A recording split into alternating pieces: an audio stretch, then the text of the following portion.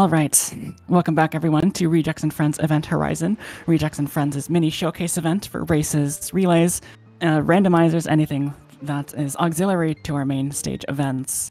Um, this is our 3D Zelda relay being done by Mini Mini 352, Bewildebeest, Dope Zera, The Real Noman, The Corpser, and Your Average Link. Um, this is also a charity event. This is not just our standard Event Horizon fair. So if you take a look at the About page for this channel, you're going to see a QR code, as well as a Rejects and Friends 3D Zelda relay graphic. If you click on the graphic or go to the QR code, it will take you to a Tiltify page, which um, should allow you to donate to um, Planned Parenthood and also to the event. Rejects and Friends always benefits Planned Parenthood, and we are um, honored to be able to do that every single time. Um, this event will go on for quite a while. Um, Mini will be first with Wind Waker. Um, I will actually, ah, excuse me, I will actually be passing it over to H Dog, who will be your first host for the event, and then I'll hop in back, back at the end.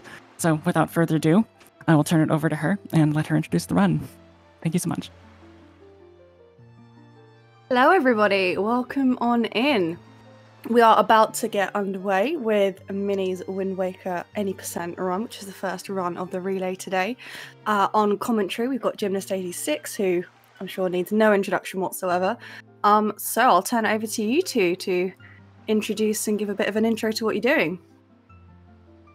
Yeah, hi. Going to be doing Wind Waker Any Percent, and this game has a very long intro, so I'm ready to just start the run whenever, and then we can get to explaining.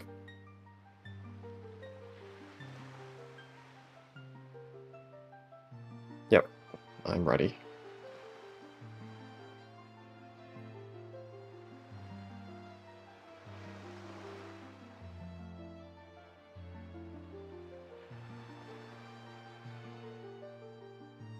Alright. So this is Wind Waker, and like H said, I'm here with Jim. Hello, Jim. Hello, nice to be here, and nice to watch the Wind Waker intro again. Always a fun time. Yes, we love the intro. So this run is going to, well, it's going to begin with a very difficult trick called Manual Super Swim that we'll get to. Um, it basically involves a lot of frame perfect pause buffering, and I'm quite nervous for it because it's very easy to mess up, so I'm going to be like deafening and muting myself during that. But uh, we'll get to that in a second. But this run is basically like split into two parts. There's the first part where we just go and get all of the items we need to beat the game, and then we go and beat the game. And other than that, there isn't too much like story stuff we have to do to beat the game. So yeah, that's how it's going to go. Yeah, thankfully, uh, with the glitches that we can do in Wind Waker, we can sort of just cut a path like to the end of the game once we have uh, all of the items that we need very conveniently. So yeah, uh, that is what we will be seeing.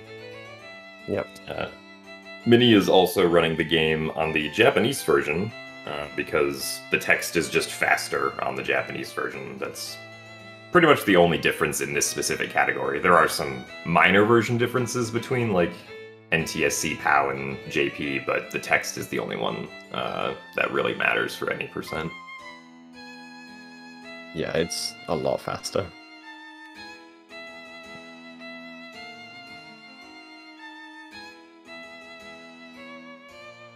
Unfortunately, uh, can't skip the intro. The intro, uh, at least on the Japanese version, uh, we don't get control of Link until like just after the five minute mark.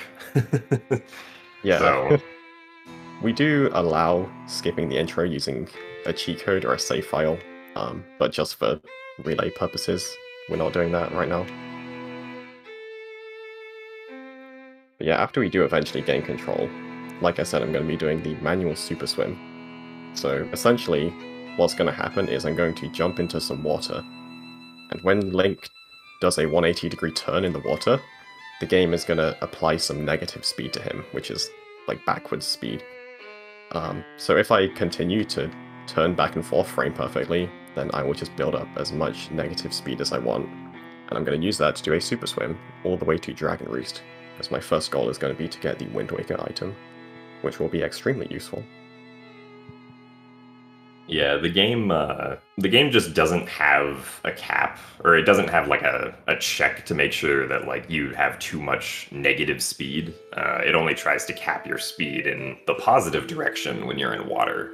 So if you can just keep on, you know, gaining more and more negative speed, uh, there's no cap on that. And with enough speed, uh, you can simply just swim pretty much anywhere on the ocean that you want. Um, and as long as you have the like necessary air timer in the water to make it where you want to go. Yeah. So during the first RaF marathon, I did an all dungeons run where I also did MSS, and I had to do some crazy backups during that. It worked, but it was very scary, so I'm hoping it can go a little bit smoother this time. Yeah, super swimming is a uh, it's a very cool trick, but it's also extremely difficult uh, to control well, especially this first one uh, that we do at the beginning of the run. There will be more super swims that Mini does afterwards, but this first one is like, uh, it's, it, in my opinion, it is the hardest trick in the run to do well. Yeah, I would agree. And the thing with this as well is that during normal attempts, you like if you mess it up, you would just reset and try again but during a marathon, obviously, you want to try to get it if you can. So doing these crazy backups is not something you would normally see, and something I don't hope to see. But yeah, it is always interesting when you have to try to back it up. But we are almost ready to gain control. Um, and yeah, as I said, I'm gonna just not talk during this trick because I need to concentrate. So I will be gone for a few minutes after this. Yeah. Now everyone gets to learn about all the nuances of manual super swim with gymnast. Yep. Yeah, so like Mini said, um, this trick allows him to get to Dragon Roost Island, or I mean, he could go anywhere in the ocean, but he, wants to go to Dragon Roost Island so that he can get uh, the Wind Waker item because the Wind Waker is very useful. And ultimately, this will allow him to skip pretty much the entire introduction of the game. Uh, like he's never gonna have to go back to Outset Island after this once he swims away. So right now he's swimming over to this specific spot on the island where he can uh, get an air refill while he's still in the water. Um, in Wind Waker, you have an air timer whenever you're swimming around that allows you to stay above water for 30 seconds before you drown. Uh, but if you swim against this wall that Mini's up against, uh, there's collision below uh, where he's swimming, such that the game uh, essentially just refills his air meter all the time, uh, which is very useful and is uh, one of the things that makes this trick possible to do. So we're seeing Mini pause buffer constantly here. Uh, for reference, um, each each frame perfect pause buffer that Mini does to turn Link around uh, gets him essentially three in-game units of speed, and he needs to buffer up to about 500 units of speed um, before he can go into what we call the upcharge, which is where we can simply hold up on the control stick and sort of make the game's camera do the work for us on getting the super swim.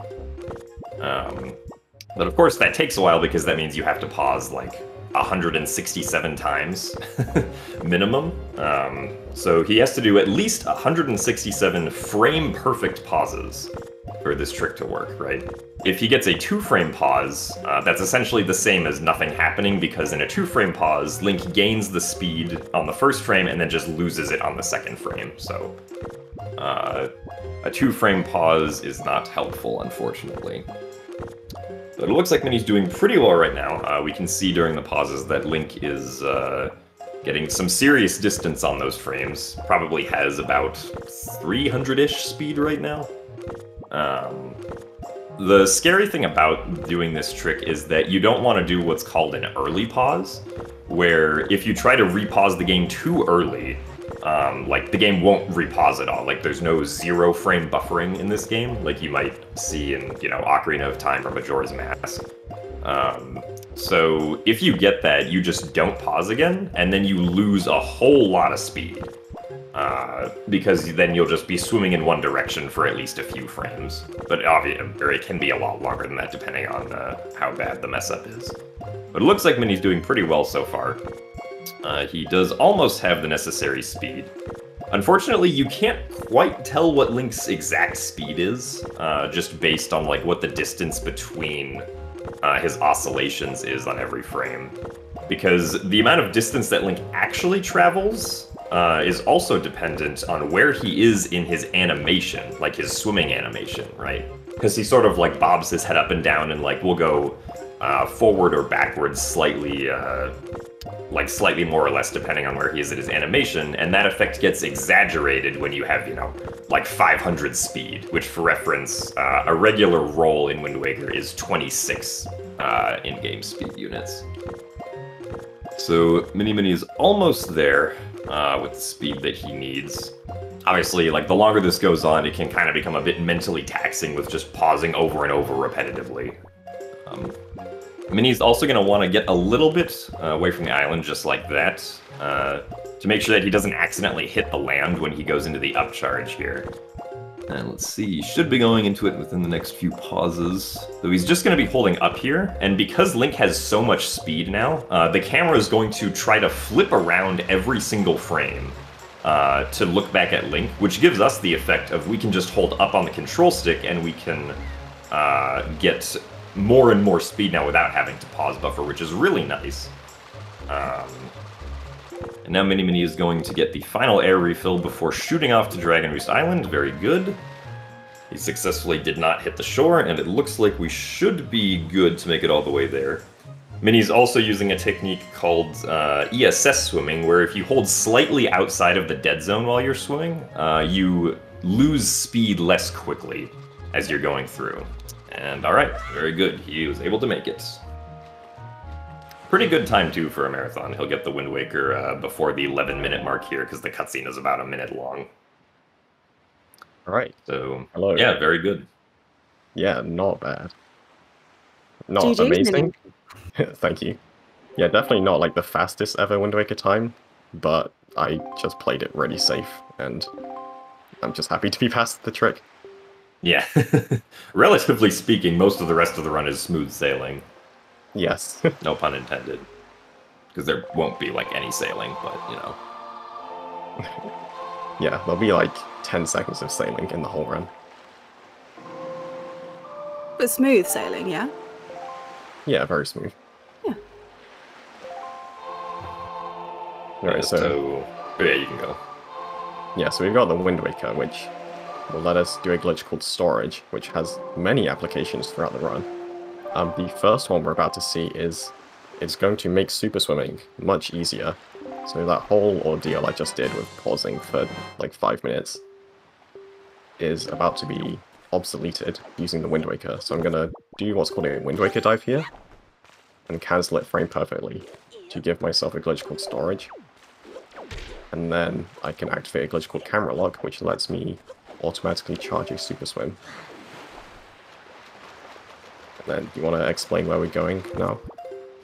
Yeah, so now that we can essentially super swim wherever we want uh, without having to pause the game 160 times, uh, we're going to be super swimming to Northern Fairy Island, and specifically the Northern Fairy Island submarine.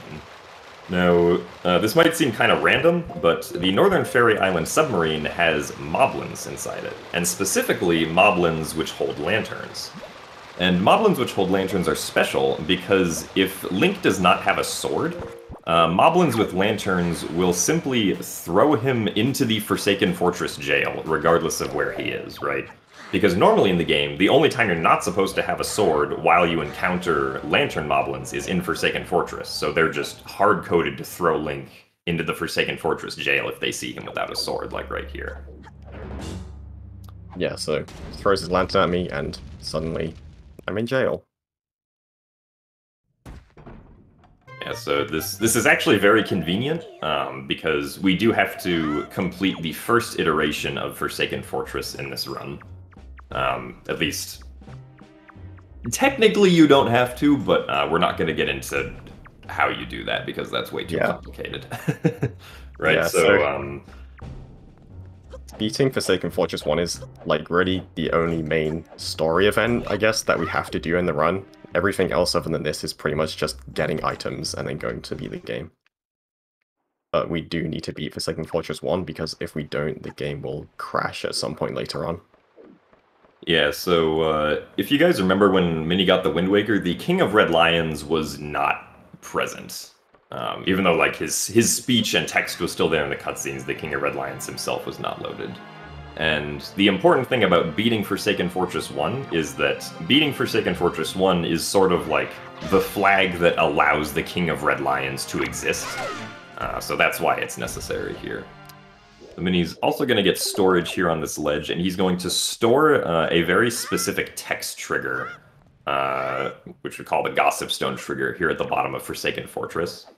Uh, and the reason he did that is because one of the items that we need in the run is uh, the bombs. So, and the bombs we get in the pirate ship when it comes to Windfall Island. But the pirate ship actually has two different states, right? The first time you go into the pirate ship, it has the spoils bag. And then the next time you go to the pirate ship, it's supposed to have the bombs. So the way that the game switches between those two states is when you activate that specific Gossip Stone trigger in Forsaken Fortress that Mini Mini just stored. So now when he goes to the pirate ship later in the run, he will be able to actually get bombs. Instead of it still being in the uh, early game spoils bag state.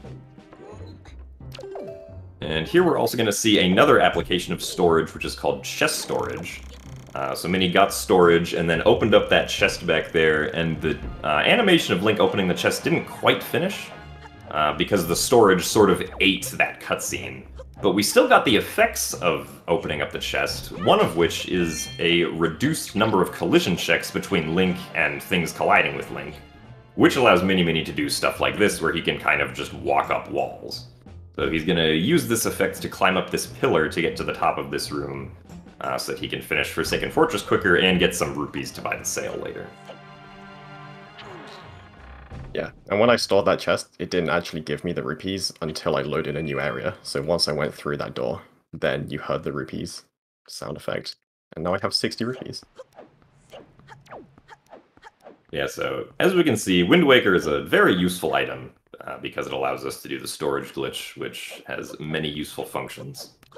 Uh, Mini also picked up and placed down that barrel right there because if he didn't, then the moblin that was walking along the path would have seen him. Uh, the game sort of gives you a, a little bit of like invincibility when you put on the barrel because you know you're supposed to be hiding so the moblins can't see you as easily. Uh, but that effect still persists even when you put or even when you take the barrel off. Uh, the effect still persists for a few seconds afterwards, so we can use that to skirt past the moblin easily. Yeah, and now when I'm sidling, I'm kind of mashing my control stick like flicking it and then going back to neutral. It just makes you sidle a little bit faster. Okay, now we get a sword. So yeah, coming to FF1, Forsaken Fortress 1, there's already three things we want. Uh, the Gossip Stone trigger that we hit earlier, we want this sword, because we never got a sword earlier. And we also need to just beat FF1.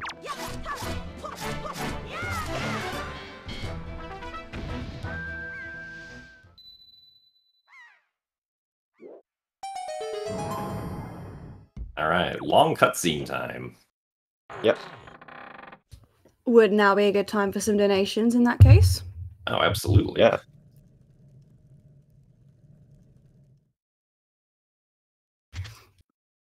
Team have been super duper generous. So we've got $20 from the lovely Jade Minabu. She says, excited to watch this 3D Zelda relay. Always happy to donate to a good cause. I hope all the runners have fun and I wish them and the commentators the best of luck. So thank you very much, Jade. Uh, we also have $5 from Pippi in a top hat, who will be commentating later. Um, she says, please put this toward mi- posting Mini's bail for speed jail. so there you go, Mini. You're, you're safe. Have we got time for one more? Yeah, go for it. One more from Anonymous, someone being V secretive. Um, says, MSS feels okay, man. Have they given themselves away? We don't know. It did feel okay. So yeah, I guess this cutscene gives us a bit more chance to explain um, that whole camera lock super swim we did, because I kind of glossed over that because we were doing like two things at once. Um, so I got storage, which storage basically is essentially what it does is the next time an event happens that tries to take control of the camera, um, that event gets cancelled or stored. And so what I did was I got storage and then tried to pull the Wind Waker. And that event got cancelled.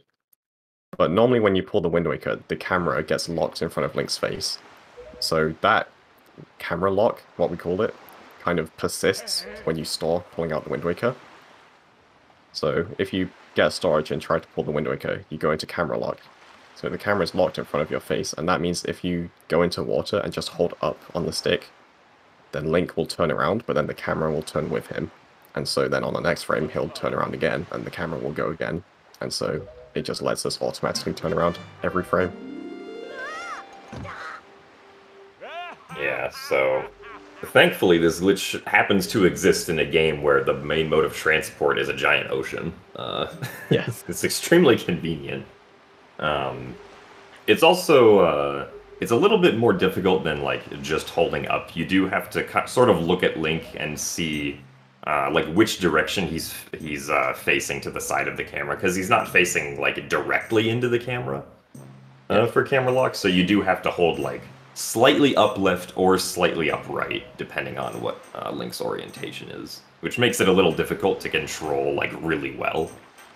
Uh, Yeah. But Mini's an experienced runner, so he knows how to control it good. Yeah, sometimes.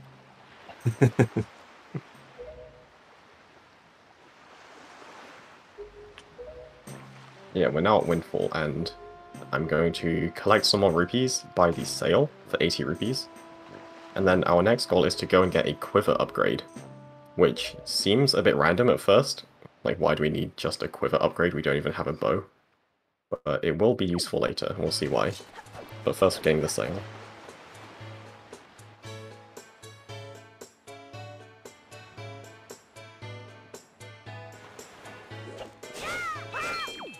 Only three flower rupees. Yeah, not great. Yeah, so the rupees and the flowers are RNG. Uh, the blue rupees in these pots are not RNG. They're thankfully uh, consistent. So this pot here is, if I get a green rupee, then that sucks. God damn it. Uh, the good old 79. Always gotta have the uh, the marathon RNG to start things out.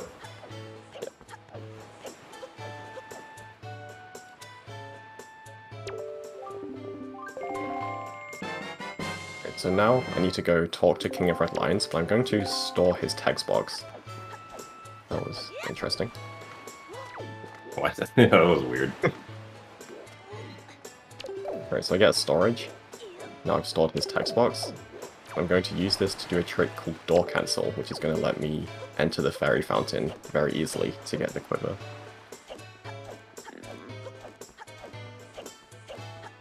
Yeah, so right now Mini is gonna get storage again while he has the text on screen.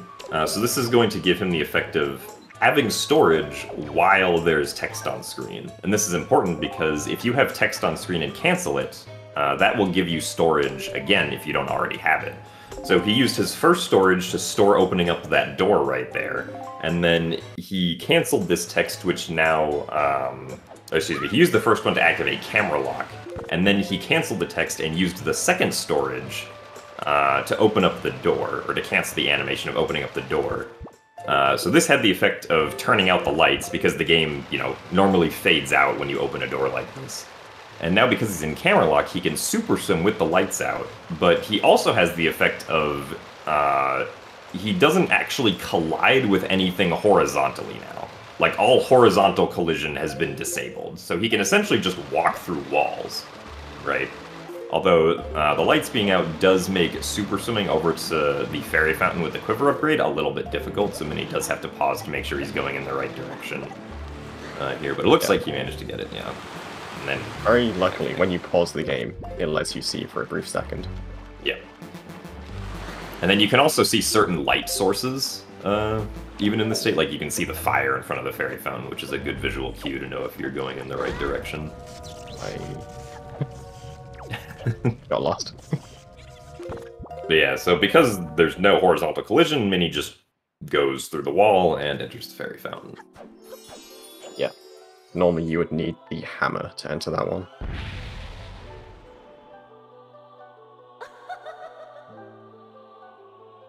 Right, and then if I try to enter this fairy fountain through the exit, that fire is still there, and it's actually just going to immediately knock me back into the fairy fountain. However, because of the way the game updates its save flags, which is like where it thinks you should save warp to, if I do a save warp here, the game is going to put me back at Windfall. Because after you beat Forsaken Fortress 1, the game says, okay, you should spawn at Windfall now if you save warp. And because it doesn't expect you to leave Windfall, then that doesn't get updated until you start sailing away in King of Red Lions. So I am just back at Windfall now.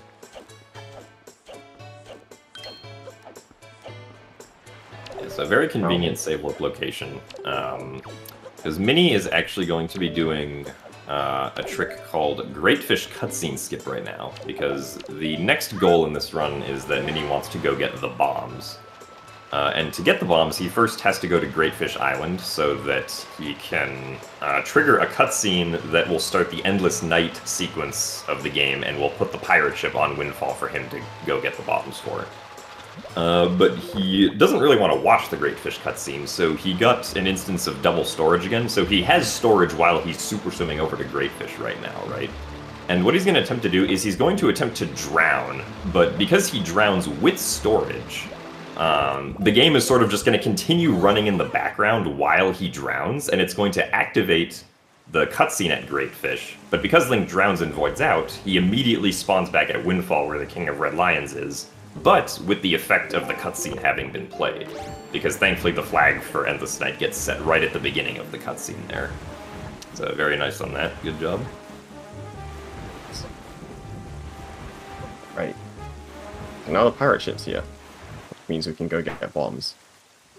And uh, normally you would have to go and watch a long cutscene to get the pirate, not the pirate, the password to enter the ship. Um, however, I'm going to do a trick called a roll clip, where I climb a ledge, partially clipped into the wall, and then do a frame perfect roll to clip into the wall, and then I can just easily navigate and go into the door from behind.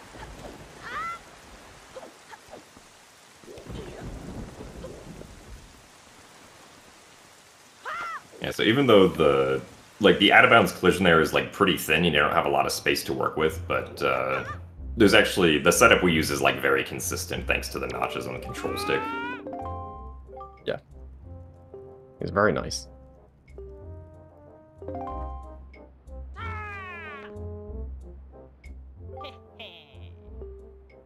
Now we get to swing on some ropes and hopefully not fail it.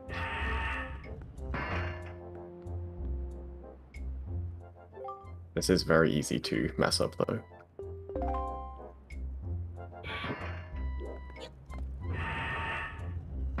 Yeah, so the strategy here is we kind of uh, want to jump on the ropes, or at least on this first rope, with the diagonal orientation already, because in this game you can't turn and swing on ropes at the same time, unlike, say, Wind Waker HD. So turning on the ropes is very slow. So anytime we can avoid doing that is nice.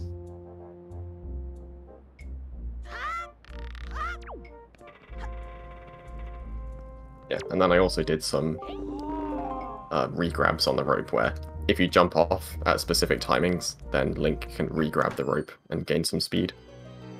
Just stops you having to swing back and forth as many times.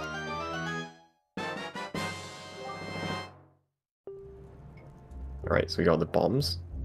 And the last item we need to go get is the Deku Leaf.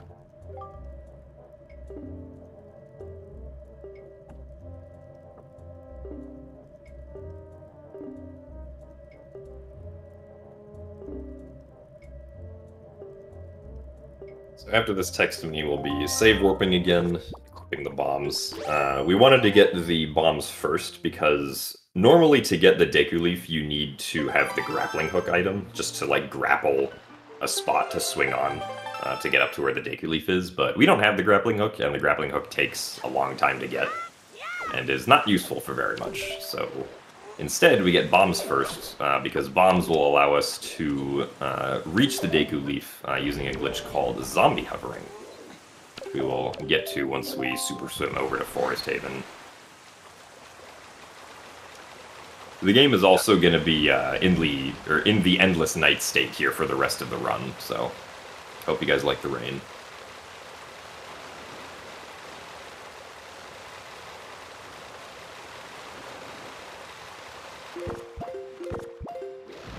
And I'm doing what's called double storage on this Super Swim, where I stored that text box before activating camera lock, and then close the text. So I now have storage, which means I can store this intro cutscene at the island, which would normally soft lock in camera lock. Here I'm going to try to do a ledge clip while in camera lock. So I just clip through that ground. And now because I'm still in camera lock, I can activate, I can charge up another sort of mini super swim. And go straight into Forest Haven. So that ledge clip, I placed a bomb, and I tried to climb into the bomb, and then the game basically says, you can't be in the same place as the bomb, so it pushes me the other way, but then that ends up pushing me out of bounds.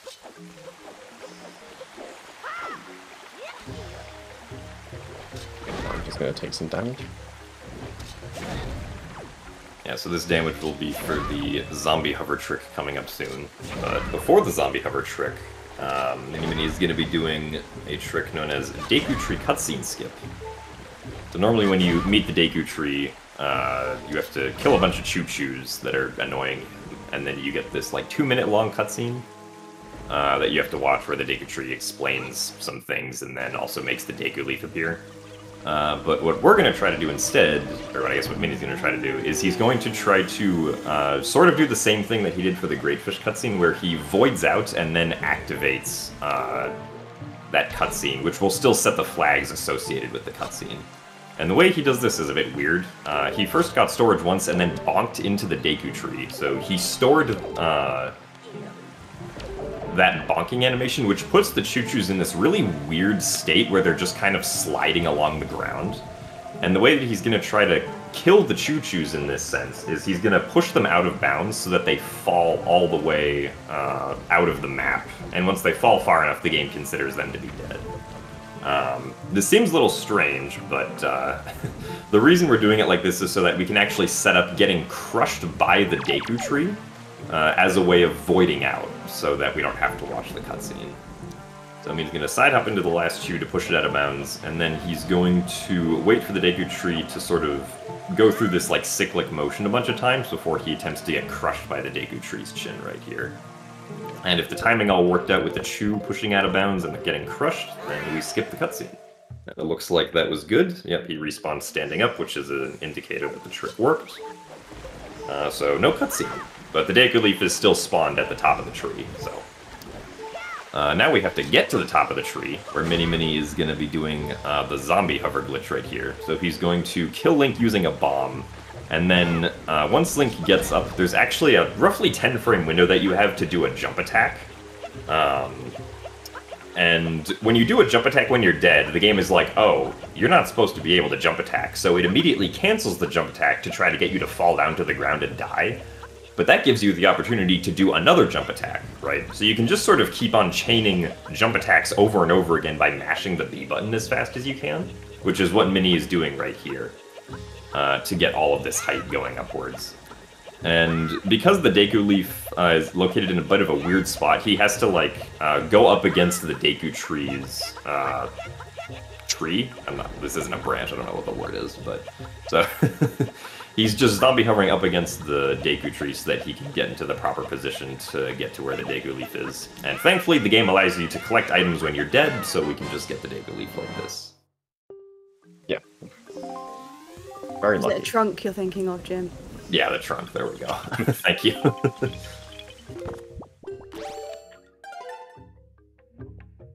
Right. So we now have all of the items we need to beat the game. And so the place we're going to go is to Forsaken Fortress, which is on the complete opposite side of the map from here. I'm going to do another double storage super swim, so I can get chest storage, which we saw earlier, will let me walk up bits of collision. And the chest I'm storing is located at the very uh, bottom right corner of the map, and Forsaken Fortress is at the very top left corner, so this is going to be basically the longest possible super swim you can do in the game. Yeah, and this the super swim is uh, a bit scary, not just because it's like the longest super swim you can possibly do, but because if Mini isn't careful, um, there is a chance that the game could trigger a reload, um, just due to how the game manages uh, memory for things that get loaded on the ocean. Um, so he has to be careful to not load specific quadrants of the ocean to reduce the chances of that happening, right? So he doesn't want to, like, for instance, super swim back into the Forsaken Fortress quadrant or super swim into the Windfall quadrant uh, because those quadrants take up a lot of memory in the game. So he's specifically trying to avoid those. And he also doesn't want to accidentally swim into the Great Fish quadrant again because if he does that, the games get a soft lock because uh, the cutscenes there didn't quite get resolved when we did the Great Fish cutscene skip, so um, if you try to go back to the Great Fish quadrant after doing that, the game just soft locks, even if you don't have camera lock. So he's gotten enough speed. He was able to get air refills with chest storage uh, on uh, the five-star isle isles there. And now he's just super swimming across.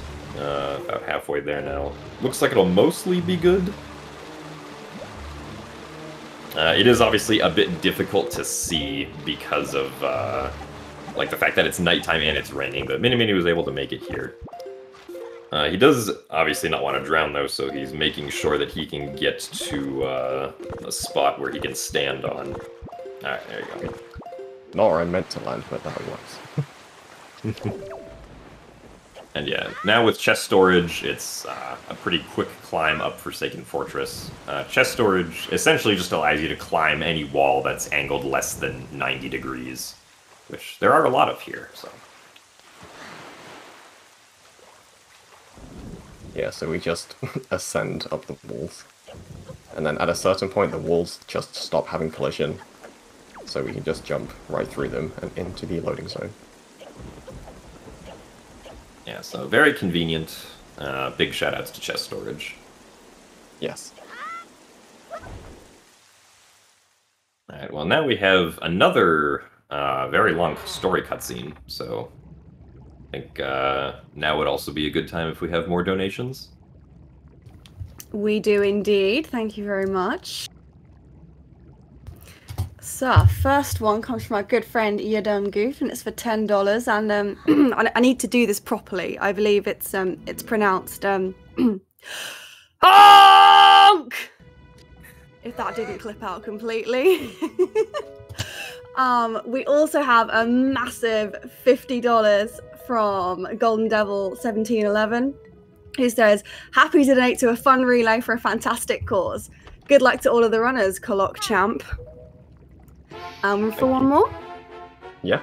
Yeah. Um, one final one from GMO Pasta for twenty dollars. Uh, it says, "Good luck, Mini Jimfish, Mini, and Mini Mini Wobble." I'm not going to read it all out, but both both your best emotes, I would say. I would say. Thank you.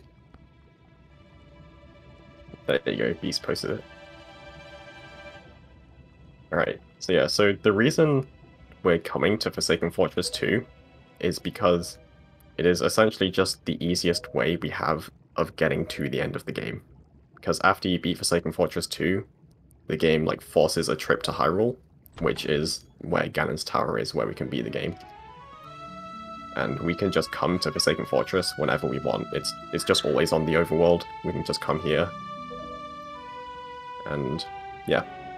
This cutscene right here is also very important because it switches a flag internally in the game called the animation set, which isn't super important for this run, but basically, if you try to watch late game cutscenes without watching this cutscene first, they would all just crash. So we do actually have to watch this cutscene at some point. Yeah, and the, the, the interesting thing about that crash, while also Errol is flying here because uh, Gonzo doesn't exist, but um, the interesting thing about like the cutscene crashes that happen is that um, those cutscene crashes that happen don't happen because like the game can't handle like the cutscene with the ran- with the wrong animation set. The game can, it just looks weird. Um, the reason the game crashes is because the developers told the game to crash if the animation set was wrong. Basically, Nice. so Thanks, Um, developers. Yeah, they, they left some assertion statements in the game. For those of you who are programmers. So, uh, we don't have the Skull Hammer, um, which normally you need to beat the Helmaroc King, but thankfully there's like six different ways you can skip the Helmaroc King, uh, so the Skull Hammer will not be necessary. Yeah, even a glitchless speedrun can skip it. Yeah. yeah, thankfully the Helmaroc King is one of those bosses where uh, the loading zone to like continue the game after you beat the boss is just always loaded. Uh, it's not like, you know, the warp at the end of a dungeon that only appears once the boss is beaten, because uh, the exit for this arena is opening up a door into Ganon's lair. So we're just gonna fly around the Helmaroc King here using the Deku Leaf uh, to get past him, and then Mini is gonna be damaging down here to get to uh, a heart and a half of health, which is critical health. Um, this is where Link's animation changes and he like hunches forward a bit if you just like stand still. And this is important because it makes this next clip right here that Mini is doing uh, basically free. Uh, if you climb up uh, far enough into that ledge right there, uh, you just kind of are in the wall. And if you have critical health, you just go into the wall for free, basically. If you don't have critical health, you have to do what's known as a roll clip, uh, which Mini did to get into the pirate ship earlier to successfully do that clip. So uh, even though it's technically slower to do uh, the critical health method, uh, it's significantly more consistent because you don't actually have to do anything once you grab the right spot on the ledge. Yeah. And I'm actually damaging down for a zombie hover later anyway, so it really is barely slower to do that. Yeah.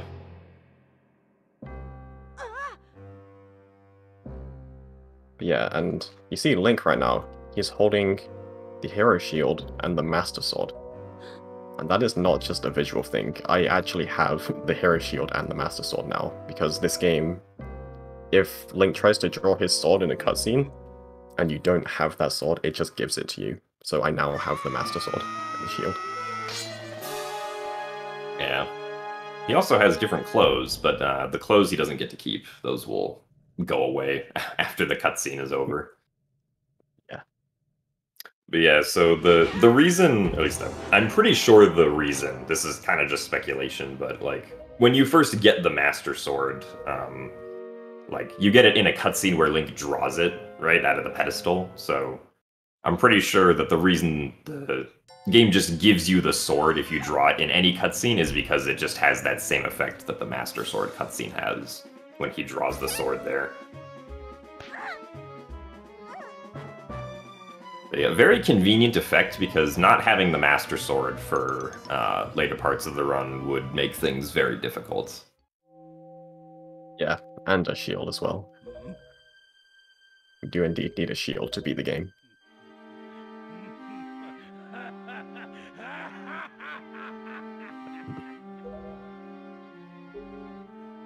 So yeah, just got some more cutscenes here.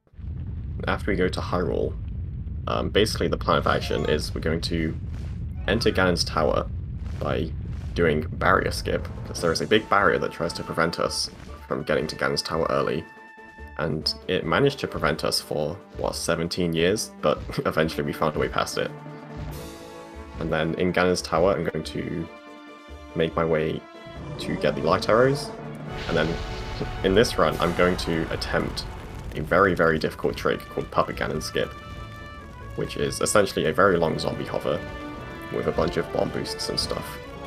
And it saves some time, but again, it's very difficult, so my plan is to attempt it once to see if I get it, and if I don't get it, I'm just gonna fight Puppet Ganon as intended. But we'll get there when we get there. Yeah, for now we can enjoy uh, Valoo just kind of sitting on nothing because we never raised the Tower of the Gods, so it's just not in this cutscene. Yeah.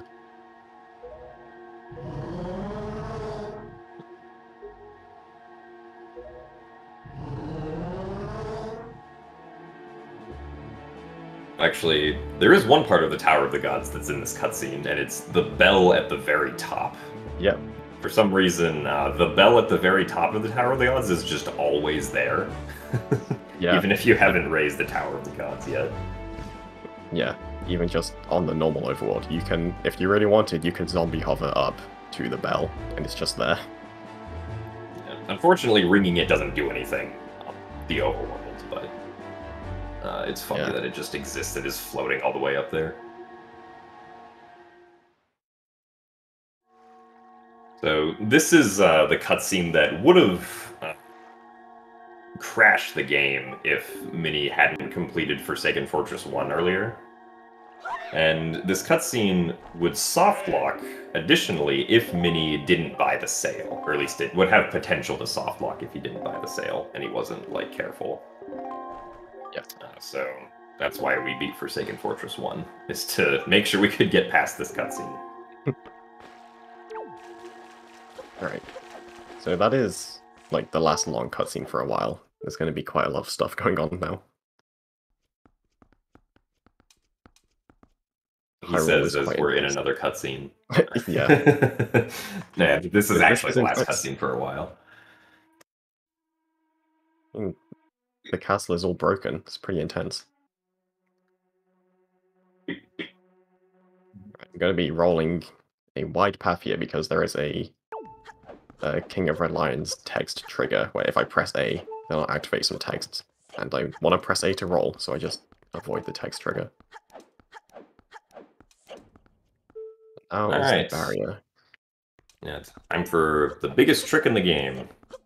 Yep. So the barrier actually has two parts. Uh, there's the knockback barrier, which we can visually see here, uh, that Mini is trying to get into. Uh, to cancel the knockback barrier, you basically need to activate some sort of cutscene on the uh, next time that the damage barrier would try to hit you, just like that. So Mini pulled out the Wind Waker at the same frame that the damage barrier tried to hit him. And now he's doing a specific series of inputs to get into a very precise position. Um, because to do barrier skip in this game, you essentially need to drop a bomb behind yourself and have that bomb push you forward in a very specific direction and angle. So let's see if he gets that here. Okay, so he missed uh, missed the two frames that he had to drop the bomb. All right, very nice. So the barrier, uh, there's like a the the barrier sort of comes together at two different uh, collision polygons in the center of the bridge, uh, but those polygons don't quite come together correctly. So there's like the tiniest of gaps between those two polygons. And if Link has enough speed when traveling directly through that gap, he will just go through, basically. Uh, none of Link's normal movements give him enough speed. Like rolling is not enough speed to get through that gap, right? Um, but if you drop a bomb on top of Link, the bomb will displace him enough distance to clip through that small gap. Uh, which is why we had to drop the bomb behind us and couldn't just like, you know, roll or side hop or something like that. 'Cause even though it's just one frame of displacement, it's enough to get through. And that's how we skip uh, pretty much the whole game. Yeah. So, who would have Yeah, so thought just drop a bomb behind you? Yeah. so with that trick, the position, the angle, and the timing were all very precise. It's very perfect. As well as all the position and angle. Now I'm doing great. trial skip. Yeah, so the first thing that you're normally supposed to do in Ganon's Tower is you're supposed to refight all of the dungeon bosses again. Um, but we don't have any of the dungeon items, so we can't really do that. Uh, but we do have the power of ledge clipping and roll clipping, so uh, we simply clip out of bounds and get behind uh, the door that normally tries to block us.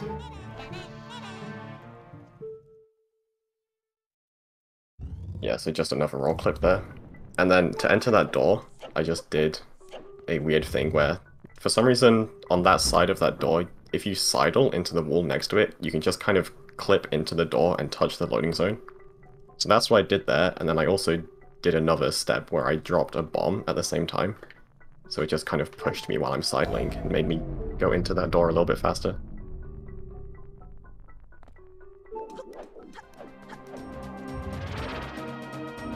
So this maze, thankfully, uh, the order or like the directions you have to go in the maze are the same every time. So we just memorize what the path is and execute that path.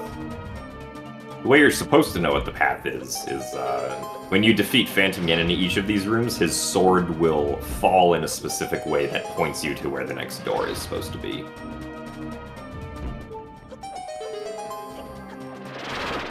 So you can get to the end here.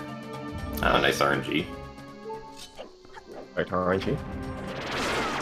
Yes, there's there's three different attacks that Phantom Ganon can give you, and the fastest one is the one where he just spawns in a circle uh, with like a bunch of fake clones around. Because the other two attacks, you have to essentially wait for him to attack you uh, before you can counter the attack and damage him. A nice like eight second time save that RNG gives. Yeah. So I have the light arrows now, and this is the reason I got the quiver earlier. Is that you can't actually use the light arrows if you just get the light arrows. You need a quiver. And normally when you get the bow in Tower of the Gods, it gives you a quiver with it. Um, but because we only got the light arrows, the game would not recognize that we have a quiver, and so we wouldn't be able to actually shoot any. But now we can because I got the quiver.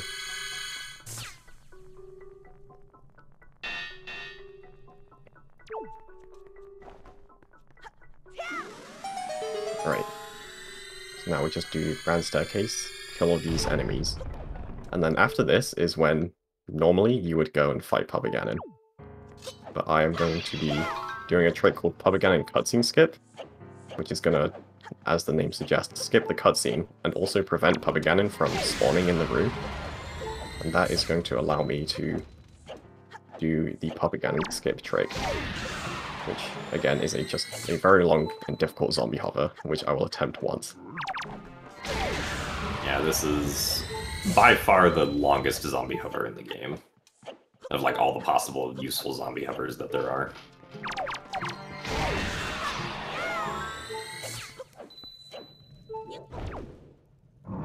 So, uh, what Mini is going to do to skip, or I guess it, it's more it's like a he's going to prevent the cutscene from being able to play when he enters the Puppet Ganon room.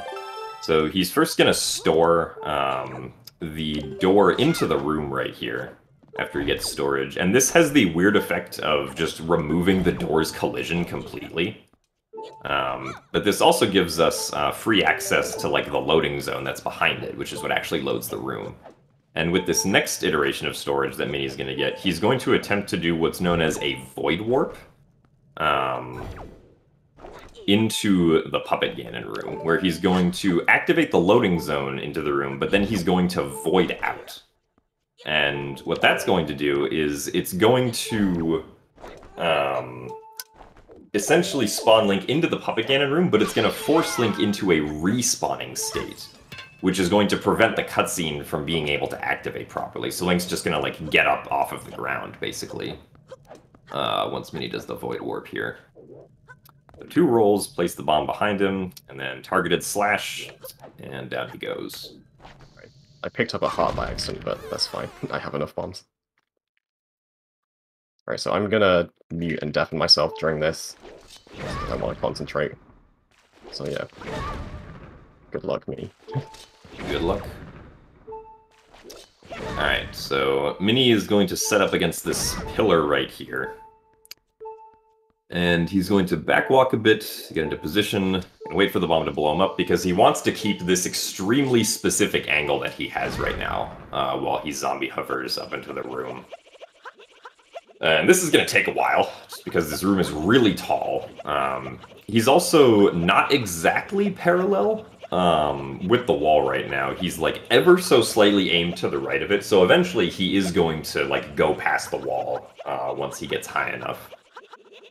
Um, so the tricky thing about this is that Mini needs to heal when he gets to the top of the room somehow, right?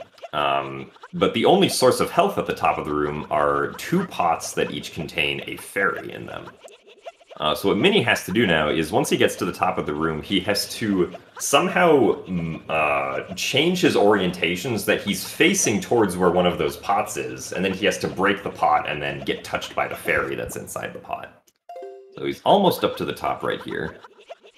Uh, okay, yeah, so this is the part of like the wooden infrastructure that he wants to be on.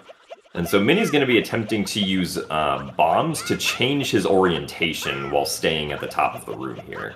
So he's gonna pull out a bomb and then pull out the leaf for one frame to drop the bomb while he's in midair.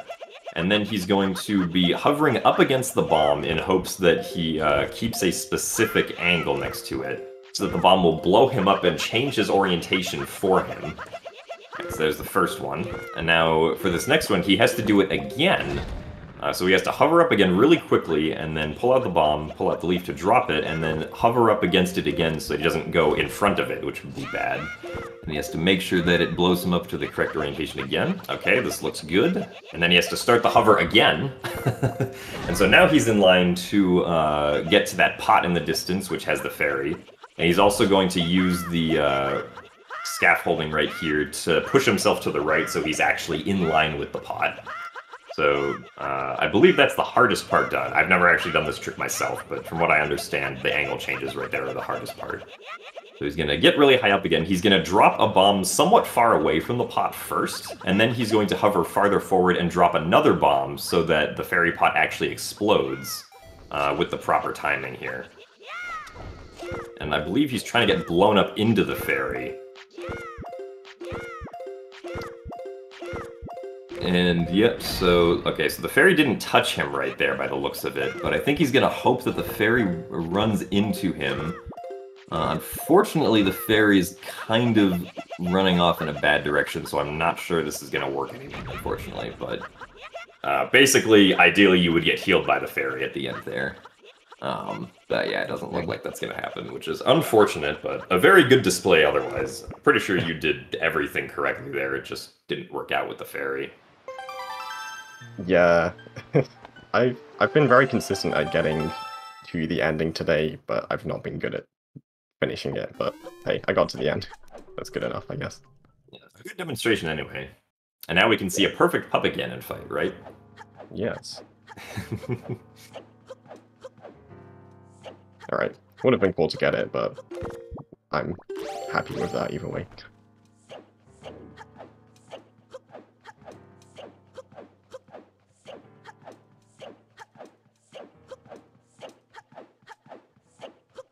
Yeah, so unfortunately, we still have to watch the cutscene um, for the fight because we didn't like, like we didn't like you know, uh, like trigger the cutscene earlier. We just completely bypassed it, so it's it's still here, unfortunately.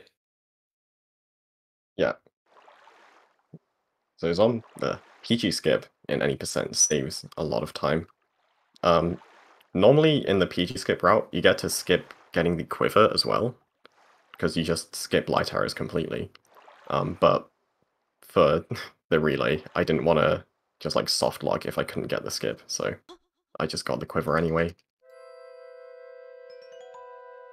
Because if you go to Hyrule without the quiver, then it's impossible to beat the game unless you do the skip. And I didn't want to just get stuck here forever.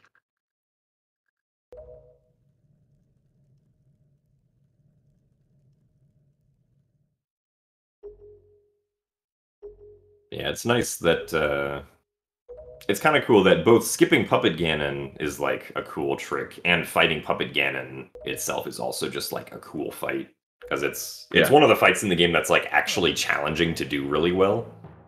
Um, most of the other fights, like you can get fairly consistent at for the most part, but Puppet Ganon is always the one that uh, is like a true test of like skill and like adapting to how the boss is trying to do things uh, on the fly.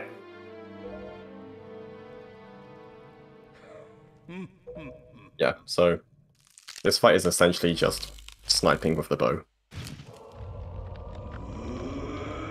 Each phase, three phases, each one I have to shoot the tail three times, and I'm just gonna try to aim good, hit it fast.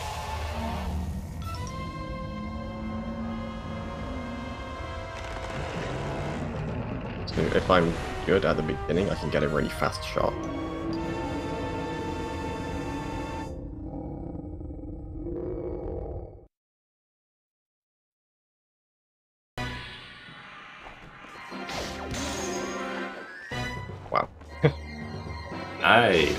Good. pretty good.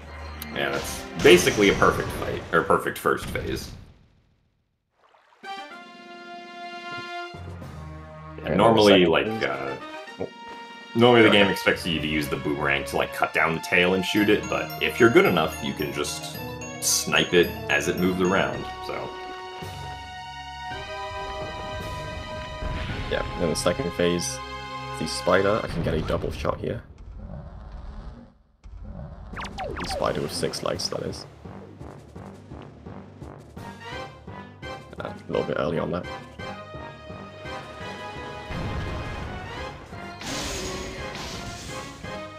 Good magic drops by the keys, thankfully.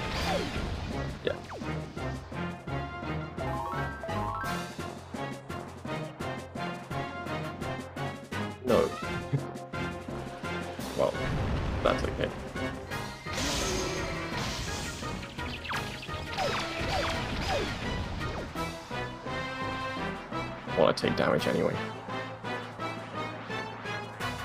Uh. Oh. Oh. Whoops. Forgot to switch back to light arrows.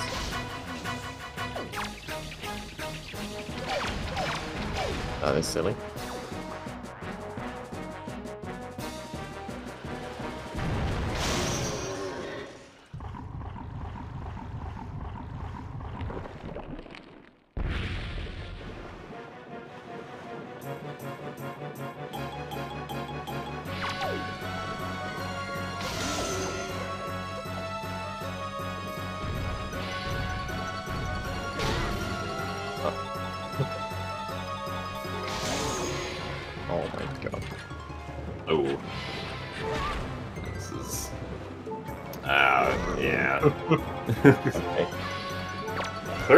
Phase Puppet Ganon uh, sometimes does not cooperate. That is not very good. This It's is okay. exactly the same thing I did in the last relay. I died on the last phase, last hit. I did that like last week. So. this is unfortunately something that just happens sometimes.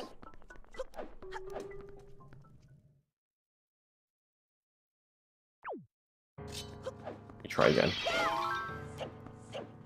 So yeah, I'm with Chad on this one. I'm pretty sure that was Makar's fault. Yeah. Yeah, he just turned in a weird way. I wasn't expecting it. Flicked his tail at me.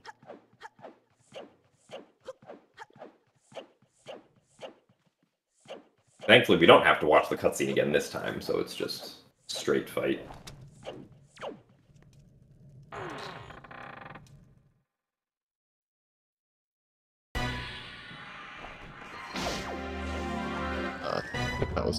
Even close.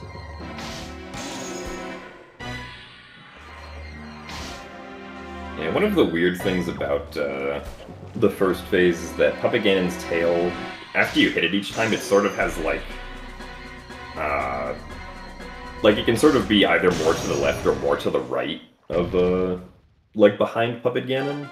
And if it's more to the right, it can make it more annoying to hit, um, because uh, it's easier to shoot the tail right before Puppet Ganon tries to attack you because he's standing still. But when his tail moves to the right, it's uh, it's mostly blocked by him the entire time, which is annoying.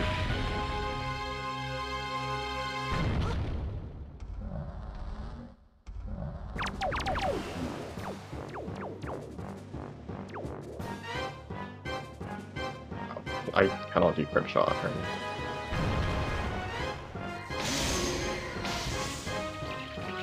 of magic. It's the keys that do nice. I fought Puppet Ganon yesterday. The keys were not nice.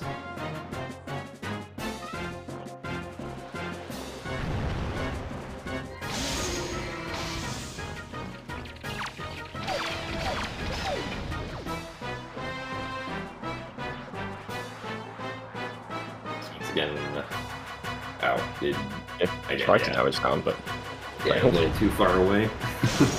like just playing safe this time, I guess.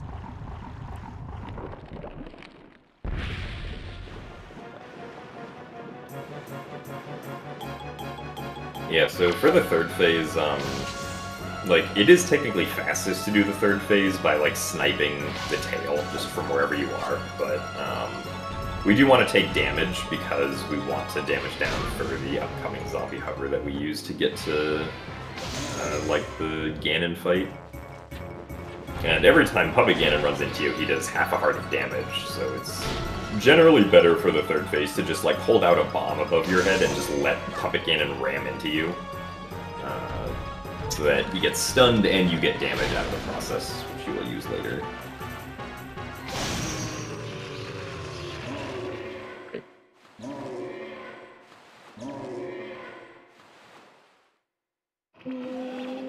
So, like we mentioned earlier, we never got the grappling hook in this run, and normally you're supposed to use the grappling hook to climb to the top of this room.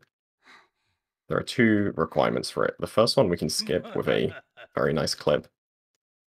Well, I say very nice, a pretty dumb clip that hopefully won't fail, but sometimes it does. Um, and then the second one, the way I'm going to try to, to do it is by shooting a fire arrow at one of the morth enemies and hoping that it will burn the warp pot lid. But unfortunately, that is RNG.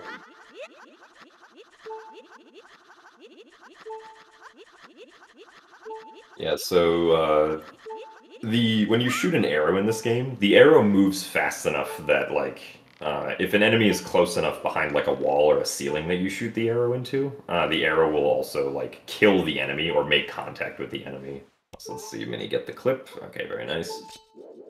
So Mini's gonna shoot a fire arrow up at the Morth up here. Uh, and what will ideally happen is the Morth will catch on fire, and during its death animation, it will uh, make contact with the lid of the warp pot and burn the lid of the warp pot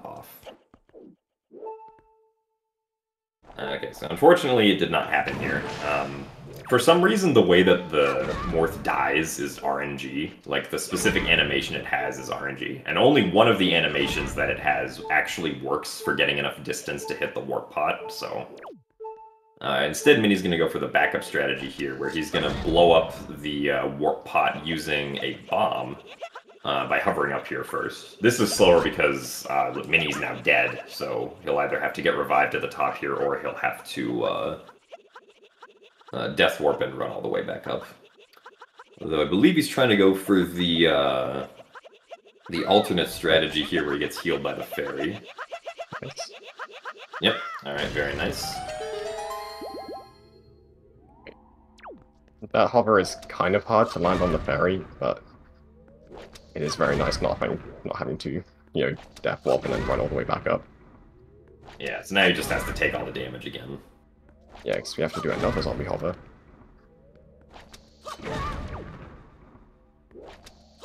Uh, let me just do this. Get my mobs back. Right, and then also in this room, you're supposed to have the hook shot, which we're going to skip with a different zombie hover. And this time, instead of using a fairy to heal, I'm going to use one of these morth enemies. Yeah, so uh, normally um, the morths, uh, if you try to like shoot them with your bow, they don't drop anything. Um, they're specifically only programmed to drop uh, like hearts or magic if you kill them with your sword. But very conveniently, uh, there happens to be a glitch we can do where we can kill the Morth and have it latch onto us at the same time. And that will set the flag that says the Morth has been killed by our sword, so it actually drops a heart. Uh, but it doesn't actually like kill the Morth, it just sets that flag. So now Mini was able to use the leaf to blow the Morth up onto the platform, and he's getting it into position right now so that he can zombie hover up to the heart that it's going to drop. Um, and then he's to shoot it, it's to drop the heart, he's to start a zombie hover by using a bomb, and as long as the zombie hover is done well enough uh, before the heart disappears, uh, you can just make it up here and heal on the heart. And then Mini also grabs some safety morths because he's gonna want to get, um, yeah, some extra hearts for the uh, Ganondorf fight. Because Ganon will do one heart of damage regardless of what attack he does. So if you don't have safety hearts, you only can you're, you can't get hit at all during the fight, which sometimes doesn't happen. Yeah. if you have the grappling hook, you can get some hearts from Zelda, but we don't, so that is not an option. Yeah, those two hovers were- cutscene. Yeah, those two hovers were pretty clean. Happy with how they went at least. I find it uh, quite ironic that the Puppet Ganon room simultaneously has the longest useful zombie hover and the shortest useful zombie hover Yeah, in the same room, one right after the other.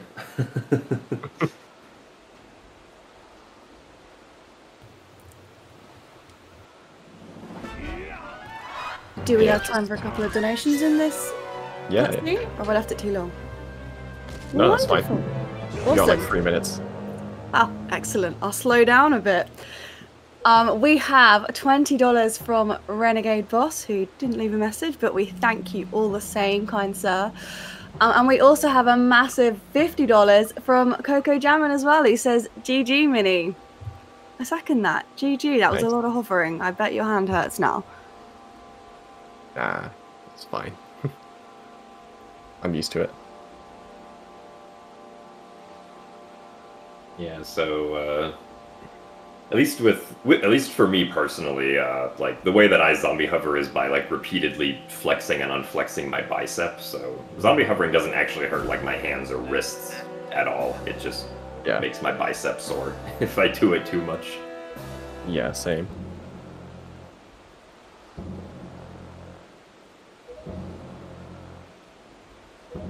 Yeah, after this cutscene, just going to be fighting Ganondorf. It's a pretty short fight. Um, stuff can go wrong, but hopefully with two hearts, I'll be okay. Yeah, the doing this fight optimally is pretty risky, but like doing it safely uh, is like still possible. Yeah. Yeah, um, other than failing PG skip and then dying on PG, I've been pretty happy with this run. But those two things definitely lost a lot of time. Like, I had basically one hour flat best possible time going into PG skip, and now it's like 112. Yeah, the having to like watch the cutscene and fight Puppet Ganon takes a really long time compared to being able to skip the cutscene and do Puppet Ganon skip. There actually is uh, there's an alternate method of doing Puppet Ganon skip, um, where if you clip out of bounds at the bottom of the room, you can shoot the morths all the way from the bottom, uh, and like burn the warp pot lid all the way from the bottom. But we don't really have a way of getting out of bounds at the bottom of the room with the items that we have in this run. Unfortunately, otherwise we would probably do that uh, version of Puppet Ganon skip.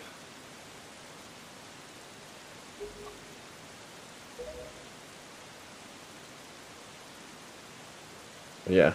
Um, in about a minute, end of the run will be coming up for the next run to start, which will be TP by Beast.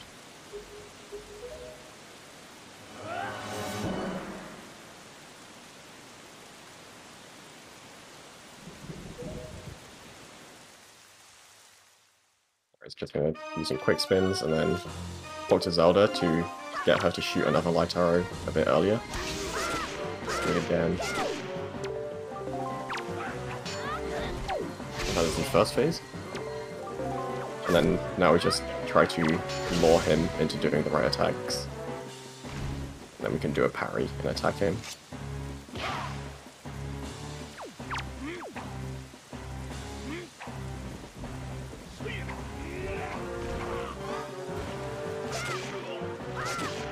Pretty good RNG there. Then just talk to Zelda one more time. Alright, and then... Ah, done. Go Beast.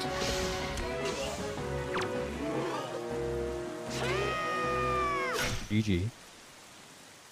Thanks. And GG's. GG. GG's, Mini. All right. And we're off. All right, welcome to Twilight Princess Any Percent. This is the one of the longer games I used to be in the middle a few years back, but now it is by far the longest of the 90% of uh, the 3D Zelda games. We're hogging the stage today. So right off the bat, Beast is going to click through a gate and then void out and reset on the same frame. This will make it so he respawns on the title screen. He will then void out on the title screen, which allows him to save the game. And when he reloads that file, he will have inherited the properties of the title screen um, sequence because that is not a, movie that plays. It's actually um, the game playing in real time. So the link on the title screen that you'll see during the opening sequence of the game does have um, he, um, the hero's tunic, um, Epona tamed, and a sword and a shield. So that will speed things.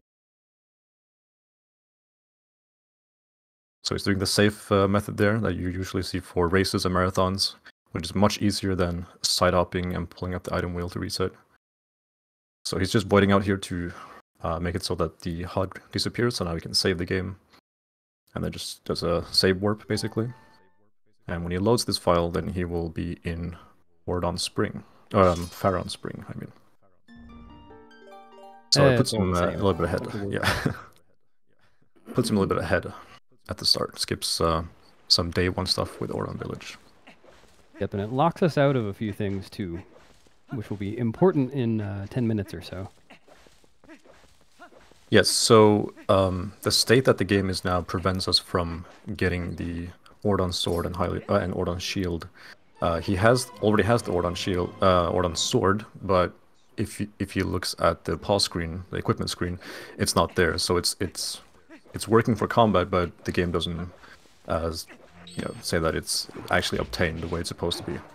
So he needs to perform a glitch later to you know in order to progress with the run, and that is where most people who pick up the game get stuck for a while, and for good reason. It's a very hard trick. We'll touch more on that later. But for now, you just got the lantern from Coro. The lantern is used uh, not in too many places of the game, but there's like one hard check in Arbiter's Grounds. It's one room where you absolutely need to use the lantern. Uh, otherwise, it could be skipped in theory. And he's just very to... scared of dark nuts. Yeah. and it's just going to progress with the the starting like the starting sequence of the game here to save Talo from some monkeys. Um, so he can get himself out of Ordon as soon as he can. There's a lot Uh, of so- rolling in this bit, so it's a good bit to talk about movement. Um, Yep. As human link, I'm going to be rolling most of the time because that's the fastest mode of transportation. And ideally, I'm going to be chaining my rolls frame perfectly most of the time. There are some cases where I don't want to, um, but basically, I want to be at top speed and chaining rolls frame perfectly whenever possible. Um, so I'm going to be trying to do that all through Faron despite the lag. And if you really, really want to check whether I'm getting frame perfect rolls, you can look at the HUD in the top right corner. Uh, if you see the lantern doesn't flash during um, or between rolls, then I have chained them frame perfectly. If it does, I have not. I believe that was the same with uh, Wind Waker as well. Uh, if it doesn't flash, then you've done a perfect roll. Hmm. Thought I'd heard Wind Waker rolls um, like you'd maintain top speed in a two frame window, not just a one. Yes, that's correct. So it's a little bit trickier in TP.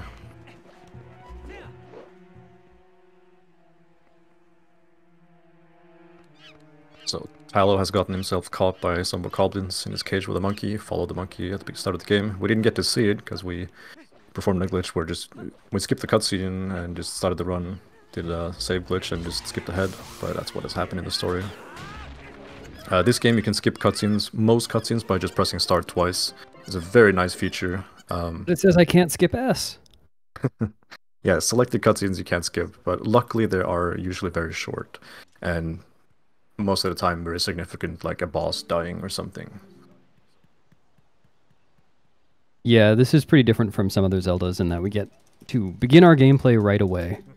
We take control of Link 9.2 seconds after loading the file.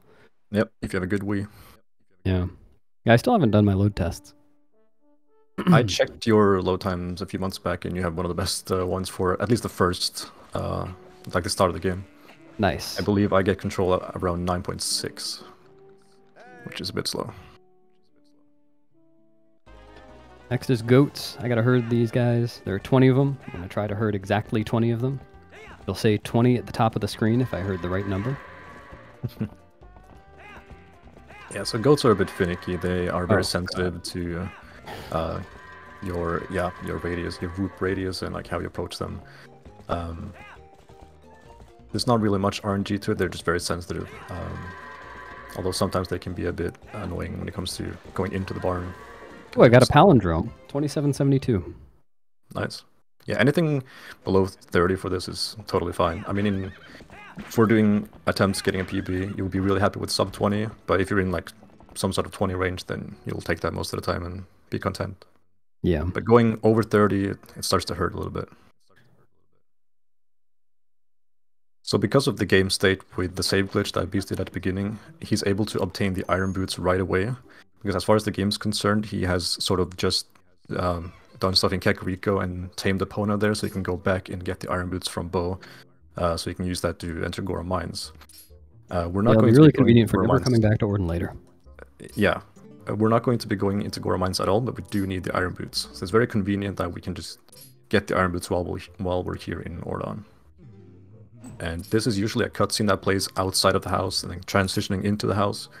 Um, but Beast, Beast needs to uh, uh, initiate the, the cutscene himself by talking to Bob multiple times to get each text box up. And here he wants to uh, mash around 11 to 12 hertz uh, times per second for an optimal one cycle if Bo cooperates. So it's rock, paper, scissor with a lot of mashing. Not quite. So that was the good RNG, but um, just slightly not enough mashing. But Bo stood still, which was good, so he was able to just slap him off or bonk into his belly so he falls off. Boing. Let's see for the second phase or second cycle. Not quite. Oh boy.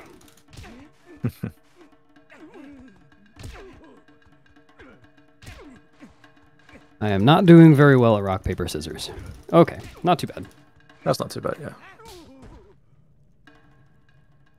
So because this happens really early on in the run, uh, and you could get some really bad uh, wrestling, yeah, this is where you can see a lot of people re- reset, uh, depending on how, how bad it gets.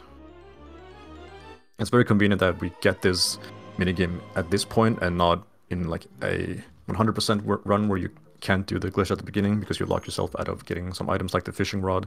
You would come here like a bit over an hour in, and having a terrible bow at that point would, you know, obviously be much worse than having being able to do it right away. So or in Beast Goron Mines RTA, where you do it two thirds of the way through the run. Exactly. So Beast is saving the game here because he's- going to use the properties of um, leaving Bo's house at this state in the game for a glitch later uh, in, when he gets to Forest Temple, and we'll talk more about that when when the time comes. There'll be so much to talk about. Uh, so we got a few more scripted story events going on before we um, before the game is a little more open to us. I've got to become a wolf. Gotta go wolf. And to become a wolf, all you have to do is crawl through a hole. This works at home. You can try it. Remember to skip the cutscene after.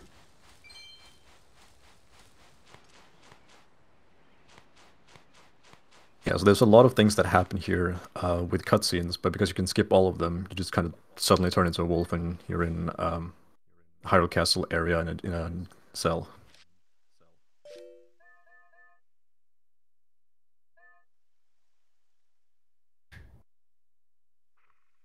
Fun fact: If you stand completely still there, uh, the game will not progress. You got to move a little bit Yeah. before this gotta uh, try to timer break it. counts down. Oh no. He's failed failing a break. trick that saves two frames, I believe. Something like that. Uh, well, saves more if you do that. Hmm. So now we've met Midna. Midna will be very useful for many reasons. Uh, this part of the game teaches you how to use Midna's abilities. So first off is senses. So right now his X button is dimmed. It doesn't say sense or senses. Um, but in the next area he will see a cutscene of a guard, and Midna tells him that you can press X to um, turn on your senses. That's when you get that ability. Wee. Nice hop. Thanks. Now it says sense. And the next thing is uh, Midna jumping, which we'll see in a bit. I promise I've played this game before. Um, and uh, wolf movement is a little bit simpler than human movement in that I'm basically just going to be dashing everywhere. Um, and just press A to do that. It doesn't really need to be frame perfect to maintain speed, but there is something that is a little bit more nuanced called dash canceling that I'll be doing. Um, because if Link begins a dash and the dash is interrupted within 10 frames, then he'll be able to dash again immediately. Whereas if you just dash and then stop, um, like after 10 frames, then you won't be able to dash again until a timer is waited out. Um, so I'm going to be canceling my dashes on purpose in some places so that I can dash again more quickly, or sooner afterwards, rather. Just to maintain top speed as long as I can. Right And here, Beast is going to go for it. yeah. So you can skip that text if you um, have a nice angle jumping off of the ledge there. Ooh, time to talk about one-framers. Yeah, Uh, this game has a lot of first framers. Yeah.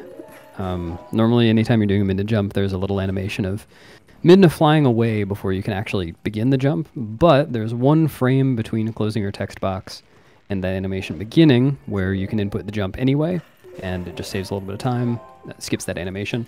Or, well, you're jumping during the animation. Um, and there are so many one framers between animations and text boxes and stuff in this game. Um, Coming up right here. the yeah, there was another one. I skipped that cutscene and then pressed A to do a jump attack on the very next frame to skip a text box. Um, and some of them just save like a second or two, like the ones that we're talking about right now. But later on, there will be one that um, can save me over a minute, and hopefully, I'll get it. The infamous Gorge Void trick.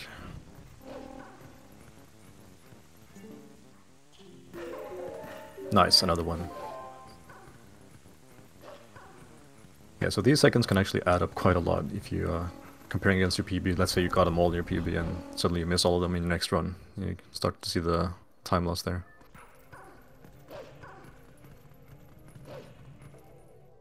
Right, so here is Zelda. Hi, Zelda. Hi. I've heard about your legend. And bye, Zelda. So this is Sword and Shield Skip coming, short Sword and Shield Skip coming up, and this is where a lot of people get stuck learning the game. Um, it is very difficult, um, but there are very good resources on ZSR for learning the trick, and anybody is encouraged to post videos of their attempts in the TP Discord. There's a lot of people that who immediately reply. Uh, it's actually quite funny how a lot of people like to sort of fight each other to help you as soon uh, be the first one to help you. So that's always great I to see. need that. So we're Yeah, luring this uh, Volblin over to the Twilight Barrier, um, going into Faron, and he's going to aid us to uh, to gain entry because there is a trigger where Midna says you need to go back and get the sword and shield, but because we cannot get it due to how the game state is, we need to do a long jump attack with an enemy known as an enemy long jump attack or ELJA, and it is pretty precise, but hopefully goes well. You can attack him, he falls over, and then you jump attack towards him again, and if he is on higher ground, uh, if you attack enemies on higher ground, then you can get like a long, uh, long jump.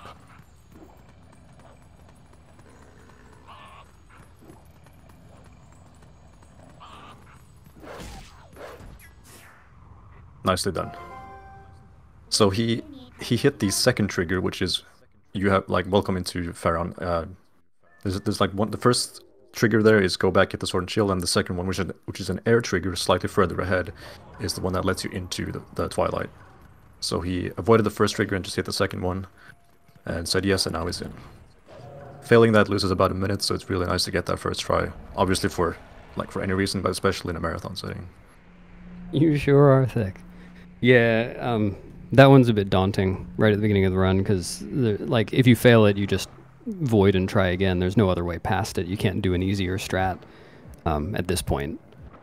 So I played that pretty safely.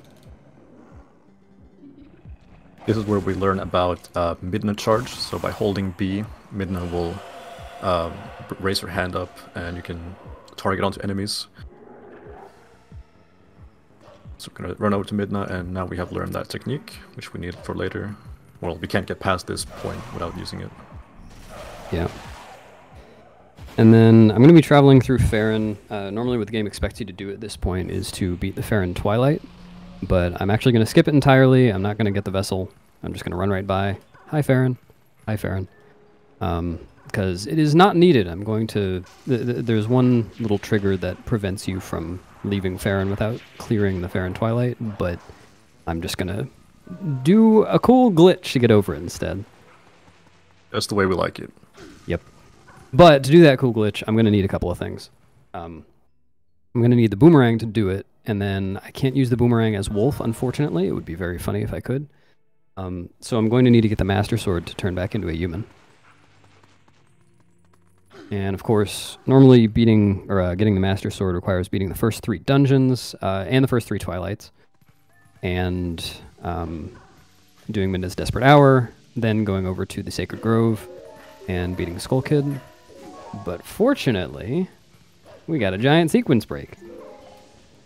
Yes, we do. um, the Sacred Grove that you're only supposed to be able to access with a Golden Cucco, or well, or Midna jumps, um, is accessible anytime as long as we can get over there. So I'm just going to do an out of bounds jump in the next area. Can I make this? Yeah.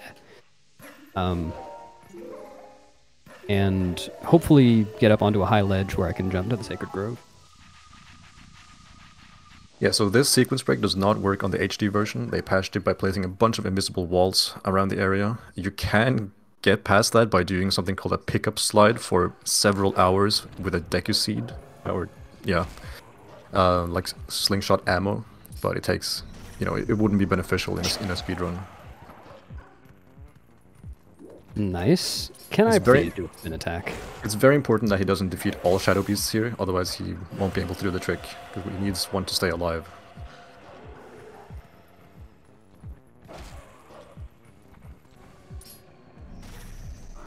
Can, please. Oh, so close both times. Luckily, this trick is a lot faster to retry than Sword Shield Skip.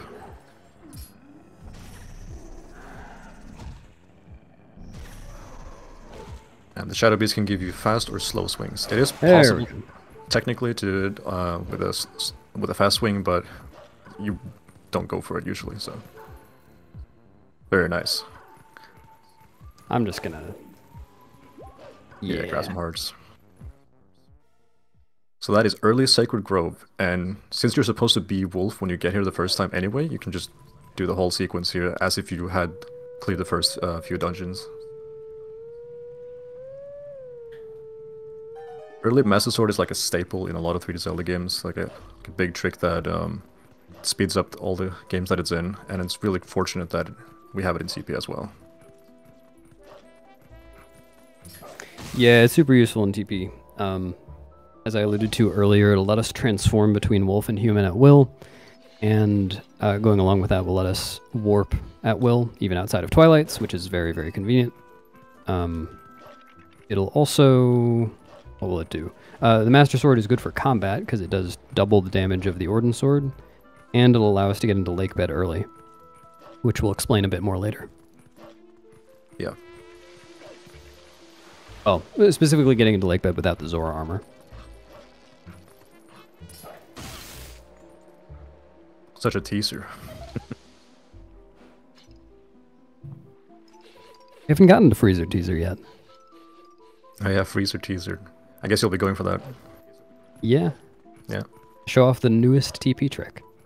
Yeah, so Twilight Princess hasn't really received any big time saves as the other games have, uh, which I alluded to at the start. Uh, over the last like five years, we've seen um, just small time saves add up over time. The biggest one being Stellar Skip, though, uh, which was deemed a TAS only trick until uh, has it been a couple years now? I think almost two years. Um, no, I think it's been like a year. Year, okay. And that saves a lot of time. That saves about one minute and forty-five seconds ish, I think. Yeah, it's a, a minute 40. Minute 40. Uh, but most of the other time saves that I've just accumulated over time have been like five seconds, uh, one second, two seconds. Uh, the Snow Peak reroute that happened a couple of years back was, or I guess almost three years back now, two and a half, was I believe 15 seconds. So that was like a really big deal when the when that dropped. Yeah. But you look at any of the other games and it's like, oh, a 30 minute time save or a 10 minute time save. Yeah, we do get new stuff. It's just uh, not, you know, cutting the length of the run in half or anything. But that's okay. I like playing Twilight Princess. I'm gonna play it for like three hours today. So for this fight with Skull Kid, uh, Beast wants to defeat one of the puppets, and then hopefully just one, because if you hit multiple, you get lag frames. Like the game lags each time you kill an enemy for an effect. So you hopefully just want to do one, just like that, and then there's like a timer counting down before Skull Kid blows his horn again. And when he does, he'll be vulnerable. So he waits until that before he attacks him. You just repeat that three times, and that's the the last fight here. And uh, the Master Sword puzzle coming up has a few solutions. Um, this was one thing I personally had written down on a piece of paper when I was a kid and had inside my game case.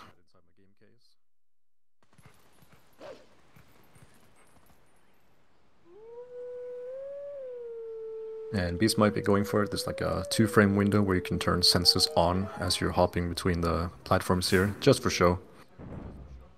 Yeah, no purpose at all. Just keeping us entertained while we do this puzzle we've done a million times. There are 12 hops, so I can get a total of 12 sense presses. I've missed one so far. Another popular choice is to uh, just listen for the game audio and just do, do the control sticks, um, the control stick input uh, as you, you know, do this puzzle while you open Twitter.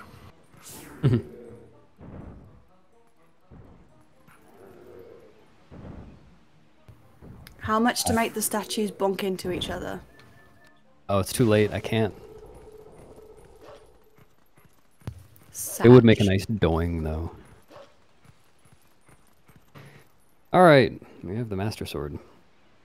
Uh, I meant to get it a little bit earlier than this, but this is like early-ish Master Sword. um, yeah, so we talked before about uh, how important the Master Sword is. We haven't really talked about the outline of the route yet, so I kind of wanted to get to that.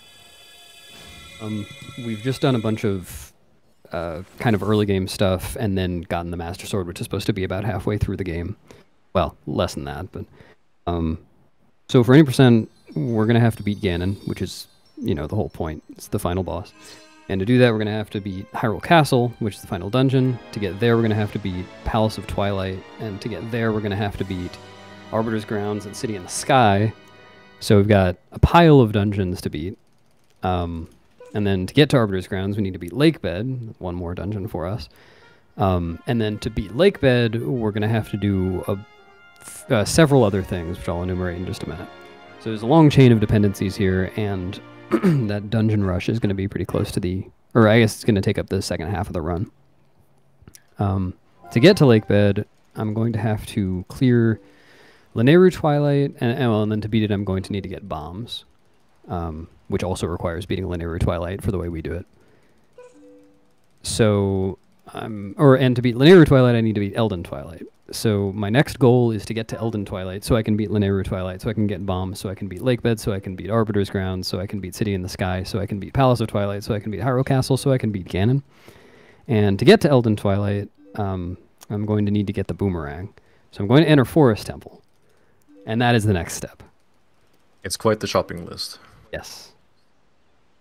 Um, but I'm not going to beat Forest Temple. Because the dungeons that I mentioned are the only ones uh, that we're going to need to beat to progress the game. So I'm going to enter Forest Temple, but not finish it. I'm just going to leave after getting the dungeon item. And I'm going to do the same for um, Peak Ruins later. And uh, there are two dungeons, Goron Mines and Temple of Time, that we're not even going to see in this run.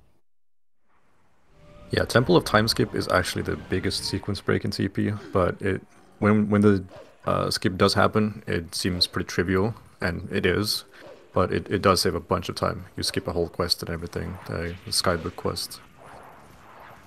And yeah, no, like, unfortunately. Was that? Yeah. Uh, I was gonna say most uh, sequence breaks for TP, like the big ones, were found pretty early on. Like early Master Sword was, I believe, February of 2007. So like, if just a few months after the game came out. Uh, so unfortunately, I'm doing a lot of backtracking here uh, because even though I am able to warp now, I don't have the North Faron warp portal, which is near Forest Temple. Um, and I couldn't get that because I was using one of the Shadow Beasts, excuse me, to get out of bounds to get the Master Sword early in the first place. And if I were to kill all the Shadow Beasts while doing that, then I would be warped back down to the ground. So I had to warp back to South Faron, and now I'm just making my way back to North Faron. Uh, it's a little bit faster to transform and use the lantern to get through this mist rather than taking the midna jumps again. Very nice sequence there. Uh, you can do as minimum as three lantern swings to get past, but you're also like you're, very close to voiding out each time. You're kind of being at the edge of uh, of the range of the lantern. And it's totally fine for Beast to just have the lantern out because we won't really be using it that much, and it depletes very slowly. Yeah, and the couple of places where we need it, there's lantern oil nearby anyway. But yeah, it's not going to be a problem. So Beast saved after leaving Bo's house, um, and he's going to use that save file in this trick coming up. Uh, he's going to perform back in time again, which was what we saw at the beginning of the run. So he will respawn on the title screen. But then, as he jumps to Void out, he's going to select the file. He's going to start the game, which will bring up the file select screen. He's then going to select the file that he saved after leaving Bo's house. And that is going to do some funky stuff I'll get to in a second. We'll just see how it goes. It's going to... Uh, hello? Oh, D-pad. We love I... the D-pad. That was the start button. Oh, right. Yeah, you do the start method. Interesting.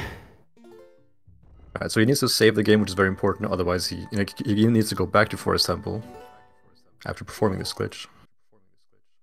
So if all goes well, he should respawn on the title screen here. Yep. So listen for the audio now. He's going to jump off. Link is screaming. He's now selecting the file from Bo's house. He's now going to be warped into the King Bulblin fight. Skip this cutscene while resetting. So right what the, the heck did that do? Yeah, trying to so beat Forest Temple. What's the what's the point of going in the King Bulblin fight? Do you want to cover that? Uh, yeah, sure.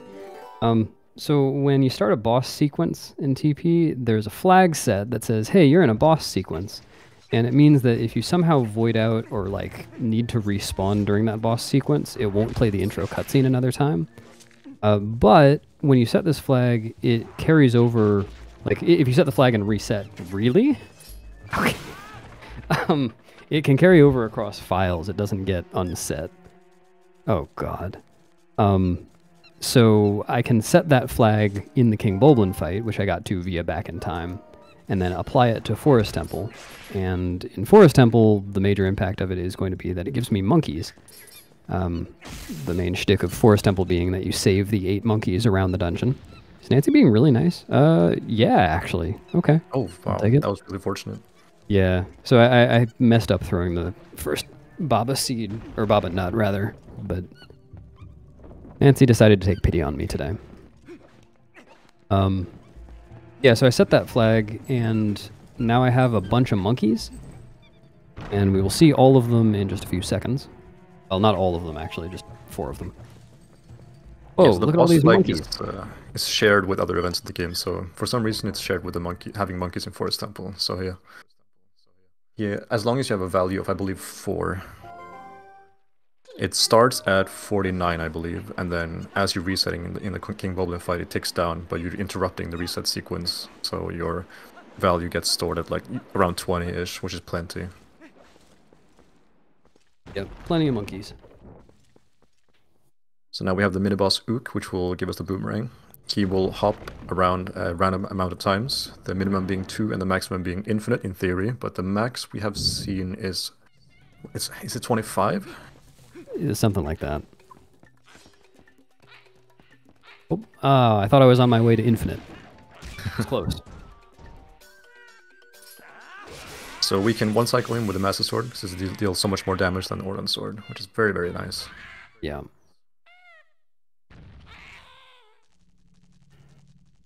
Yeah, Nuke will give us the boomerang. Uh, so we skipped doing pretty much any of Forest Temple. This is I've come to realize recently watching some Skyward Sword runs that this is a very Skyward Sword style dungeon that we enter, do some back in time shenanigans, and then we skip most of the dungeon. And uh, back in time in TP is not nearly as powerful as it is in Skyward Sword, so we're not really going to see, or we're not going to see any more of it actually um, in this run. Sometimes you would, yeah, yeah, and in some other categories you would see a little bit more of it. Um, but yeah, that's pretty much it. The rest of the dungeons will be done. Well, they won't be done as intended, but they'll be done uh, without hacking. Yeah, so we'll see st- still like some remnants of the glitch in uh, Lakebed, but we won't be seeing like respawning on the title screen. Yeah.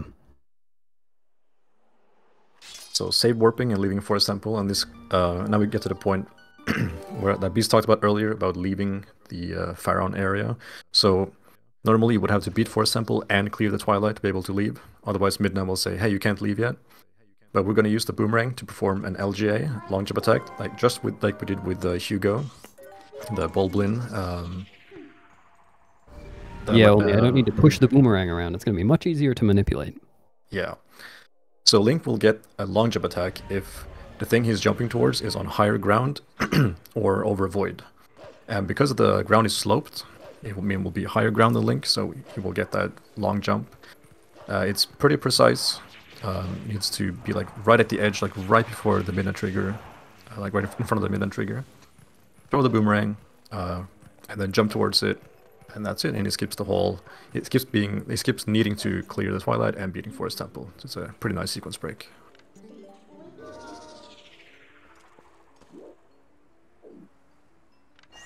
I don't know if this works. We'll see. Come on. That was so close. Very close.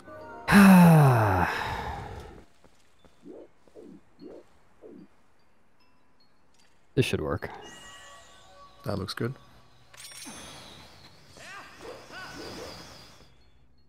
And just like that, we're in Hyrule Field. Yep, that skipped beating Forest Temple and clearing Faron Twilight. Now there are two paths we need to go uh, to towards the Eldin province and also Lanayru province. Um, routes over the, over the last like eight years have changed a bit. Like we used to do uh, go to Lanayru province first in 2014, I would say. But go on Epona. uh, yeah.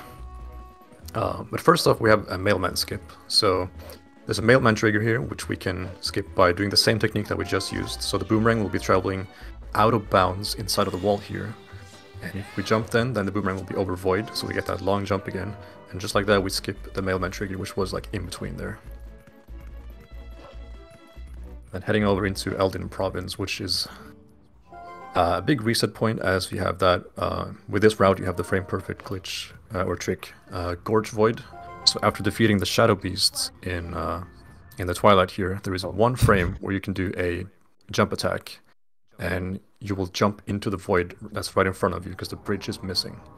And if that happens, you'll respawn uh, at the start, like you see right now where Link is spawning.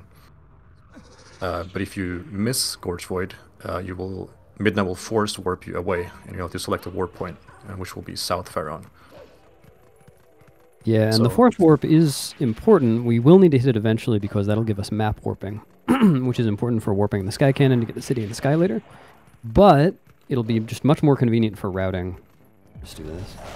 Um, if I don't hit it right now, I want to get across the gorge first and basically open up a portal so I can warp back easily.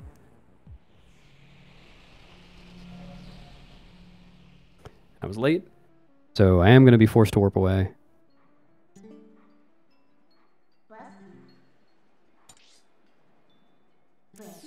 Shut up.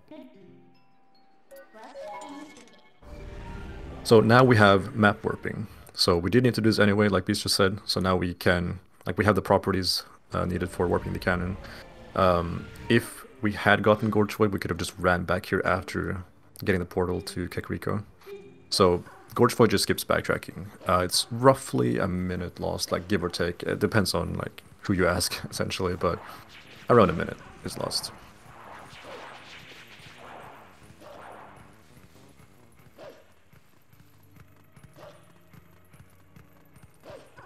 So we'll need to escape the forest again.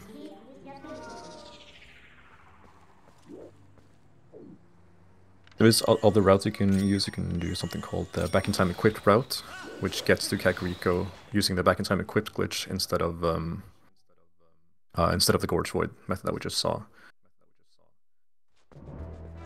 And we often tell people that if your consistency with Gorge Void is good, then feel free to use this route. But if you just really uh, aren't hitting it, then uh, might want to do um, uh, back in time equipped instead, as it's much more like consistent. The only thing being that you do have to fight King Bulblin, and getting a bad RNG in that fight can still lose your lose your time. Um, but yeah, it's uh, And that route is theoretically slower as well. Yeah. So It's actually quite go- interesting how the like three, four routes for TP are very close to each other. That Yeah. have differences are at this point in the game, and more later. But um, it's very interesting that the world record route, world record route isn't like substantially faster than the alternatives. There's actually quite a lot to pick and choose from. So if you go to zeldaspeedruns.com/tp, you can look on the left side. You can see routes, and you'll see a bunch. And at the top, there will be some information about why X is faster or slower than Y.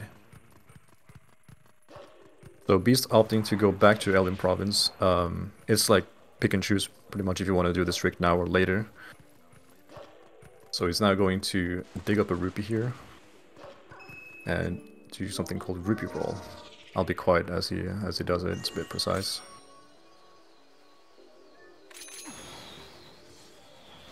So bring this rupee onto the fence. After closing that text box, you have a 6 frame window to roll, so you can get past the fence.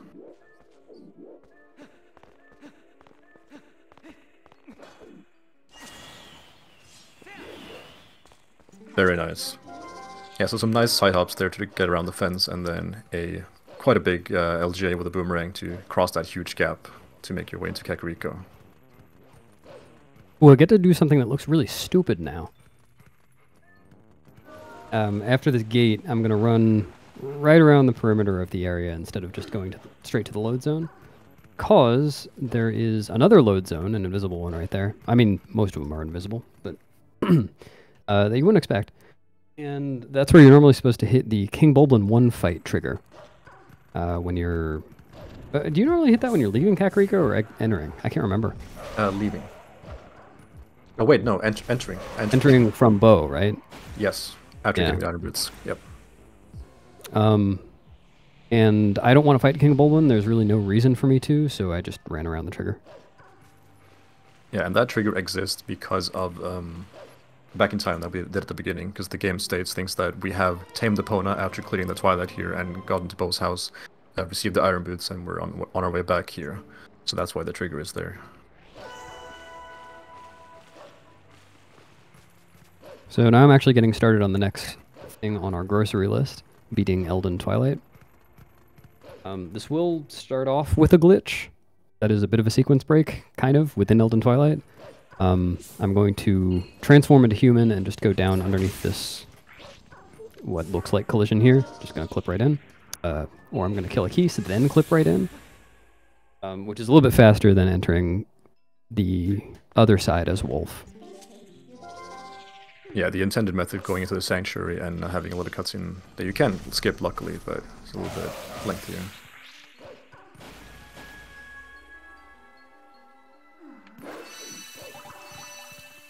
So the reason why we didn't talk about this earlier, but the reason why Beast was able to skip Faron Twilight is because um, we will spawn a golden wolf later, and you uh, need to uh, get one hidden skill, the first one, which is Ending Blow, to defeat Ganondorf. If you make it to the end and you don't have the hidden skill Ending Blow, you can't beat the game. And after clearing Faron Twilight, there will be a golden wolf spawned outside of Forest Temple. This is the first one, that's like the intended one to get. So if you skip Faron Twilight, then there won't be a golden wolf there. Uh, but we can spawn it ourselves by howling at a howling stone later. So that allows us to skip the, the Twilight, so you can just um, do that instead. But this one we do need to complete. This one and Lanayru, like we mentioned earlier. This one is often regarded as the most fun Twilight. it is a bit uh, shorter, Lanayru being uh, roughly twice the length. I think Faron Twilight is the most interesting route-wise, just because all the different routes or all the different categories that do complete Faron Twilight for various reasons um, do it slightly differently from each other. Skipping some bugs, skipping some tears, leaving them for later, doing EMS twice. Yeah. Yeah, for the category Goron Mines RTA, you want to do EMS twice, and uh, if you just get bad swings from uh, the Shadow Beast, then that can be a bit of a pain. If you collect this rupee, oh yeah, you already did, um, right? So the depending on like the routing you do, you could have a rupee text to, to get there. Uh, since Beast already had a yellow rupee collected when he did the rupee roll trick earlier, uh, there was no rupee text to get. You only get it the first time upon loading your save file. But if you were to save the game, reset, and then reload, then you would the rupee text would reappear. This is not the case for Twilight Princess HD, so it's only a one-time thing.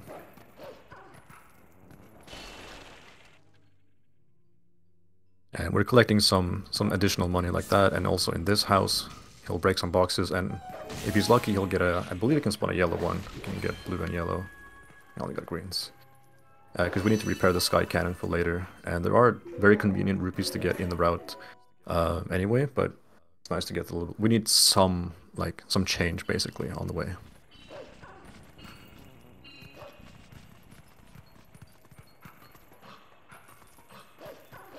Also an uh, enemy LJ here. Uh, might not seem like it, but since it, it is higher ground, we will get a long jump right here. And now coming up is the probably the most interesting part of this Twilight visually. Um, you, you- actually, you take this one. Sky, I have to do it. Yeah, yeah. So this is a pretty hard trick. This is called uh, bomb house skip. We, uh, Beast is probably going to do it wolf bomb house skip. Yep. So with a very precise setup here, you can get onto the railing and then align yourself correctly, jump across here, and then kill this bug before it enters the house. And the game is like, okay, if the bug is dead, then this cutscene where the house explodes uh, must have played, so I'll render the house destroyed. So that saves a lot of time actually. There's a big cut, like a long cutscene in that plays where you would normally go into the house, um, and then light the light the bug on fire or light the furnace on fire. The bug would go out of the furnace. The whole bomb house would get caught on fire. Lots of explosives. Big cutscene. Um, but yeah, since the bug gets killed before um, it manages to enter the house, then you can just instantly collect the tear and uh, the transition for the house happens right away. So Beast had not collected a blue rupee before, so he collected it mid-air there to avoid the text trigger. Very nice. But yeah, uh, Bomb House Skip you can use uh, the Gale Boomerang as well, so you can turn human, but you need to go back into Wolf, so it is faster to stay Wolf, so that's why it's called Wolf Bomb House Skip. Uh, something like 5 6 seconds faster, roughly. Yeah, Uh, something like that. much more difficult. Certain categories um, require you to do the wolf method. So, for instance, Goron Mines RTA again doesn't have boomerang optimally, so you you can't use the boomerang to. Um, you wouldn't have the boomerang to use, so you need to uh, do that as wolf. Quick climb here again. He also did a quick climb earlier uh, during the Master Sword sequence. So if you just kind of nudge yourself into some corners when you're climbing, you can get a quick quick climb on certain uh, ledges. Yes, there is a Howling Stone. Um, this is Oh. not the one we're gonna get. nice. Uh, Howling here would spawn a wolf in, I believe it's the Ordon, uh, Ordon Spring. Yeah. Yeah. So the first uh, golden wolf that you get will always give you the first skill, depending on like it doesn't matter which uh, sort of location you find the wolf in. The first will always be like the, the skills will go in order, but um, the difference is like which one you spawn. So spawning that one would have spawned the wolf at Ordon Spring, and the one later we're gonna use is one in Upper Zoras River, which will spawn a wolf outside of Castletown which is much more convenient uh, for us to get later. Yeah. Other than that, we would have no reason to go back to Ordon later, so better avoid it.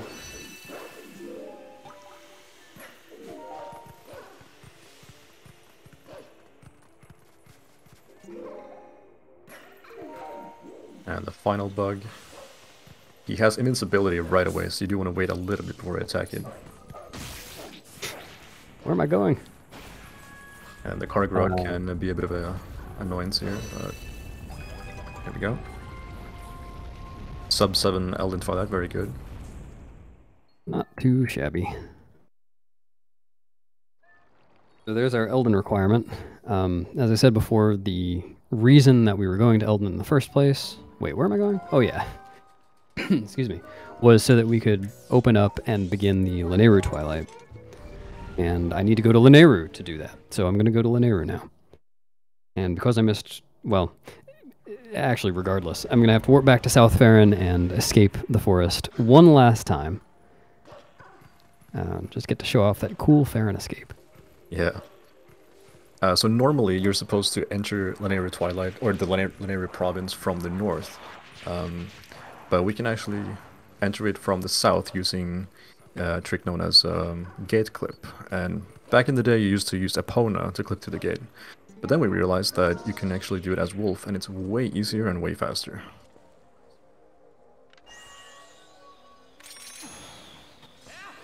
And you need early Master Sword for early Lanayru Province, because at the north you would turn into a wolf, like the game would, would do that for you. But if you enter it, um, like, if you enter Lanayru early without having early Master Sword, um, it can mess up your progress, so you definitely want early Master Sword. I didn't know that.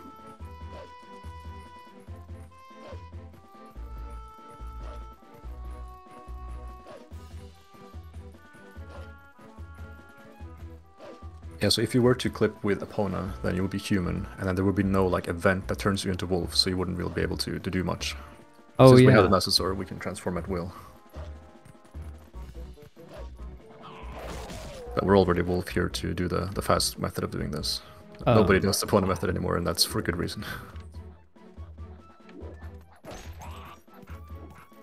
So bonk the gate to make it swing, and then side up into it with a bit of an angle, and you just clip through. Now Beast is going to get into Lakebed Temple early. Uh, this is only, well it is possible in multiple ways, but it's conveniently possible here because the water level is much lower in Lake Hylia than it is later in the game. So he was able to sink down using the iron boots that he got um, to click behind a pillar uh, by, well I'll get to that in a bit, but click behind a pillar and then swim into the loading zone and he'll just make it in time. There's a lot of things in TP that just barely works and this is one of them.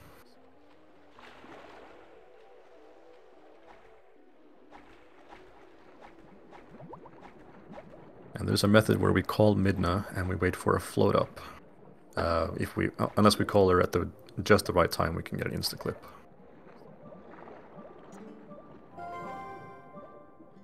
So if you look at Midna, she just pops up there. So putting on the iron boots there forces you to, like, it pops you through the wall as you were close to the pillar there, kind of pushes you through, and you can just barely make it into the loading zone there. And the loading zone actually extends a little bit outside of the physical uh, lo- location of the what looks to be the loading zone. So you tap swim by just holding control stick, control stick towards the where you want to go, and then just uh, put iron bits on and off to like have a, a level swimming forward.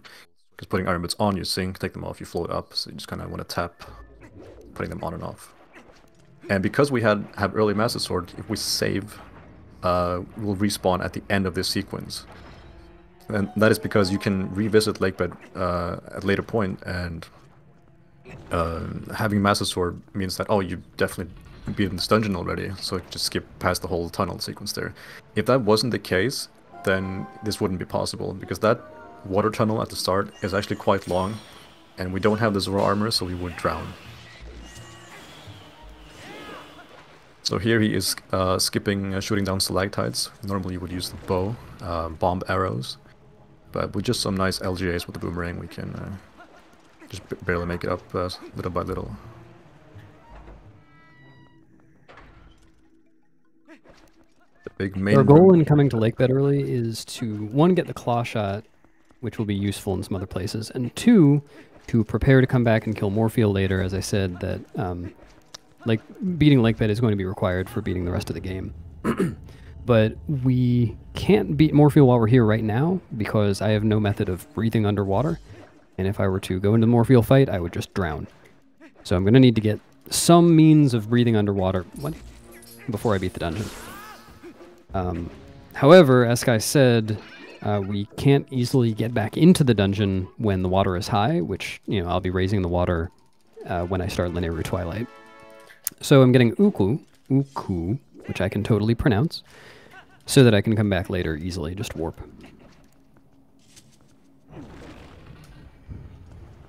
Yeah, so this is the equivalent to, um, oh gosh, uh, Farore's Wind, I believe, from Ocarina of Time. That allows Yeah. you to uh, trans like go back and forth between dungeons without having to go through the whole dungeon again. You can just set your war point. And Sky also mentioned earlier that we were going to see some more effects of the boss flag that we set in Forest Temple a little bit later. This is where we see them. Uh, for the Deku Toad fight, what's supposed to happen is you're supposed to enter from the bottom by blowing up a rock and then swimming in. Then once you enter, a little cutscene plays, and then you can look up at the ceiling. Excuse me. Sorry, to start the fight. But as I mentioned before, having that boss flag set means that intro cutscenes for boss sequences are cleared. So I didn't need to watch that cutscene. I could just look up at the ceiling from anywhere in the room to start the fight, and that meant I could enter from the backside, which uh, saved me from having to get through the bottom, which I can't do right now. So Beast is aiming for a one cycle here by timing his slashes. Very nice.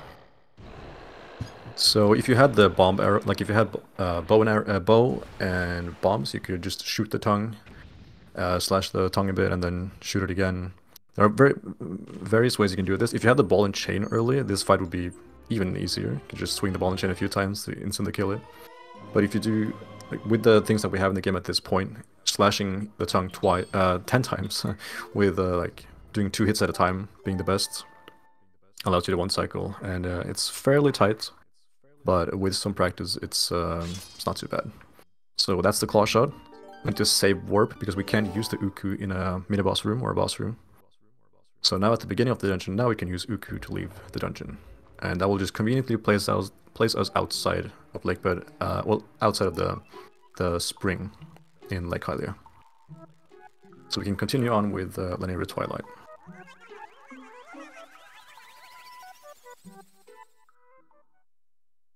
Quite a disturbing creature, uh, the Ooccoo.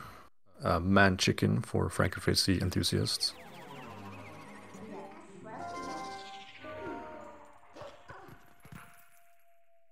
Seriously, having the Master Sword early is very convenient. You can just transform into Wolf and just continue on with the Twilight.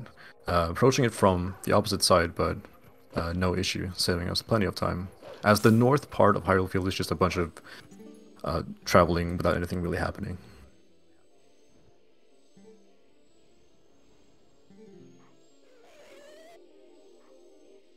This character, Bud-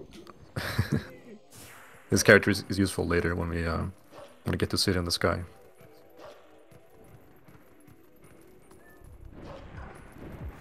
So Beast is dashing towards the Zoras here so that he can manipulate the, the fight a little bit so that the Kargarok starts to fly sooner. Oh boy. And the flying pattern you get is randomized. He will attempt to drown the Kargarok rider. The Kargarok reaches for Link. Um, Link dodges. I? Ooh, close. No! Close, I no it far enough in. That's an unusual one. if enemies touch water, like a lot of enemies touching water, uh, excluding some enemies, of course, like Morpheel, they instantly die. So the goal here is to have the Kargarok dip underwater and the rider being on its back, There we go. touches the water, and then dies. If you get grabbed by the Kargarok while the Kargarok rider is dead, the game will crash. And the way to save that is to instantly reset your console, because you can reset before the crash happens. Uh, luckily, you had just previously saved warped uh, after Lakebed, but it's still a big time loss, about a minute or Yeah, so. Yeah, about a minute and a half. Beast will now attempt to clip out of bounds here by having a particular flying sequence. Very nice. So that just skips a little bit of um, you know moving left and right in this sequence. You can just aim straight for the loading zone at the end. And funnily enough, the the Kargarok kind of wants to go back in bounds. He will like go towards the right a little bit, like even if he's not holding any inputs on the control stick, uh, the Kargarok will kind of want to. It wants to go back in bounds, so you gotta fight it a little bit, but it's not too bad. So another example of TP having a bunch of like um, high risk, low reward time saves, like that one saving about six seconds, uh, failing it costing something like maybe 25 to 30 seconds. And the drowning the Kargarok rider, uh, the failing it, meaning the game will crash, costing you, depending on how, like if you don't reset in time and you need to reboot your Wii, Yeah. from from runner to runner, it can take a long time to reboot the game depending on how you have the your Wii set up. So it can be quite a big time loss. Very nice tech skip there. The same thing that we saw at the um, rooftops. So Midna had a text box after that those two cutscenes, but with that one, the frame perfect jump attack, you can skip it.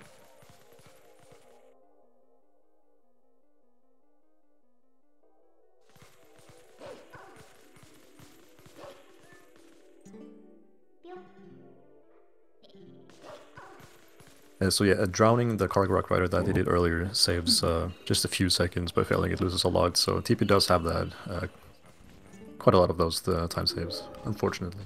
But it looks really cool. Uh, a lot, lot of the time saves are really cool visually, so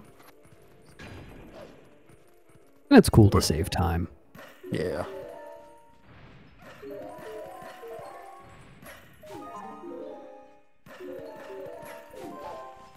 Using submina jumps to traverse up the waterfall here, and we will get the Zora's Domain warp portal, which will be used very shortly.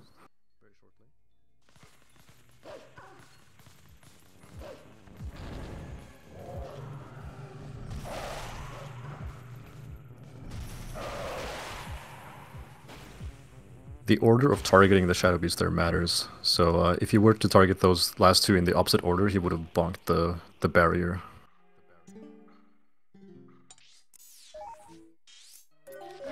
And so now that I've opened up Lanayru, I've opened up this warp portal, I can warp back to Death Mountain and warp the meteor or hot rock or whatever you want to call it um, to melt the ice and thus raise the water and begin the twilight. Let's see if I can get them into call. Ah, too late. I, I try to get it so the meteor is on the screen and you can see it. Also a funny clip of Adam there where he, he dies from a meteor and then it breaks the rocks next to him and he gets a heart from the rocks so he instantly revives himself. Oh yeah, like he gets the heart midair. Yeah, so a bit reminiscent of uh, Zombie Hovering in Wind Waker, how you can like sort of save yourself with uh, landing on a heart. Best part being him having like no reaction to it, uh, the whole thing. Frame, frame perfect side up here to save a Midna text. Didn't get it. But the cool thing about not getting it, if you will, is that you can just hold the control stick straight down for this jump here. This is a bit nice. Thanks for making me feel better. And then Beast not doing waterfall side up here. nope. Not yet. It's it's quite funny when you go past areas twice. You'll see like every now and then some runners will just forget where they are in the run and they'll just do the sequence ahead of time. So same Yeah, with try to- escaping um, Faron, um, Yeah, es- escaping Faron without having the boomerang. be impressive if someone managed to pull it off. for sure. So here's the last Twilight section. Um, the Lanayru Twilight being something like 11 minutes.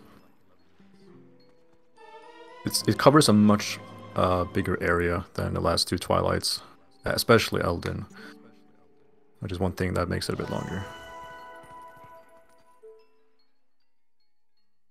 But after this Twilight has been cleared, we have uh, a lot of the game opened up.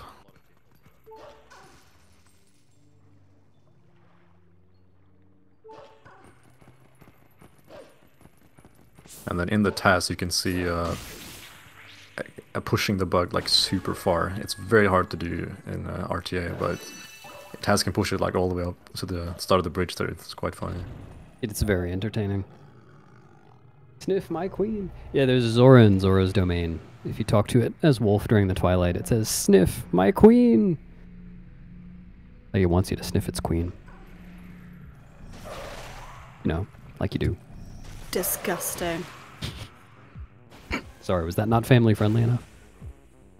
This is a children's game. Uh, actually, this one's rated T for teen. This is a slightly older children's game. True. So a bunch of dash canceling from Beast here, being uh, cautious to when he uh, does a dash near the edge. so that he can do what he mentioned earlier, being like uh, making sure that he jumps off the, off the ledge within a 10, 10 frame window to regain his dash.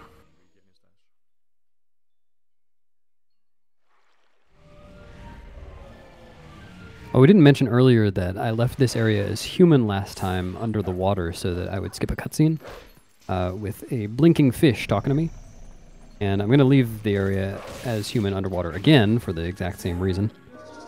Cutscene takes a little while. Oops.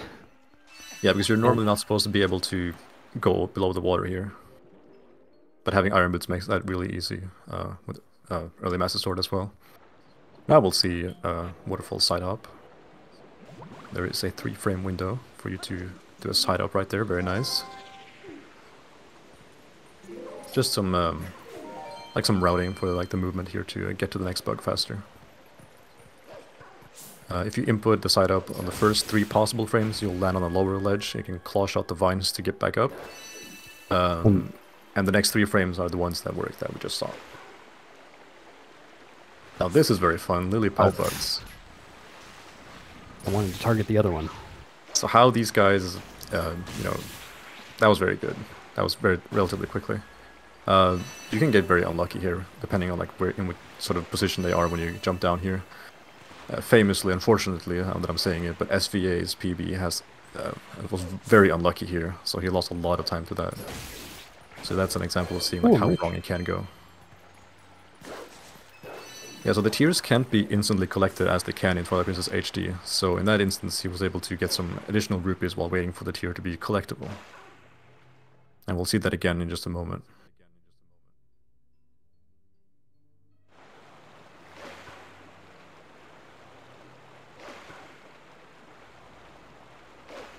Luckily most unskippable cutscenes like that one uh, is very short.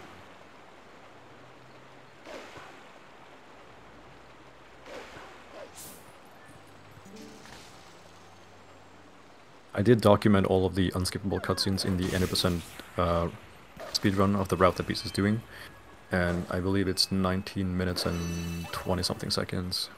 That's not bad. Not at all. Though load zones take a while too. That's true. And this map coming up is uh, probably the biggest reason why people don't find this Twilight to be the most fun out of the out of the three Twilights.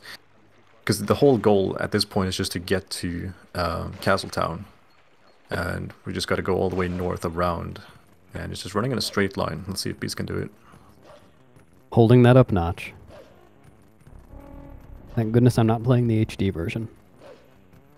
Yeah, the HD, uh, um like the, the Wii U controllers don't have notches on them, so it makes some things really difficult, like Wolf Bomb House Skip. You wouldn't see that because it, it is very important to hold a straight direction when doing that trick. So, like, theoretically possible, but falling down loses a minute, so yeah.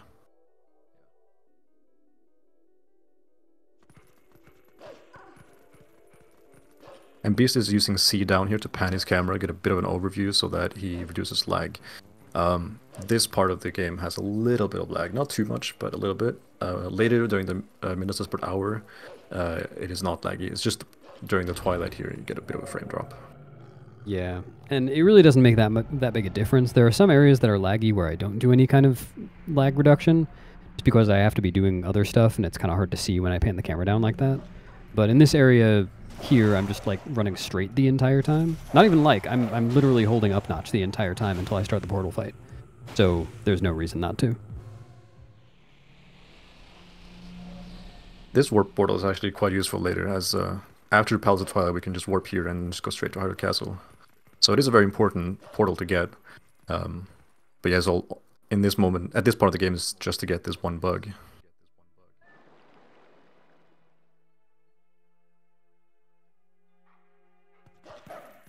And Beast is now doing, uh, he's dashing and then instantly pressing B to do an attack. So he's dash cancelling again and again because uh, your movement speed is quite slow here. Otherwise, you were just be dashing, it depends on what area of the game you're in. Wolf Link can be either really fast or pretty slow. So doing continu- continuously dash cancelling here uh, gives the best speed.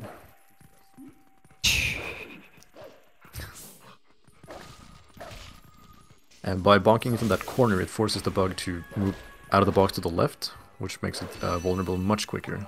Because it needs to go down from that ledge before you can attack it. You may notice that I'm also waiting a little bit to do things like go through load zones or warp after I've collected the tears because until Link turns blue and the tear appears in the vessel on the HUD on the right side of the screen, Link hasn't officially collected the tear. If I had warped away between like touching the tear and it actually forming in the vessel, then I would not have gotten it and I would have needed to go all the way back there in order to get it. Be ridiculous have seen that a few times, and uh, it's quite devastating. Yeah.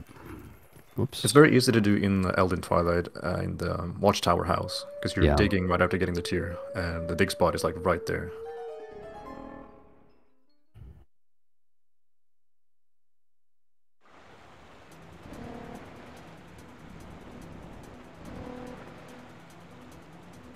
There's this flying sequence where you can charge ahead of the the bug, the first bug here, and uh, it'll have like a rubber banding effect, so it will catch up to you later.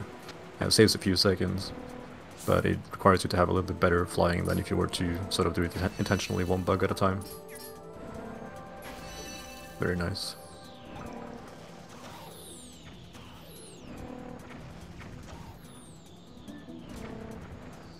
This part of my PB I lost a lot of time because I missed one of the last bugs here and I had to wait for it to catch up and Oh man. instantly uh, catch up to you all the time. Like sometimes they, they're a bit slow. So we are bonking here to restart the flying sequence and then telling Midna that no, we do not want to try again.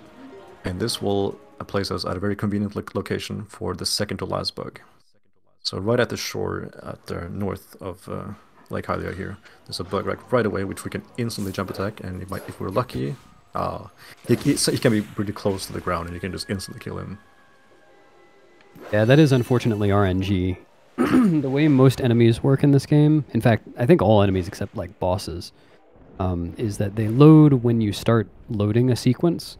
So like when you open a door, or sorry, when you start loading a room. So when you start opening the door to a room, or when the game starts fading into this area, for example, and they always start, they always spawn in the exact same place.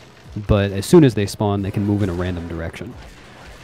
So the bug will always be kind of close to the same place, but not exactly. Um, and now for the boss bug, the final bug in the game, actually. This is the last of the Twilights. Uh, I'm just going to be keeping it on camera the whole time. Because it will only start charging when it's on camera. If you keep it off camera all the time, it'll never start charging. It'll just go all the way to the bottom of Lake Hylia, which is very funny. Um, and I'm going to be doing position setups. Where is it going? Okay. So that I can try to bonk it as it's attacking and prevent it from flying past me. And by doing that, I can finish the fight pretty quickly. And there's an animation that plays here where you attack all the tentacles here, but if you hit the water or bonk the bug, you can instantly cancel that cutscene. Because all you need is to like initiate the Midna charge on one of the tentacles, and the game is like, okay, you hit this flag.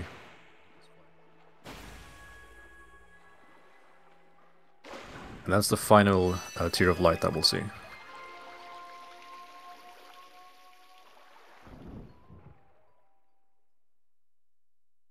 That was another little bit of lag reduction there when I turned the camera at the end. Uh, Lake Hylia is a large and laggy area, and having the camera facing the direction I was swimming would have been a little bit laggier than having it facing the direction I turned it to. So now having beaten Lakebed Temple, um, the next most direct goals for story progression are to get bombs and then beat Lakebed Temple. Whoops. Um, we're going to need bombs to beat Lakebed Temple because that'll be our method of breathing underwater, which we'll explain in a little bit. Um, but there is actually going to be one little tangent we go on before getting to Lakebed. The first thing, though, is to get bombs. And there are three bomb bags in this game that you can get. You can get one from Iza after finishing her minigame. You can get one from the Goron and Zora's domain that's underwater. And you can get one from Barnes after beating uh, Goron Mines. As I mentioned before, this run does not complete Goron Mines, so we're not going to get Barnes Bomb Bag for sure. And we don't really want to do Iza's minigame, but we don't have a way of getting the Goron Bomb Bag because we don't. we- Uh, bombs are required to get it, so it's, it can't be your first bomb bag normally. what we can do, however, is remember the Howling Stone song. Yes. Um, is steal a bomb bag from Iza. We're going to be dirty little thieves, and use that bomb bag to get the Goron's bomb bag. Um, I just want to add, as an aside here, I'm howling at the stone for the reason Sky mentioned earlier. Um, we do need to get ending blow to finish the game, and I need to spawn a golden wolf to do that. So the method for stealing the bomb bag is pretty simple. There are actually two similar but different methods of doing it. Uh, I'm going to get this warp portal, and then Iza will invite me inside and ask me to help her um, to clear the rocks blocking the river. And to do that, she will give me bombs in a temporary bag. If I were to just leave via the door, she would take the bomb bag back and I wouldn't have a bomb bag. But if I use Ooccoo to escape from Iza's house, or cabin, I guess, then I'm going to still have the bomb bag. It doesn't get cleared until uh, we enter, or we, until we see a save prompt. Um, so all I have to do is escape Iza's house without seeing a save prompt and get all the way to the Goron bomb bag uh, to get that with the bombs that I'm getting. The method I'm going to be using to get out of Iza's house is not actually that. Instead of uh, using Ooccoo, I'm going to do a frame perfect map press, which is actually pretty easy because it's on the same frame as another input. And uh, that'll open the map between the dialogue and the forced item wheel open. And on that frame, the game doesn't check whether you can actually warp away or not, so it'll let me even though you normally can't warp from Iza's cabin.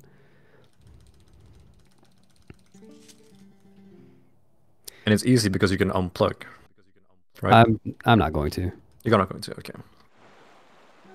Uh, I almost said yes. Uh, whoops. Hello?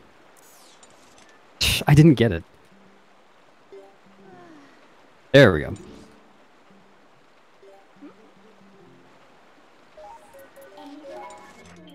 Okay, so uh, here I'm actually just gonna mute. You go ahead with this one. Sorry, I meant to explain this earlier. Yeah, that's fine. Uh, so he's going to save the Goron in Zora's domain, which will give him a bomb, a real bomb bag, and a lot of runners will use water bombs because you can use them underwater. But it is possible to actually use normal bombs underwater with a glitch called, you guessed it, normal bombs underwater, and the bomb can just barely reach the Goron. He's going to pull out a bomb just before it hits the water, and then have a cutscene play, and the cutscene will stall the bomb timer, and the bomb will continuously go down, and it will blow up the rock. It'll be just enough to reach the rock. Very nice. This is. It depends on the setup used. It can be frame Hello? perfect to Wait, I can't talk frames, I believe. Oh, there we go. Sorry, panicked. So there is the, the real bomb bag that we will keep for the rest of the run. Uh, so yeah, the the easier method would be to um, steal Iza's bomb bag, warp back to Lakebed Temple, empty the bomb bag because it has no- normal bombs in them, and then pick up a chest with, with water bombs, and then warp back here and then use water bombs to blow it up as you're supposed to if you want to get this bomb bag. But with that very precise uh, trick, you can have normal bombs persist underwater, and the cutscene of the chest spawning there to delay the bomb timer, as the bomb the bomb will still float, uh, it will still go down to the bottom, but the timer is paused. Cool little bit of movement trick here to pull three bombs and then roll without taking damage. Very nice.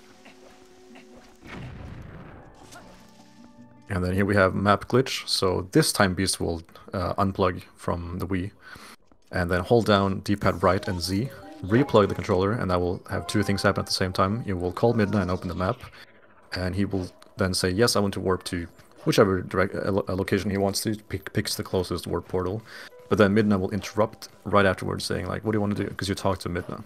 So all the loading zones are now disabled, but uh, talking to Midna interrupts the warp, and he just cancels out ca- cancels out of the Midna, um, like speaking to Midna, and now he's able to just continue on uh, without any of the void out triggers that would normally be here because he doesn't have the reek fish scent. So at this point in the game, you're supposed to use the fishing rod to fish up a reek uh, a reek fish, learn the scent, and then follow the trail. And there are a bunch of void out triggers that prevent you from climbing this mountain. Like you need to follow that specific path, but uh, not having the fishing rod makes him like makes it not possible to do that. So because of the back in time glitch that we performed at the very beginning of the game.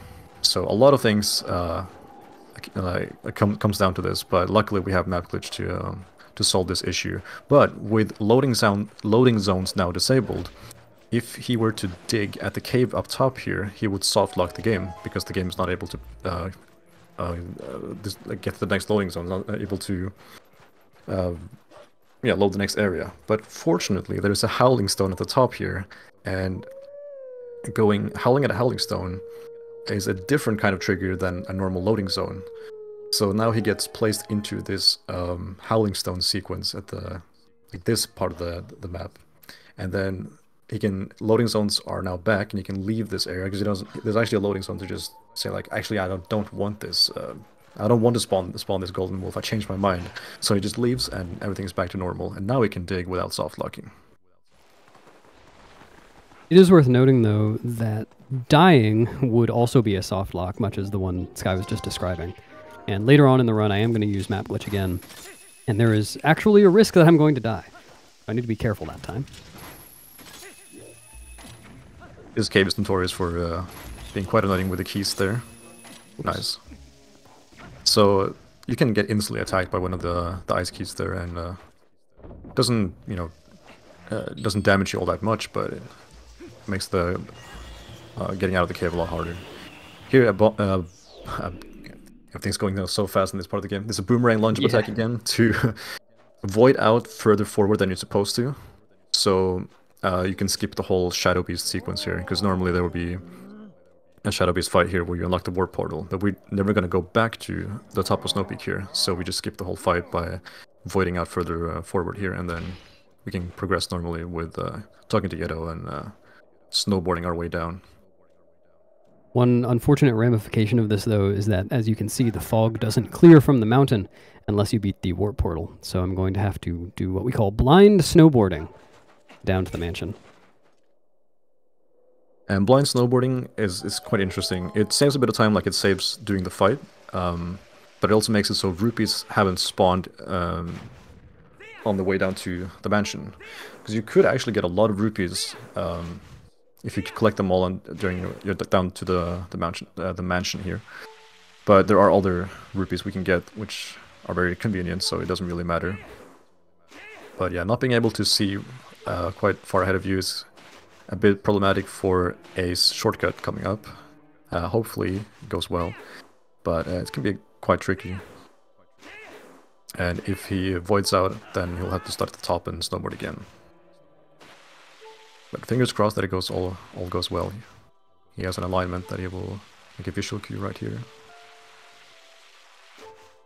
Very nice. Still not over, but the hardest part is over.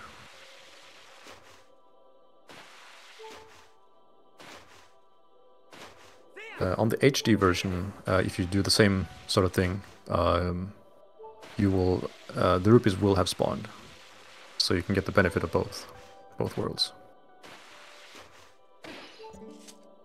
It is possible to skip this Midna text, but it doesn't really save time because you can uh, go so far with the snowboard that, you know, it's a very quick dialogue. I don't think we've mentioned yet why we're going to Snowpeak in the first place. I said before we didn't have to beat this dungeon. What are we doing here? Yeah, so we need the ball and chain for one phase of uh, Zant later on. That's the only reason why we're here, to get the ball and chain for one cycle in a boss fight later. And Snowpeak is very broken. Uh, LJA found by ZFG, thank you ZFG. Uh, through the floor there by claw shotting a target uh, on the next floor. The floor there uh, has weird collision, you can just jump through it. Push this block, and now we're gonna do a pretty new trick. It was one of the recent discoveries here. Uh, it is uh, final.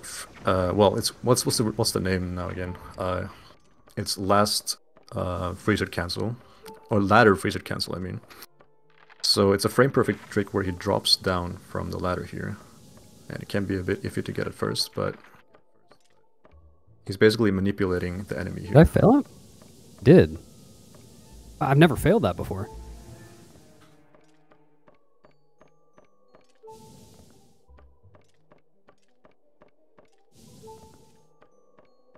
So he wants to drop down from the ladder on one specific frame. And then later on, at the top of the ladder, also drop down, but that second drop being uh, a lot more lenient.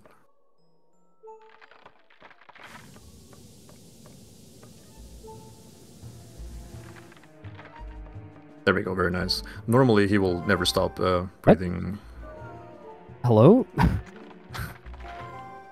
I'm so I guess- confused. I guess maybe you just gotta walk a bit away from that spot. Yeah. Wow. Interesting uh, troubleshooting going on here. I've never seen that before. Here is um, freezer skip, so you can hop into the space between uh, the wall and the freezer there to clip through, and then open the door from behind. And opening the door is the sequence that allows you to get into this next uh, this next room. So we can fight uh, this miniboss, so we can get the ball and chain. He's going to place a bomb behind the miniboss, and then drop some bombs. He's already dropped quite a few bombs. And then he will toss the ball and chain towards us, and then have the tail be targetable. The bomb goes off, deals lots of damage, and then do an auto spin, which is a jump attack, quick spin, to one cycle the boss. Yeah, I- Now I with the ball and chain text- up. Yeah, go ahead. Go ahead. No, go ahead. Uh, I was just gonna say, I wonder whether that text was related to me failing that, because I'd never done, I never failed it that way, and I had never gotten the text before. It's I think it's being too close to the freezer, like right after going off the ladder. I think there's like a story I, thing. us- but I usually transform right away. Interesting. I'm not too familiar I- with this uh, myself actually, because it's quite new. Yeah. So now we're going to break down this uh, armor, not uh, being like super close to it. Okay, it you can be close to it if you have a like a certain angle when pulling it. Um, but it's possible to destroy that armor so quickly that you don't give uh, the bubble, like the enemy, a chance to spawn. Because attack, like starting to break down that armor will spawn a bubble, and killing that bubble will give you 100 rupees. But it is possible to just obliterate the armor so quickly that the enemy doesn't have a chance to spawn. Um, most notably known as oh no the rupee goes out of bounds which it might be able to do that as well but i think the most logical thing is that Oh, the enemy doesn't doesn't spawn. So two 100 rupees grabbed pretty quickly here uh, which will help a lot for repairing the cannon later. Now we're going back to lake bed and now we can defeat Morpheel And he has emptied out his bomb bag, so now he will get water bombs from this chest.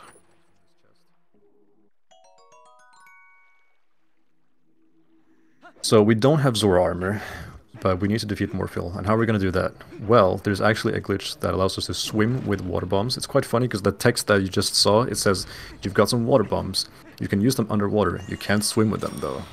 Except you can. So if you pull out a water bomb and then unequip iron boots, because you need iron boots to be grounded underwater, you can then swim with water bombs. And for whatever reason, the game thinks you resurface if you then press A. So you refill your air. And you can resurface if you do it really quickly, which is another glitch called Rocket Link. But Beast will not perform uh, boss key skip. So you can, you can clip into the bridge here, uh, skipping the need to obtain the, the boss key for this dungeon. And this is the only boss key skip we'll see. Because usually, for, for most dungeons here, it is the action of opening the boss door that will transition you into the boss room. But here it's actually a door, and then you go inside this little room, and then you drop down here. So this is the only place where it's uh, possible to do a, a boss key skip. It all happens very quickly, but it was very nice showcase of clipping into the bridge and then clipping into that little room. And Morpheel without Zora armor, it is very another thing that's very difficult to learn. He's going to use the air refill glitch, which is swimming with water bombs and then pressing A to uh, to resurface. Like the game thinks he resurfaces, although he doesn't, so he just refills his air. Oh, okay. Oof, almost didn't make. I Yeah, so- not think I was gonna hit. So that skips, um, like doing that, dealing so much damage to that eye, either with a jump attack or a quick spin, allows you to instantly go into the next phase. If you only do like one stab or something, then uh, it will be like a small cutscene where Morpheel spawns bombs, and then Yeah, and without Zora armor, that's just awful. Very difficult to deal with that. yeah. So he's now floating up. He unequipped Iron Boots during this cutscene. So he's floating up and he's hover- holding a bomb. If he tries to swim with it right now, he will drop it. So he's just going to stay still, and then he's going to use Iron Boots to take them on and off to regulate his height. He's going to watch where Morpheel is swimming. He's going to press A to drop the bomb, refilling his air, claw shotting onto Morpheel. This does have potential for one bomb, which I'm not sure if it's going to go for. I'm going to... yeah, so attack it four times. He does go for it, that's very nice. Oh my god.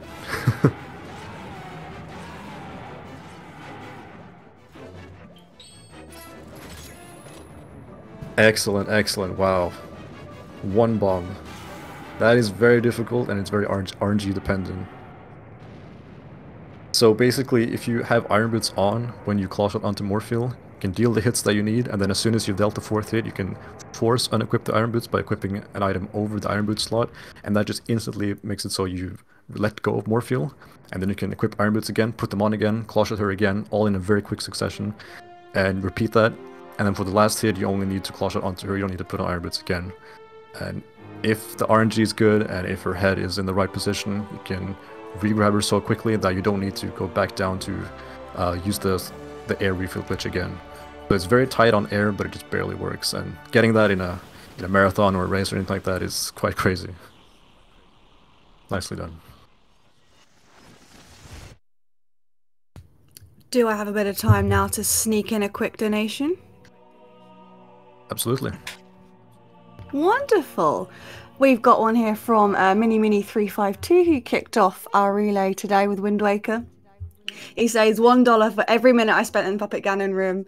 Oh, Mini, we, we were with you every step of the way. It was RNG hell in there. Uh, he says, "Good luck, Beast, and everyone else. Let's get that world record." And for those of you who've been on our Tiltify page, you can see our goal for today is two hundred dollars, and we are five dollars off. So please, we are supporting Planned Parenthood today. So if you can spare it, please, please get your donations in.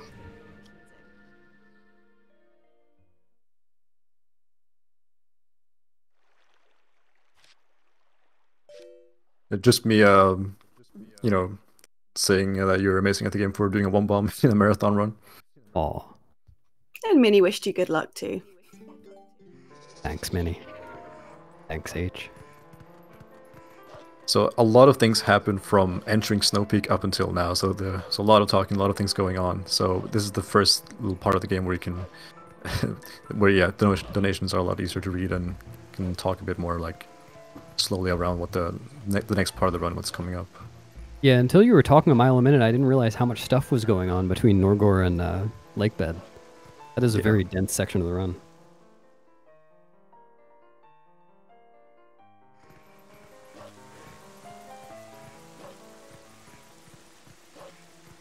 Yeah, Sword and Shield Skip and Morpheel being like two of the the big points in the run that can easily kill your run.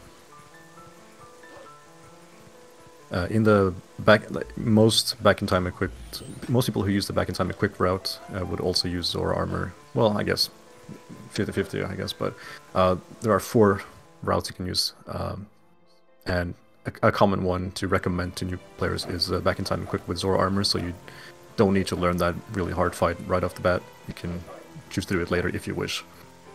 Unfortunately, Gives you some freedom. Unfortunately, without a bunch of other workarounds, getting the Zora armor requires a frame perfect trick that costs uh, like a minute and a half to fail. Um, so, arguably, it's harder. Yeah, the uh, opponent slide over the gorge, not being really Yeah. friendly either. So it's kind of pick your poison with uh, with this game. Oops. Beast, Beast attempting a um, uh, a glitch there where the camera gets set into a weird weird spot, which ends up saving time during the sequence. Saves uh, a few seconds, It was 1.7 seconds, but I didn't save that just now. it saves so little that you can't really like set it up. You just kind of gotta go for it. Yeah, Hopefully get it. and it's at dashing speed. It is frame perfect, but it's yeah, it's not worth setting up.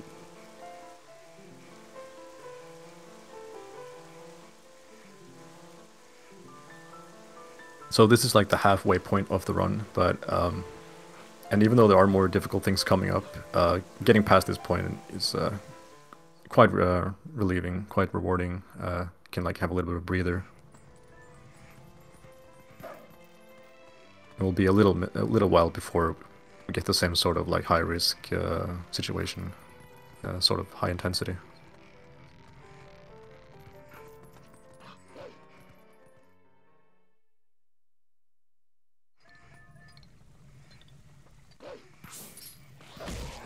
So here's the first Poe. This one we must defeat and get the Poe soul from. Well, we get the Poe soul when you defeat him, which will uh, just advance this room, opening up this chest and allowing us to continue. Uh, it's a minimum of uh, four Poe souls we'll get. This being the first one, and then three in Arbiter's Grounds. There are four. Well- We can do Poe one skip. You say minimum. Well, if you want to be fast, it's minimum. Yeah. yeah, uh, it is possible to skip all the Poes in Arbiter's Grounds by doing something that I alluded to earlier, pickup slide, which is picking up like Link being in the get item state, and when he is in that state, if if you did like the setup correctly, like if, if your angle was good and whatnot, then you will move very very slowly, um, and add a few hours to that, and you will have actually moved uh, enough distance to be able to go like pass through walls and whatnot. Because when you are in that state, you don't have collisions, so we can sort of like have links back go closer and closer to a wall you want to clip through or a door you want to clip through, allowing you to skip all the Poe souls in Arbiter's Grounds, which is what low percent does, as that is one of the it tries to collect as few things as possible, and collecting Poe souls is definitely a thing.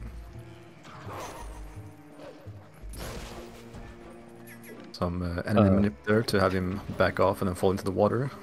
If you don't kill that archer, then it, is very likely that he will hit you with an arrow later on. But all of the other ones you can uh, ignore as they all have clubs. Which are all uh, short range. There are some tricks you can do on the ropes here. If you do a jump attack at the right time, you can skip the last part of the uh, the rope sequence. Will happen in a couple of places. You can also jump over here. So jump attack, you can get an you get a since he was on a higher ground than you, then you get a long jump attack. I never even thought about that. That that's an LJA. You're right. Yeah, technically. So bridge will bridge will beast will try to make uh, early here. but bridge the beast. Um, so you can just barely make this cycle if your movement is good. The cycle starts like right away at the beginning of this area. You just gotta keep your dashes. Uh, gotta monitor your dashes. Your dash counts at the right times, and just like that, you get the make the the, the first win cycle. Very nice.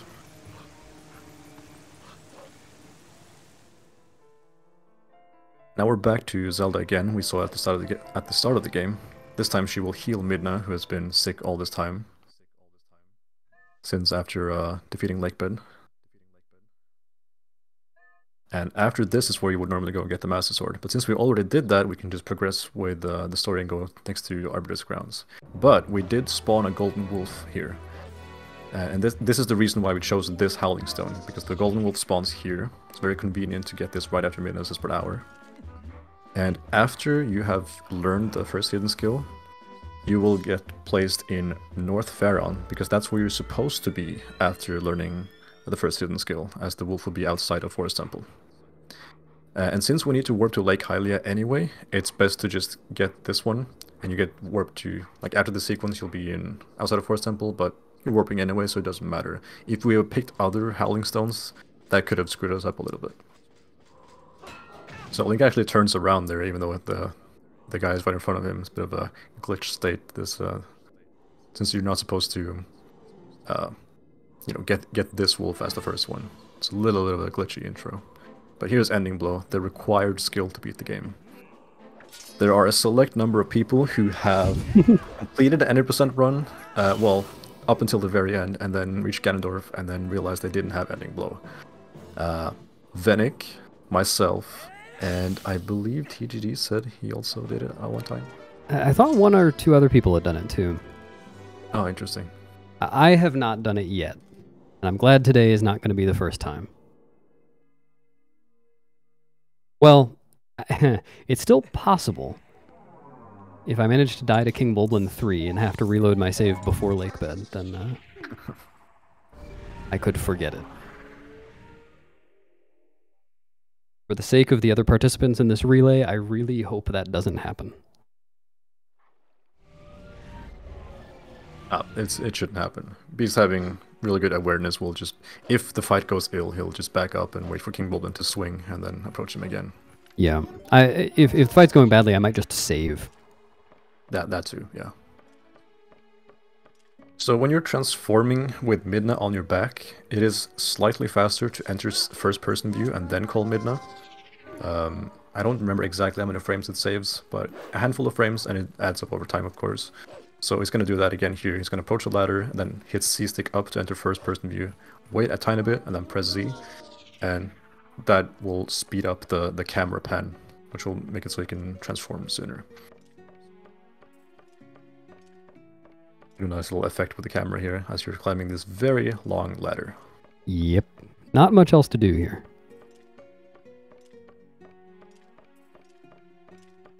These text boxes are pretty comfortable to go through, in my opinion. Rodner mentioning at one point that it was like his favorite text boxes to match through. Mm. Mine are Iza's. Those are also very good, yeah. Very satisfying. So here's the memo. We gotta show this to Fyer at the cannon there, and he will uh, give us entry to the desert. So Why not?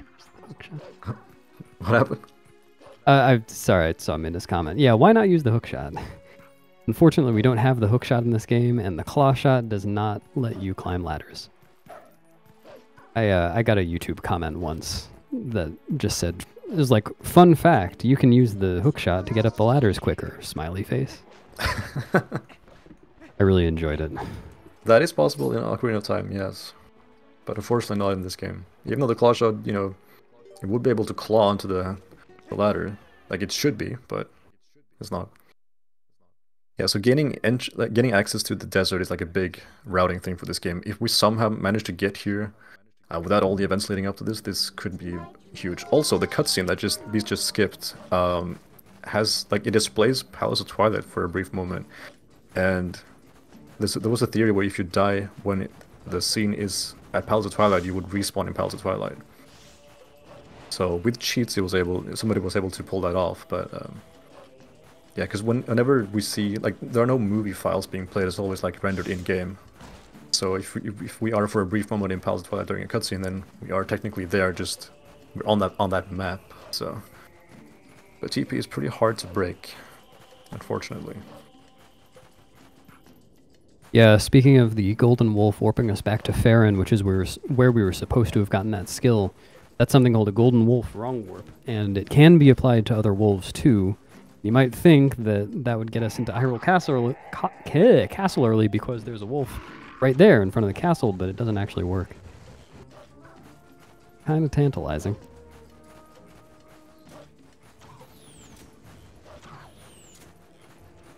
Whoops.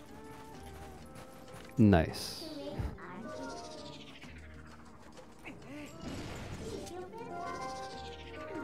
Oops. So here I'm going to skip uh, knocking down a Bulblin Rider and getting a boar by just clipping past this fence instead. Quite a bit faster.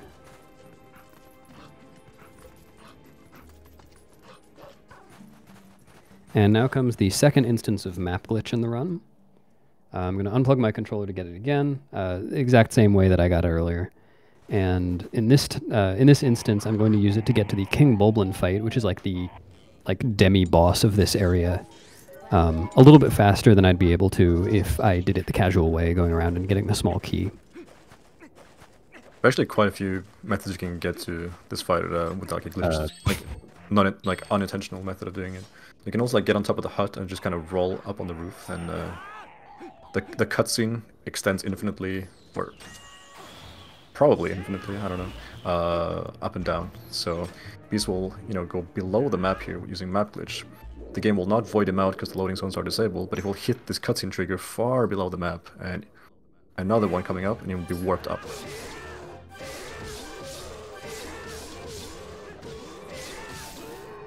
Just wanted to scare you a little bit. Yeah, missing one quick spin there is totally fine. But if you miss multiple, then yeah, gotta be cautious because he deals a lot of damage there, so quite easy to die. Yeah, and again, Yeah. dying there would soft lock because we have map glitch, and that would cost about 20 minutes. Yeah, and you might think, well, map glitch, just like last time, there's a lot like we're soft locked, we can't progress to the next loading zone. But luckily, again, just like the howling at the top of Snow Peak, uh, the sequence of getting onto the board and breaking this, um, this, this like breaking out of here, plays a cutscene that then loads the next area in a different way than a normal loading zone would. So conveniently, it's not like a traditional loading zone, so that disables map glitch. Otherwise, this wouldn't be possible. Yeah, this is a much smaller sequence break than getting up to Snowpeak early, though. So less important, but yeah, it is very convenient.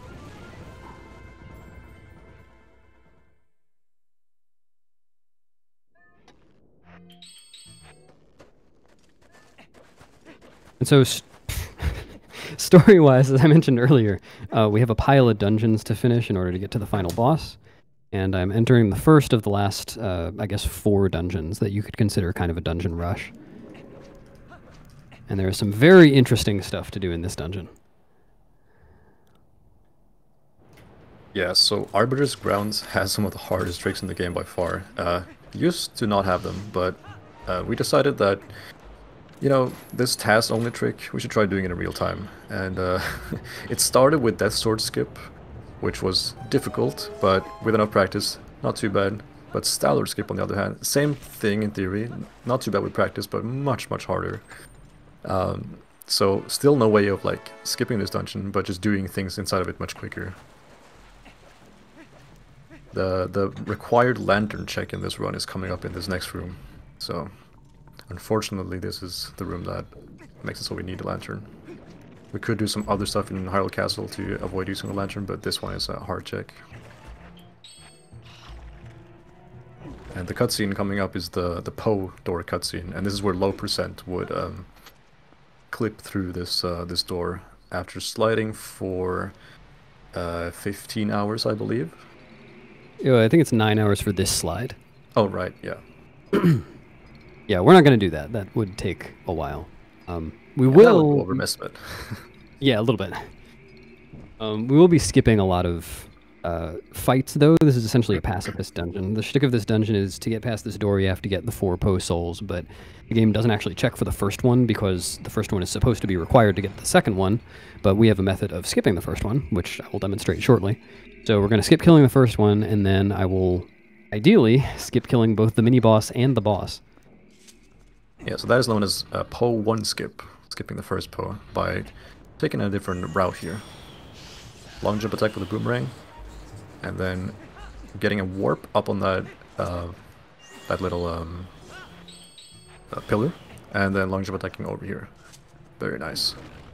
So the old method was to backflip onto the pillar, and then with a very precise angle, slide and jump off and grab the ledge. Much more precise. But that up warp was discovered um, quite a while ago now. I think it was 2018, maybe 2017 or something, uh, making it much more much easier to do Poe one skip, which is now such a standardized thing that it's even recommended to beginners to do it. Yeah, it's really not that bad. It saves uh, a little bit under a minute if I remember correctly. So normally this is the the last um, Poe fight, but we do it as the first one due to this uh, reroute. Yeah, Poe 1 skip saves so much time that 100%, which has to get Poe 1's soul because 100%, still does Poe 1 skip afterwards. Which I find very funny. It's quite quite amusing, yeah. Some RNG to this fight. Uh, it starts off with a consistency, and then which Poe it is here is random. But it is possible to manipulate, so by getting that one, you're supposed to go back on land, and then um, Beast try to go for an instant jump there. Like, if that would have been the Poe that, um, that, that he went for, then it would have saved time by, you know, instantly attacking that one. But that one was random. But the first Poe lighting up, um, the strat for that is to get back on land and instantly jump attack, and it will make the Poe spin again right away. And there's like, so there are four different things depending on which Poe it is. So that four um, sequences of moves you can use to force them to spin again. So luckily that has been figured out, but not the final bit, which Poe it's going to be at the end there. So Beast getting the scent from, from that Poe fight instead of the first one. Pushing this block four times, it does not go into its slot, but pushing it four times will make it so it remembers the, the, the position. If you push it three times, then the next time you go back here, it will still not have been pushed. So it's important to push it at least four times. Getting some money, because we still need a little bit more money to fix the cannon later. Uh, he gets the rupee text from it from that chest, which is quite nice, because later on he can uh, collect red rupees without having to worry about the text slowing him down in the middle of a sequence. And having the scent here is what makes it so you can dig there and pull that chain. If you don't have the scent, then it, digging there does nothing.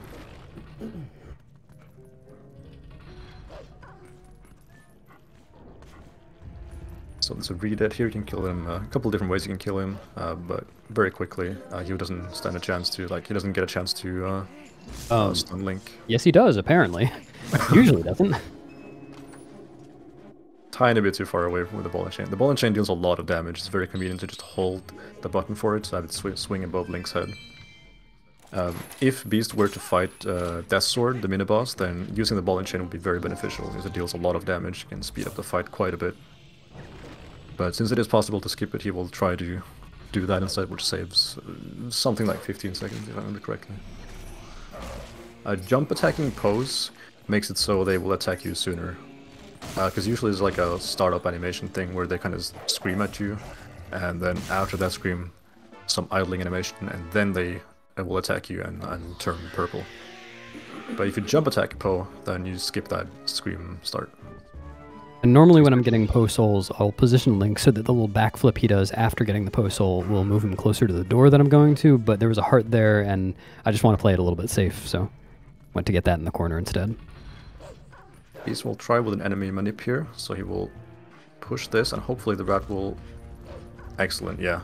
So the rat, the rat taking damage from the rat there uh, makes it so you cancel the animation of, of pushing that thing. And as long as, as long as you start the sequence, that's enough for it to carry on on its uh, on its own. So you can just leave the area a bit quicker. Uh, this would have been a soft lock for glitchless, I believe, because the room hasn't yeah. fully uh, finished its transition. But for us, it doesn't matter.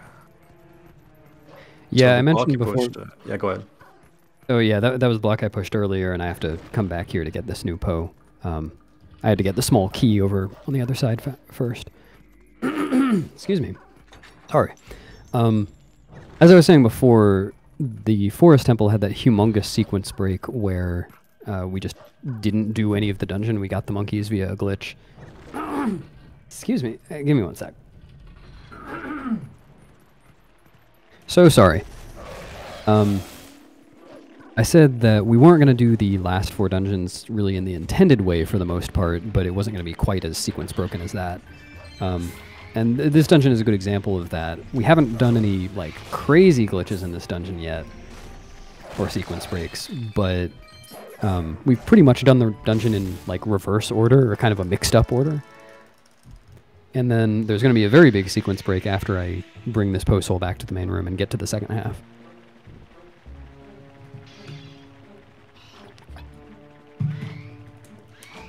Sorry, I was getting water. Yeah, hydrating is important. So normally in this room, you're supposed to get the small key from the chest here, and that spawns a bunch of rats. But since we uh, did this in a different order, we can just we already used the small key on this door from another room. We can just leave without having to deal with the rats, which is quite nice. So only three of these torches now have the, the souls, but the game is like, yeah, that's fine. We don't need all four. Yep. And what Beast was just saying earlier, um, in this next room, we can do a sequence break that allows us to get the boss key early, and it's actually quite simple to do. You can do it with uh, Wolf by doing a b-hop in the sand to like go in between the wall and the pillar, but you can also, as human, do a roll and then um. you don't. or you can do that. nice. yeah. Right. Sorry, go on, Sky. I didn't mean to yeah. interrupt. so a b-hop there to uh, go in between the wall and the pillar, and you just climb up as wolf. But as human, you can also do a with a like semi-precise angle. You can just hop across, roll in the sand, and then do a roll stab. The roll stab isn't always needed, yeah, either, but you can just cross it like that and then turn wolf and climb up. Here he will attempt some human movement, where he will do a one-frame side hop, very nice. And then... Oh, it's not one frame. Oh, it's, it's two frames. I don't know a frame window for it, but if you just keep holding forward and L, then um, the window stays open. Oh, okay. I didn't know that. Yeah, so staying human for this bit is a little bit faster than going transforming into wolf, but this is the hard bit where you want to have a very precise, like relatively precise uh, angle as you jump off there, and then doing a brake slide, which is holding like the ESS range uh, ESS standing, uh, stands for Extended Super Slide, uh, coined from like Ocarina of Time and Majora's Mask. Uh, even though you don't do, ex uh, pretty sure Ocarina of Time was like where was first. Uh, no, sorry, I was saying really to my mistake. Oh, okay. Work. Okay.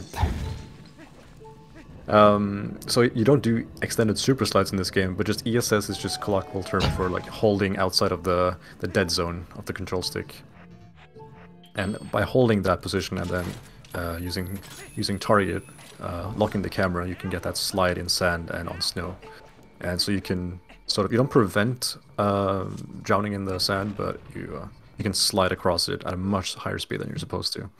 And it's used actually quite a bit more in Skyward Sword speedrunning. You can cross entire rooms that are filled with sand really easily with a brake slide. And since Beast needed to equip items anyway, he buffered it on the item wheel section. So Nah, he's very low on HP, but uh, it's no big deal because if he, like after the save warp Peter, he will have full health. Well, I'm also going to break a pot while doing Death Sword skip, so it's going to have a heart in it. That's true. So first phase is over very quick. Now second phase, we're not gonna fight him, but we're gonna use him to super jump, like we saw with early Master Sword. And this is pretty precise. Hopefully goes well.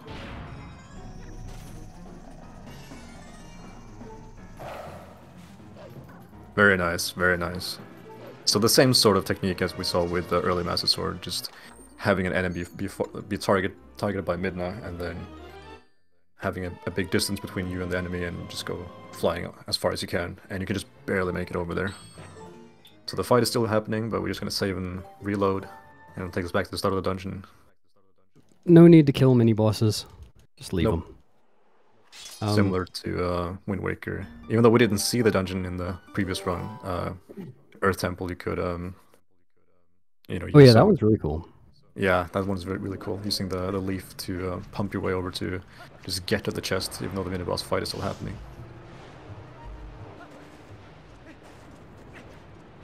You want to explain Uh, uh, Stallord Skip? Yeah, yeah. So there's a big trick coming up called Stallord Skip. This one was only recently made RTA viable. It was considered TAS only for a few years.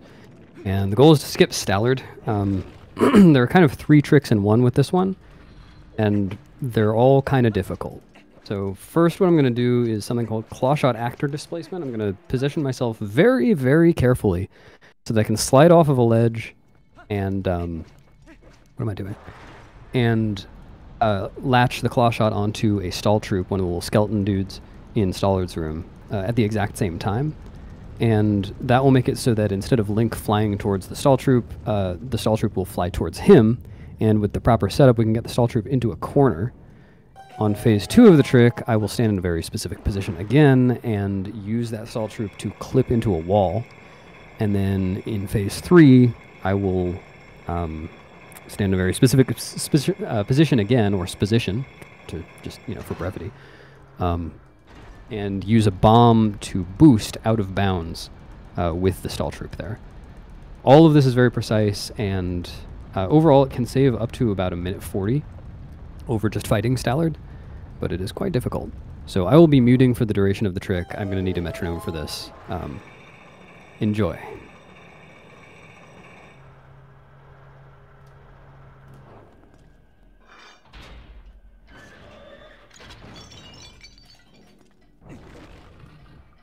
Feel free to talk. I'll have audio off. I think I'll just let the gameplay speak for itself during this bit. Oh, and by the way, if I fail it, I'm going to void and try again. So if you see me voiding, that's why.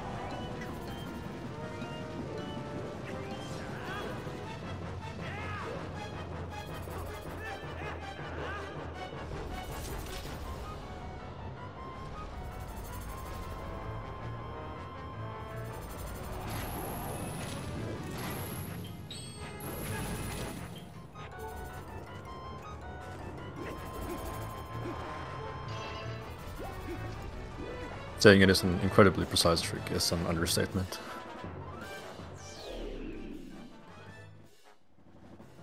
And there are very like a lot of things that can affect Link's angle, like Link um, turning around like that. You can see him doing a bunch of 180s. Will just slightly affect the angle that he has. Might not look like it, but it will. I can second in my very limited experience, but we did try and do it 2P1C last week, and I didn't even understand what was going on, and I was pressing the buttons. It's crazy.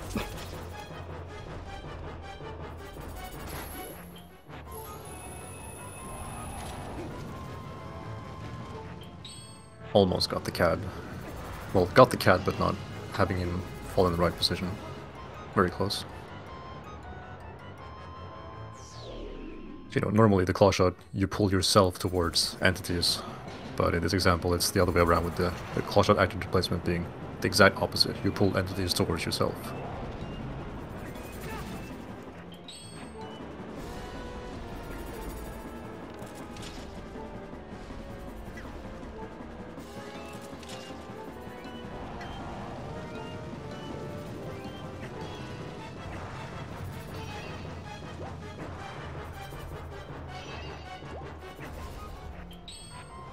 Being low on health there just to decided to just get some hearts and void and set it up again.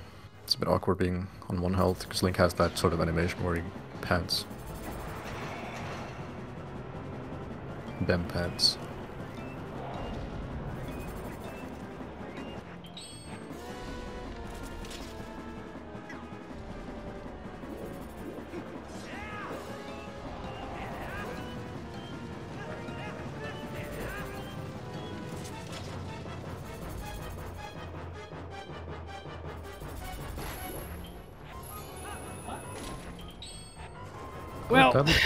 Everything is harder in a relay, I suppose. I'll get it eventually, probably.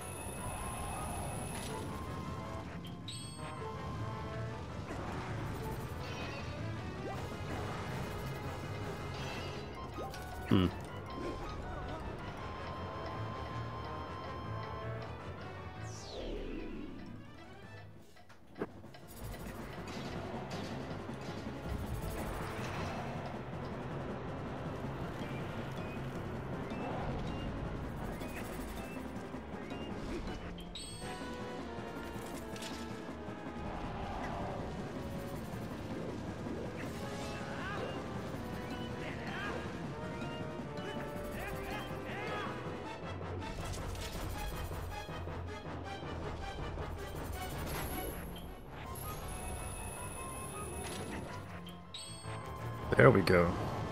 Very nice. First part of the trick.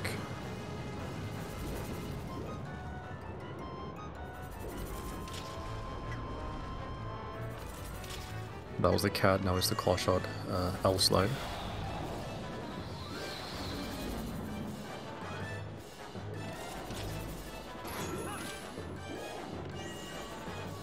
Now the third phase, final part of the trick, the bomb boost.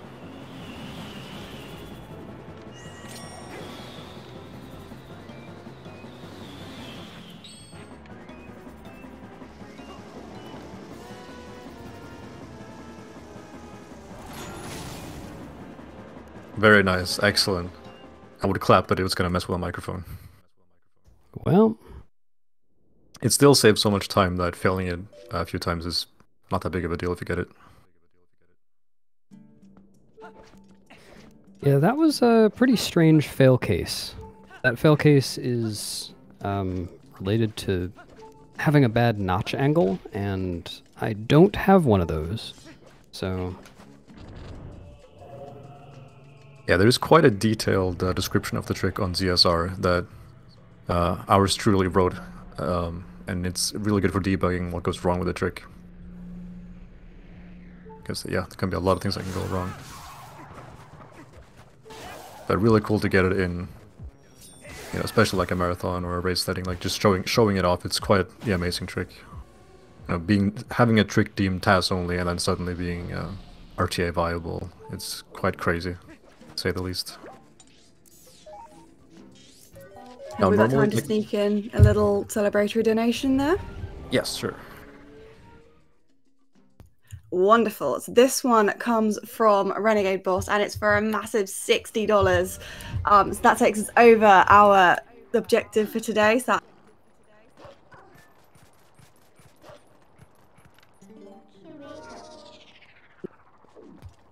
Renegade says, "Not paying the Pro One toll. I got you. No big deal."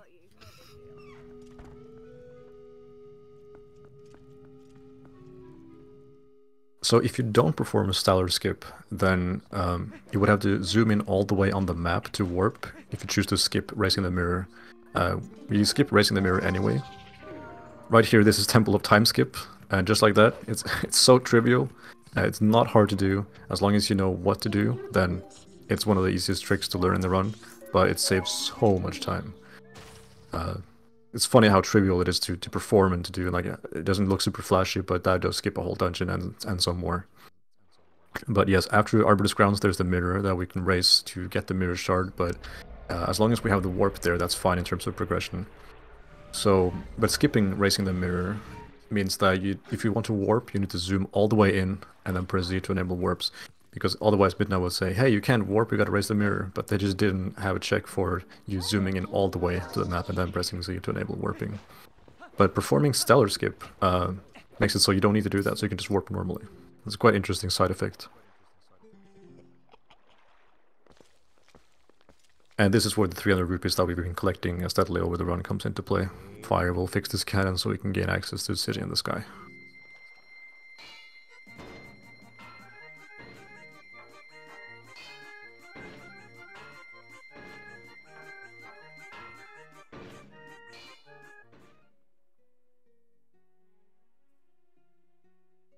So yeah, he transformed into wolf to clip um, in between the statue and the wall in the sanctuary to just skip past it. Normally, you would use the Dominion Rod, uh, the powered up Dominion Rod after a little bit of a quest to to move it out of the way. Also, Shad, a character in in there, would uh, uh, would play a part as well.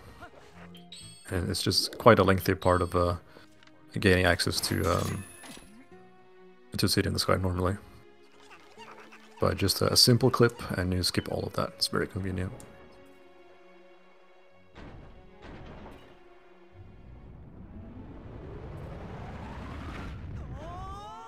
City in the Sky is a very flashy dungeon. Uh, there's a lot of void planes, so you'll see uh, boomerang long jump attacks all over the place. It's also very cool to see fast aiming, uh, like latching onto claw shot grates. Um, everything will be very smooth and fast, and it's very a very satisfying dungeon to watch and play.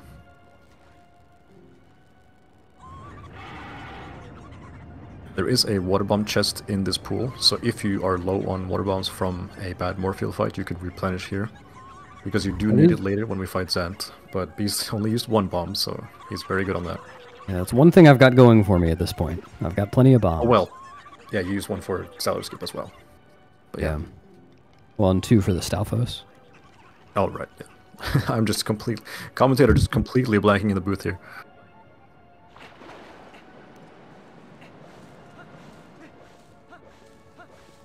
Yeah, so the wind there can blow instantly, uh, or it can blow after a while, so that's just RNG, what kind of cycle you get. And that cycle will sort of persist through the dungeon, so the next time you're outside, it will continue where it left off.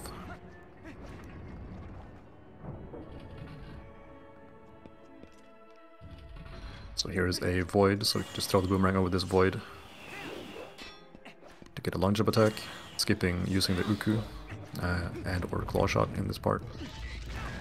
Can also do some precise jump attacks. Okay, so right here Beast will turn into Wolf and then interact with this door from as far away as possible. And the reason why he does that is because he won't hit a trigger if he opens the door this way. That would normally uh, cause the fans at the ceiling of this room to spin. Uh, it has something to do with Wolf Link's collision, how it's at the back of Wolf Link and not at the front. So Human Link wouldn't be able to do it, but Wolf Link can open that door from as far away as possible and avoid the trigger. So the fans don't spin, they stay off, so we can claw shot some vines later to gain access to that part of the dungeon much earlier than we're supposed to. Known as early boss key, which saves, I believe, something like two and a half minutes. It was quite, quite a big discovery when it was found in, gosh, I think it was 2015-ish, around that time. Was still a while ago, but uh, quite a big discovery of, uh, after having already discovered such things as Temple of Time Skip and Early Master Sword. And it made it a lot easier to learn this dungeon because you would skip a lot of rooms. So if you started learning this game like roughly 10 years ago, you would have to learn the second half of City that you would see um, the category, categories such as 100% do, because there are things you got to collect in those uh, rooms. And it's like right at this point, you can, after getting the double claw shot, you can go below here and keep going with a lot of claw shotting. And it's just much more to learn, but that glitch um, skips all of that. So Beast got a small key, and there's a cutscene here on the bridge where Argorok destroys the whole bridge, but it's possible to skip that cutscene with some precise movement. There's a couple of ways you can do it. He's probably going to go for the side hop method and then running along the edge, which is a little bit faster than using the Peahat to aid him. And, oh, that can happen very easily as the wind, like the, the camera changes, uh, and uh, the wind can, the wind cycle also plays a part in this trick. He's to play it safe and just wait here for the wind to blow. Smart move. So he wants to side up onto that little broken piece of the wall there, and then just shimmy his way around here, avoiding the trigger. That would normally be in front of the, roughly in front of the door. But the game really wants you to watch, watch that cutscene. So if you save warp uh, and load the file again, you will be placed back at the room where you just got the small key. Because the game wants you to be able to hit that trigger. And normally, like, it, it, they they didn't think it was possible to skip it in the way Beast just did, so you would hit it normally. So it allows for a faster sort of, because like save warping saves time in general, it saves backtracking, but save warping to that location is also faster than uh, very nice Beast killing it with a spinner. That is uh, something I see the TAS do. Uh, I learned that one from Simi for ILs. That one is, it's a much more difficult than just using the sword, but it looks really cool and saves a bit of time. Yeah, so he, when he save warps later, he will spawn back at that chest, which will just make, makes make the backtracking a bit better. But uh, the trigger will then be gone, actually, so he doesn't have to avoid it the second time. And it is technically possible to skip the small key by mm-hmm. doing something called City in the Sky Small Key Skip, which Beast has done one variant of uh, quite kind of recently for ILs, which is just crazy. Um, but yeah, both methods being crazy, but the the one that has currently has a bounty by gymnast uh, being just incredibly difficult. Nobody has done it yet. So if you want, I I think it is a hundred dollars up for grabs if you get it. Might be more. I don't remember. So plenty of ways to do this room. Uh, Beast doing it the fastest because you know we like to go fast, but you can use the boomerang a lot more instead of jumping over those gaps and doing a jump slash if you want to one frame roll, and then he's going to use the claw shot to scare the enemies there so they raise their shield up, which will make them fall as they're right on the edge. This dungeon is also very like action-packed, sort of like Snow Peak, but there are some cutscenes like this that give you a little bit of a breather. Those are a bit longer.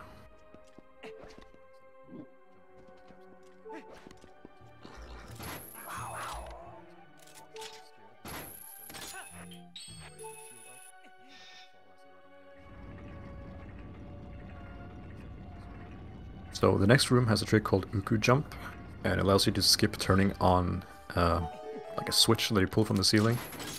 If you jump off with an Ooccoo um, with a certain angle, and by holding target when you jump off, you increase your the leniency for the jump by a whole lot. So right, just going to tap target, and just that target press makes it so he can jump off with a much wider range of angles. Uh, back in the day, we didn't know that that was a thing, so we had to get a pretty precise angle for the jump off there. But the target makes it a lot more lenient, which is very nice. Unfortunately, I would usually jump straight down to Aeralfos without without using the Ooccoo, but I don't have enough health, so I avoided out earlier. Yeah, I was just about to say Beast likes to do that jump slash strat, which was actually used a lot more back in the day. But then at one point we just kind of switched to using the Ooccoo. I guess that because we skip, uh, we started to skip more and more heart containers, like Lakebed uh, and um, Arbiter's Grounds heart containers. So here is nice. One frame uh, drop off there to fall during the cutscene, saves a little bit of time. Beast will do Aeralfos skip, which is a very precise trick that um, involves using a certain setup to get into position and then targeting the, the, the target, clawshot target. And then That was fast. Oh wow. Very nice. That usually takes a bit longer, but hopefully it's still within before the miniboss attacks him. That was super fast. So you can just uh, claw shot the target there and just skip the fight entirely. And the fight is actually lengthier than uh, like it, it does have a, a nice length to it, so it, skipping it does save uh, a nice amount of time. So save warping, because he still didn't hit the Ar- Argorok cutscene there uh, by the bridge, he will spawn by the chest where he got the first small key.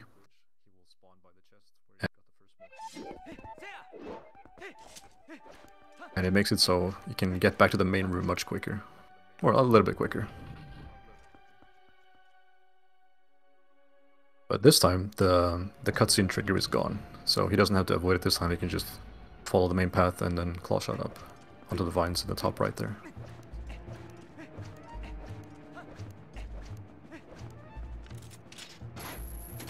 I believe the reason being that having double claw shots here means that you can use the Peahats to get across, so I guess the game doesn't force you to... There's no point in playing the cutscene there. And then Leroy can hit him. Oh, there's an enemy that charges at him there, but... Beast not doing the, bewi- the, bewi- the Bewilder Beast and uh, going back down the vines uh, repeatedly. Very nice. Figure I've lost enough time this run. Here is a precise claw shot onto the vines, so you can uh, skip Really? a pretty big portion of this uh, outside area, actually. You're supposed to use the ropes there as Wolf to uh, go all the way around, but there's like a party can claw shot on the vines there that skips it. It skips pretty much whole you kidding me? I got the Oh, hitting! That's really good though.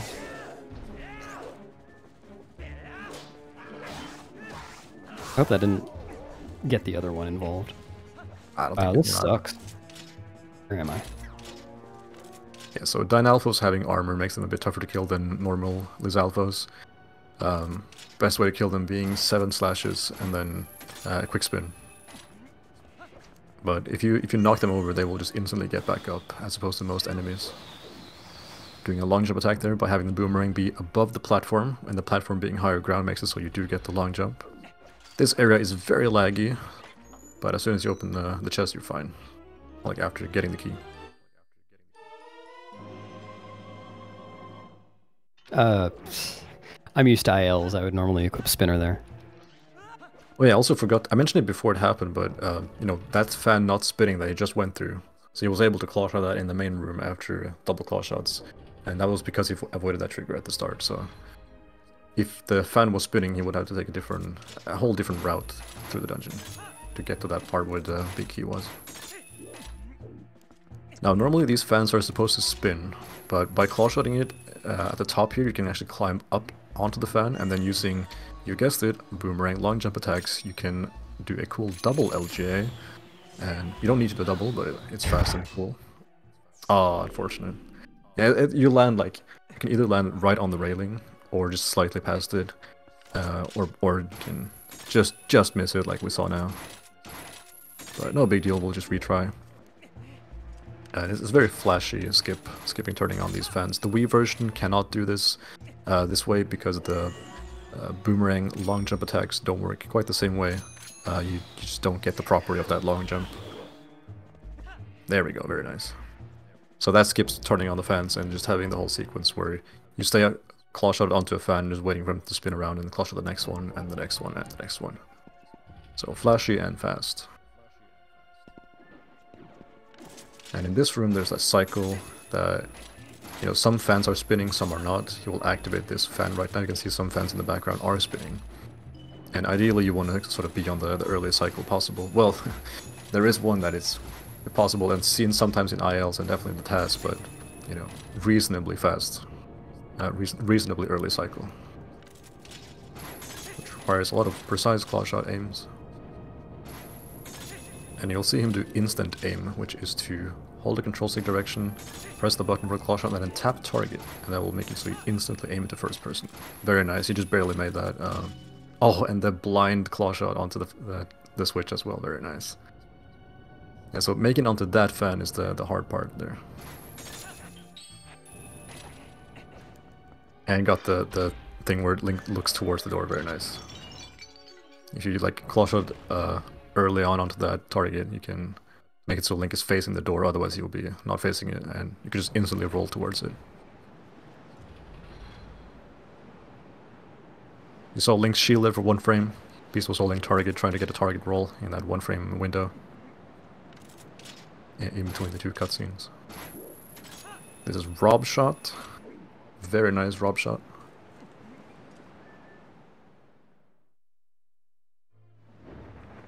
And Beast will go over to one of the pillars here, and he will manipulate Argorok so he does not do his uh, claw attack. If you stand in the middle, he will charge at you with its claws.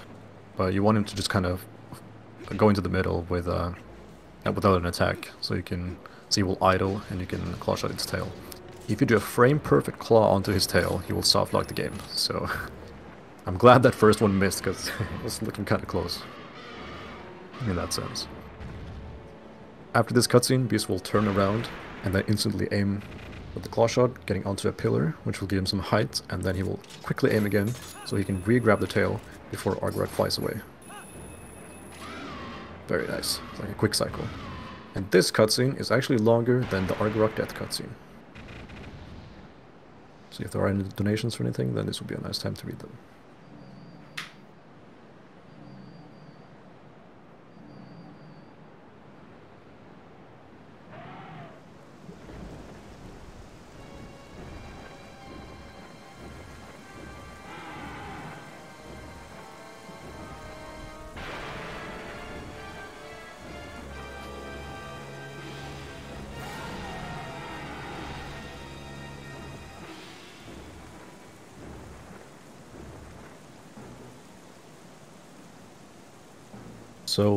Lot of years ago, uh, a, a, fun little moment of TP history when SVA was running this game, missed those days. He found some quite some useful stuff. He found that if you void out at the beginning of this second phase, um, the fight will just be a little bit quicker. Argorok will get into the position he's supposed to. Like when you reload this area, he will be a lot lower. Saving just a few seconds, but it's just small things like that are pretty cool. Just purposely jumping off the arena to save some time. And in this fight we'll see Flame Skip. So Flame Skip is, so we'll see it right here, we're gonna wait for the sound of Argorok breathing. And then putting on Iron Boots, we're falling down with the Peahat. And then the distance there, being like low and then closer to the next one, makes it so Argorok just stops breathing fire, cancel his flame attack, and he just stays there uh, in a vulnerable state, so you can quickly attack him. And we'll see that for cycle 1 and 2 being exactly the same, but on the third cycle, we'll see a slight variant of it because Argorok will uh, do the attack a little bit differently. Like he will do the first one and then he will uh, juke you and turn around and do it on, the other side of the arena. But we will account for that. So once more, we have Flame Skip, bringing the Peahat down with Iron Boots, Claw Shotting, and then that instantly cancels the Flame.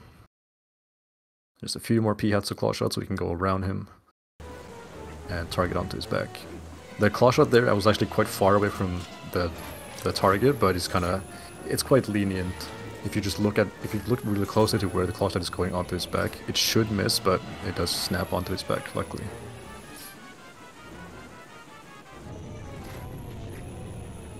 It's actually possible to be too fast here, uh, so you don't want to be like get to this position uh, too too quickly, otherwise you will he will do a preemptive, uh, like he will do the flame attack much earlier than he's supposed to.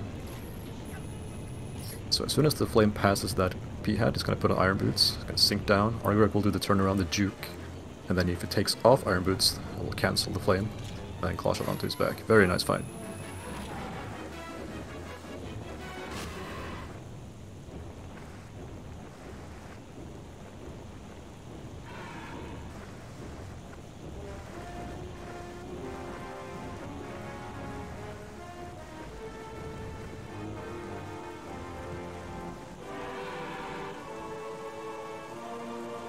Appears to be some buffers on the stream.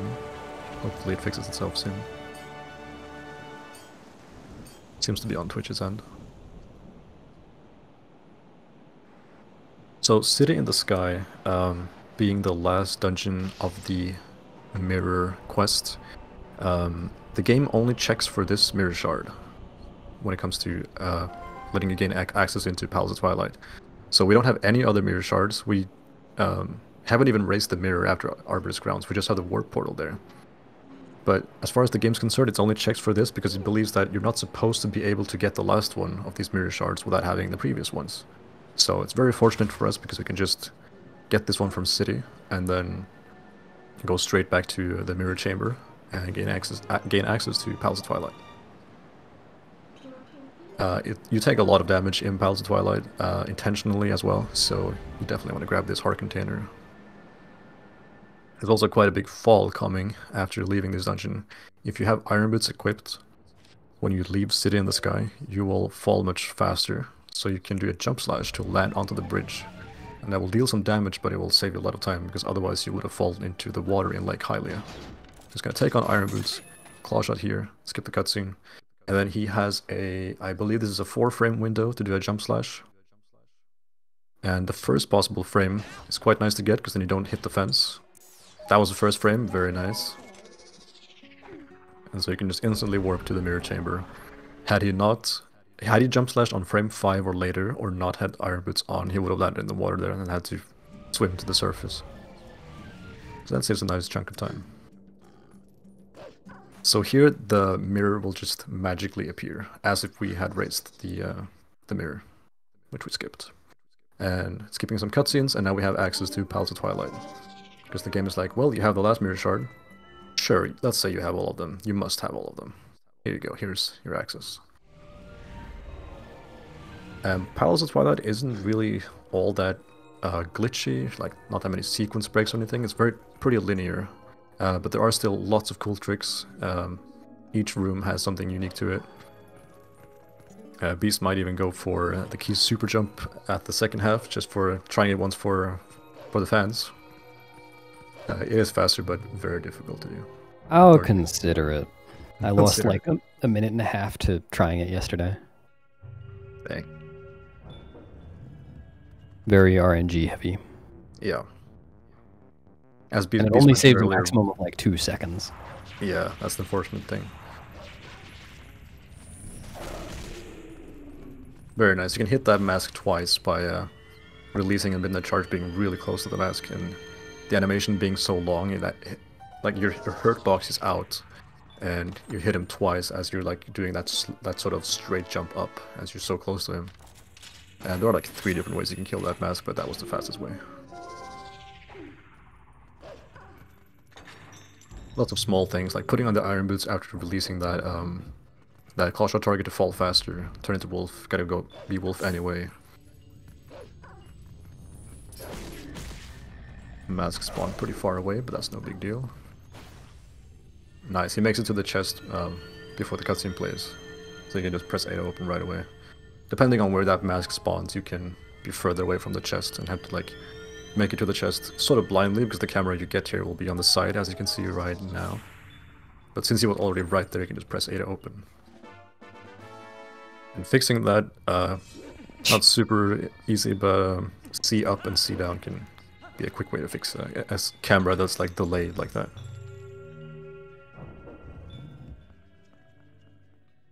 Now the miniboss in this dungeon is split into two, so Phantom Zant 1 and Phantom Zant 2.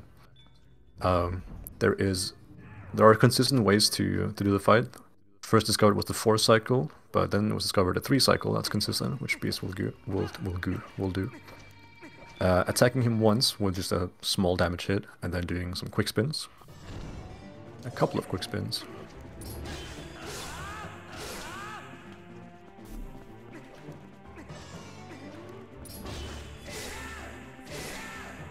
That's the second cycle, and the last cycle he will do one additional quick spin. Very nice. So in this fight, he could teleport around, he could spawn enemies, he could attack. It could be quite of an annoying fight. So it's really nice to be able to reach him before he's able to do any of the, his attacks. And um, having a consistent cycle like that is very nice when the fight is otherwise so annoying. Throwing the soul into that hole during the cutscene, it keeps rolling in the cutscene. There's a sound effect you just heard. Uh, the stairs are now activated. The monsters have gone down the stairs. It's like it's all very planned. It might not look like a lot was happening, but there's a lot of small things like that in Palace that a lot of thought going into each room, even though it doesn't look like always super flashy. And Palace is why they're being famous for being like a noob killer. If you don't, if you are new to the game and you don't really pal uh, practice Palace, then the game will sure to punish you for that. Yeah, there's a lot of time you can lose in this dungeon. And it's tempting for new runners to not really worry about it because you're kind of just playing the dungeon as intended, partially.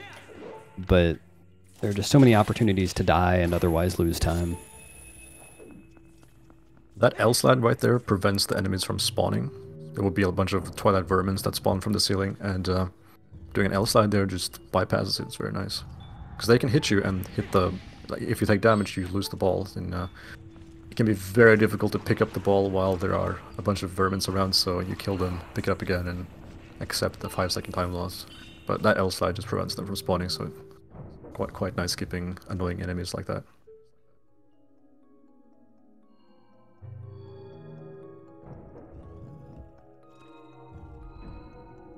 So we need two of these souls to be placed into these slots uh, for the first part of Palace.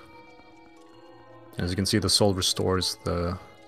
Like, it kind of lifts the curse on the Twilight people, the Twilight. He's going to go for an LJ on the platform here, saving a little bit of time over being just on the edge normally. Because you can jump right away and you just barely land on the edge. This is a coined stupid room. Uh, a lot of things can go wrong here.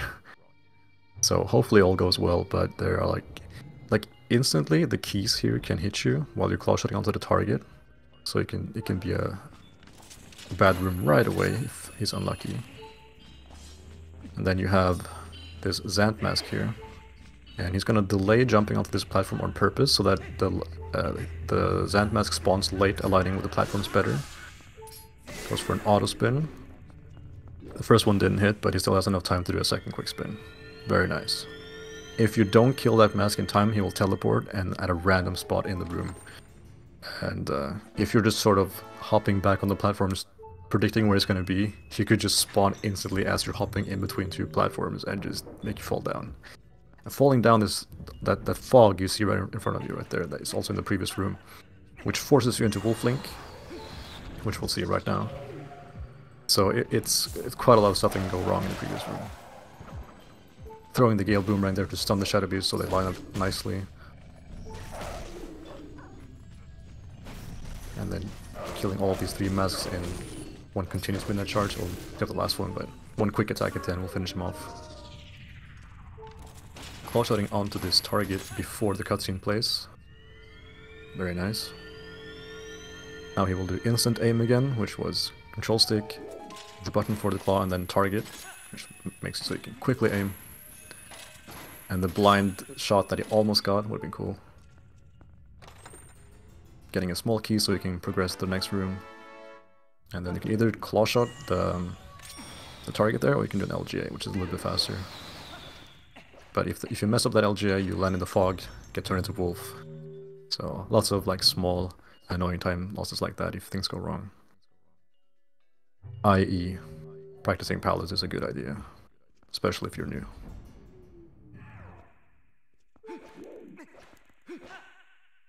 So this fight is just the same as last time, um, except I believe in, in the first one he spawns enemies, but this one he will do an attack instead. I think he still can spawn enemies, but it's not his default attack.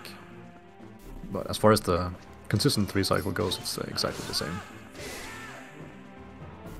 And whether you do a clockwise or a counterclockwise quick spin doesn't matter. Gotta do some kind of quick spin though. Oh nice, then he spawned in the middle too. Yeah, so the amount of health that he has, um, the, the reason why we do it in such a specific way using like the specific attacks is so that his health doesn't go into a pool where we don't want it to be. Otherwise, he would just teleport around randomly if his health is too low. So Beast messing up one quick spin there, but just having the awareness of just doing a regular slash to to not uh, take too much health off of him. And then also fortunately getting the center spawn, which is very nice.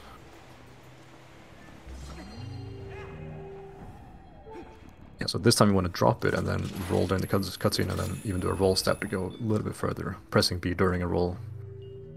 So roll stab adds a little bit more distance to your roll at the end of it.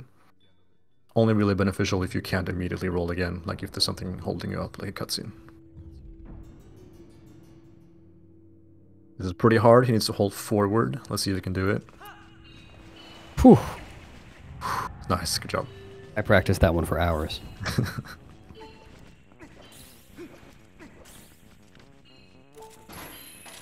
Also an L slide here. Saving a little bit of time. Getting close to the door, closer to the door as you're um, claw shotting the soul. Stupid room on the way back is uh, much much easier. One more time. It's still possible to fall off though. Oh, nice! You didn't get a um, hop in between those two platforms. That was nice. It's going off at just the right time. Yeah, these keys can uh, can also hit you, so usually we'll see runners try to target them or like stun them with a boomerang, just to keep them occupied. Uh, that's what's called a commentator's curse. There's a one frame input where Beast can either use the boomerang, use the claw shot, or like put in his hand, or throw the soul, or draw his swords, like four different possible things. He might mash all buttons, or just L and A. So right there, then like in between those two cutscenes, basically, to drop the soul so you can just roll to this platform and then grab it later with the claw shot, just saving a little bit of extra time.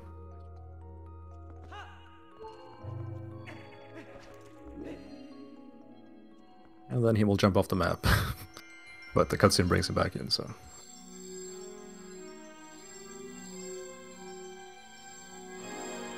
This will power up the Master Sword so we can defeat Ganon with it. Or defeat. I guess Zant is not possible to be defeated without this. Lore wise.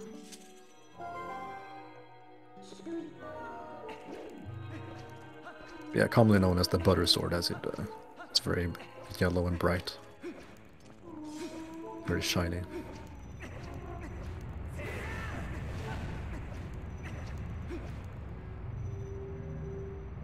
Beast might attempt key super jump just once for the fans, otherwise Okay, all right. I'll- can take a hint.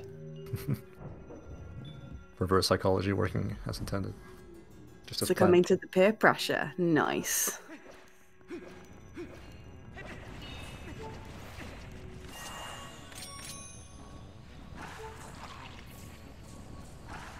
This is why we don't go for key super jump. There we go.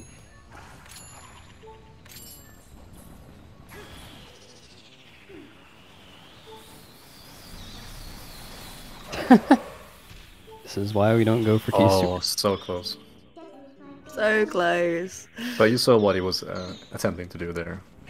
Skipping this this little puzzle by just using the keys to super jump up to that platform. Very flashy, barely saves time. Classic TPKs.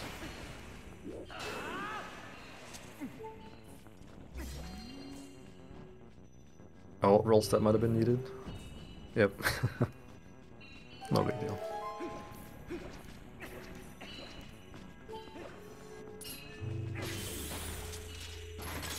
This room also has an LJ that I absolutely hate. It is not this one. This one is very chill, but the one on the uh, going to the next part of the of the room can uh, sometimes not work depending on like how the boomerang is out of bounds. Um,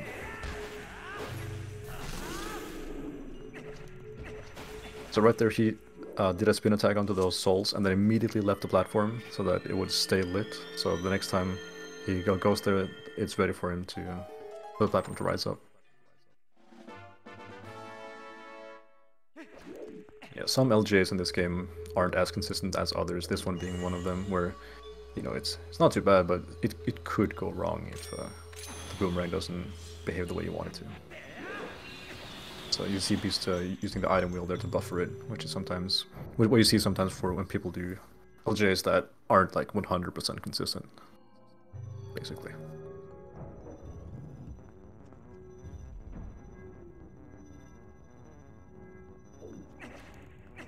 Now there are two routes for this outside area. You could either go here right away, or you can go and get the big key, the boss key.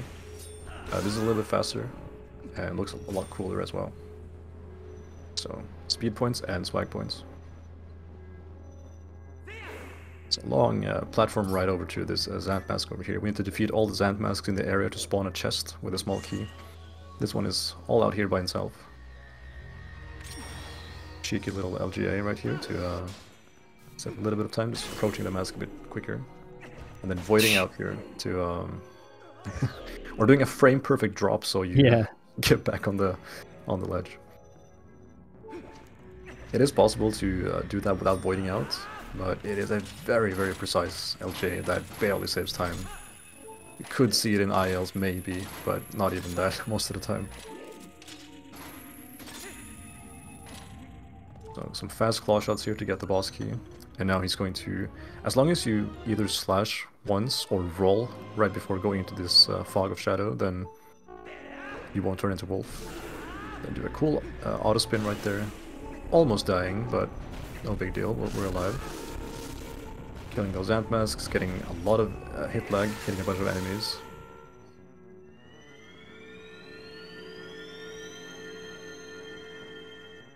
And he might have gotten some hearts to spawn by one of those Kargaroks or the Zant, mask. We'll see in a second. Nope. Just Nope, rupees. Just, just a green rupee. Yeah, rupees are no longer needed at this point in the run. It was just to get the city in the sky. So any rupees obtained after uh, fixing the cannon, fixing the cannon is just for show. Unfortunately, entering this room on half a heart means that my life is in the mercy of the Baba. Right. Yes. Oh boy. So Um, there is a Deku up on the platform here that can hit him, even though his aim can be. what? Oh, nice. the shadow is hitting you into the barrier. That is amazing. Never done that one before. Oh, nice. There is a cycle here that he was trying to make before that, whatever that was. that never happens, but um, yeah, early platform is what the cycle is is called.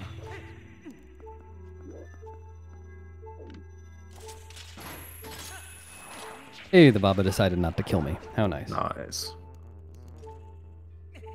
If you roll off an edge in this game uh, and then release all inputs, Link will grab the edge. So that's a safe way of grabbing the edge that even though you have a lot of speed going onto the, the edge, then you'll be fine. As long as the ledge is grabbable. Drop down auto spin.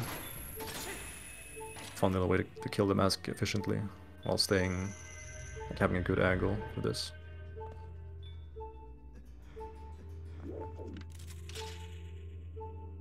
And then he's gonna make this cycle just fine. well, commentator's curse. Press the A button like probably one frame too early to let go of the target on the wall. Maybe I should just say, oh, Beast is gonna fail this, so he gets a first try. That's the thing.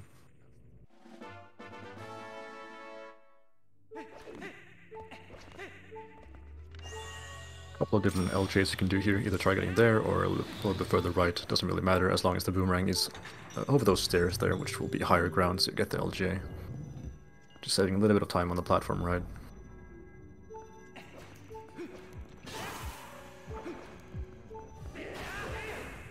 So Beast is very low on health, but it's no big deal because there's a lot of Shadow Beasts that will fall from the ceiling now, and they they mostly drop hearts. Like they, they it's rare for them to not drop hearts.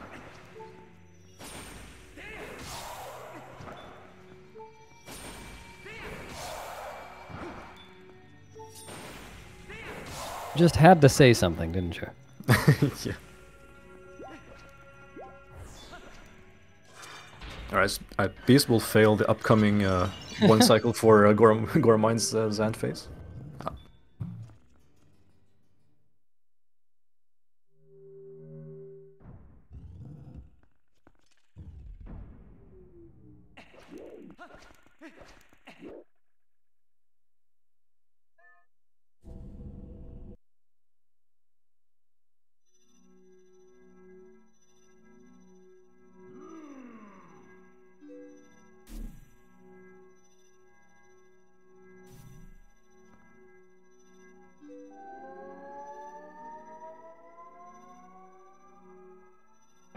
Here we have Usurper Zanto, or Zant in English. And it's basically a boss rush sort of thing where you revisit places you've been before. Some places where we haven't been. This is the, the, the this is the Diababa boss fight, which we never faced, but we did go into the Forest Temple. Zant's health is very interesting. Um, for the most part, you just want the end hit of a combo attack to hit him, as that will advance him into the next cycle, or phase, depending on what it is. But here we have the Dangoro fight, which is the mini-boss of Goron Mines. A dungeon we didn't even visit.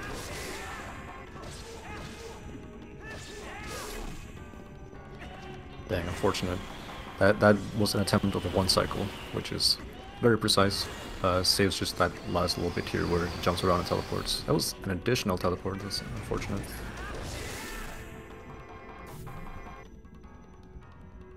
And now we have a underwater section with uh, a repeat of Morpheel.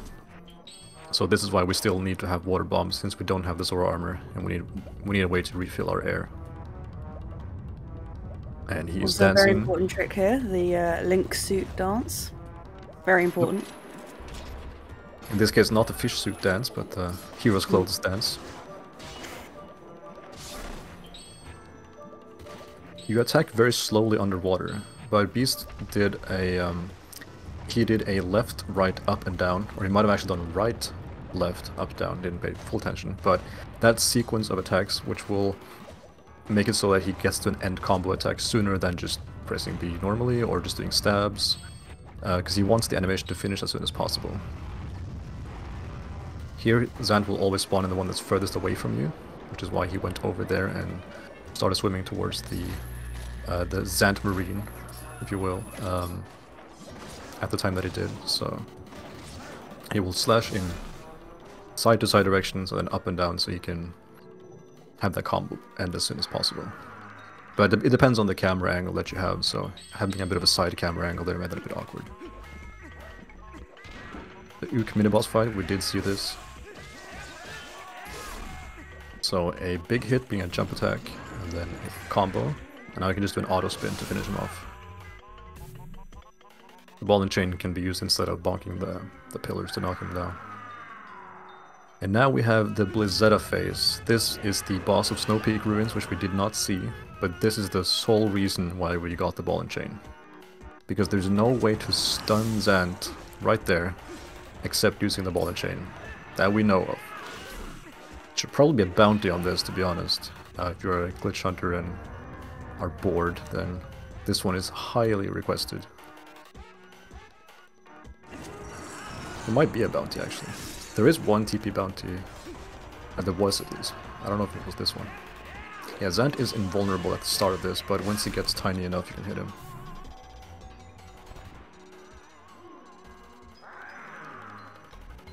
And now finally we have the last phase, which is outside of Hyrule Castle. Shoutouts to SVA for an amazing strategy for this fight.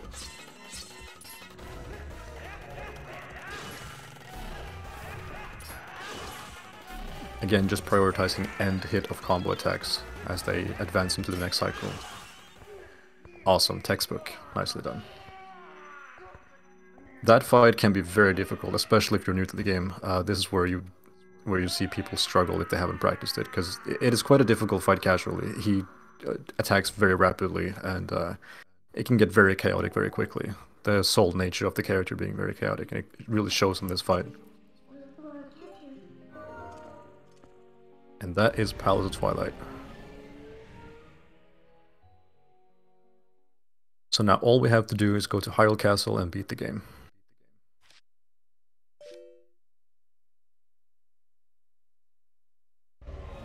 It is slightly faster to turn wolf, uh, you're like to do it yourself.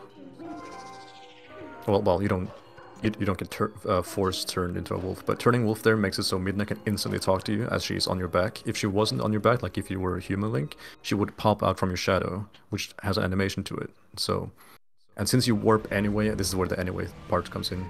Since you warp anyway to Castletown, and you'll be transformed into a wolf when you warp, that's why it's faster to turn into a wolf right away after leaving, at the beginning of leaving Palace. This is the second and final mailman skip. So the mailman still really wants to deliver deliver letters to us, but we're not too interested in reading them. So we're gonna do an LJA with a boomerang here, and it skips the trigger. or with the ball and chain, either one. or with the ball and chain. He's very close to the trigger. The ball and chain moved him a little bit there, but still fine. On the Wii version, I believe Wii 1.0, might be wrong about that, but the trigger is much, much smaller, so you can just do a regular jump attack with target and A to jump over it. So that's very convenient considering that the Wii version can't make use of the boomerang long jump attacks. Beast will now attempt the most important trick in the whole run, which is bonking into the loading zone here for uh, a bunch of style points. The style points are just off the charts on this one. Excellent, excellent. This is a almost two minute cutscene, 152 if I remember correctly. So if there are any don- donations, then this would be a perfect time to read them. Or if anyone has any potatoes to bake, this would be the perfect time for that as well. That too. Even better than a baked potato, I have a donation from Stallord, like actual Stallord himself, and Wow. he sent twenty dollars. And do do you know what he said to you, Beast? What do you say? He's been really kind. He said, "Thank you for sparing my life." Boots. Sweet, sweet of him to thank me for that. Yeah. So you know, the attempts paid off. He really appreciated it. Thanks, buddy. I promise I won't kill you again until my next hundo run. I'll pass it on. I'll pass it on. I'll make sure he gets the message. But I can also say that the Rejects and Friends main stage is coming back this summer in 2023. We thought we'd only be around maybe one or two events just for a bit of fun, but thanks to all you amazing viewers and donators, we're proud to say future events are coming and that we're here to stay at least for a while, as long as you'll have us. So just wanted to say very quick thank you for supporting us. We're having a blast providing all this content for you and obviously raising so much money for such a great cause. So massive pat on the back team. Thank you very much.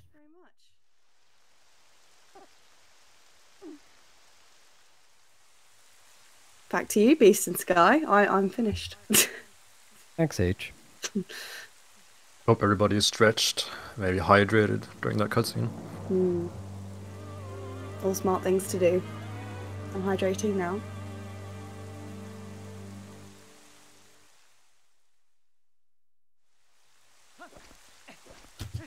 So that was the barrier being broken by Midna. Um, the Wind Waker having barrier skip in both the, the original and HD remake. Uh, Twilight Princess not having barrier skip yet. Um, it has been theorized and we have seen it done with cheats, um, but there's no feasible way of, of doing it.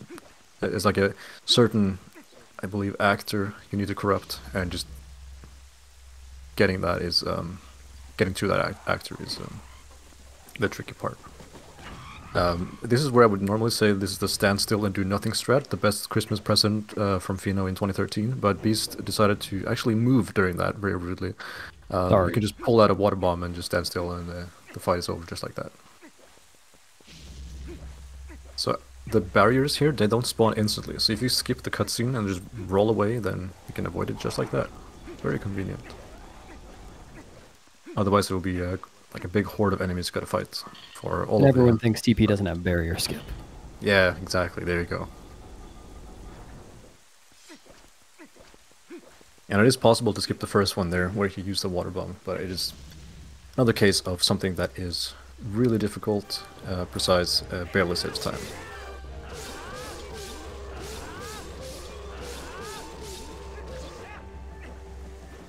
One cycle there being possible both with and without Great Spin. Uh, much easier with a Great Spin, but it is just so precise that, and again, barely saving time that you just you, you step away, allow King Bulblin to swing once, and then go at him again.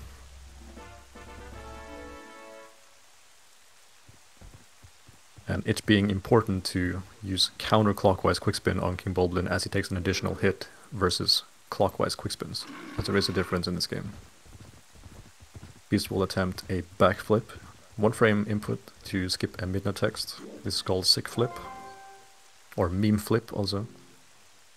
Fortunately, didn't get it. Uh, save warping here still is, you know, it, it is faster to backtrack by like a second maybe, but it's like I don't think I don't know if anyone's done like proper testing on it. It's just like, I, I did time it for myself, and it was exactly equal. It was Yeah. like a frame or two apart, and it's not possible to fail save warping. Exactly. Well, I've, I've I have failed save warping in going to lakebed myself, so Oh it is no! possible to do the reset combo before you actually hit A to save. so- Yeah, that's you know you're right. I should have thought before I spoke. So here's another barrier skip. Um, not the one we would ideally want to skip in the grand scheme of things, but nonetheless, quite a long fight uh, otherwise. And also a big thing is that if you defeat all the enemies in this room, the lights turn on, and this being a GameCube game, it makes the frame rate uh, drop a little bit. Additionally to, of course, being slower than just skipping it. You saw him equip the ball and chain there. We're going to use the ball and chain to um, defeat this uh, Darknut really quickly after his armor is off. Another example of the ball and chain being very beneficial for combat, dealing lots of damage for most things. Very nice. And then just aiming somewhere over in this direction is actually quite lenient where you aim. Uh, you're just setting yourself up for an instant boomerang throw after this cutscene, so just the button for it and then just roll over here and do some equips and uh, you've uh, extinguished the flame on the torch there.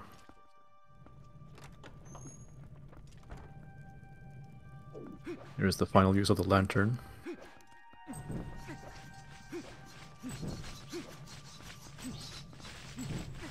Yeah, being too far away there is actually not that good. Uh, so missing once is fine, but missing twice it will actually make the first torch uh, go out, which would happen in my last ZSR race. So Oh, oh no! yeah. so bombs being very effective to take out certain enemies like the Nalphos here. So it's gonna lure them over. They they're not sure if it's a bomb or not. They're not quite sure. They need to examine it further, but they don't have enough time before the bomb explodes and they die. So it's quite a funny exchange there where you see them go like, huh, wait, is that a bomb? No, it's not. That's not a bomb. That's a bomb. Uh, eh, and then and they die. What a way to go!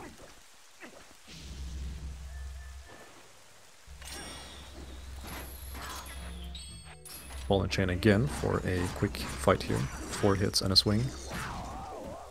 Excellent.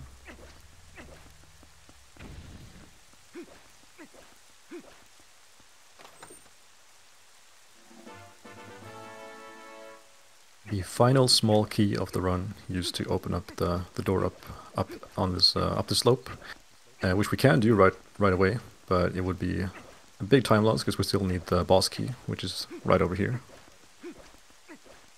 on top of this last wing.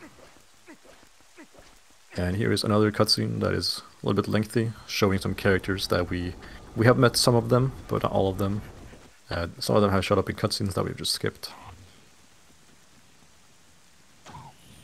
Saving Link from his his doom right there, Yep.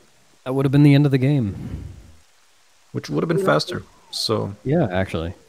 it's quite rude of them. What are you on about? You're lucky they were there. You could have ended your run right there.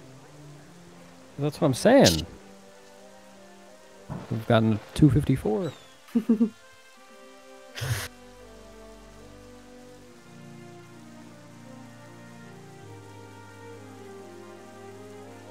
Hello, strangers that we haven't really seen.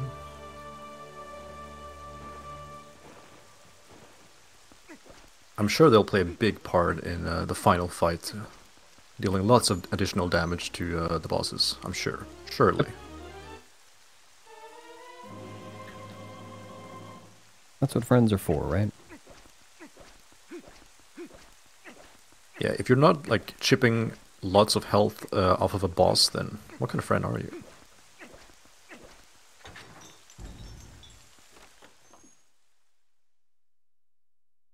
Beast will attempt to not bonk and void here, which can happen quite easily, uh, in fact, as he will turn this corner. Uh, the blocks will fall. There are some blocks that are solid. Uh, there's like a path where the ghosts here show you which way to go if you turn on senses as Wolf, but as long as you just keep going and keep rolling, then you'll be fine. The blocks uh, fall slowly enough that it's not necessary to follow the intended path. two slashes and a quick spin, which is the recipe for uh, defeating the, the Zalfos there. Or most other friends and foes, if you wish.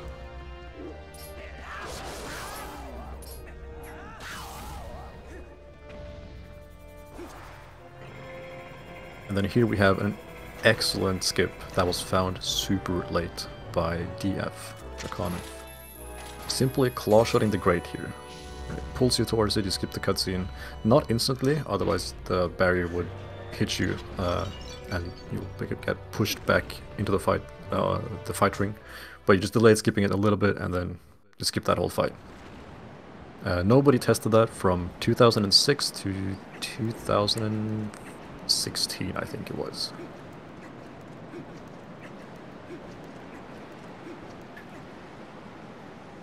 And that whole area is pretty laggy as well, so it saves more than just like a fight. It, it prevents a lot of uh, it prevents a laggy fight.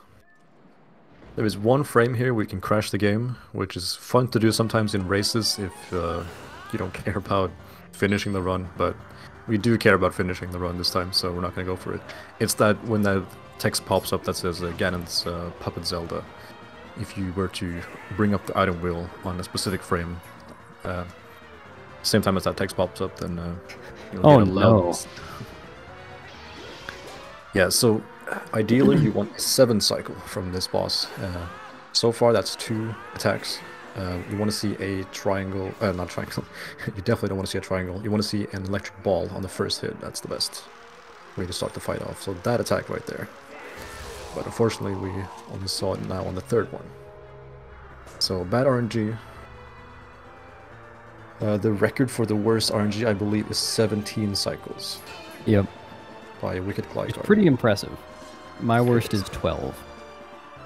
I think that's my worst too. Oh, well, So getting at least a 10 this time. That's the fifth, I believe.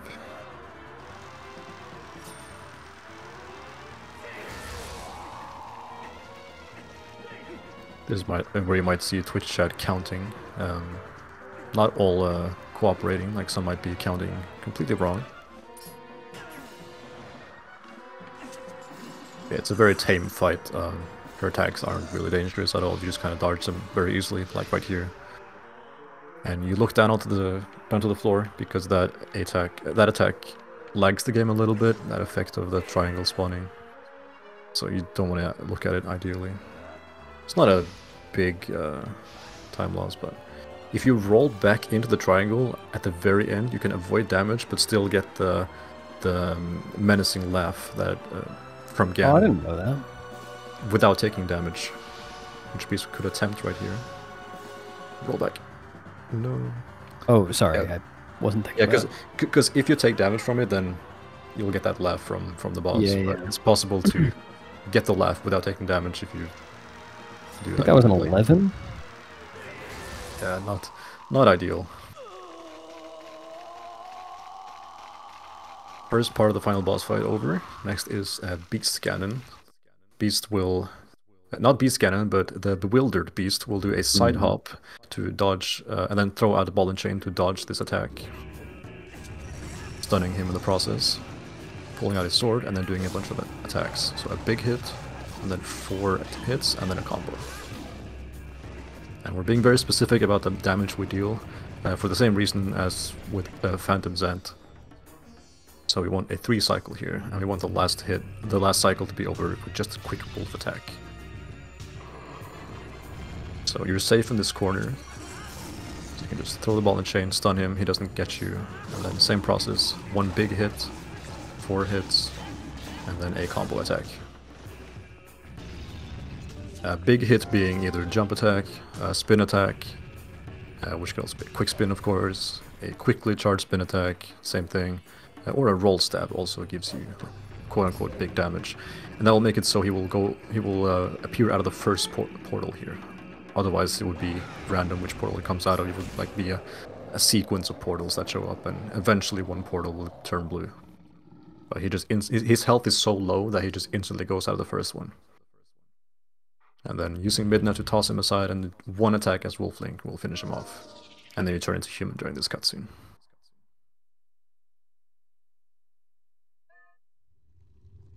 Horseback Ganon being uh, uh, simple in theory, but every now and then you will get knocked off the horse if you're not careful, and it can mess up the quite uh, the fight quite badly. Hopefully, it all goes well by dodging his attack here first. Here, you want him to swing his sword and then miss, so that he can be vulnerable, so that you can like chase after him.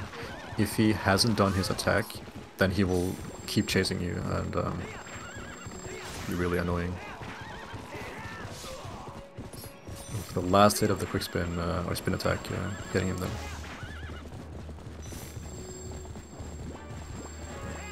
Missing one arrow, but no big deal. And that's it. Three uh, spin attacks, and he's down. About So one we're- being done. Yeah, we're coming up on time shortly. There will be um, one final fight with uh, with Ganondorf here, and it's supposed to be this uh, this grand epic final fight, but because of a technique called uh, commonly referred to as auto spin, which is doing a jump attack and then spinning the control stick while you're mid-air, so that as soon as you touch the ground, you do a quick spin. You will instantly knock him over, advancing him to the next cycle. So there are three cycles and uh, if all goes well, getting all three auto spins right away, then the fight is like 11 seconds long. So, uh, in these last few seconds, I want to apologize to my fellow relay racers. This is one of the most abysmal runs I've done in a while. Uh, and uh, please bring it back. Hope you guys do better than I do. I think we've just cursed RAF forever now. We've done so much TP chaos. It just thinks that's what we do now.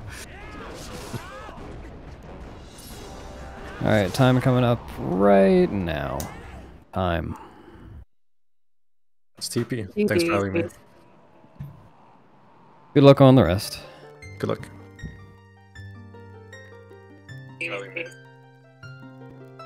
So moving very swiftly on to Dope's Majora's Mask run. Hello, hello. Hello, hello. Alrighty, where to start? Well, welcome to Majora's Mask. Congrats, Beast. I'm sorry run didn't go as planned, but relay, you know, the curse. But uh yeah, let's talk about all dungeons restricted. The f- one one out of two category game runs in this uh relay that aren't any percent. And the main uh, thing is that when we originally did this with ZSR a while ago, all the mods kind of like had a meeting, it was kind of like a community decision to decide that any percent isn't really content worthy enough to um you know just showcase for relay. So adr provides um a much better contrast um has a lot more content a lot cooler tricks versus just what we now have is ace in first cycle and just getting three items and warping to the moon and killing majora Yeah, plus Ace any percent is a little bit uh R RNG, like a lot RNG, so it doesn't make for a good showcase run at all. Because of the frequency of run succession. It's like the chance of a run succeeding is probably like 50% or lower. Which doesn't make for a good relay run. But So anyway, here might- we are. yeah All dungeons restricted. Maybe we should go over the restrictions for this category. Yeah, I was just about to say that. Um, so basically, the restrictions for this category, uh, this category was initially made to be a um, legacy category, and we put a few restrictions in place to uh, help with that uh, old school Majora's Mask gameplay. So. Uh, a few of the restrictions are um, no SRM, no hidden owl, and obviously no Ace or SRM. Um, so you will see us going around the map, hitting all the owl statues, uh, so that we can sort them at different points throughout the run. And no eclipse slot means that we can't duplicate the eggs, so we will be traveling to uh, Pirate's Fortress and uh, Pinnacle Rock to get all seven eggs. More content for you guys. Yes, very exciting egg gameplay is to be had.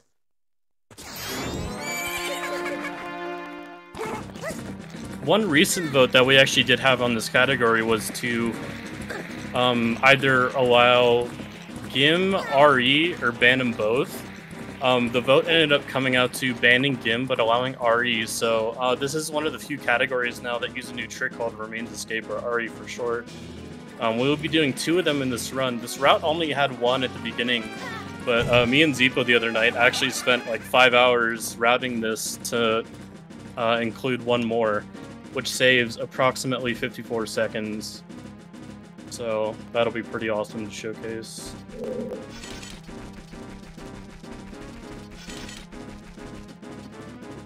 But just like any other run, gotta go through the intro.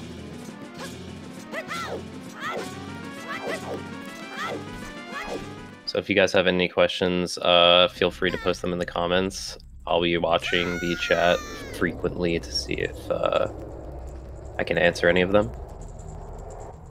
Just while we've got a little bit of time, um, did you do you want to introduce yourselves? We kind of switched over really quickly, and I realised you didn't get a chance to say who you were and everything. So, by all means, feel free. Yeah, so uh, my name is Dope or Dopezzera. I've been speedrunning this game for like four and a half years now.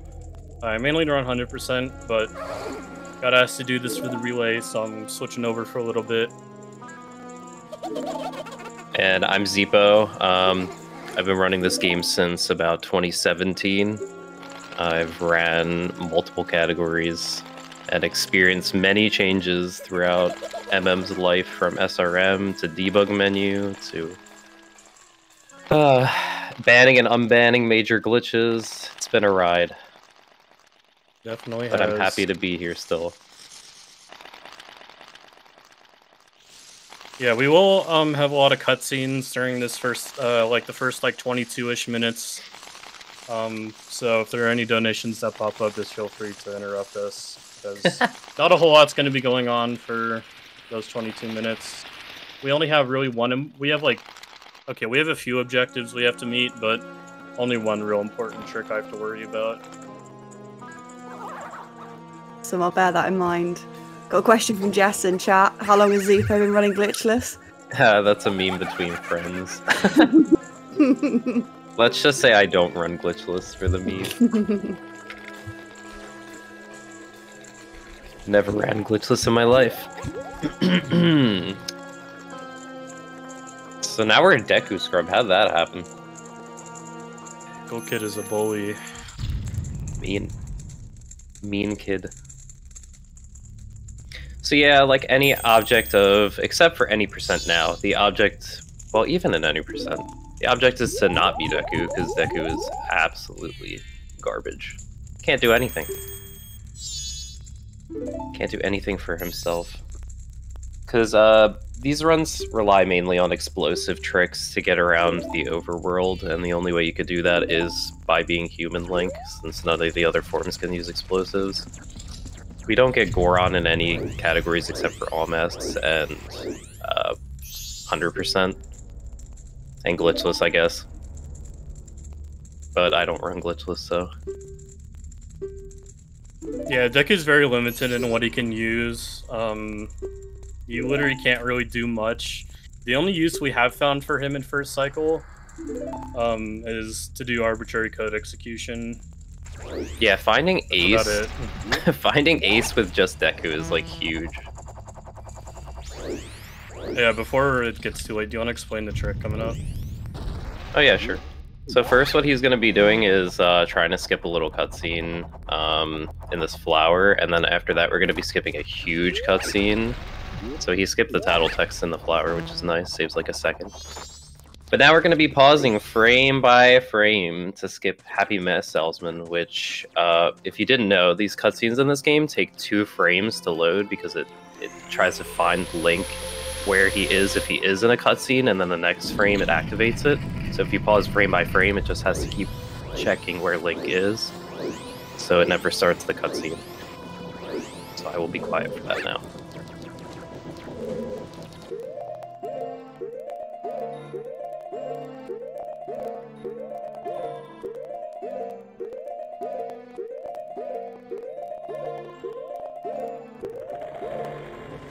Nice. Actually, fantastic. Yeah, I only had one extra pause there, so pretty good.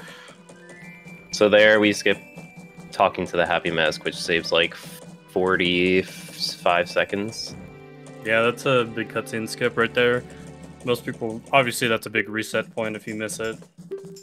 Yeah, that's an insta reset if you're grinding runs. Do you get run and AFR? Do we? I haven't run AFR in so long. We Oh, you needed, do? We could technically skip Goron, but we need it for one switch in Snowhead for Fairy. Oh, that's actually sad. Yeah.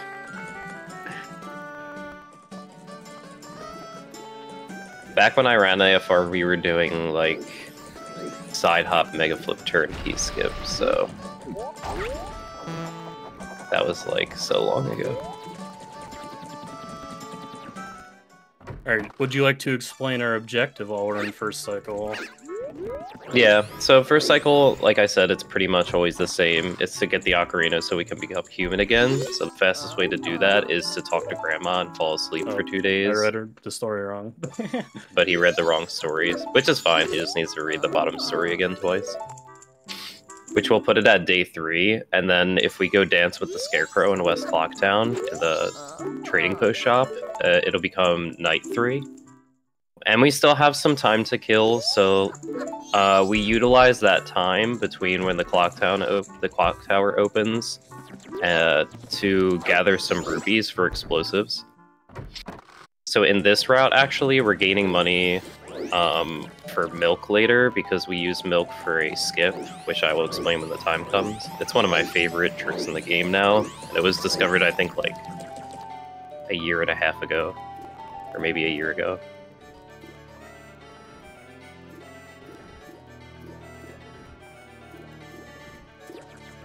So let's go dance with the scarecrow.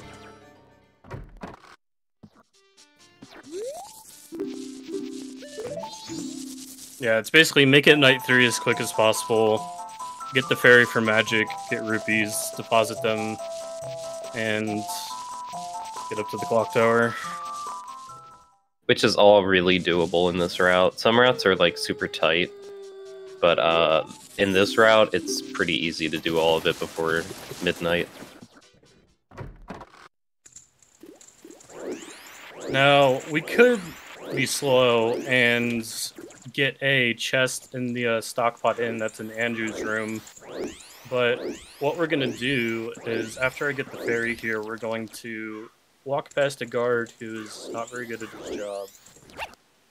Yeah, because this guard is located on a slope, uh, we can just backwalk past him, which makes him the worst guard ever in a Zelda game. Maybe not in a Zelda game. Someone has to. Someone in the chat, if you could tell me a worse guard than that guard in a Zelda game.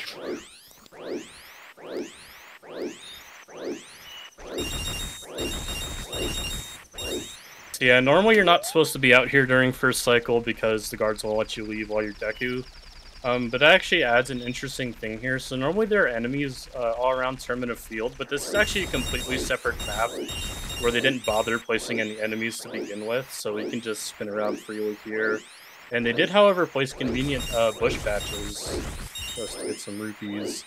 And the reason why this is faster than getting the uh, in rupees from the stockpot inn is because um, this burns up in-game time. Otherwise, we'd be waiting around forever for the uh, clock tower to open. Yeah, so our goal for these rupees on this route is 50, but getting 90 is more optimal because it's one scroll for the banker as opposed to five. He's definitely on pace for 90, but hopefully I don't jinx it. That doesn't matter now. He can just, even if he doesn't get any rupees in the last two, he gets Keaton bushes and he's good. The guy in Milk Road chomping the rock.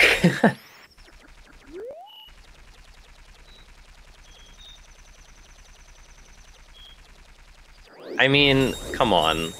It's Princess Zelda's letter. I mean, come on. So I did gloss over some rupees there, but it's fine. I can just grab two from the Keaton bushes. Doesn't lose any time. Yeah, by the time you get North Clocktown, if it's still before 1045 when you enter, you have so much extra time. 1045 is like the latest you can be in North Clocktown. Yeah, even though I got all the bushes, like I'm still gonna be early.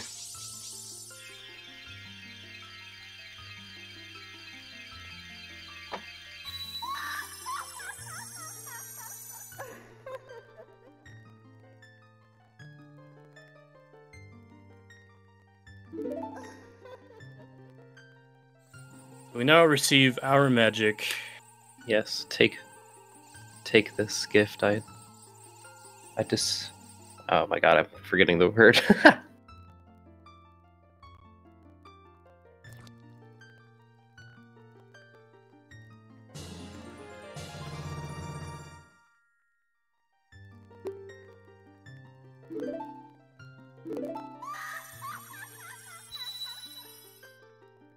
Alrighty. So now we're gonna go deposit rupees into the bank. Wow, I really am trying to figure out a word right now in my head and I can't think of it. It's a D word that means like to give. I was about to say it and it just never came out. But anyway, onto the run. Yeah, so here he'll just have to flick left and down since he has 90. Boom. Maybe the one to the dungeon, the castle links, all the captive link to the past. Perfect. Yeah, I mean the guards were never good in these games, were they? But that guard in particular, like even just regularly, he's like, You're a child, you're holding a sword, that's fine, you can go outside and fight all these monsters. No dope. The forbidden tech. so if you grab a ledge and then walk into a heart piece, you can't pick it up. As long as you keep holding target there, you get something called collection delay, and until you let go of target, you won't be able to pick up any standstill items like that heart piece. We use collection delay and 100% to, um, to manipulate the banker into giving us an, a different item. Giving us the big bomb bag. Or I mean the big wallet, adult wallet. I don't know I said bomb bag. Usually he'll give you the first reward, which is what? It's like a rupee? 200 or like 100 rupees. Yeah, so basically you can do Oceanside or depositing uh, to the banker in any order. It doesn't really matter. But you have to deposit uh, 200 rupees or more to get the uh, reward from the banker. And then you have to complete the Oceanside Spider House for the reward. But we're able to... Uh, this isn't really a part of the category, but a fun way how that works is um, we actually... Because you can get both wallets in in I guess on different files. I don't know if you can get it on the same one, Song of Time, because I think that flag is permanently set. But what we do is we can get the uh, first wallet by getting collection delay, depositing the rupees, and then making our A button busy, and then that'll give us the wallet, and then um, the banker won't talk us to talk to us again, and that's the text box that will um, initiate the flag being set. So if we never allow that text box to come up, uh, we can get both wallets from the banker. Fun fact about Hundo. Yeah, just while we're waiting to become human, just some fun facts. Yeah, because but we're almost done. We have about uh yeah like five more minutes. So Zelda's gonna teach us Song of Time from a flashback and we're gonna use that to go all the way back to first cycle. And then we can really get things going. It'll be useful for two instances. yeah. Usually we use this song to, uh, we store this song and then use it to skip cutscenes later in the run, which you'll see. But since we're doing a new route, we only will utilize this twice. back to first cycle. You know what I mean. Back to the beginning of the cycle. Back to first day. My apologies. Yes, we will accidentally save and reset too early and have to do first cycle all over again. Don't do that, dope.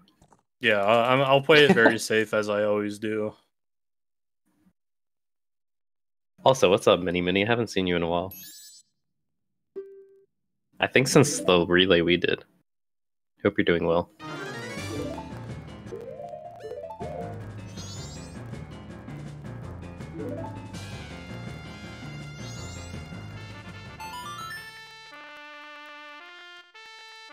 If we do have a bit of downtime, could I just hop in and say a little thank you to our tech team? Yeah, sure. Wonderful. Uh, just to shout out very quickly that the RaF Event Horizon main stage, all the Sub Zero events would not be possible without our amazing tech team. Massive shout out to Jason, Angry Demon Noises for their restreaming efforts. So everything you've seen today is their hard work, and they are going away behind the scenes, just making sure everything goes super smoothly, and it's just incredible. And also, massive thank you to Ghost Likely as well for their awesome work on the layouts and the visuals. I'm sure you all agree the stream looks incredible. So, massive claps to the behind the scenes team, please. Back to you, team. Alrighty, so we're getting taught Song of Healing right now, which will allow us to take off Deku Mask. And rip the face off of a poor fish man. yeah, which we'll be doing next. We're gonna go steal somebody's face, which happens to be Zora Mask. We're gonna go hover into Great Bay after buying explosives, and uh, yeah, we'll hess over to him. We'll do some cool movement tech, and then yeah, we'll rip his we face off. once we get out of the clock tower here, we'll have a few more text boxes, and then the run will really start to pick up. Uh, that's where you'll see a lot of the bomb tricks coming into play. We'll still need to get uh, East Clock Town rupees because we uh, our rupees in the first cycle were meant for something later in the run. So we'll go get that. It'll give us 99 rupees. and Then we'll go buy explosives with that. Yeah, we'll be getting that chest twice in this run. It's a very convenient source of money for buying explosives uh, when you need them for dungeons, etc. And um, you can only use it once per cycle. But with RE, that's one of the challenges we have to face is that that chest for buying explosives uh, is no longer available. So we have to either use our explosives very carefully and come up with strats that, you know, save bombchus or bombs or we need to find um, ways to route in rupees that don't lose much time. Yeah, so the usual way to skip Giants cutscenes, we would save and quit. Like we'd save and then reset the console while we're picking up the remains, and it would give us the remains, but it would reset our bomb count and everything, so we'd have to go buy more explosives. but by using remains escape, we don't have to reset to day one and lose everything. We could just keep what we have, but that chest doesn't become available to us. So we'd have to find rupees or just like manage explosives better. Yeah, and we could we could use um, or we can't, but um, in other runs they use a equip swap to preserve their bombs or bombchus throughout cycles, so you can use them over multiple cycles and still keep the same uh, ammo count. But uh, since equip swap is banned, we cannot do that. So Yeah, this category is kind of special in that way, where we can't use equip swap. your uh, your explosives only update if in your menu there's like the counter like available that number in your menu. So if you overwrite it with a bottle, it just lets you keep all your chus as long as they're equipped, or your bombs. It's really nice, but in this category, we don't get that. Uh, we don't get that convenient convenient strat.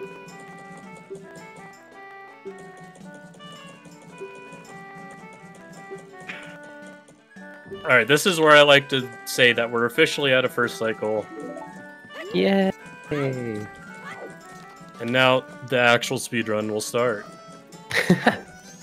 the best Zelda speedrun will start now.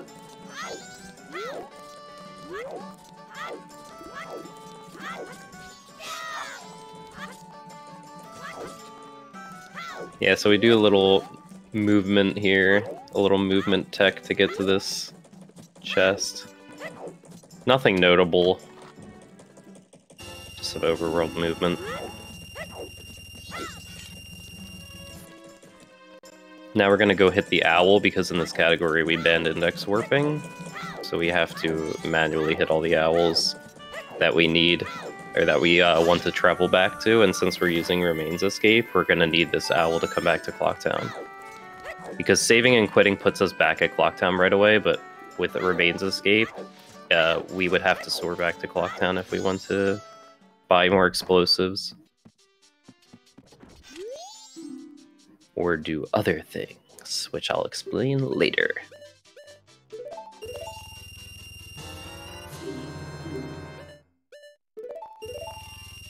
So Dope's just buying Bomb Bag and Chus for uh, this cycle.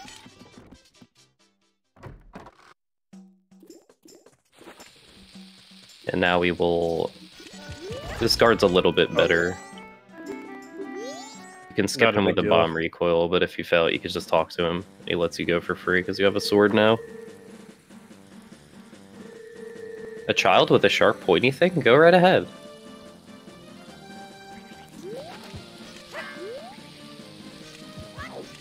Right, so we're doing a super slide. Anybody that's not familiar with a super slide, uh, if you roll into an item, a pick up, like an item you can pick up, and then uh, if you roll on a certain frame, you'll try to pick up the item on the same frame it explodes, and it'll push you back and lock you into the cut, like that cutscene animation of picking up the bomb. I guess not cutscene, but the animation of picking up a bomb, and you'll maintain all your movement speed. And here he's going to be doing a Hess, which is similar, but not exactly the same. You're going to roll on that same type of frame, but instead of picking up the bomb, you're going to do shuffle step, which is like slightly left or right or down on your control stick.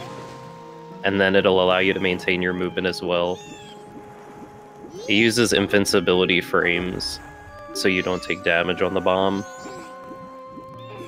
There's like two frames where you're invulnerable uh, during the end of your roll, and we utilize them in order to super slide Hess, do things like Mega Flip.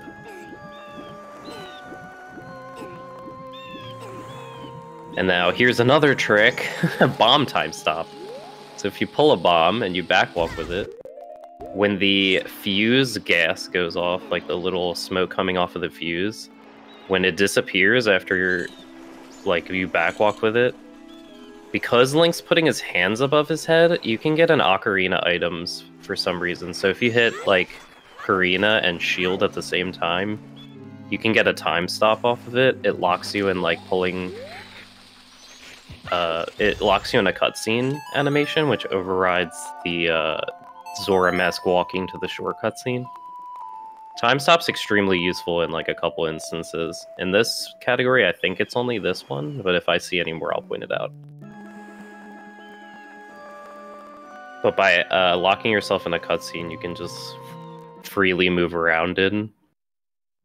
You can override like a bunch of cutscenes in this game. Or you could lock platforms into like place and then go on them and then cancel it with C up. And then uh, let the platform take you back towards something else. It's, it's a nice trick. Pretty cool.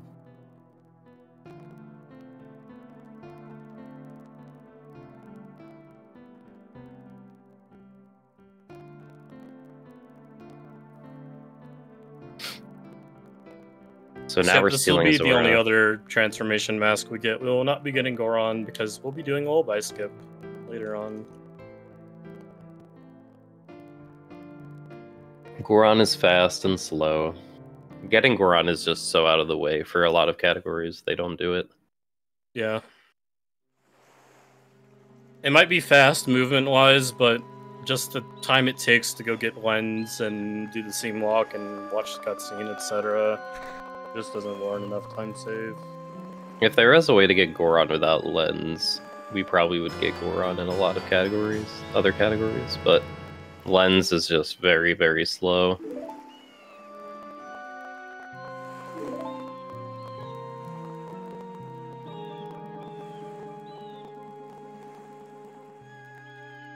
All yeah, right. after we get Zora Mask here, this is going to be a very action-packed uh, segment. There's going to be a lot going on, so I will most likely remain quiet. but people explain everything. Yeah, so he's gonna go hit Great Bay Owl. Um, because again, in this category, we need owls for if we want to come back to places, and Great Bay is like the spot to be later in the run. So we're just gonna go hit the owl, and then make our way over to Zora Cape, because we're gonna do our first alternate exit of the category. Alternate exits are like uh, I'll just explain this quickly. The way they program maps in this game, like grottos and fairy fountains, they're all linked together in one map. So you can drop into an unloaded one. Oh yeah, cool zest, by the way. I'll explain that later. fairy fountains. So you can drop, clip out of bounds at a fairy fountain and then drop into another one because they're all programmed on the same map. So using explosive hovers and um, mega flips to get to the other one, and then exiting out of that one's entrance that's there, loaded even though it's an unloaded zone. So we're also going to hit this owl. This is just convenient in this category because we want to come back here uh, later for uh, Great Bay Temple.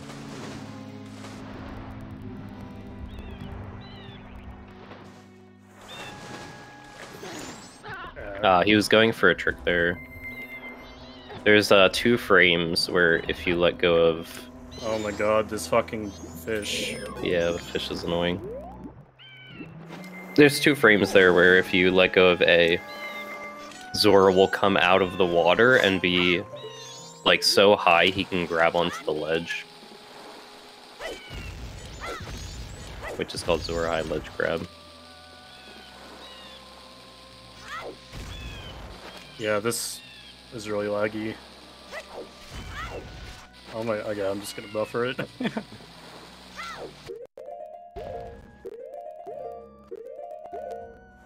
This mega flip is the bane of everyone's existence. It's so bad. And then he'll just blow up the boulders and use a recoil flip at the same time. Alright, I'm gonna stay quiet, I'll explain this after. This is a trick.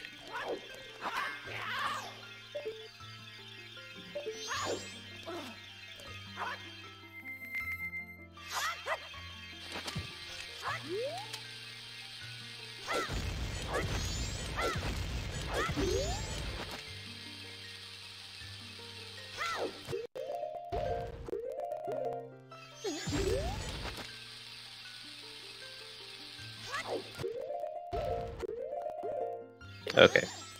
So this is the alternate exit. Now we're in Ikana Fairy Fountain, and we can exit out of the entrance. And now we're in Ikana, and we'll go hit the owl. So he used he used bomb hovering to get over the wall, and then use two mega flips, stopping himself with a chu each time, so he could do another one in order to get to the other uh, the other area. And now he'll pull a bomb. He's gonna recoil off of it, and then do a super swim.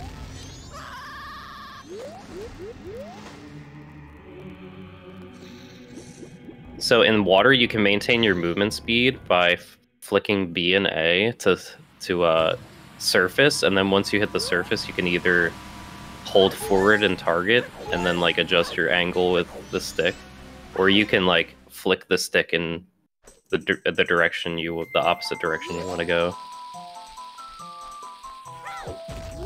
So now we're hessing through the woods because we want to go get, uh, we want to go talk to Koume to get the bottle. But we have to see the injured uh, witch in the woods first. Well, this is Koume, right? And then we gotta go get the bottle. Yeah, fairy fountains are awesome.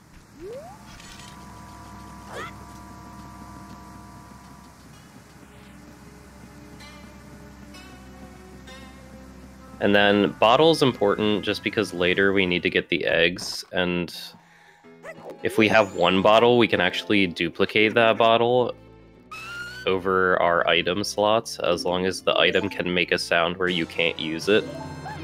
So what we do is we get stick and nuts and then uh, we make it so we have zero stick and nuts and that will give you that error sound like you have none and then we'll be able to uh, duplicate duplicate our ball over it.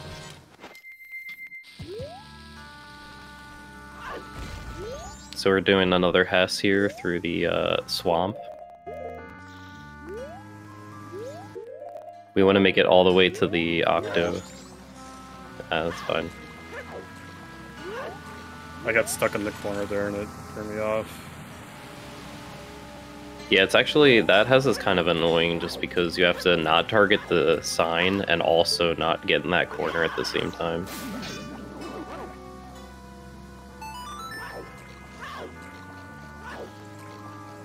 Okay, so now we're making our way over to Palace. Gonna backwalk through the poison water, backflip onto this, and no crit health. That's good. Turning around is a little hard. Turning around is hard. Alright, so these guards are pretty bad too, actually. What you can do is a Zora jump slash cancel, and you'll just phase through them. Then you'll get ISG off of the sign. Ooh, that sign broke.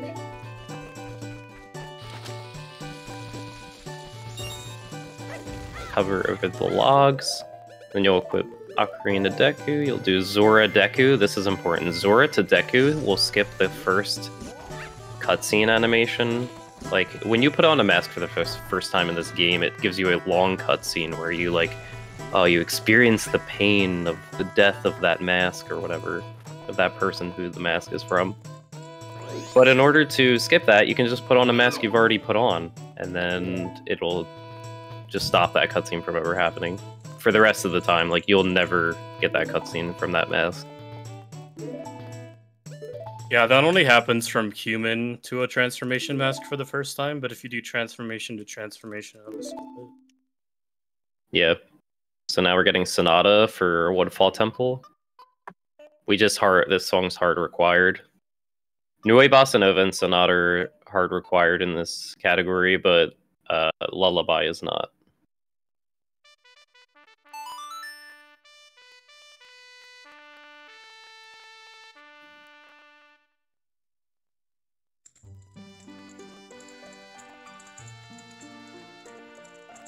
Play those trumpets, boy.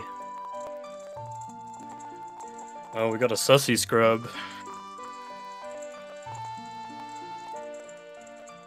I like yeah, how they're you look at those four staring. scrubs, yeah, they're, they'll, they'll be staring at you, and sometimes their eyes will be squinted. And my chat likes to call them sussy scrubs.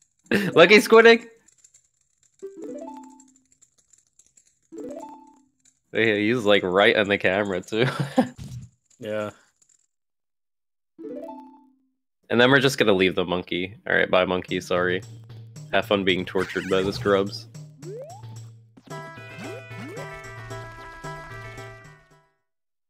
They're like wondering where Deku Princess is, and they're torturing the monkey because they think the monkey has her or knows where she is. But I think it's funny to think about like the Dark Knight when Batman's beating beating up Joker and going like, "Where is she?" I think they were doing that to the monkey. Ah, just a little movement over to Song of Soaring Stone so we can soar to the other owls. We do this in like every category, except for any percent. Do you want to explain pop up? Pop up. Yeah. Am I am I dumb? Are you The rising? Pop up to the thing from the lily pad. Oh yeah, long jump. Log jump. Yeah, whatever. well, there's like a if you like jump off that lily pad of Zora, you can easily make it up to the to that like boulder rock thing. But um, uh, there's some categories do it as human, which is a little bit harder. So now we're just gonna make our way into Woodfall Temple, and we're gonna do something. We're gonna do something here which we don't usually do in other categories. We're gonna actually skip Woodfall Rising cutscene because we're not gonna beat Woodfall right now. We're gonna hit the owl to come back later. Uh, because we went hookshot. So we're gonna raise Woodfall and then soar to Great Bay during the um before the cutscene ever starts. We're gonna try. It's one frame trick. Just like uh, later, there's another one frame trick. So we'll play Sonata and we'll try to pause on the first frame possible. But first, we're gonna do something called dupes. Dupes are pretty cool. So we're gonna hit the owl statue. We're gonna grab stick from the pot so we can dupe over stick as well. Like I told you, your item needs to have zero, a zero quantity, so it gives you that error sound. So we're gonna break stick. We're gonna drink potion. We're gonna catch this fairy here, and if you're holding the bottle in your hand with an item, you can release the item and press another item right away, like bottle nut. As long as the nut has zero, it'll turn into a bottle. You just have to be shuffle stepping, holding an item that you can release, and then pressing bottle and then the other item. So Dope got both because he's awesome. And he got them really fast. And here comes the cutscene skip. I will just shut up now.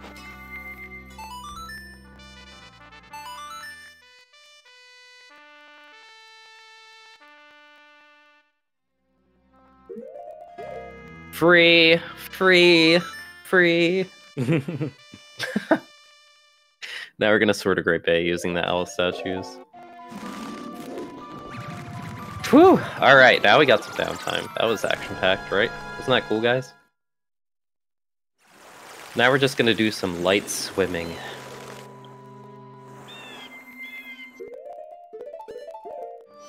So now that we have uh, three bottles, we're gonna go to Pinnacle Rock. There's three eggs we need in Pinnacle Rock. And again, because we don't do equip swap in this run, because it's banned uh, or restricted, we will just manually go get the eggs in Pirates Fortress and Pinnacle Rock. We do PR first so that it's night by the time we get to Pirates Fortress. Because then at nighttime on JP, the pirates are so blind you can walk into the hookshot room and just like do box movement and they will never see you. As long as you're side hopping, rolling frame perfectly, the guards can't see you on JP. So we'll use that in two instances to just completely go around them. The guards in, in Zelda games are just so good, guys, aren't they? So kill the eels. We already know where the eggs are because we're speedrunners and we're smart. Yes, you must understand the Japanese language in order to speedrun this version. Dope has actually been speed run it, speed reading where these eggs were earlier in the run. You just never noticed. Oh, he did the turnaround. He did the Zippo movement.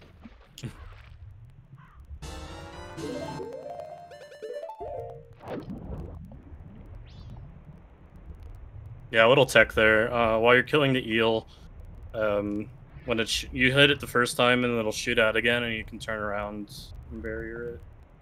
Yeah, you can sink. Uh, backwalking is actually faster than swimming.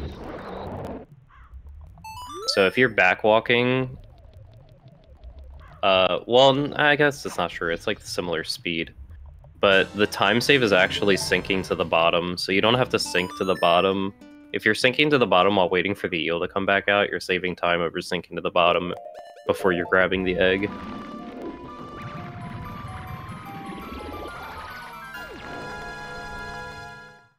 And yeah, what I just did there was called OI or Ocarina items. So if you have a bottled item in your hand, and then after you close the text box, if you're holding the ESS position, if you hit the bottled item and then the B button, uh, you'll be able to pull out Ocarina underwater there. Which is, then you can actually pull it out normally in MM3D, but in this game that doesn't exist, so we have to do OI to be able to soar away there. Otherwise, we'd have to like swim all the way back to the lab. Back to the lab again. Whoa. While you're dumping eggs, is now a good time to hop in quickly? Yeah, this is fine. Brill. Um, just to really quickly say, um, my time with you is finished. Um, I've had a wonderful time hosting you all. Hope the rest of the relay goes well. Good luck, Dope. I am going to hand over to the wonderful A Variety Pack, who will be looking after you for the rest of the session. Um, and all that's left to really say is um, keep the donations coming, team. It's such an important cause that we're supporting today, and it's been incredible that we've even raised this much. So Thank you so much for that, and um, keep it up. Have a wonderful time. I will hopefully see you all soon. Over Thank to you. Bryony. All right. Thank you very much, H, for the introduction. And thank you again for your wonderful help hosting for the event. I was unfortunately had to do some teaching today. So um, thankfully, H stepped in last minute and was able to take over um, a little bit of time. So I will turn it back to the runners and keep you updated on, on uh, donations. Yeah, guys, if you have a dollar or two dollars or any amount of money you guys want to donate, um, it's much appreciated. Like, it doesn't take much to uh, support like charities. Even a, like just a little bit goes a long way.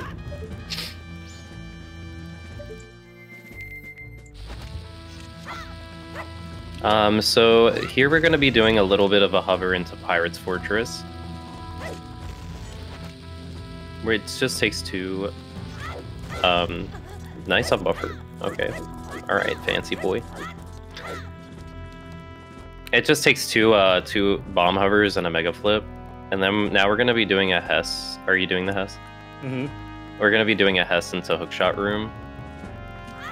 So we're just gonna walk over here, pull bomb. Do a little Hess.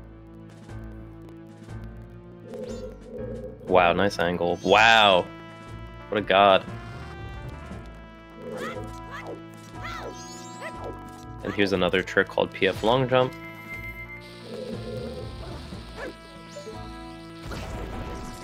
So Pirate's Fortress long jump, you place a bomb down, like you walk forward and place while you're walking forward, you place a bomb down on the barrels, and then you quickly shield it, climb up as Zora, do a tap side hop, and then if you see up and look left, bomb will just shoot you over to the tank, completely dodging the vision of the uh, the pirate guards.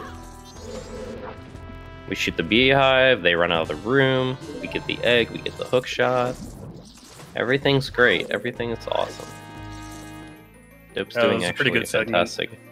Yeah, you're doing, that was really good. Is that a gold? Yep. Yay, has gold!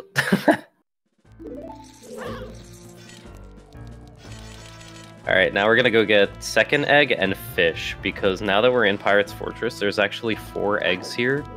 And if you remember from earlier, we only have three bottles. So we're actually gonna dupe over bombs.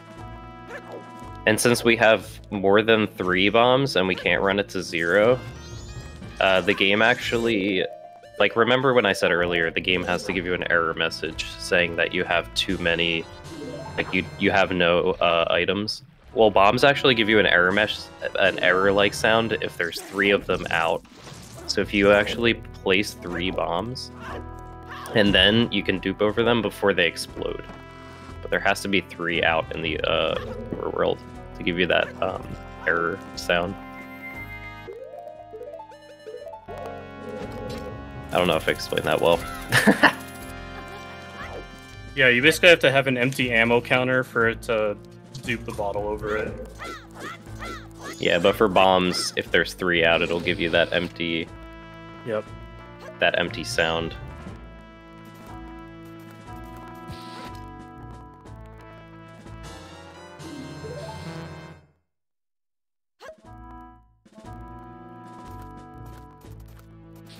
So boom. And now we'll try to drop the fish during this cutscene, which Dope does perfectly. Saves a little bit of time. See how Pirate Fight goes. She can be really annoying. Yep, she can be pretty annoying.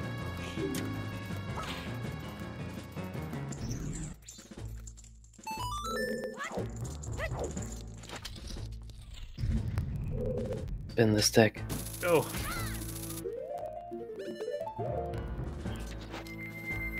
you didn't fall in the water. yeah. Alright, so that's the third egg, and there's one more on the other side of Pirate's Fortress. Nice. the last second fish attack.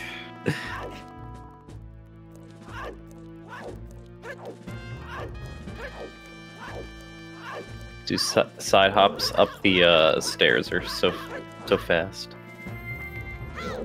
Side hopping up any slope is the fastest way to get up a slope. We'll do a little jump slash recoil here to get to this uh, alcove for this room.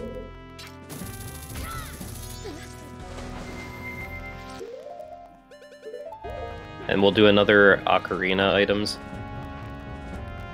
pull the ocarina, yeah, pull the ocarina out while we're underwater. Because again, in this game, it doesn't let you do it normally.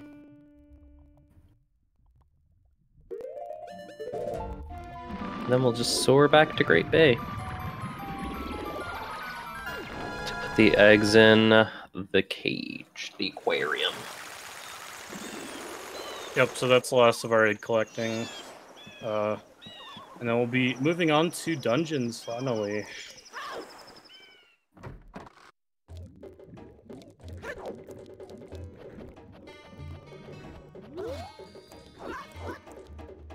So while we're here, since we're here uh, anyway, we're gonna get New Bossa Nova and just soar over to to um Great Bay to do guy work first. If you remember earlier, we hit the Zora Cape Owl, so we can soar directly to uh, Gyorg. And since uh, since we're like, you think like, oh, it's fast to just like walk out of the aquarium, right, and go swim. But since we're doing a cutscene skip here called New Bossa Nova cutscene skip, which requires pulling out Ocarina to skip yet another cutscene, we can just um, soar after pulling the Ocarina.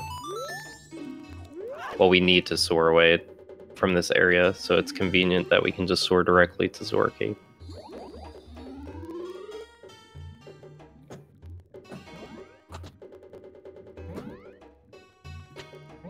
Is there a cutscene skip for Great Bay Temple like Woodfall Temple? Yeah, so there is. We will be right after this trick.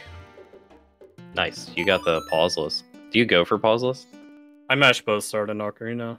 Oh, nice. So pauseless there, you have one frame, you have two frames for pause, I think, and one frame for ocarina. So he got pauseless, which means he pulled ocarina on the first, on the, the perfect frame. So here we're going to be setting up a cutscene skip. Usually you talk to the turtle for an entire minute, but you can set you can set yourself up here, play the song, and side hop into this loading zone before the cutscene starts.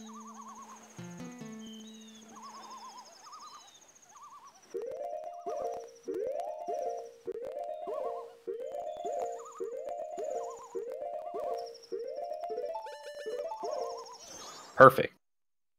So that skips the turtle cutscene. Like I said earlier, it takes two frames to start a cutscene, so if you pause on the first frame, you're able to just pause buffer into a loading zone. So next we're going to be doing pirate cutscene skip. There's a cutscene on the turtle when you get on it for the first time where the pirates get sucked up by a vortex. You can actually skip this cutscene too. All you need to do, hook shot up to the turtle, and do bomb time Ah, setup. that's not gonna Oh work. no.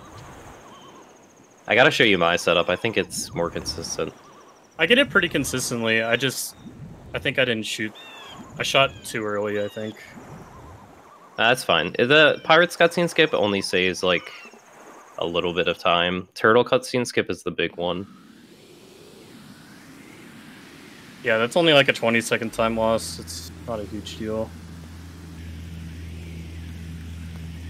I'd rather fail it there than when I'm by the loading zone. Failing it by the loading zone loses you more time because you've already set the trick up.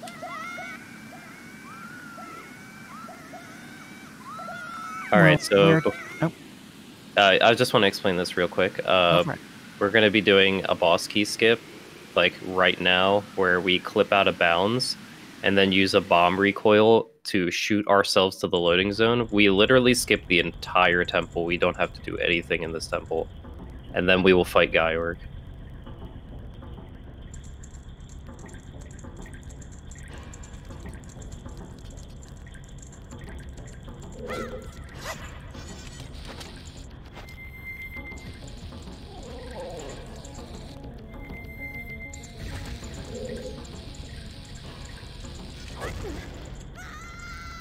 Yeah, yeah.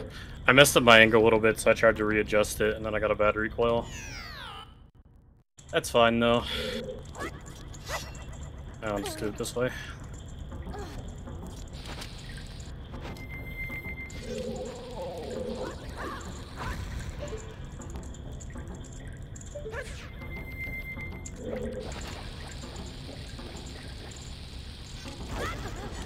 Nice.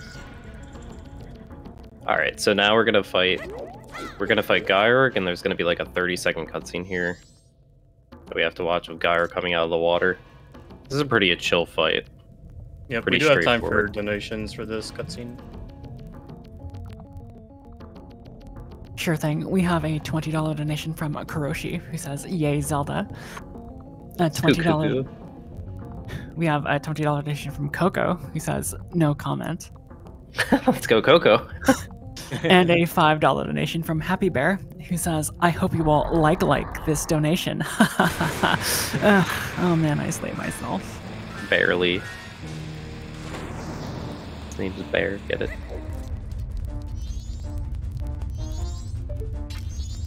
She said that verbatim.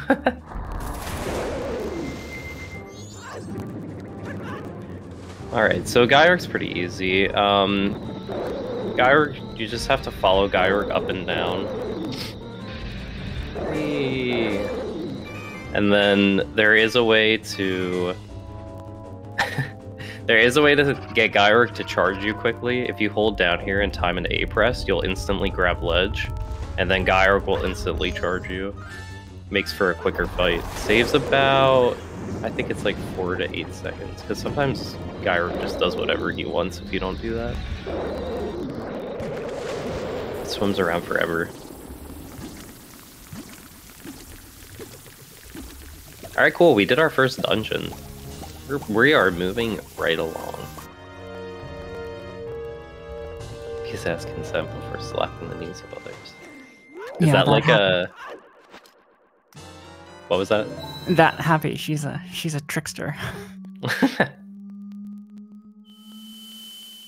that sounded like a um that com that uh comment sounded like a um an ad. You know, when at the end of ads when it's like it gives you like a this is an actual this is an actual blah blah blah blah blah. It does something really fast. Like please ask the consent of others before slapping the D's. I don't know how to describe. Can you slap my knees?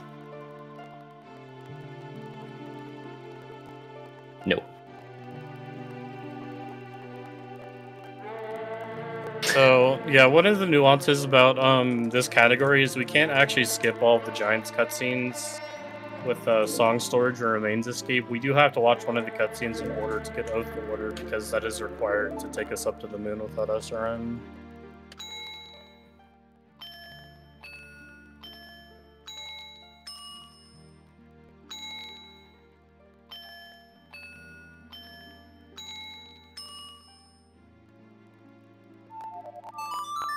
Nice, I nailed one of the hardest songs. you think that's the hardest? I think Dude, I've been failing it so much. I don't know why.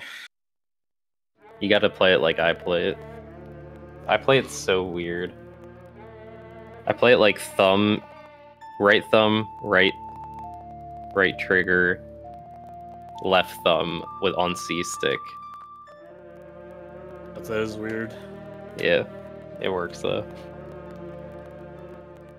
So yeah, we've already pretty much done all the prerequisites for doing the dungeons, so now it's pretty much just going to be a dungeon rush at this point going forward. So there's going to be one really hard trick coming up that if I mess up, I lose like seven minutes. But I shouldn't, because it's not really that hard, but it is a little scary to do. It won't lose that much time. Just go get boss key skip or boss key. Well, yeah, boss key loses seven minutes, but Really? You just weird shot to it. Oh, that's right. I haven't. I fought the Gekko the whole time like a dum dum, because I forget you can do that. Yeah, you can weird shot and sword. It was faster. Well, that's why you have me. Alright, so like he said, we're dungeon rushing, so next is on our list is uh, Woodfall Temple, so we're just gonna go. Like I mentioned earlier, we're doing Remains Escape, but we're not doing it for this temple because we need explosives for the other two temples at the end of the game. So we're actually just going to store Song of Time in this temple and use it to um, quickly reset the game after picking up the remains. And I do have enough bombs to do this temple, but I'm just gonna grab an extra one before the torch, just so. In case I'm like in the middle of a mega hover, I don't need to do anything stupid. Because once I start burning up my chus, that's kind of a commitment right there that I have to make to getting the trick.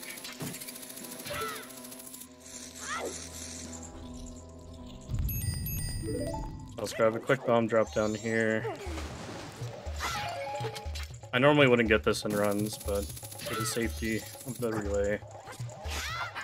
Oh, nice. nice! and then gets eaten. That is a-okay. Um, we're gonna do this.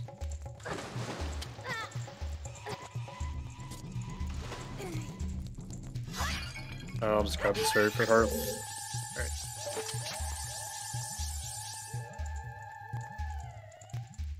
Aiming that this torch is a little tricky. There we go. Alright, so we're gonna go like, get the get the bow. You gotta fight lizard guy though. Lizard man. So how do you tell the difference between a Dinolfos and a Lizalfos? I know. I think one of them is more green. Was that a legitimate Uh, question or like a setup to a joke? Couldn't tell. No, I think in this game, like, technically there's like two of them, but they look the same for some reason. I don't know. Alright, so we're gonna equip Zora Mask because Zora is important for the next two things we do, which is uh, we can use Zora Fins uh, jump slash cancel to phase through walls. We're gonna do that.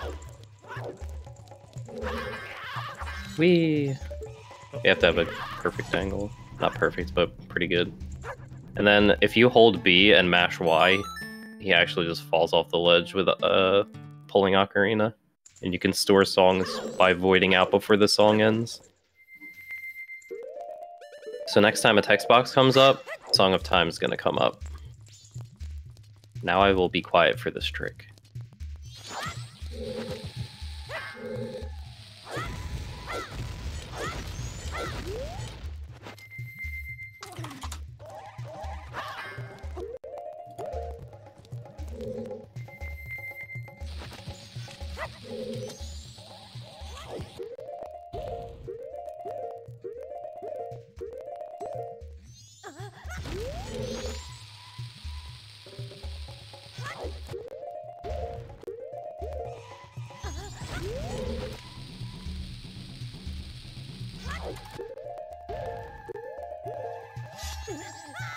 Cool.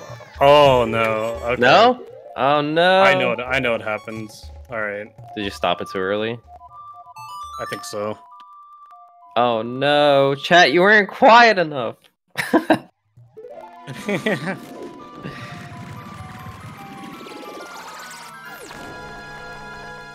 Shout out was given to Dope. No. Alright, so boss key skip was a dud, but that's fine because we can get the boss key relatively quickly. We just need to go go over to the um the room and do a weird shot.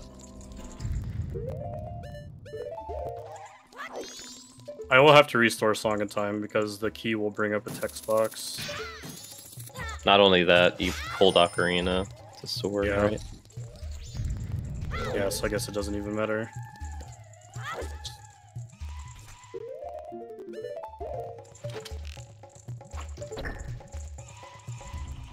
You're playing Yeah. the piano.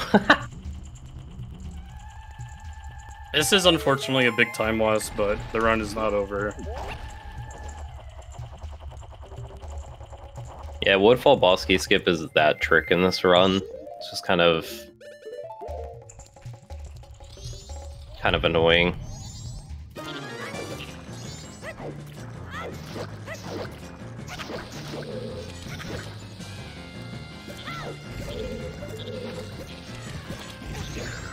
Please Oh, he's gonna me. mess you up.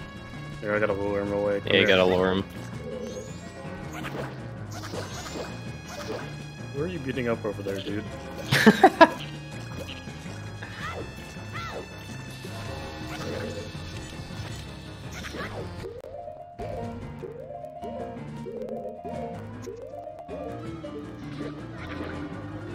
Alright, so that's a weird shot. By the way. if you um if you use the iframes and hold a direction while pulling uh pulling hook shot, it displaces your camera and you're able to shoot around walls.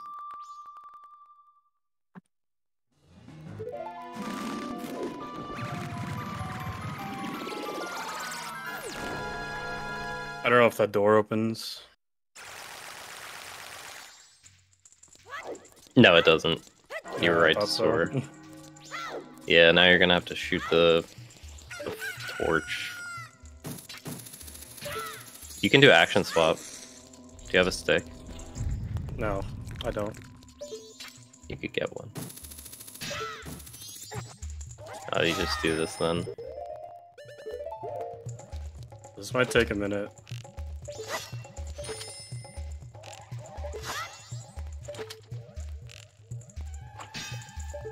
I just stand like right at the edge.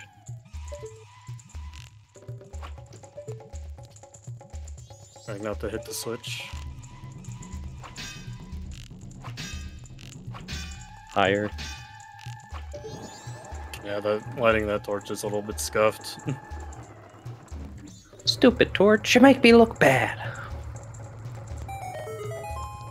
Alright, so before I proceed, I'm actually gonna do this.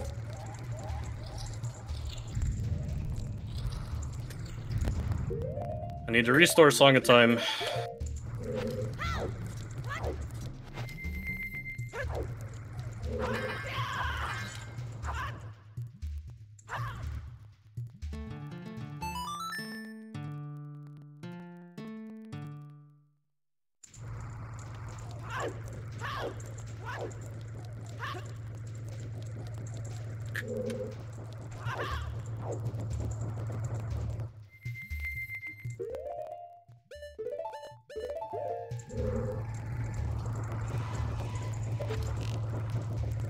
Yeah, as you can tell, this is a pretty lengthy backup because I have to do all this just to get over to the boss door.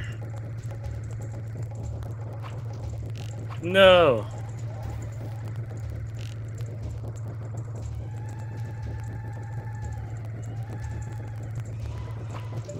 There we go.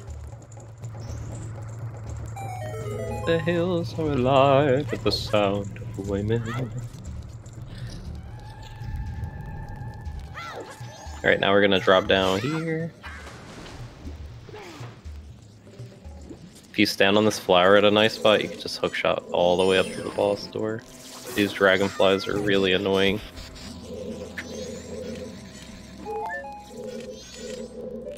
Please target. it. There we go.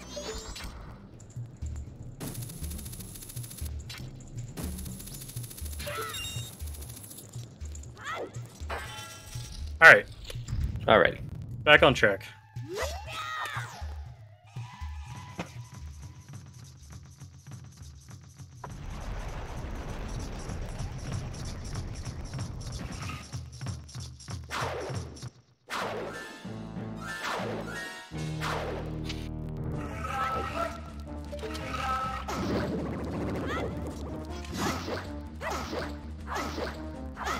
So it only just takes 10 crouch stabs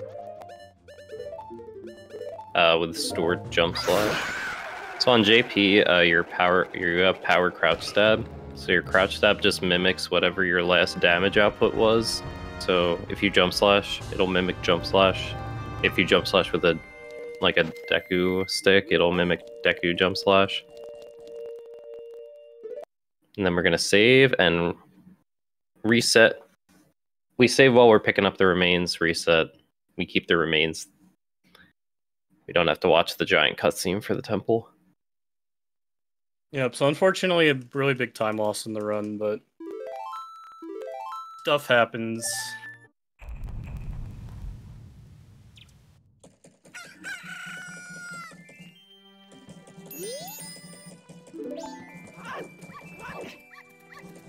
Closing in on Lullaby skip.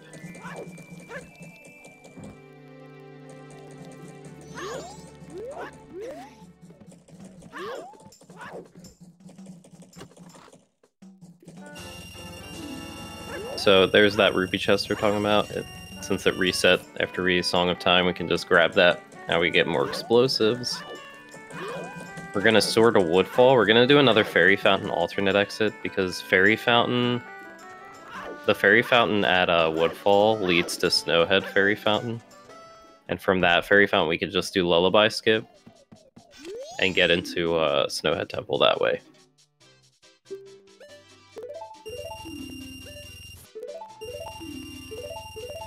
How dare you! He just bought 20 chus with 69 rupees because he's a cheater and he stole. He stole it. Oh, yes. Here comes a route change, by the way. Here we're gonna withdraw rupees. This was a route change we made like a day and day and a half ago. We're gonna Hess here.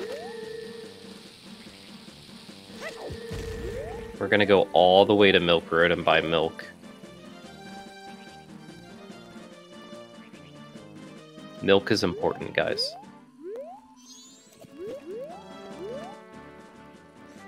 I think I'll change a little too much.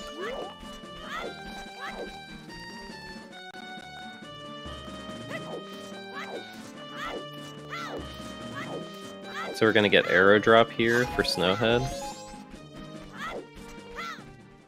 Because we need that for a trick called action swap. If we get arrows there, it becomes an RNG-less strat, where it originally was RNG to see if we got an arrow drop.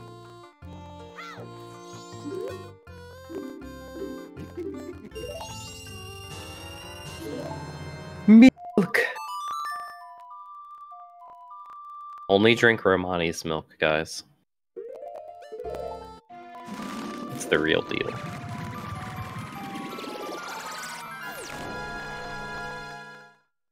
Romani's Ranch milk is the only milk.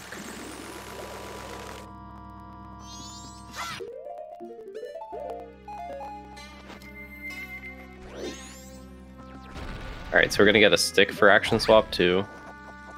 As well as for uh, fight later, because Deku's stick's overpowered. Oh, da, da, da. Oh, the bad nut. The bad nut omen. If you pick up that nut, um, wait, it doesn't ruin anything in this category, does it? It gets rid of our empty bottle, which we need for milk jug. Oh yeah. Oh wow, that's really bad. You have to dupe again.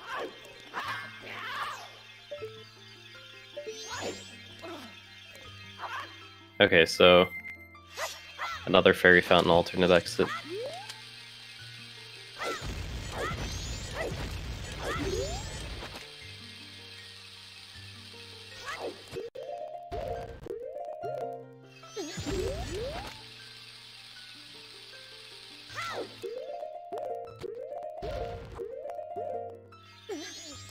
Nice.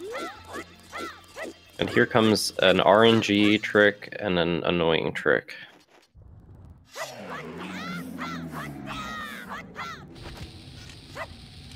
So we'll get ISG off a bomb.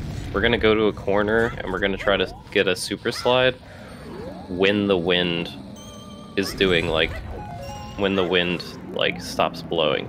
But we also want the wind to not blow for a long time after we super slide so we can get pretty far.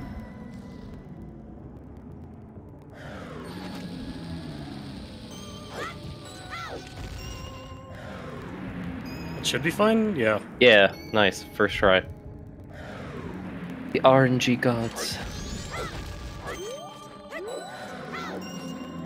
Let's go.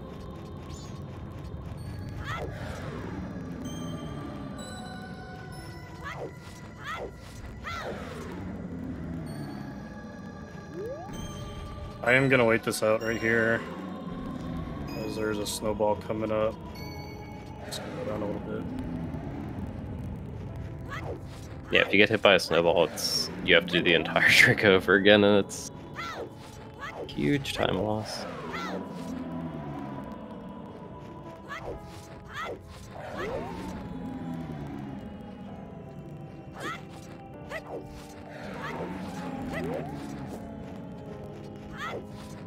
Good.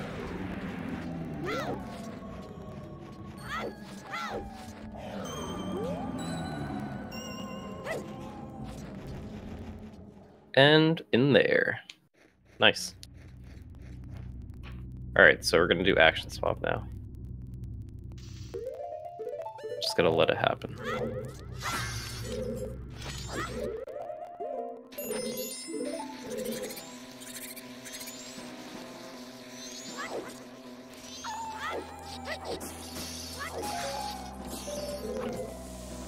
So, if you pull stick while you're holding hookshot on a frame, a text box comes up like that. It'll give you something called action swap. And if you're holding, so if you're holding, if you're holding those items in particular, like a bow or any handheld item like bow or hookshot, and you do stick, you'll get something called a charged arrow. It's not a fire arrow, it's actually an arrow charged by flames. Like you're shooting an arrow through a flame out of your stick. It's really weird. It's also really cool and very helpful. Nice.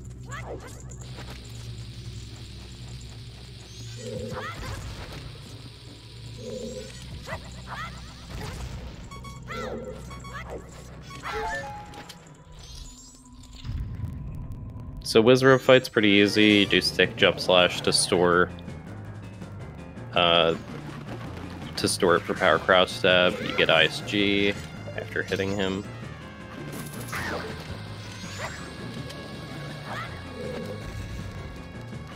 And you just go run at him. And you just stand in the right top right corner one. He dies. If he dies, he dies.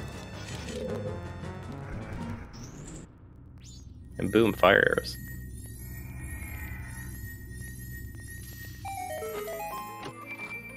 You should do that thing I was talking about, by the way. Haha, lol. I haven't practiced it.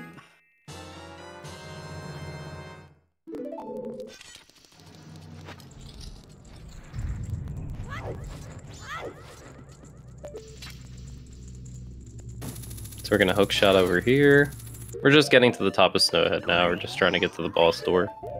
It's just a hover and some some other stuff.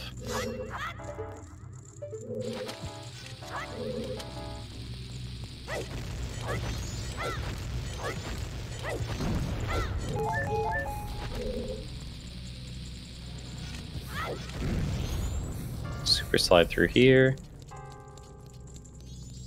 ISG. ISG is infinite sword glitch. It's just if you interrupt your crouch stab with any action, like reading a text box, or um, or like picking up an item, your sword will just infinitely be swinging, and that's what causes hovers to be able to uh, function properly. Because when your sword is swinging, the game thinks you're on the ground. So when you shield damage, it checks if you're on the ground, and then uh, since your sword is swinging infinitely, it just goes, yeah, he's on the ground. Cool. Let's put him in a grounded state, and then all of a sudden you're floating in midair. Cool.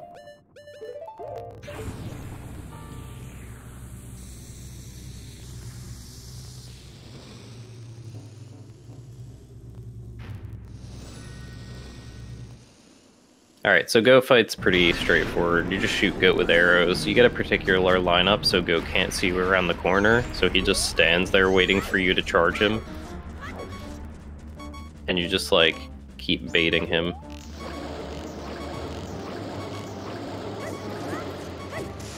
You do some side hops to reset his, uh... Reset him. So that you can time uh, so you can time his charge so he dies right next to you.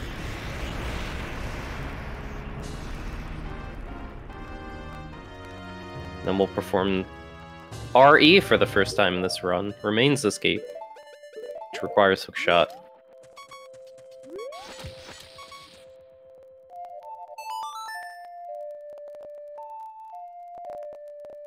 I'll just let it go first.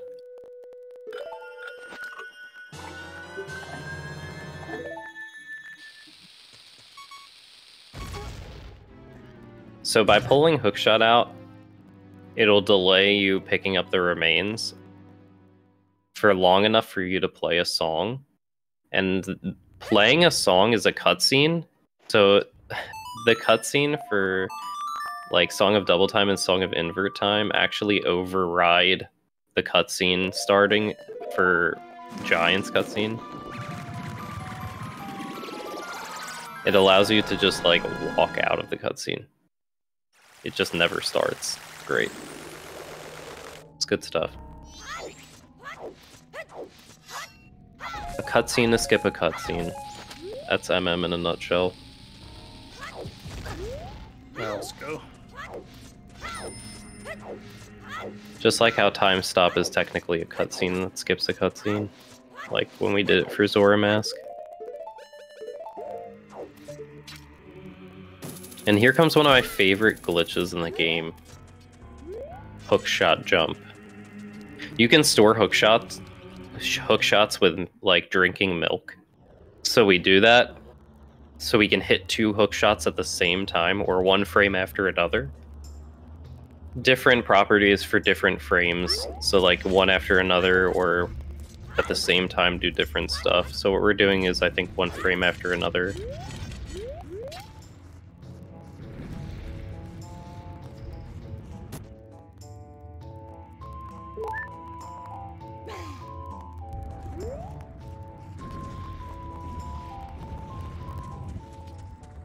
Uh, Ace SRM equip swap index warp.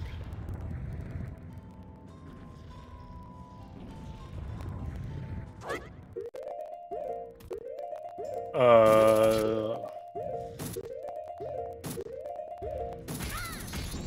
Okay, never mind. Woo! That scared me for a second. So the one hits and then the next one hits and it launches you up into the sky. And yeah, text overflow. The one thing that nobody remembers or cares to talk about anymore because SRM just overrided it.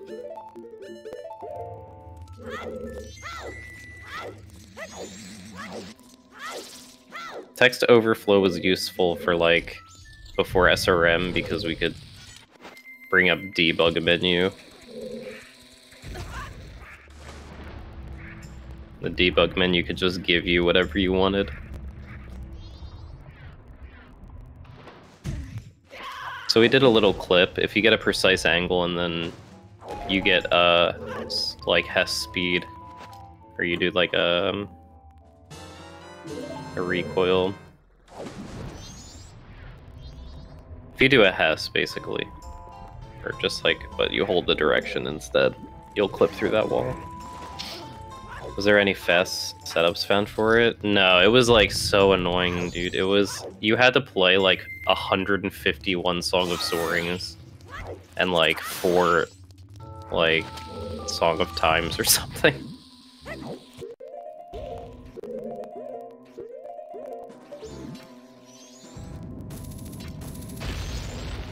Ooh, bomb drop.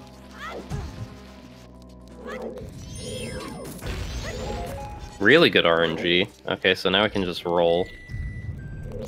It was 69 songs? Are you kidding? That's hilarious. That's actually hilarious, Dio. Yeah, we used to... We used to get a value by putting our... Like, opening up the map and putting it on the the L button of the map, or the Z button, sorry, the Z button on the map, on the menu map. Map menu? Oh my god, I don't even know how to say that. Yeah, map menu. Putting the Z on the map menu and then just playing it over and over, and it would just keep affecting this one value until you got debug menu.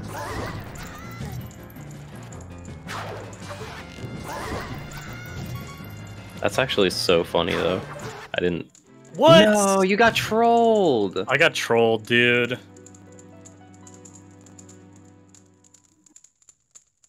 That's unlucky. That wasn't really my fault. So what happened there is the Garo Master was a little bit too far back to where my iframes ran out.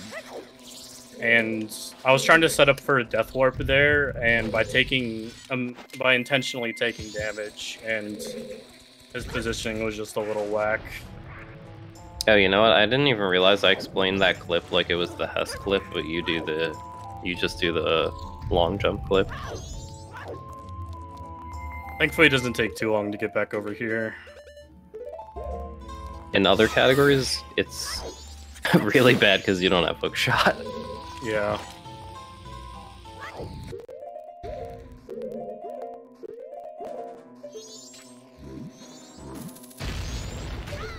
Only thing is, do you want to get another bomb drop now? Yeah, I'm gonna get another bomb drop. Yes, Sag.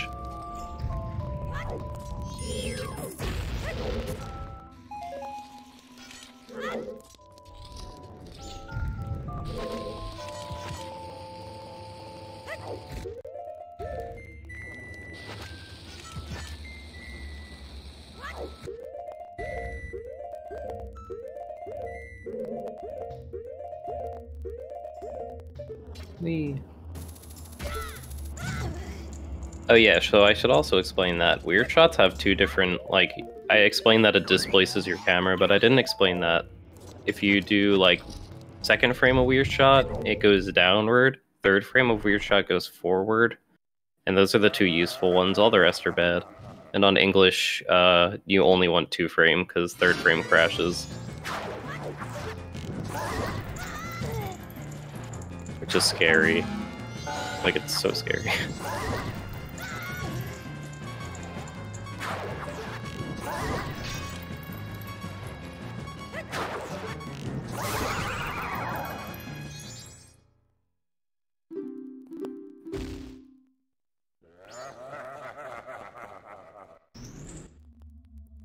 Alright, so Master is dead.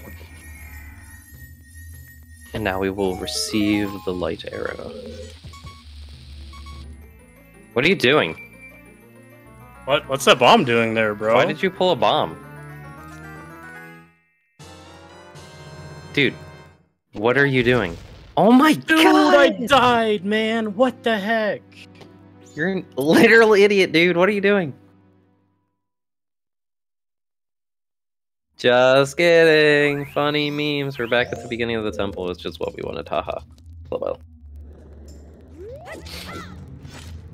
Oh, by the way, you can just shoot through this wall. Yeah, we do a trick trick. called bow extension there. And as the name suggests, you extend your bow forwards and are able to uh, clip through the collision and just shoot straight to it.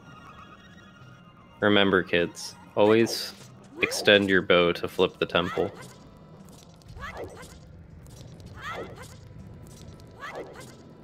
No one fell for that because Dope explained it earlier. I know. It doesn't matter. You guys forgot. Wink, wink. you you all got fooled either way. Um, you got trolled. Haha. All right. Um, we're gonna do Armos long jump. I was a little far away. Yeah, you were too low. Just kidding. Uh, now we're gonna do Armos long jump. I'm gonna get these hearts. I don't want to die to Twin Mold. Because Twin Mold can be stupid. That's the last thing I need right now. True. I'll, true. I'll do the easier setup since I'm not from the start.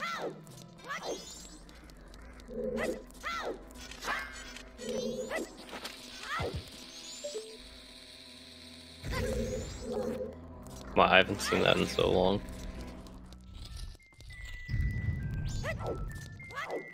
Alright, so now another boss key skip.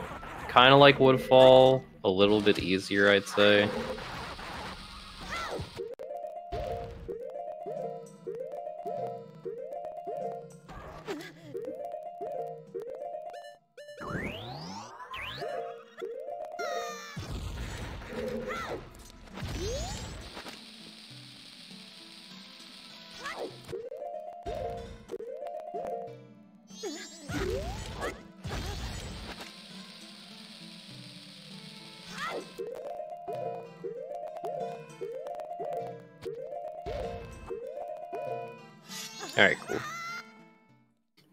There like swimwear. Alright, and here's the last the last remains we need for going to Clocktown.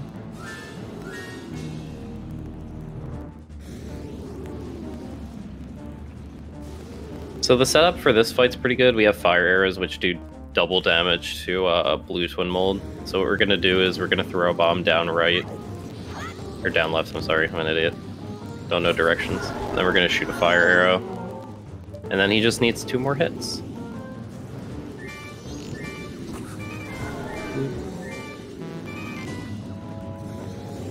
Oh no!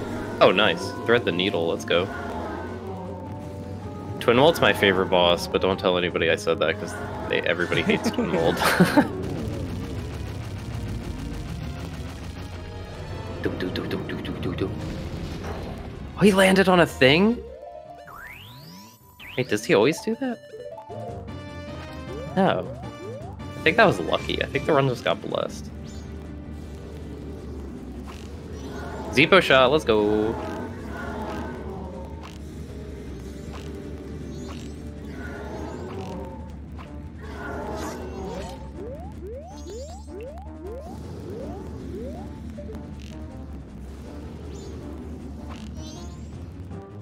You almost got both.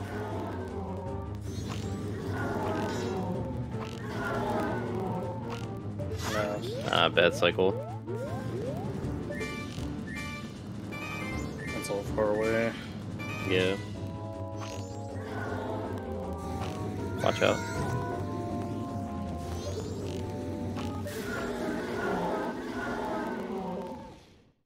You know, you could have got hit again and then did RE. Yeah. that would have been funny. Alright, not a bad twin mold.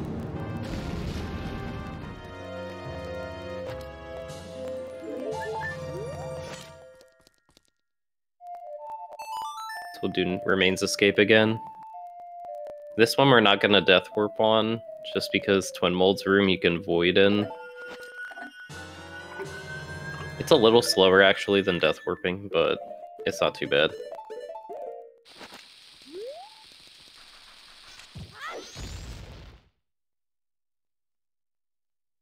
Into victory.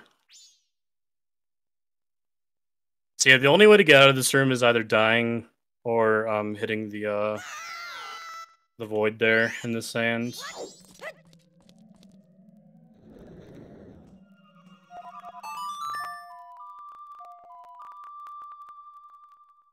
While we make our way back to Clocktown, would you mind if I read out a donation? Uh, we have a quick cover to do, and then we'll have a long cutscene for donations. Sure thing. Oh yeah, we'll have a whole five, six minutes. Yeah. Alright, so Clocktown Hover is straightforward. We have Chus for it, so we don't even need the dog. Sad, sorry, FrankerZ. Just gonna get ISG. Do Chu hovers. Oh, I don't know if I ever explained unlocking, but basically, when you're hovering, you can target a Chu and freely look around and switch your position. You just need to like uh, hold slightly up left or up right, and then you can flick a direction it'll turn you. And with that said, Dope's gonna play Oath to Order. Variety, you can take it away. All right, fantastic.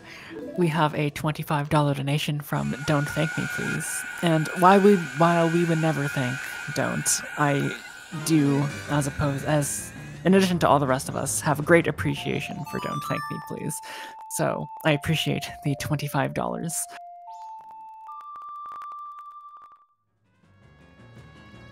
And I'd also like to say that um, RaF Events Horizons 3D Zelda Relay benefits Planned Parenthood.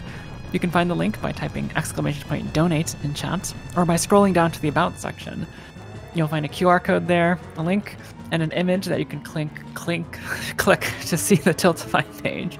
Um, while we, I did set the original donation um, uh, estimate to be around $200, and while we have crushed that, um, thank you everyone except don't um, it is quite literally impossible to uh, be to donate enough to uh, Planned Parenthood. So please keep those donations coming, and I can't wait to see Majora.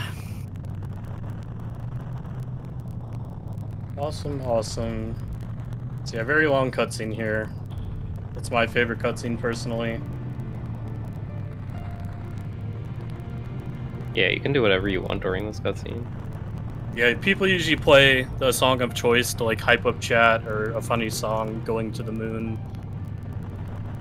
Because Majora is actually a rather difficult boss compared to a lot of the other Zelda games. Uh, there's three phases, uh, Mask Incarnation, Wrath. Um, I do only have three hearts because I did take a heart of damage going in that uh, Void Plane in Twin Mold's room. So there is a chance I can die. It's unlikely, but if anything's going to kill me, it's going to be the remains flying around, and they shoot orbs that do one heart of damage. So I only have like two chances to survive it before I'm dead. Yeah, you can get hit twice, and then everything gets really scary. Very scary. And then Incarnation can always do like this really trolly thing where at the beginning of the beginning of Incarnation, you can usually trip trip Incarnation by using Zora Zorish armor, but sometimes Incarnation will run completely around you and then just start shooting lasers at you, and you'll just immediately take damage. It's really not fun. So yeah, it's RNG. It's scary. Yeah, when you're on record pace, this is definitely a very nerve-wracking fight. It's not a free win. Many, many, many, many runs have died to Majora. It is very common for that to happen. Yeah, my I remember my first sub 120 in NMG, which back then was any percent. I was gonna be like the fourth person to get sub 120, and I was like, oh, I had to stand up during this cutscene and literally go on a walk. It's so long you can just you can just do that, but I needed to like I was shaking, like I was like I can't, I can't, I gotta breathe. Inhale. Yeah, this is your final breather before you get thrown into madness. I thought you said breathe in hell. No, I said. Uh, From what I'm hearing, hell. sounds uh, pretty apt for how difficult this fight is. In the words of Frank Ocean, inhale, inhale, there's seven.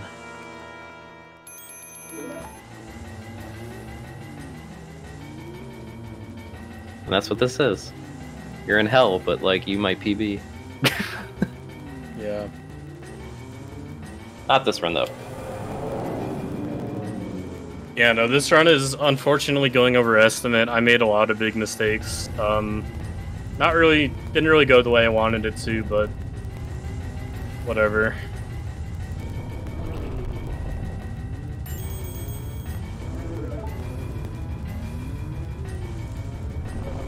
Yeah, I'll it's just Woodfall to put on BK, I guess. Yeah, it was Woodfall BK. If I didn't mess that up, I probably would have met estimate.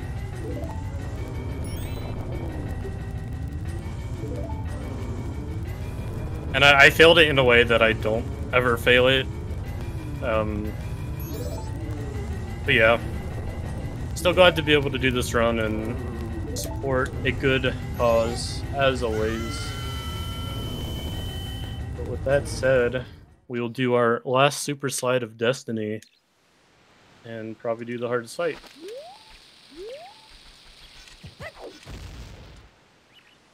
Yep, so you'll just super slide. Talk to the kid. He'll say you suck at the game because you have no masks.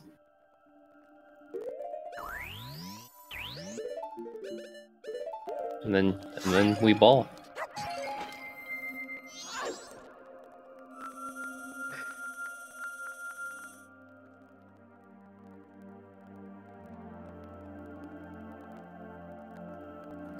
Also, if any of you are interested in learning the speedrun, um, there are lots of people willing to help in the MM Discord. The MM community is a very nice place to be right now.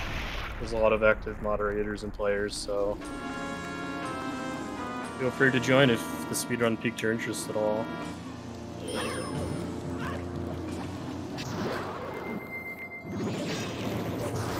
So mask phase takes uh, just two stuns by Zorfins and two light arrows, and then there's another phase for mask. Sick.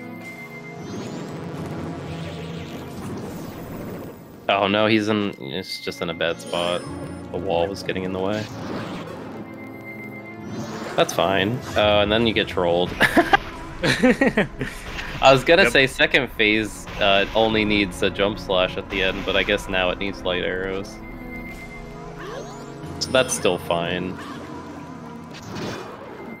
So two light arrow shots. And it's actually a good thing is Dope will be out of magic. Pretty much. Oh, will you be completely out though? Yeah, that sucks. Never mind. So, yep, So I turn around there on purpose so I don't get hit. Do you have a bomb for incarnation? I I have I might. yeah. If incarnation starts doing a little trolly troll, You don't have Zor armor. Yeah, Magic don't. furs it. Uh oh. I see an orb, dude. Yeah, I see an orb. So yeah, I'm just gonna drop a bomb real quick.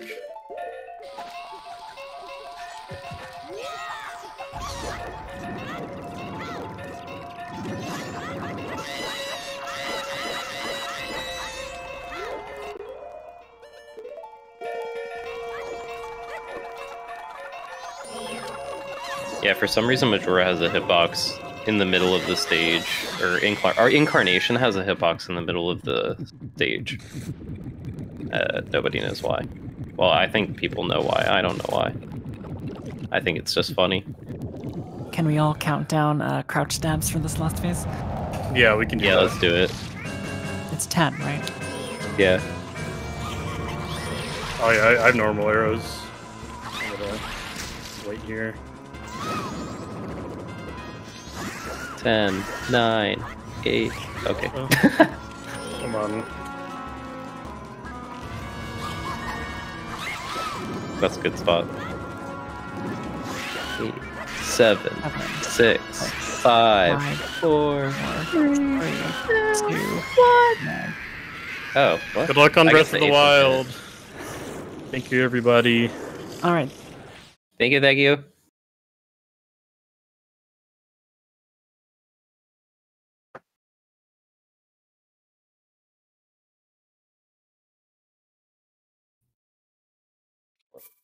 Okay. GG's Majora's Mask. That was a cool run. That was my first time actually seeing a MM run. It was pretty cool. All right. Yes, we have Senor Taper and the real Noman here for Breath of the Wilds. Hello, hello. Okay, so Breath of the Wild is a bit of an interesting game because the uh, the timing for this game actually starts when you gain control of Link, unlike all the other Zelda games where it's on new game or on the file select. So um, I'll be as soon as I fade in from this cutscene and gain control of Link, that's the time will start. Um, with me on the commentary today, I have Senor Tapir. Um, and uh, I guess, take over. I'm to try and focus on this first split. Okay. So we have a little bit of downtime once we gain control of Link because there's another cutscene. But Breath of the Wild has many glitches in the first like five minutes of the run that'll kind of overlap each other and it'll be hard to explain. So once we're gonna get the Sheikah Slate, and the Sheikah Slate kind of just controls all the abilities that we have for Link. It allows us to get use bombs, magnesis, stasis, and cryonis. And those will be the four shrines that we've been collecting in the run. Um, and also, uh, Breath of the Wild has a sort of tutorial section called the Great Plateau. And in order to leave the Great Plateau, we have to do those shrines. So even though you'll see us be like flying around and doing stuff, we won't be able to leave because we have to unlock the paraglider and complete the Great Plateau. So the first thing you'll see Noman doing is he's gonna there's a scope on the Sheikah slate. He's gonna jump into a corner and then scope, and that'll allow Link to flick around in the 180 and clip outside. And then also another thing with Breath of the Wild is that the walls in this game are kind of like one-sided. They aren't like doubly walled. So once we get past like the thick wall, like on the inside, the outside walls we can just like crouch and uncrouch to get out of in most places. So you just want to do that there. And now we're going to be heading on over to the bomb shrine, which is where we will be getting our bombs, and that'll be our most important mode of transport due to two glitches that we'll be exploiting heavily throughout the run. But first, we're probably going to get some backup food and a shield, which is very, very important. And also a weapon as well here, which we'll be using for something, a couple of tricks on the Great Plateau. But the first trick that we're going to be doing is called a shield clip, and that's to happen in about like 30 seconds or so. So what you're to see Noman doing, he's to run to the Temple of Time in front of him, do a shield jump onto a wall, and he's to land his shield. And then once he gets that angle, that kind of stores Link's position. And then whenever he does a shield jump next, he'll flick. So yeah, there he got the angle. Now he's going to do his shield jump into this, unequip his shield, and then his flick back allows him to clip through walls. And that's how we will be getting through all the shrines in the Great Plateau, is that mechanic right there. Now this next mechanic is pretty insane. I'll explain it a little bit later. We're going to be getting Link caught in the animation and jumping into something that allows us to basically just fly wherever we want. And then the final trick that we'll be doing here is a fall damage cancel, where if we throw a weapon and then re-equip or unequip a shield or a weapon, we won't take any damage. And that's the first two minutes, three minutes of Breath of the Wild. It's four or five major glitches back to back to back to back, and it's it's a lot to explain. I think that's almost every single trick in the run in the very first split. Mm-hmm.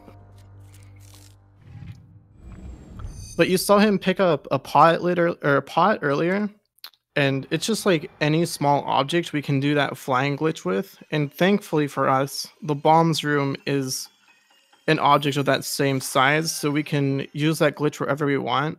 The only requirement we have to do to use the glitch is to have Link step up onto an object.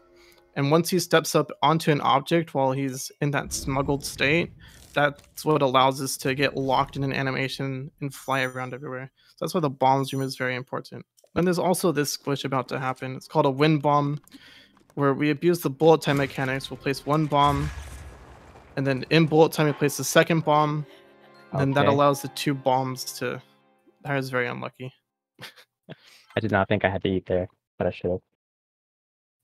It's okay. yeah, typically you don't die there, but like one in every 25 runs you will die, and of course it happens in a in a marathon or charity relay thing. so like here's fine. But yeah, we can.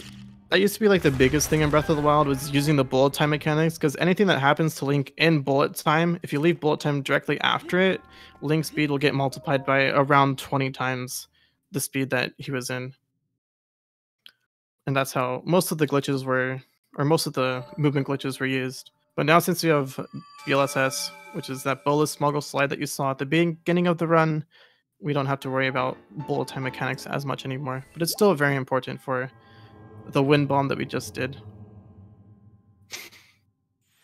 Ah. now we have a, a slight break. The old man cutscene coming up over here. Yeah, the the old man, uh, King Rhoam, I don't know. Bosphoramus. hmm Yeah, something like that. He's the one who has our paraglider, and he won't he won't give it to us early for whatever reason. We have to go through all of his trials. But thankfully, with the with us acquiring the bomb runes, the inside of the shrines will hopefully go a lot mm. faster and a lot easier. At least some of them will go faster. Because with the with the bomb runes, we can like mm. skip using the magnesis rune most of the time. Oh no, we we have to use it once actually. We can skip using the Cryonis rune entirely. Yeah. But now you'll see I'm doing another BLSS all the way over to Magnesis.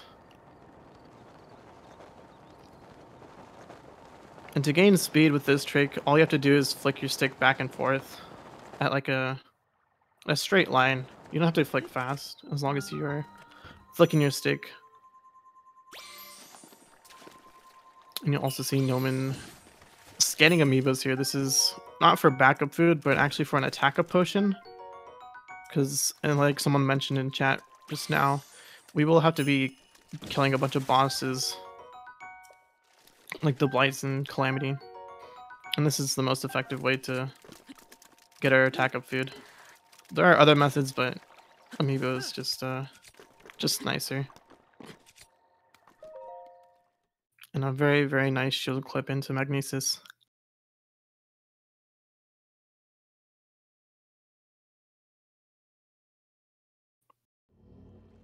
So thankfully, the difference between amiibo and no amiibo is actually only very slight. It's that uh, it's like about a 30 second detour if you're doing no amiibo to get some razor shrooms for the attack up.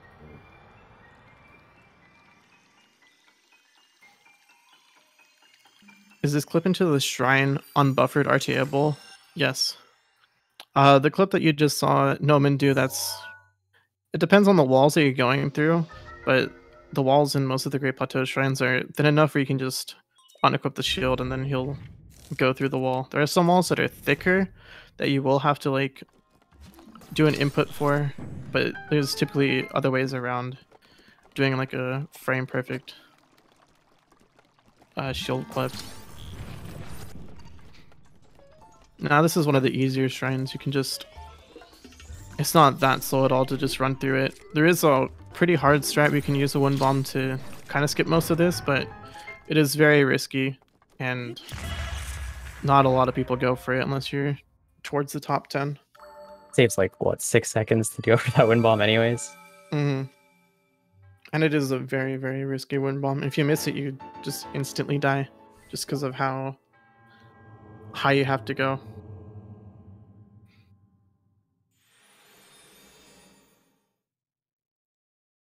Now, no one will be doing the probably the hardest BLSS in the run. It's the one all the way over to stasis. There are going to be a few things that he's going to have to look out for. Um, one of them is he's going to try to squeeze through a, a slight path under a bridge, and that will require some stamina to flick through because as he's flicking the analog stick here, and that does somewhat get tiresome if you start doing it for like 15 or more seconds which he will be doing here. He gets through the bridge just nicely, and now he has to avoid all the trees and the rocks here, which is a pain sometimes, but he navigates that very, very cleanly. Now on to our next wind bomb. This is to get us all the way up to the Stasis Shrine. It's to scale an entire mountain with this one wind bomb. Very well executed. Very, very nice. And one of the nice things about Skew is that it doesn't get lost unless you do another shield flip fully. So since he used the shield clip in Magnesis and didn't really do another shield flip like onto the shield again, he's able to save that skew and then use the same skew in the stasis shrine without having to re-get like a Link's angle again on a wall.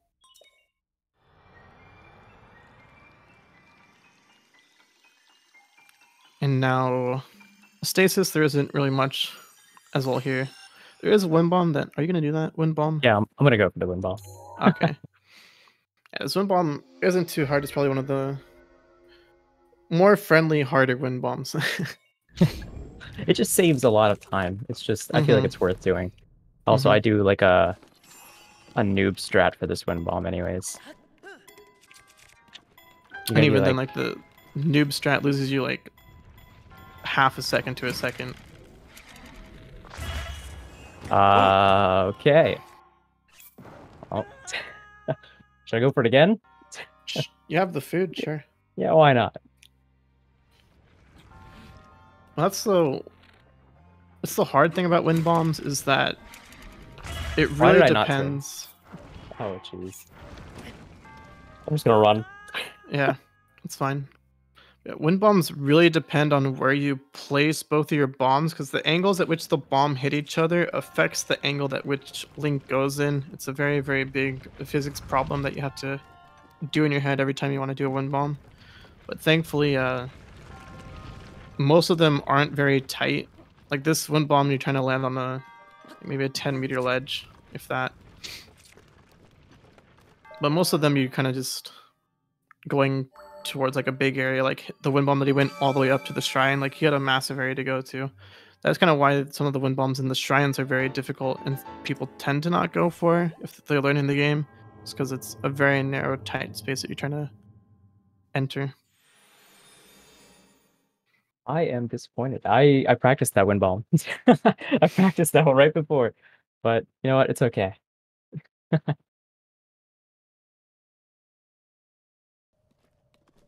And now we're gonna head over to Cryonis, the most useless rune in the run, because we legitimately don't use it.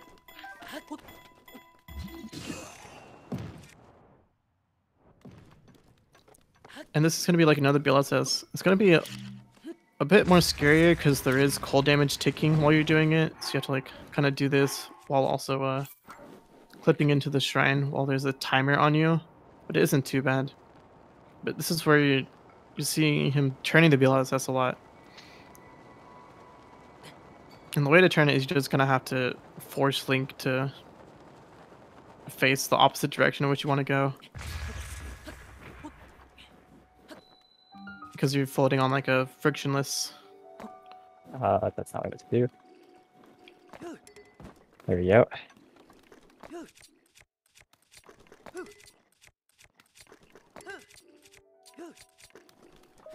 Okay, nice. I was a little bit rough. there. Yeah. because that's one of those clips that I was mentioning earlier, where that the doors of the shrines are actually thicker walls than the side than the walls of the shrines itself, which is pretty weird. But it's a thing that the developers did. And since the doors of the shrines are thicker, that's one of the sh- clips where we have to equip the shield on a, the specific frame that Link flicks back, and that's like I, I don't know how it specifically works, but I'm assuming it's because you're further into the wall in that frame, and then you have to equip the shield, which pushes Link through the wall and forces him through it. I Rather than, I don't know. that sounds right. I think so. Um, unfortunately, that's a frame perfect trick in a game where you can only buffer two frames at a time. So Mm-hmm. And just like that, we skipped the entire shrine without using the Cryonis rune. One of the weird things developers did though is they kind of foresaw this in a way. Because if you're able to get to the monk without collecting the pedestal and the rune, the monk will tell you to go back and get the pedestal for the rune, which is I think pretty unique. I don't know why that they would do that or why they would foresee that happening, but they did code it in, they did add it, and that's why we have to lose 30 seconds getting the rune that we don't use.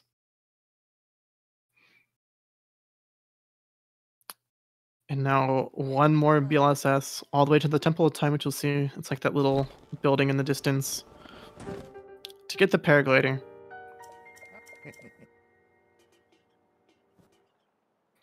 And you'll see Noman doing one more fall damage cancel where he'll be throwing I think he'll be physically throwing the spear and then equipping his shield.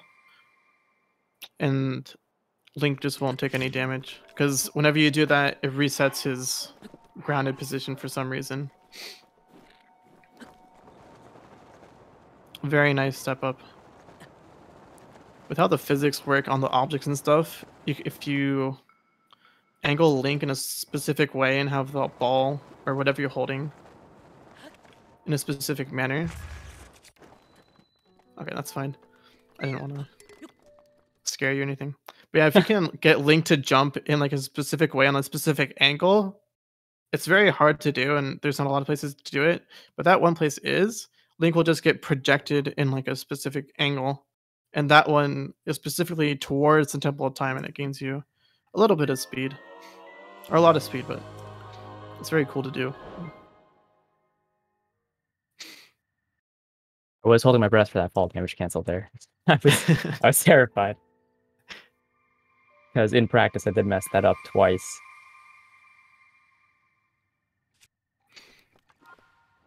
And now we'll be skipping all the game's content and heading straight for Calamity and Hyrule Castle. And this BLSS will take us about a minute to do, but it's all worth it.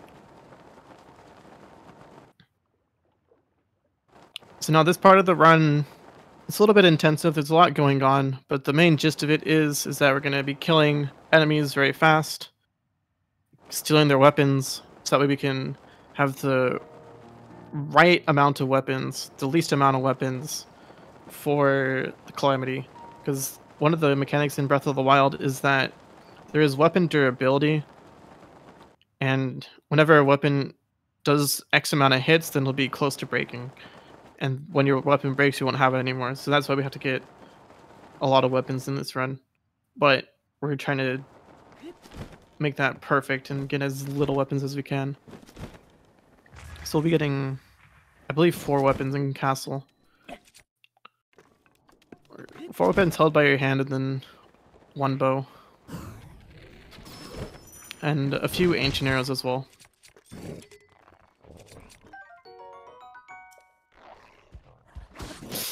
I was close. That was very clutch. Yeah, Breath of the Wild has a problem with loading things in, especially when you're going long distances. So the Hyrule Castle wasn't loaded. That's how we were able to get into the Hyrule Castle actually, because there's supposed to be a gate there, and we got there so fast that the gate wasn't loaded. But it is kind of RNG whether the gate is loaded or not, and I didn't really want to mention it because I don't want to. you don't want to jinx it, right? exactly, exactly. exactly. So thankfully, we got the good RNG. And we're able to start stacking up on our weapons. Next weapon he's going to get is from a Lizalfos for a boomerang that's specifically for the Thunderblight. I think that's the only reason why we would get this. And now we're going to be cooking our attack up meal, which is why he got those a fish and that razor shroom. It'll give us 3 minutes and 50 seconds of attack up. Oh, eight, you got a crit. Oh, wow. A crazy crit. Yeah. But really, all that we need in this run is about three minutes of attack up to defeat all the all four blights, calamity, and then Dark Beast is an auto scroller in this run, so we don't really have to worry about damaging him too much.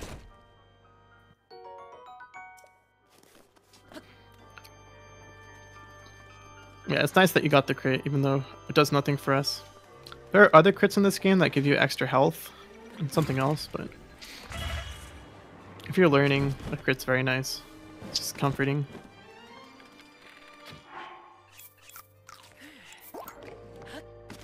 And then we'll be getting our strong bow. And the edge of duality.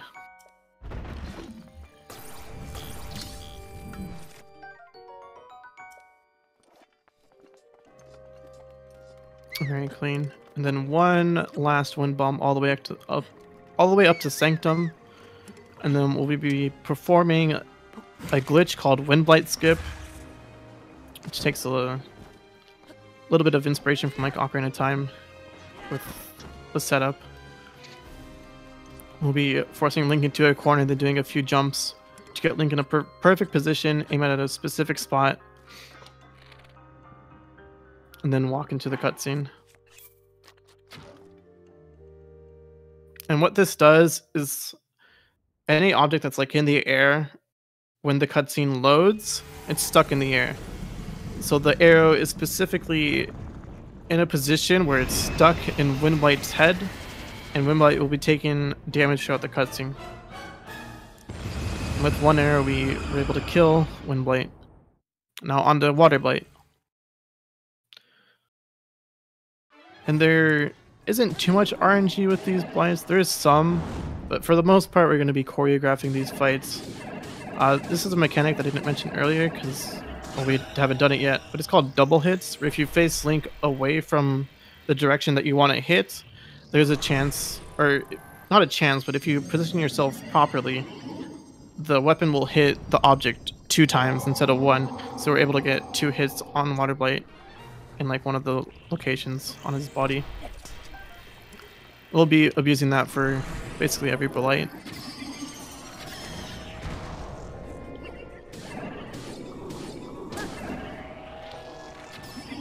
Nice. Good headshot. Clean. I didn't even think I was gonna hit that.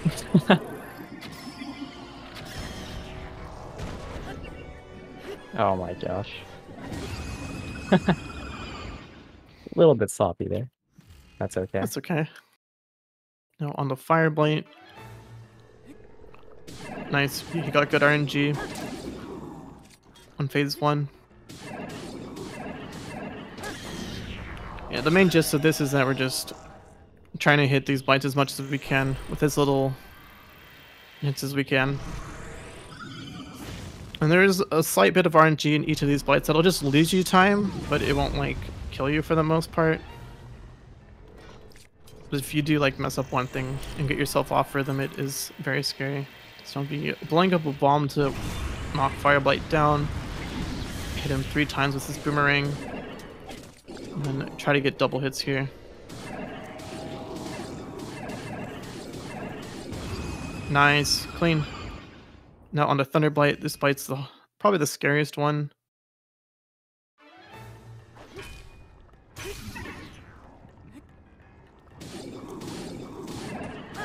More double hits, very clean.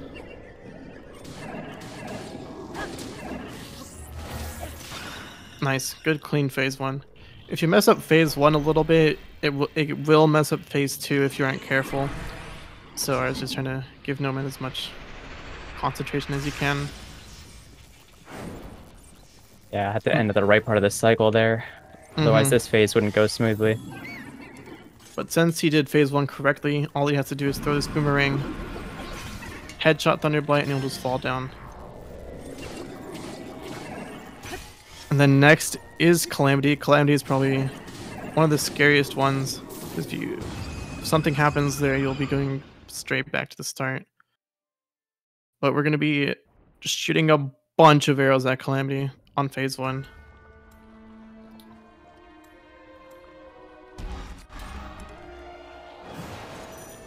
Nice. Got the fire rush, gonna hit him with the boomerang. We're gonna run over, get some bomb arrows.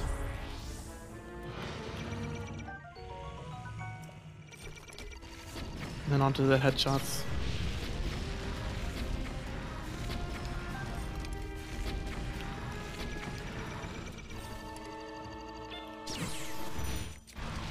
Nice.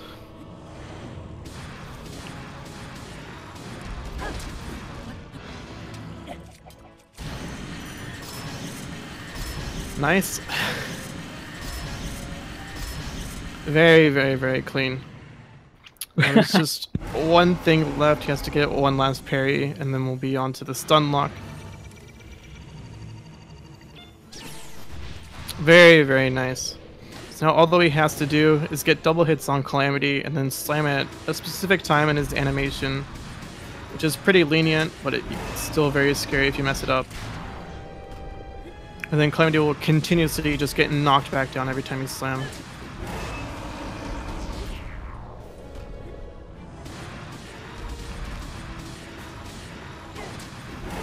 Very, very clean. Those are beautiful double hits.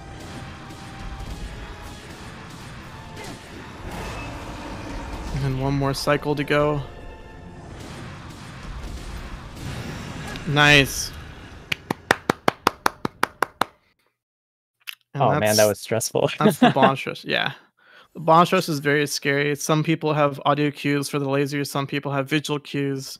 I don't know what Noman has, so I just try to let him go. I just used the audio keys that you came up with. hmm But yeah.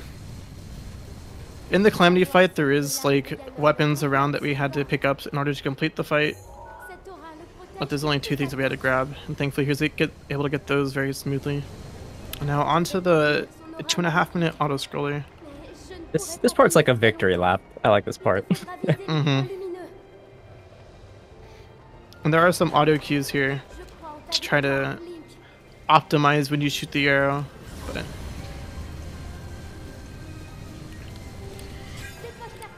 oh yeah.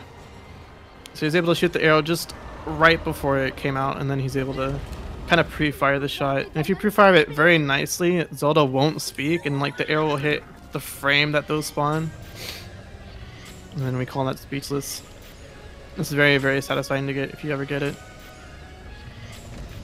Yeah, that's Breath of the Wild. Very, very jam-packed run. There's some downtime between every shrine, but once you get off a plateau, it's just, it's just pedal to the metal. Oh. Oh, that's that's a two second time loss.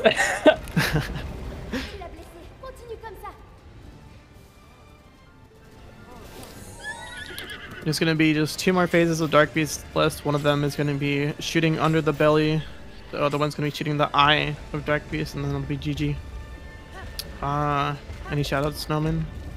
Uh, shout outs to um, literally everybody in the Breath of the Wild community. Um, Limcube's tutorial for teaching everybody. Uh, to appear on commentary. Um, my mom and dad. my brothers, my sisters, my cats and dogs. my pet turtle, Jerry. Uh, yeah, this is a very clean run.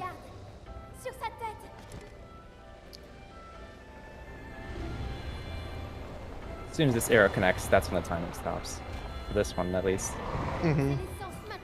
All right, thank you both. Move on to Ocarina of Time. All right, thank Good you. luck.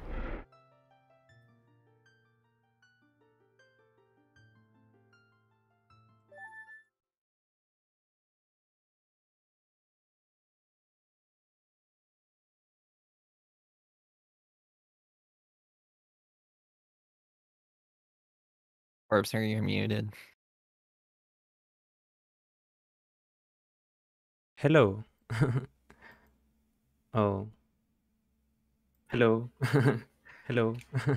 I am the Corpser, and I'm running GSR today in Ocarina of Time, and I have a commentator for the run. Thank you for saying that I was muted.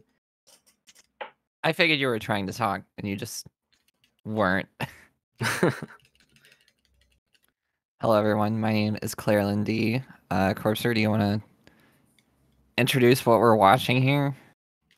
Oh yeah, this is the the very beloved intro cutscene. Um, for this game, the intro cutscene uh, is not necessary for like the timing, but as you know, this is a relay, so it will be really hard to cut the intro time in the games that have uh, intro skip uh, comparing to like the past runs. So we decided that it was like smart to just not skip the cutscene. So yeah, we're gonna watch this beautiful three minutes And or what minutes. category is this? Oh yeah, this is uh, GSR. The it means Ganondorf source requirement, and it means that we are gonna have to fight Ganondorf, and we in to be able to fight Ganondorf, we have to get every single item that we will need uh, to actually uh, kill Ganondorf, which is well, there is a, a whole list, but it has also like some restrictions, like we cannot manipulate our inventory we cannot do uh, wrong warps or even cutscene skips on blue portals.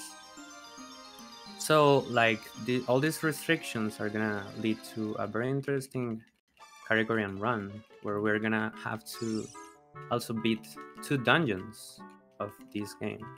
Only two dungeons are necessary to. Well, actually, you can you can finish this game without like beating any dungeons specifically to get certain items and to get the the bridge uh, from source.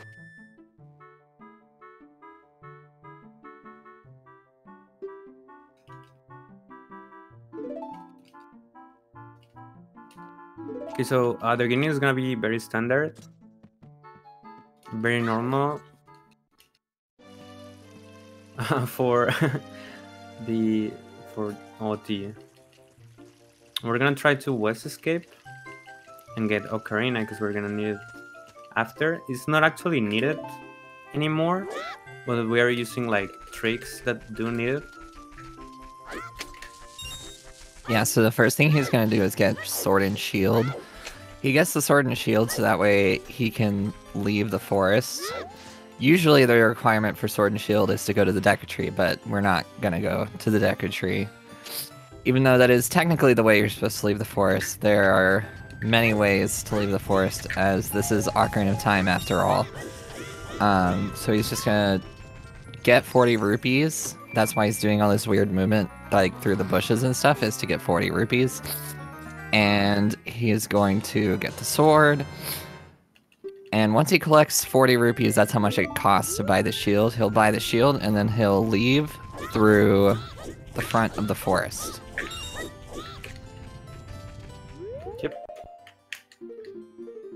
We're gonna, we're gonna see some fancy movement to get all the rupees.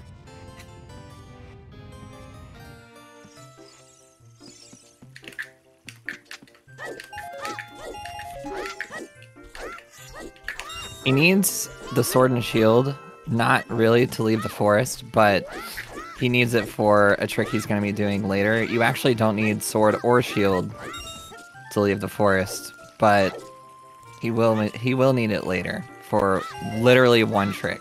All he needs the shield for is one trick, and then he's never going to use it again. Yep. Well, yeah. Well, the Deku shield. I mean, the Deku shield, yeah.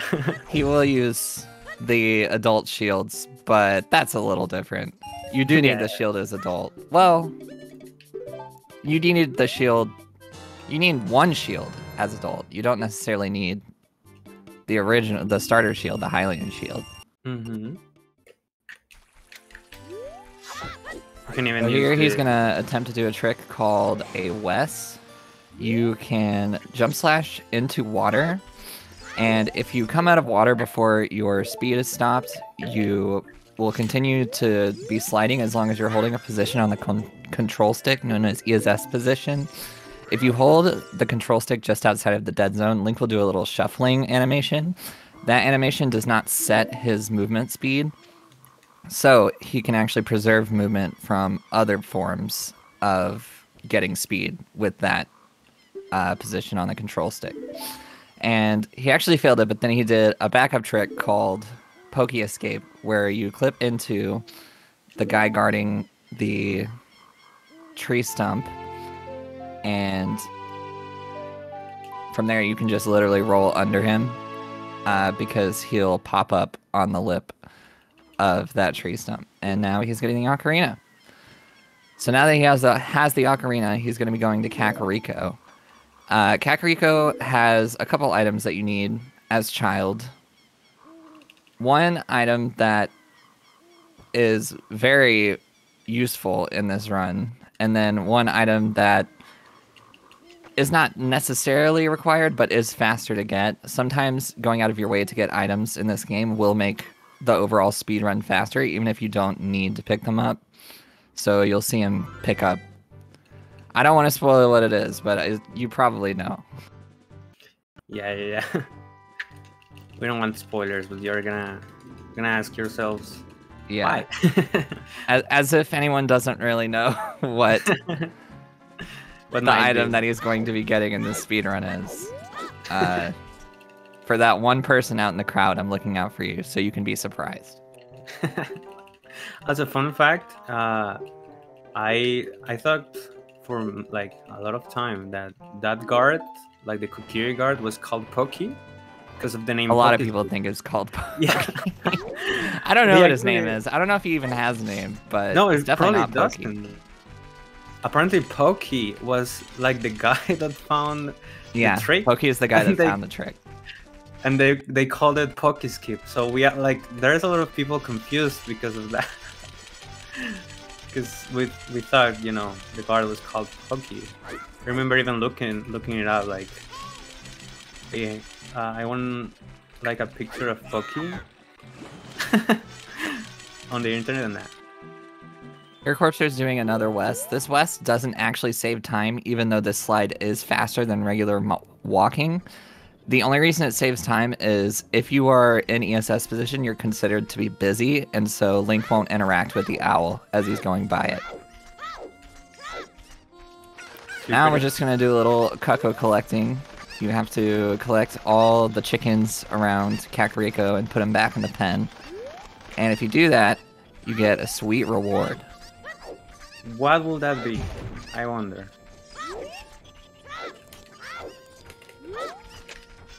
Ow. Yeah, sometimes the Cucco can be slippery. Their movement is totally RNG.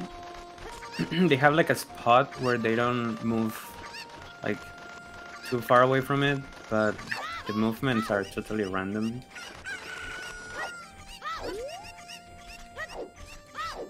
You also notice that he does a lot of walking backwards everywhere he goes. Walking backwards is generally faster than walking forwards in this game.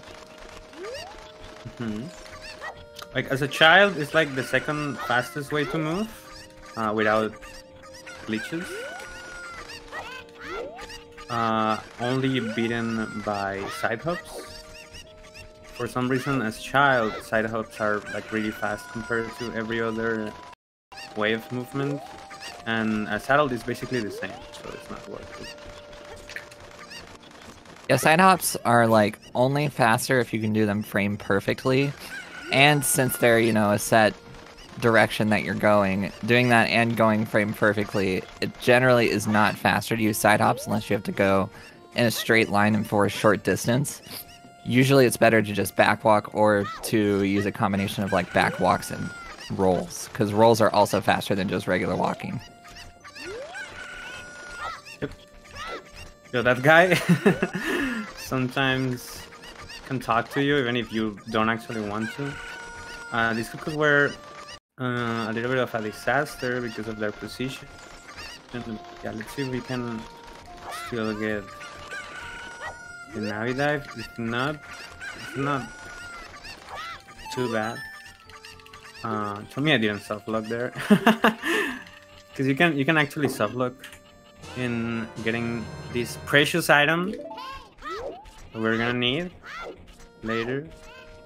Alright, so now that we have the bottle, we're actually going to go to bottom of the well. Bottom of the well is like an end game dungeon, but he does a trick here called a Navi dive, which basically lets you fall off the ledge while talking to Navi. And if you're talking to someone while, well, if you're talking to someone in general, a lot of actors won't interact with you, and one of those actors happens to be water.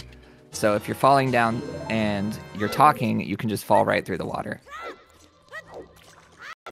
Here, Corpser got a, another glitch called Infinite Sword Glitch, and we usually refer to that as ISG, just for short. Infinite Sword Glitch uh, allows you to, if you shield damage in the air, you can kind of stick in the air like that.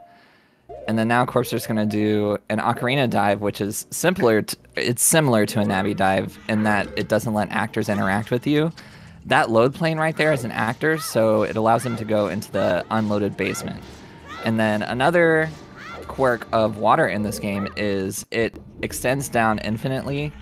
So even though the water is short or shallow in the main room, if you go down in the unloaded basement, you can actually swim up through the water, and then he used the water to get into this little area, and that allowed him to get Bombchus. Bomb shoes are really, really useful this early in the game. Having explosives allows you to do a lot of glitches that you normally can only do with like enemies pretty much anywhere. And so having explosives this early is very convenient. Here Corpser is going to get caught by the dead hand, and the dead hand is just going to bring him back to the beginning of the dungeon quicker. Technically, it's not quite faster, I think, to get voided that way. Uh, but we we need uh, to get to have like a certain amount of health. so, yeah, health management is gonna be um, something in this run. Like you're gonna see me like buffering health in some spots.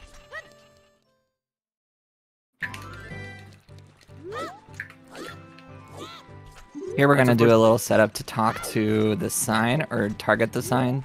That'll keep you from talking to the owl again, since you're considered busy yet again.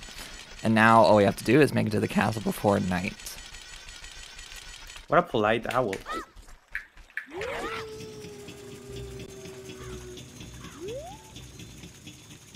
Right here, he unloaded the chain and then walked onto it, that lets you. Basically, the chain won't update its actual position until you load it or you uncall it.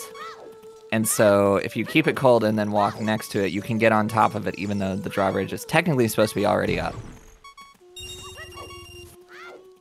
You can even like wait for it to finish the movement and basically teleport all the way there.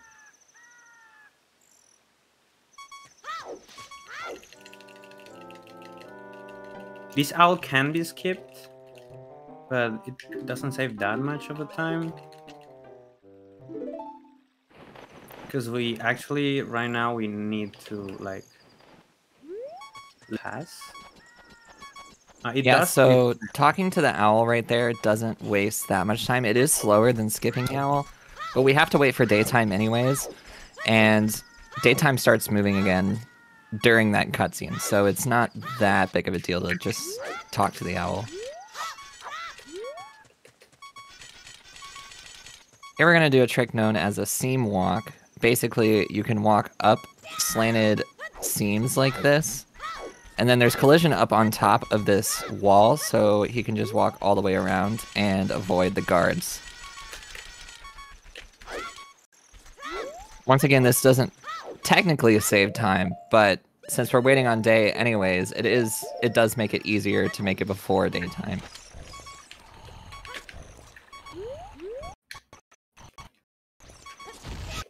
Here we're doing a trick called a damage boost. I, I like lost my train of thought there. Doing a trick called a damage boost to get up onto that ledge and skip the block puzzle, and also skip talking to Talon. And here we're gonna get past the guards. The guards can be annoying and they can ruin many speedruns. We'll see how well this goes. Their vision is not great, but it's also amazing sometimes. Yeah, we're gonna go save.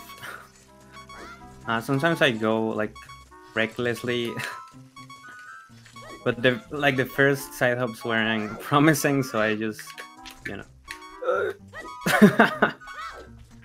that was I didn't target properly there, but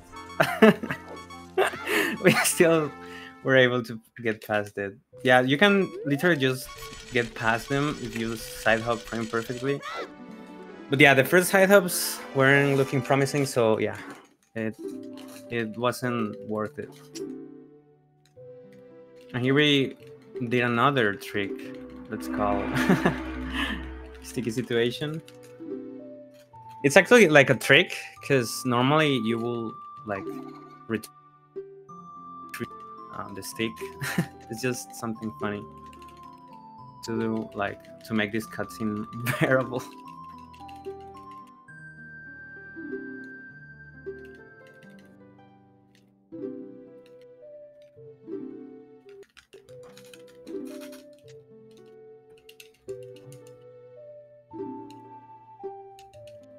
Also remember that uh, this event is for the cause of Planned Parenthood. Remember to get your donations going.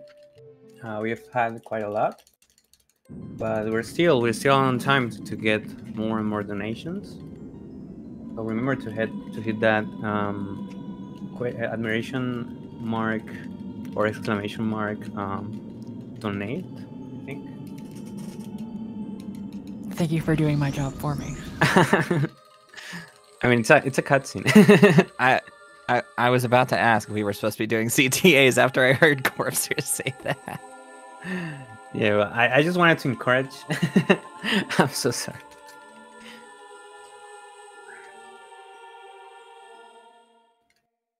Oh yeah, it was the ninth.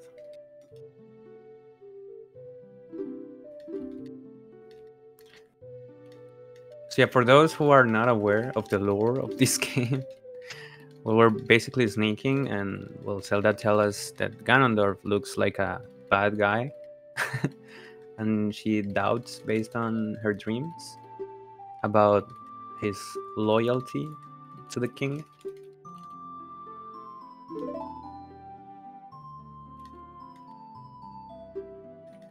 It's nice to have some lore. there are people that haven't played the game and run it. Can you believe it?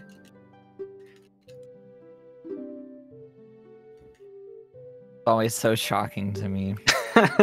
people say they've only speedrun this game, they never played it as a kid.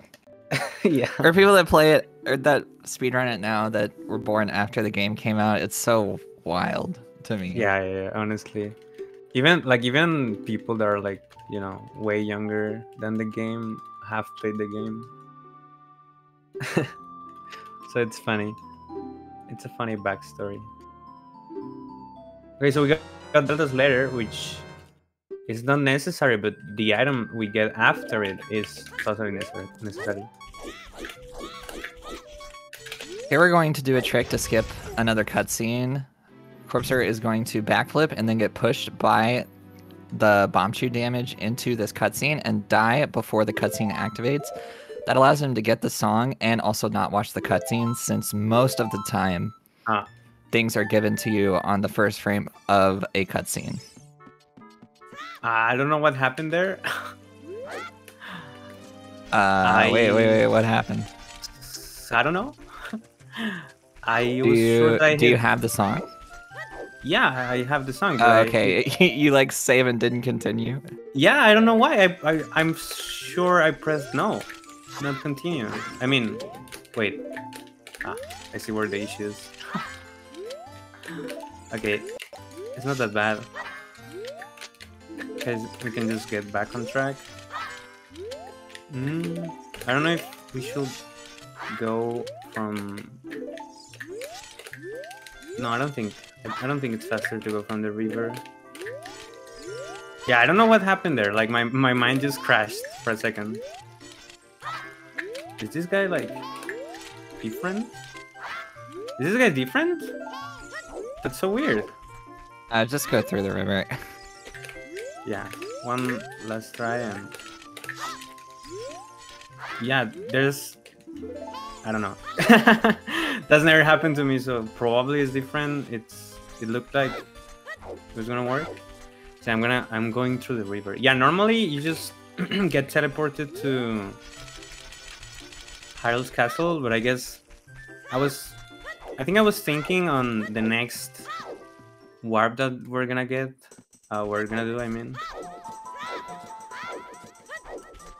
The next save warp. So here you're gonna get to see another way to escape the forest.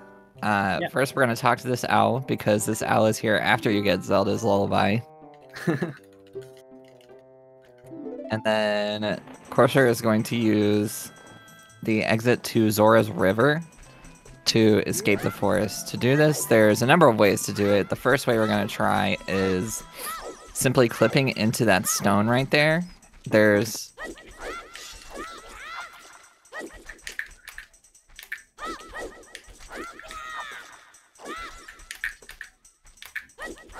Yeah, so we're gonna try and clip through this stone right here. And Kind of tricky. Normally I listen to the music, but there's no music when you have Zelda's Lullaby. yeah, you, you can do a ground clip in there and exit the forest that way. And now we just need to make our way to Hyrule Castle. Yeah.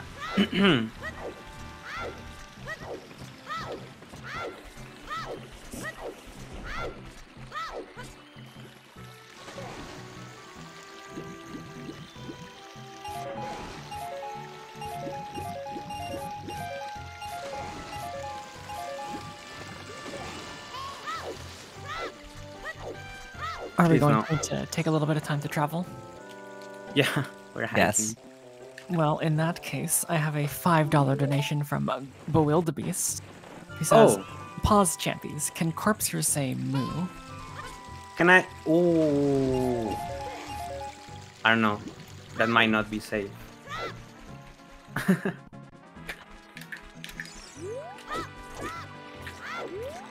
know what? I'm gonna do it for him.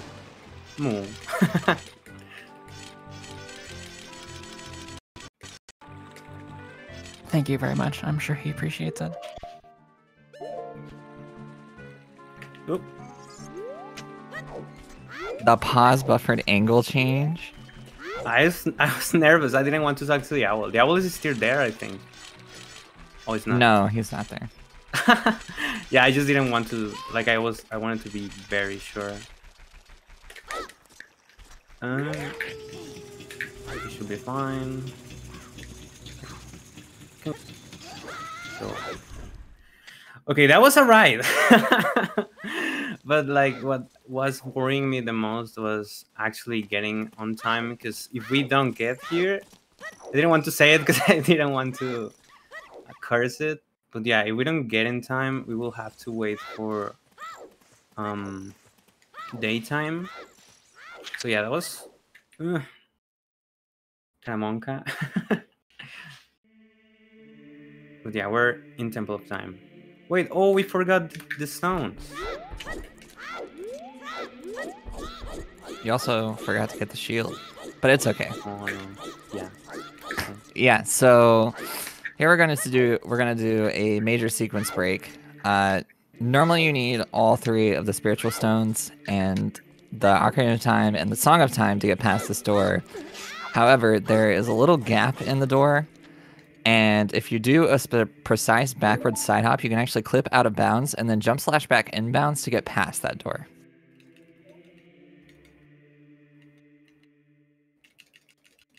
Yeah, exactly. Just a tiny gap. But it's enough to get passed through.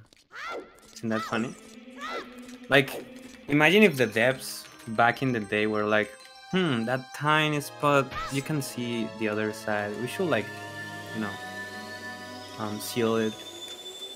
A funny piece of info is an older version of that door actually did not have that gap. so they changed it, and when they changed it, they allowed that sequence break to happen.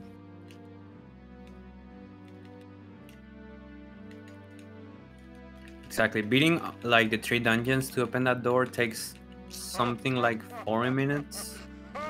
Um. Uh, so yeah, if like GSR without this like sequence break will be way different.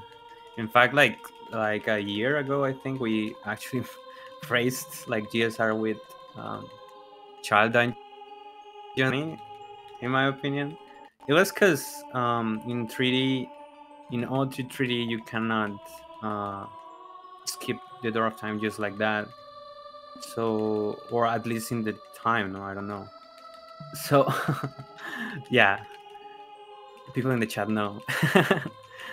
so yeah, to make it able to race with a like person that was running on 3D, we had to to actually run with child dungeons, and it was like one hour extra of run. It was funny. But yeah, thanks to like skipping the three dungeons, we don't need to worry about that. As I said at the beginning, we just need two dungeons. This game is very well coded.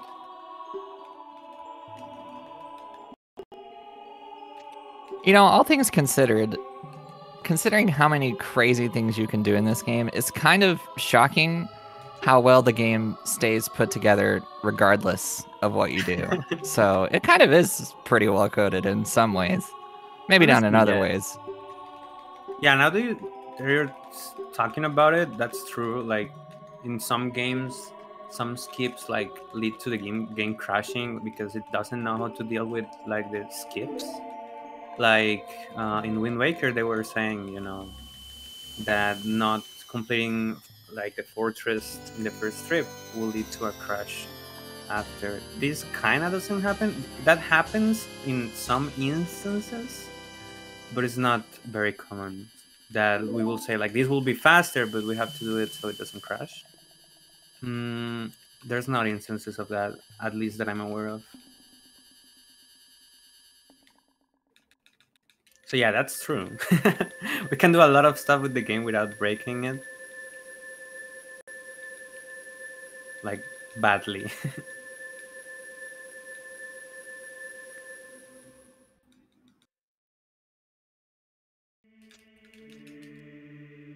Yeah, a little bit uh, more cutscenes. I have to get the shield. Because I forgot. Yeah, I was I was too happy about getting in time uh, to the castle that I totally forgot about the shield. But yeah, it's not a big time loss because there is literally a shield. Yeah. There's a shield where we're going next. So It's not that big of a deal. It's just slightly slower. Uh-huh.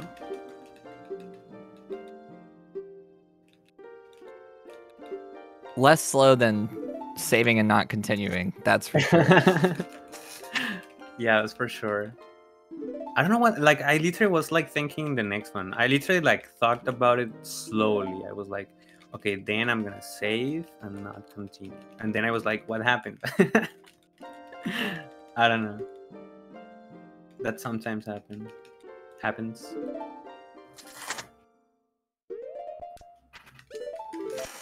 Again, we actually have to save warp here.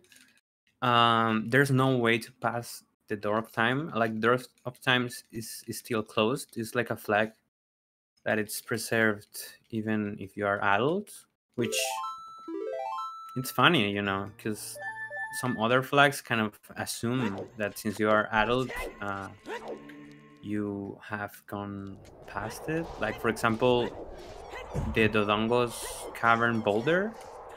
Uh, it literally just assumes that since you're adult, like it doesn't have to be there, you know. But for for some reason, like in in the Temple of Time, that's not the case. Door is still sealed, closed. Yeah, and most walls in this game are only solid on one side. The Door of Time is like an exception because it's like a whole like rectangle of walls and that's why you can't go through it. It's kind of crazy that they decided to do that just for the Door of Time, but yeah, here we are. Do you think they thought, hmm, if someone actually managed to go out without opening the door of Time? I don't think so. I don't think they thought that. I think they did it on accident. yeah, like designing the the texture or whatever, like the the model. Was just like oh, okay, let's leave the collision there. But actually, talking about like speaking about um the collisions, that's something that we are very grateful, like the one-sided collisions, because there's a lot of cases where uh, you can just go past things because they don't have collision. So yeah, it's it's very useful.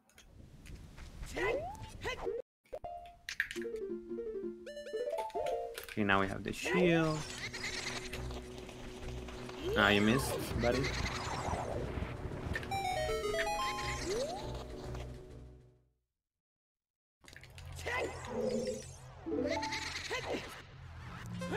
We're gonna get the next item though, which count. Yeah, so we're actually kind of going in the correct sequence here, since uh, Sheik tells us to go get the hook shot in Kakariko. We're actually going to go do that first. However, we're not going to be using it to do what is the next thing in the sequence of the game.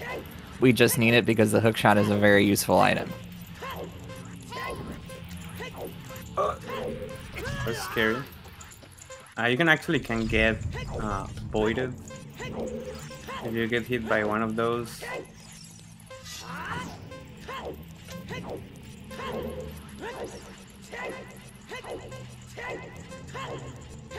Yeah, sometimes Dampe can be like really mean and put the flames right where you are going.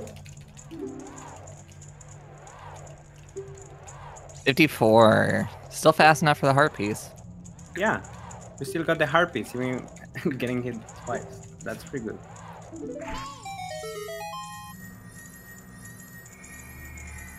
So to exit this area, usually you would go through this door right here and play Song of Time for the Song of Time block.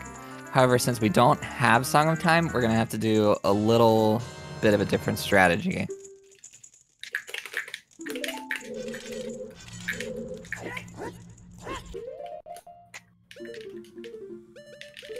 So since that door shuts not automatically, it like comes down when you walk through it, you can actually side hop back through the door. And if you get caught on the wrong side of the door in this area, you void. So that allows you to get back to the beginning of Dampe's grave. And now we're going to be doing a trick known as a hookshot jump. The next place we were going was Shadow Temple, if you can believe that. It's uh, kind of not the intended order of the game yet again, but we're going to use this hookshot jump here, and we're going to walk along the seam that's up here, since there's also collision up here that you can walk on.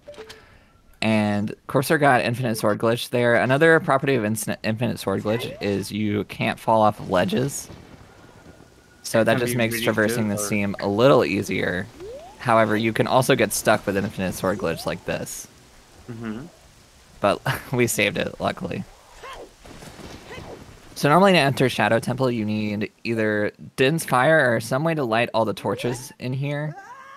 However, if you side hop over the loading zone, you actually will skip the need to do that, and you also don't have the Shadow Temple door loaded, so you can just walk right in.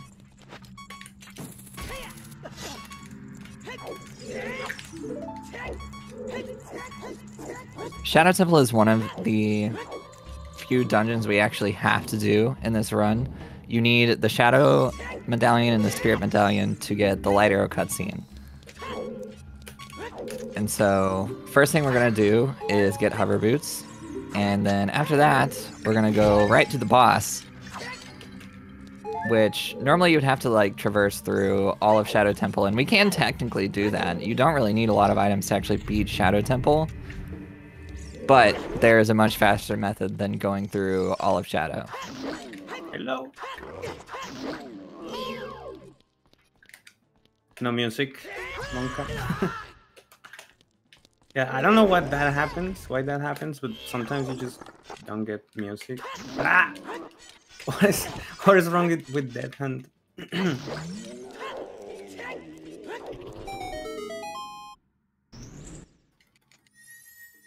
yeah, it can get really spooky with no music.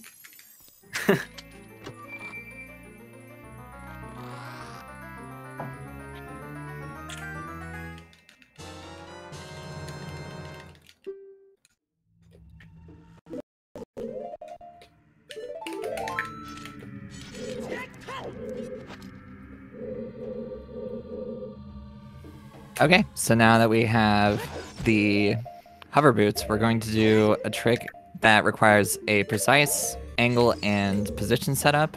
We're to do what's called a mega flip here, so you can preserve your speed from getting knocked away by the Chu with the shield if you roll into it to gain invincibility frames and then backflip while shielding the damage. That allows you to go backwards in the air really fast. Use that to do a ground clip, which allows you to get to, into this unloaded room. And this unloaded room is actually the door, the room right before the Shadow Temple boss. And so now we're doing a complicated setup to clip into the ground under the door.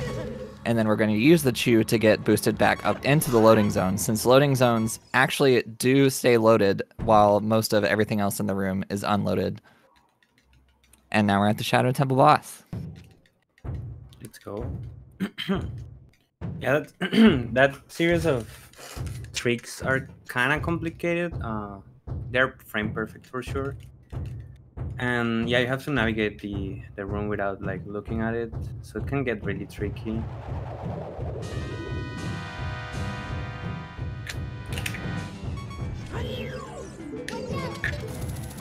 So Corpser is going to get Infinite Sword Glitch here. This will keep him from getting knocked up by Bongo Bongo hitting the drum. And then now that he has Infinite Sword Glitch, he can actually just stand here and have Bongo Bongo run into him and then the boss dies.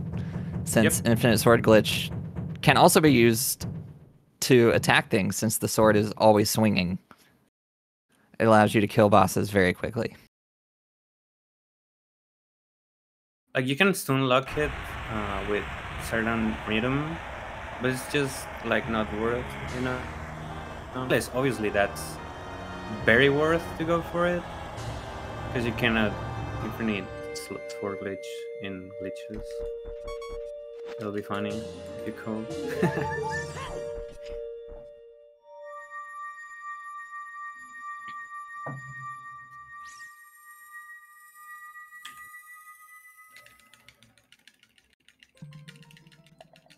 Yeah, that was Shadow Temple. Um, one of the few dungeons that we actually need to beat uh, Ganondorf with everything from source. Uh, the medallions need to be from source. There's a way to, for example, get light arrows, the bridge without beating the dungeons at all, but it's manipulating the inventory, which is banned.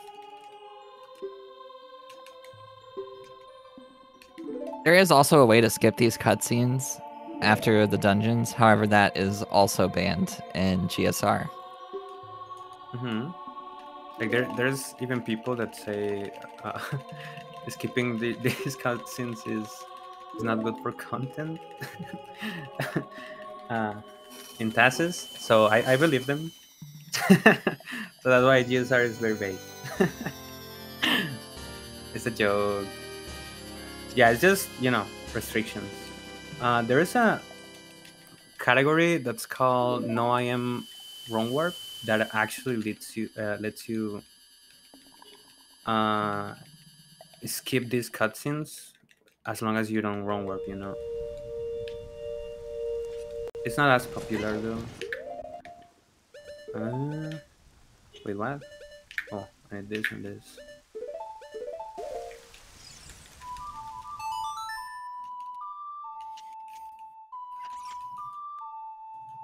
We're getting a fairy. Uh, if you play Zelda's Lullaby or most songs in front of a Gossip Stone, you can get a fairy out of it. This fairy is just so that way we don't die. A little bit of safety. Yeah, it's good to have safety, especially in a marathon run. You know.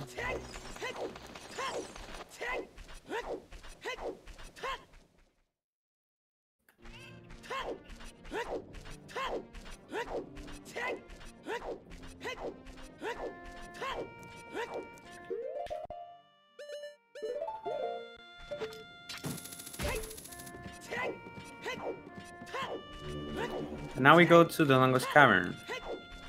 I said that we don't we only need like two dungeons beaten to complete the run, but we actually have to visit a couple of more dungeons, like uh, the Dodongo's Cavern and forest temple. That's because we also have to collect the items that are in those dungeons.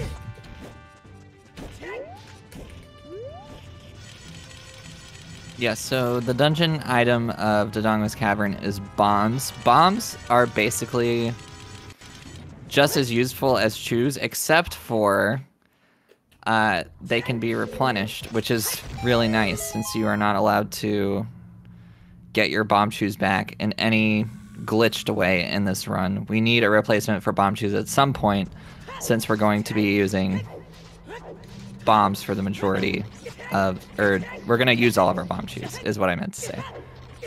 Yep. There are even some people that used to get more chus uh, in GTG.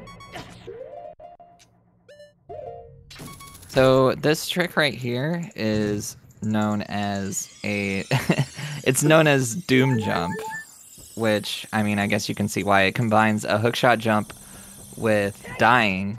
Basically, you hookshot the uh, ladder on the last frame before you die, and then while you're dying, you get shot up in the air like in that hookshot jump earlier.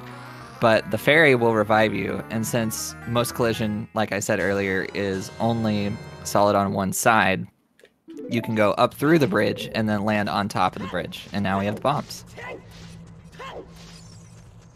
Yep. And since we don't need to beat Dodongo's Cavern, we're just gonna leave right now. That was all we wanted. Yeah, we just casually die, get bombs, and dip.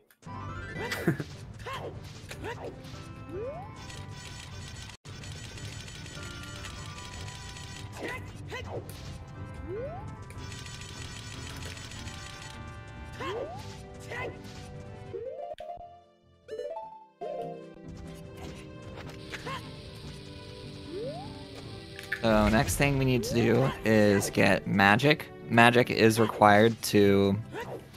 I have never seen that setup before. that was funny. What do you Uh. That's the classic uh, Chef Bear setup.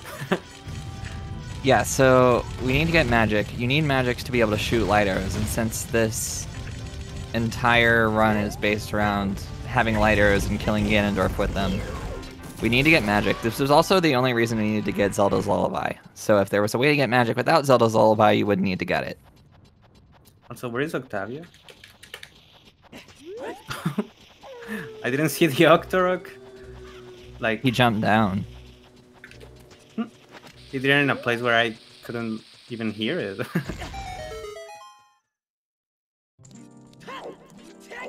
and you get attached to them. yeah, like this is literally why we get Zelda's lullaby.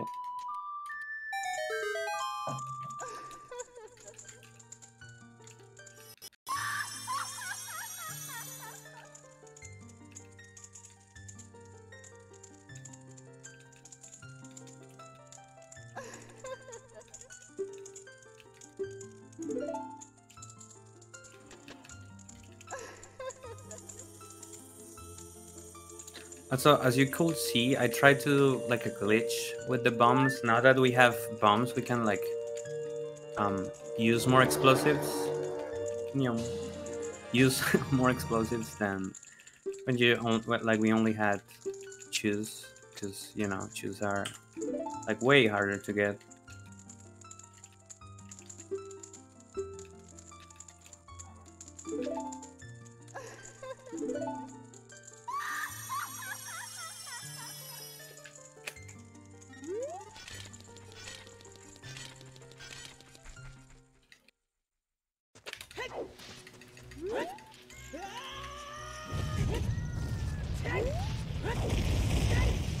Okay, so where are we going next?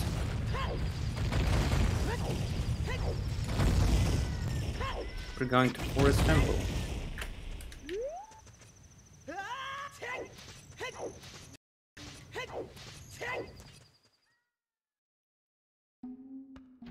But not to beat it.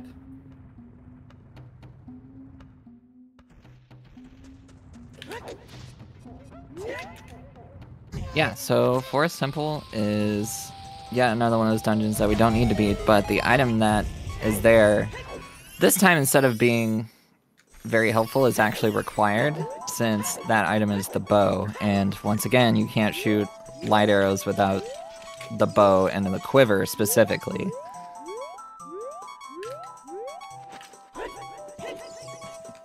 So here we're doing a little setup to backflip past Mido. As adult, you can just do that. they just like I guess didn't realize that you could backflip over him.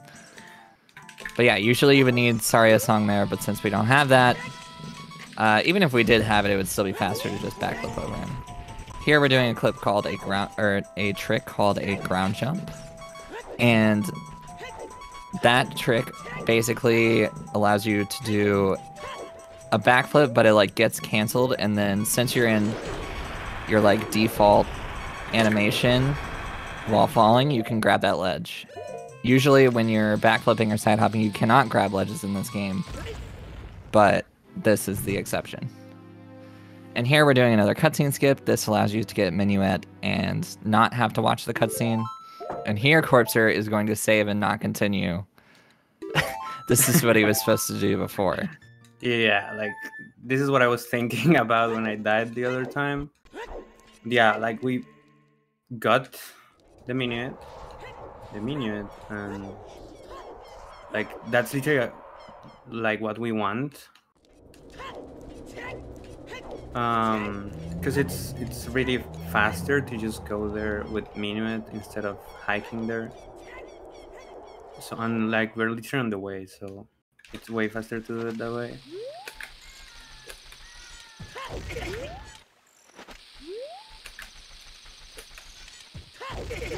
Here we're going to be doing a trick called a hyperextended super slide or a Hess, or we're going to try to. Uh, hyperextended super slide, basically, it's a lot like the mega flip we did in Shadow Temple, in that you can preserve speed from getting hit with a bomb and then shielding it. However, if you go into ESS position and then shield it, you can actually preserve that speed on the ground. So it's really useful for traversing long distances, or really even like medium distances, it's like the fastest glitched way to move in this game. Well, without the SRM. Right, presumably without SRM. But yeah, I tried to. Uh, I I went for it because it saves a lot of time in this uh, little hike. Uh, but yeah, it's uh, switching angles can be can be tough.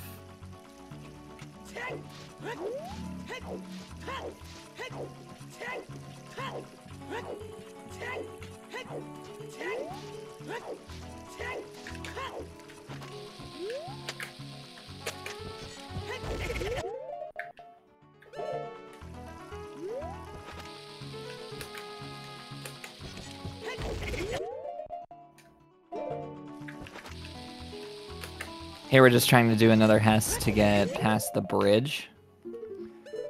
So if you Hess and then put on hover boots, you can actually preserve that speed over small gaps since hover boots keeps you in your standing state and allows you to skip the bridge. And now we're going to Gerudo Fortress. And we're just going to be passing right on through Gerudo Fortress. We're not going to get the Gerudo card. You don't need that. You don't need much of anything in this game, honestly.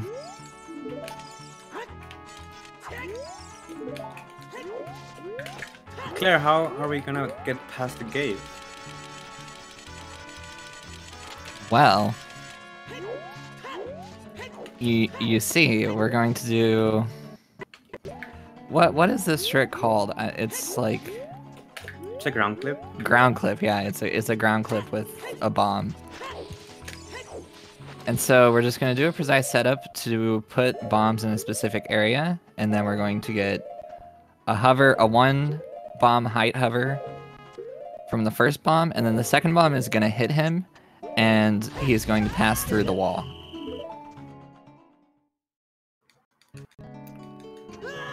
It's somewhat similar to how the uh, ground clip worked in Shadow Temple, but with bombs you can do it in a lot of different places. Yeah, sadly, I released shield too early. uh, there's ways to. Luckily, there is another way to skip the gate. There's more than one way to do most things in this game. Yeah. This method uh, re- will require him to walk around the outside of Gerudo Fortress, and then he's going to jump back and bounds past the gate. So you'll see that here.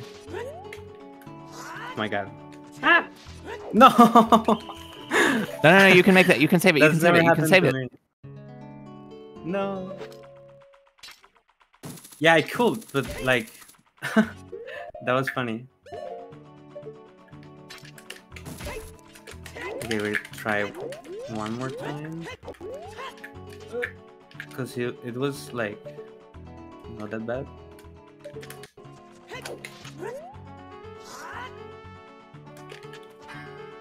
Hmm. Can I try to go for the ground clip now that I'm here? And that means we're not gonna have, uh, we're not gonna do other tricks, because, well, I already cannot.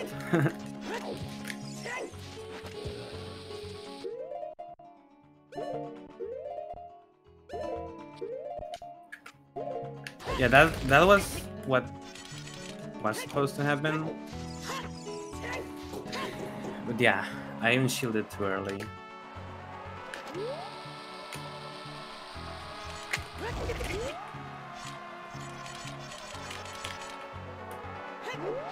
So here we can actually cross the wasteland with a Hess or going forward. Getting past that first part, you can get through there with hover boots or you can use long shot or you can just Hess over the like sinking sand. And for the first part of this puzzle, it's just completely normal. You just follow the posts.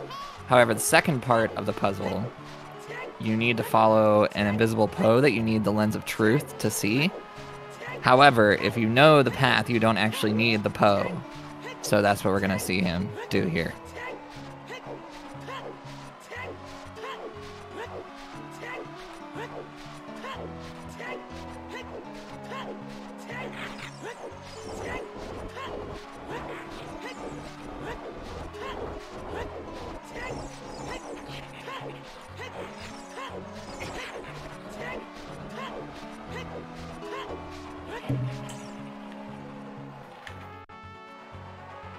Don't need the the the lens of truth.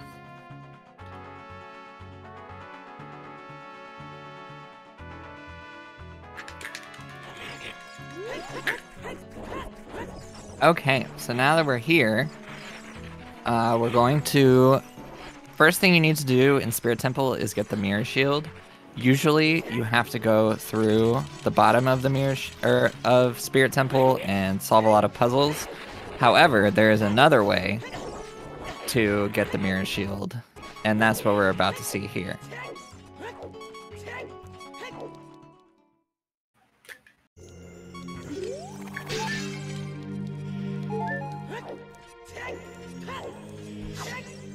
Uh, I could have like uh, tried to get more bombs and showcase the really cool trick, but like it's really hard to get bomb drops from those rocks. Like going for that RNG. Okay, so yeah, we're just gonna go through the bottom of Spirit. Never mind. Yeah, you you can like hover all the way up, but like I didn't have enough bombs to try it.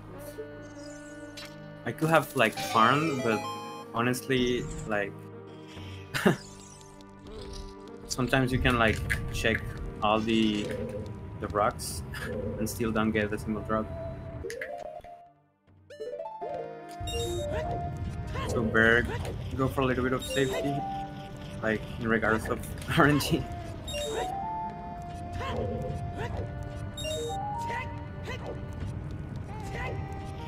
We still are going to like um, skip a little bit of the dungeon.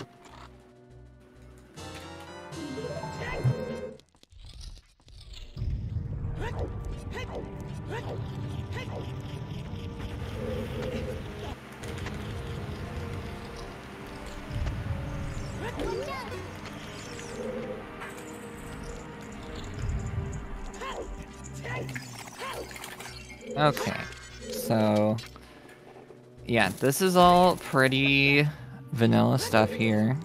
Uh, we're just getting into the hands room, and then we're gonna go fight the Iron Knuckle, and then we'll get the Mirror Shield.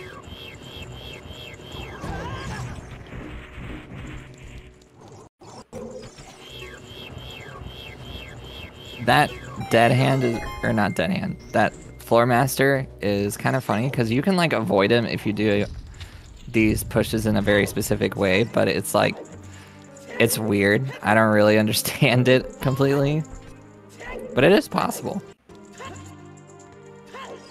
Yeah, sometimes he just, I don't know, attacks you no matter what, and sometimes he doesn't. Yeah, I tried to manipulate it a little bit. Yeah.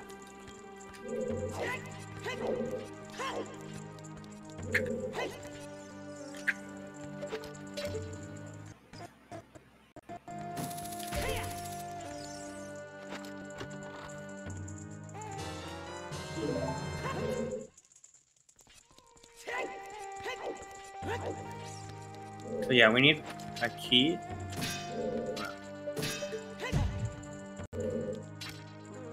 To get past this door.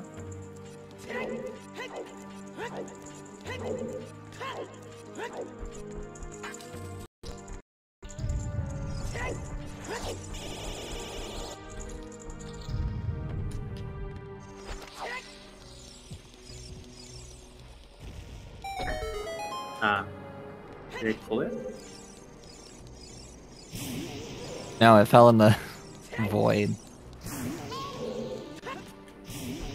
The bomb? Yeah, the bomb. You didn't throw it far enough. Yeah, I thought it landed close to it. Oh, oh my god. That was so close. You're giving me a heart attack over here.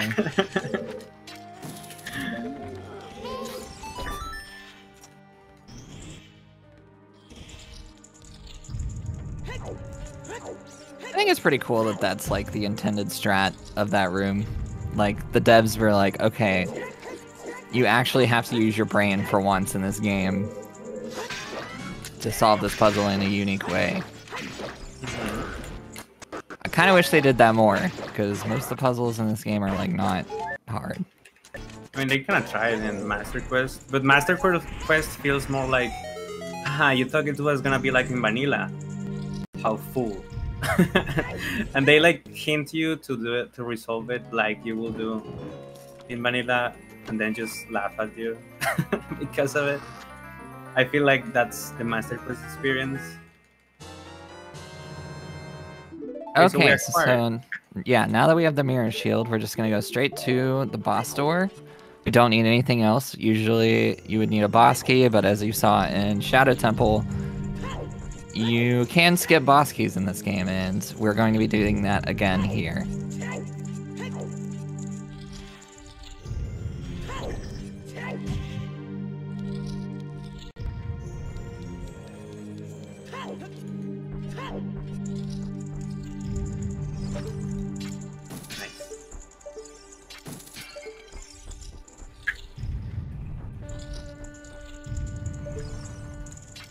Yo.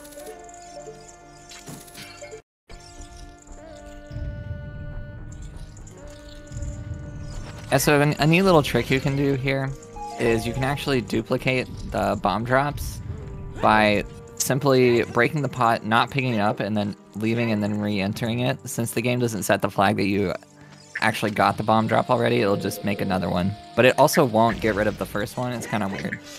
So here we're doing a trick. We're going to climb the statue, and then we're going to get really close to the head, and then yeah, there there.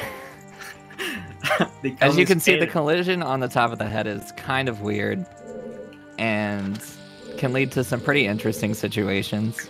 But yeah, we're just gonna try and get into the head, and then from there we're going to do the boss key skip.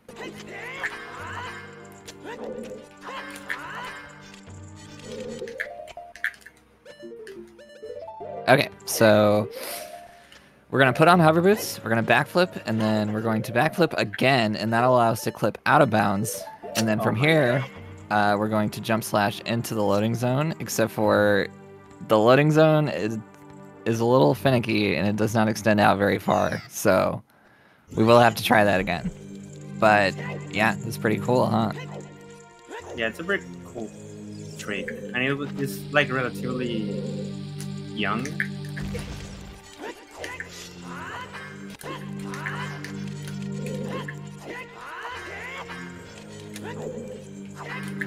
I think my angle was kind of weird. I don't know why.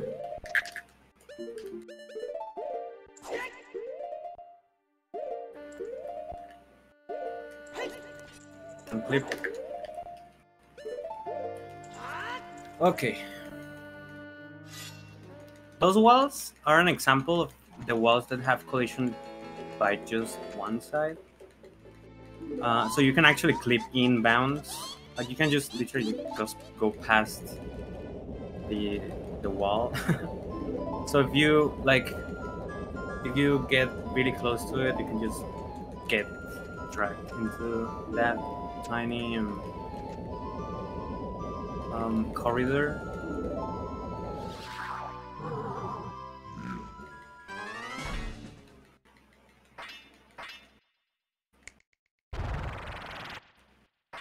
All right, so this boss fight is pretty easy. You can do a little trick where you get right up next to her and you just can crouch stab her and she just cannot hit you there.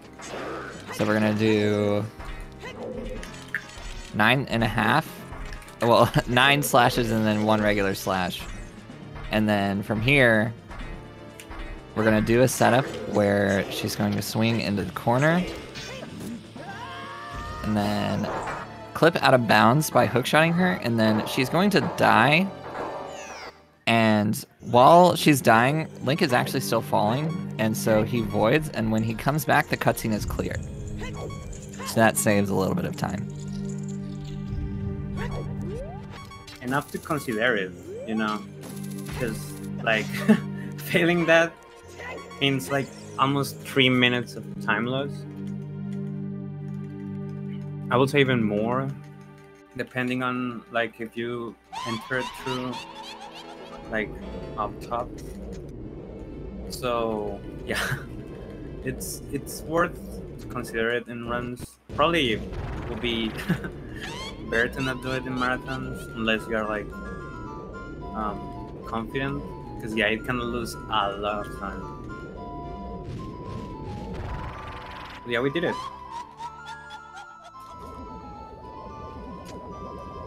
Oh no, is Beast is Beast still awake? Kinda like this boss fight. This boss fight is literally the worst boss fight in the game. Yeah. It is so lame. So you're basically waiting for Twinrova to shoot at you. But when Twinrova shoots at you, it's completely random. And as you can see, they can, can just kind of like fly around for a while before they decide to shoot at you. And you have to do this three times for the second phase to start. There's one.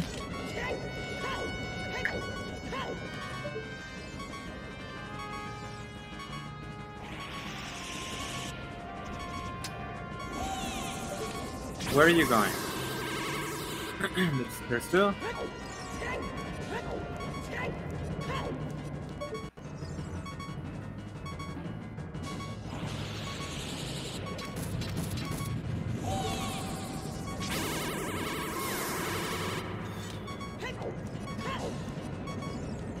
Uh, that was weird.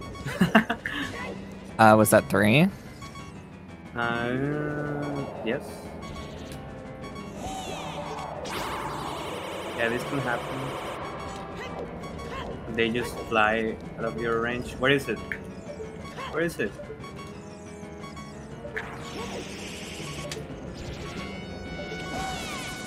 It can get really. You are you are so lucky that it didn't shoot. Yeah, I know. It can get really spooky. Okay, so phase two is much quicker. Uh, so you have to reflect three of the same energy type. However, at the first part of the fight, she will always shoot three of the same energy type in a row. And then from there, well, you won't have to do an extra set of this, so.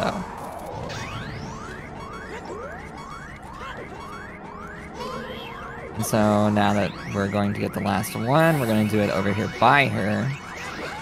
And then we're going to crouch stab her until she is dead. Let's This is kind of like the Bongo Bongo fight, except for it's way less hits, and timing it is actually kind of preferable in this instance, since you don't have to get Infinite Sword Glitch, and the timing is much easier. Exactly. Like, um, it's more lenient. It's like, especially if you jump slash her instead of uh, do an initial crouch stab, you have like a lot of time. You don't have to stun lock her. Like Bongo Bongo. Oh, there is Beast. No.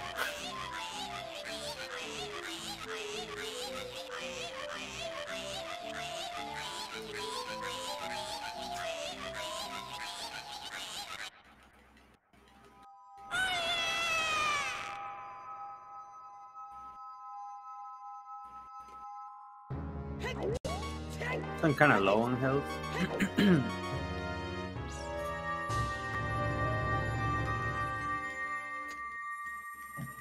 Actually, yeah, I'm kind of very low on health.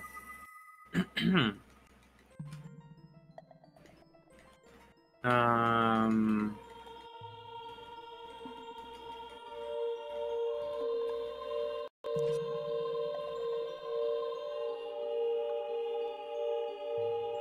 I can go for hearts during the fight.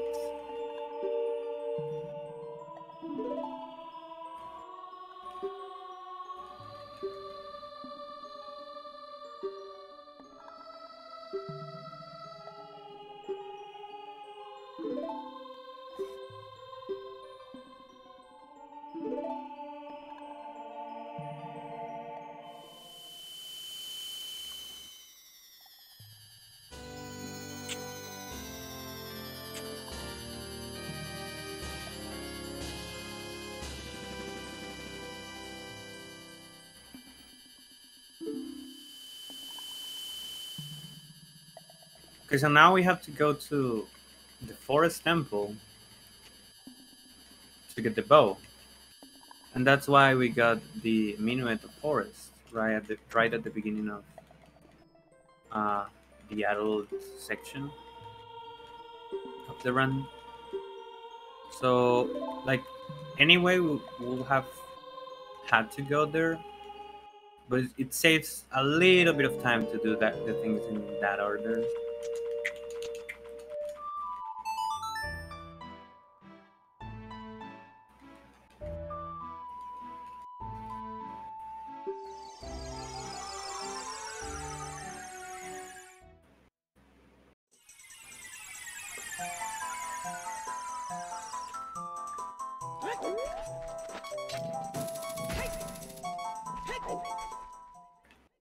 All right, so this is why we got Minuet earlier, so that way we can just go straight back after beating Spirit Temple. And now that we're here, like I said earlier, the only thing we need is the bow. And kind of wanted a he was heart there. spooked. He was spooked. Yeah, I was spooked. Ah, your health is fine. Uh, you know how Stalfos can go?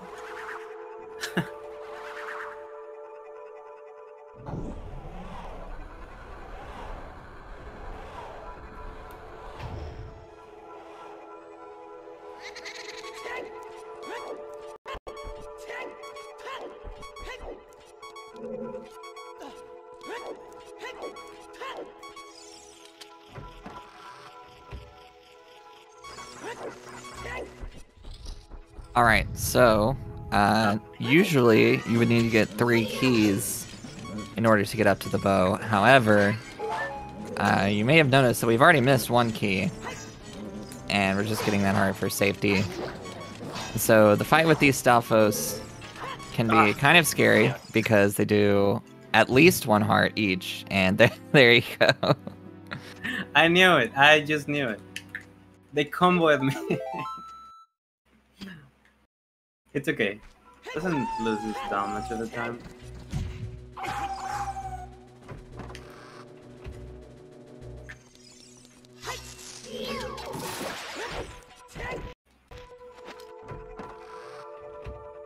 Like the other option was to get the fairy, but I don't know. Probably faster than die.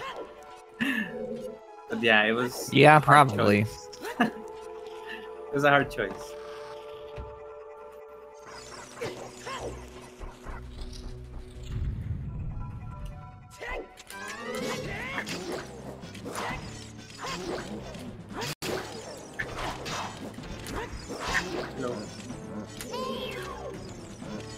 Hello.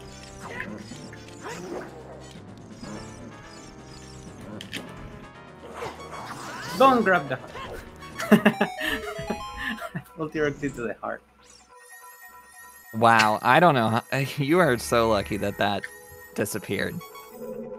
The heart? Yeah. Okay, well, anyways, uh, we needed our health to be low because we're about to die again. That's also why we're getting another fairy. It's gonna be another thing similar to the jump we did in Dodongo's Cavern. Uh, we're just gonna do it again here to get the bow early. So first thing we need to do is get into a very precise position. And then we're gonna drop three bombs, backflip, crouch stab, and then we're going to pause buffer until a specific frame. On that frame is going to be one where we get pushed really far back from the bombs. Because there's three bombs in one place, their collisions overlap on each other and the push becomes bigger. So that allows us to enter the door and then not actually walk through the door. And so now we're doing a specific setup to hookshot the chest on a very specific frame. And when you do that, you get another hookshot jump. And that allows you to get into the second Stalfos fight room without actually having to go through the rest of Forest Temple. However, since this room is closed, we need to clip out of bounds in order to reset the room. So Corpser's just going to do another mega flip here to get out of bounds.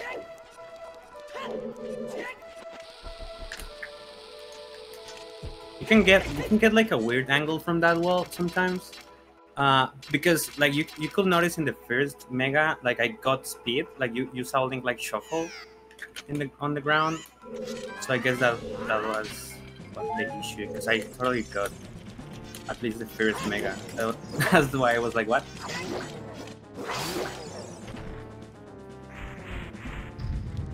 So the reason that we needed to go out of bounds to do this trick, because you could just go in this room without doing that. Uh, we needed to have the door open until we were in the second room. Your entrance point is not actually set until the door closes. So that's why you need to do the thing to clip out of bounds with the bombs. And now we have the bow. And since we have the bow and the medallions, we're going to go to the Temple of Time to watch everyone's favorite cutscene. And then after that, we can go be at the game.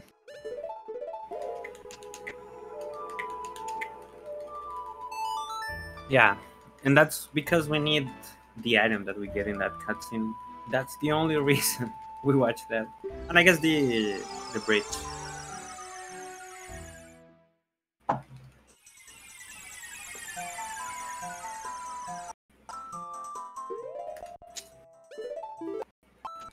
Yeah, for some reason, um, well, you can actually see that uh, you're supposed to like to, to be able to get uh, Requiem. I mean, uh, Nocturne. You need to be like forest, water, and fire, right? So you're supposed to need all those medallions to actually uh, be able to have the shadow medallion. And you can get both spirit medallion or shadow me- medallion in any order. Um, so what the devs did was like, you know, if we need the first three um, medallions to get shadow, and you can get spirit, then we should like just check for you know shadow and spirit medallion, uh, spirit medallion, uh, to trigger this cutscene. And yeah, like the game's the game assumes that you um, got all the medallions, but that's not the case. we just got shadow and spirit, and that's enough for the game to assume that, that you got every single medallion. And that's literally why we beat Shadow and Spirit. We literally do not need uh, do not need uh, any of those medallions, but for this cutscene and to get the light arrows. Spoilers.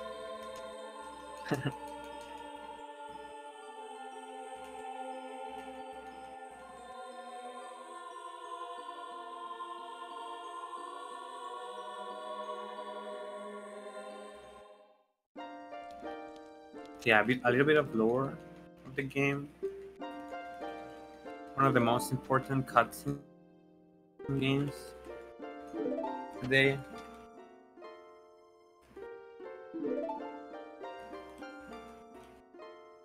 Well, if we've got a little bit of time, I can remind everyone what we're doing here.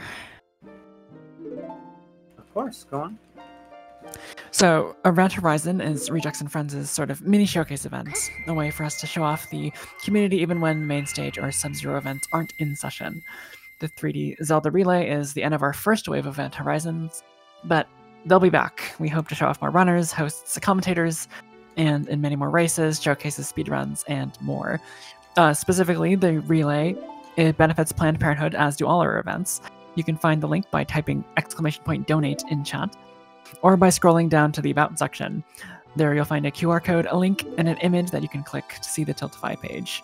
we crushed our original goal, but like I said before, there's almost no over donating to Planned Parenthood. So if that's something you're inclined to do, please do so. Yeah, let's go. Crush the goal. Wicked.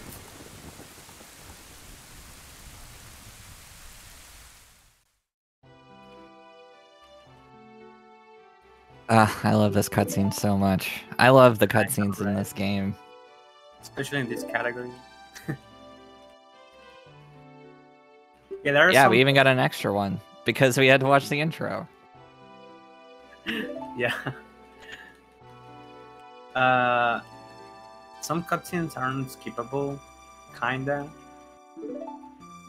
Um, like you can theoretically skip some of them, but in the end, like, kind of need them. For example, Master Sword cutscene. Even in the most broken category of the of this game, like on the SRM, you have to watch that cutscene, which is not that bad, you know, because like it's like two hours of like tearing crashing the game. but yeah, that's another category.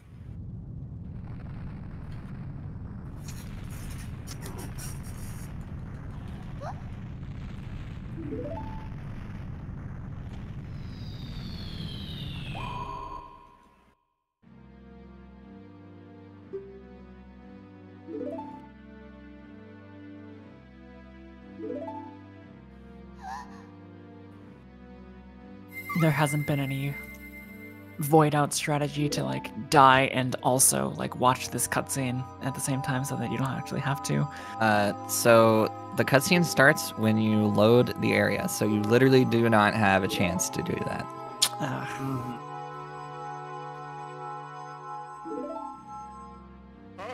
I think there might be a possibility, but it wouldn't uh, save any time.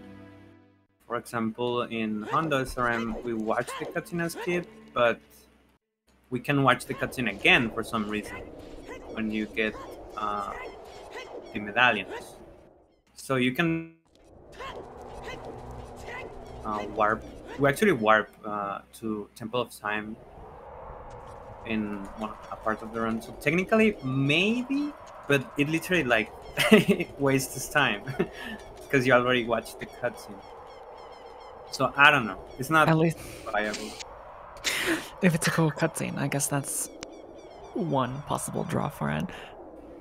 Yeah, like we have to make a category that's watch that cutscene twice. This game this game has an unreal number of category extensions. I'm sure they can do with one more.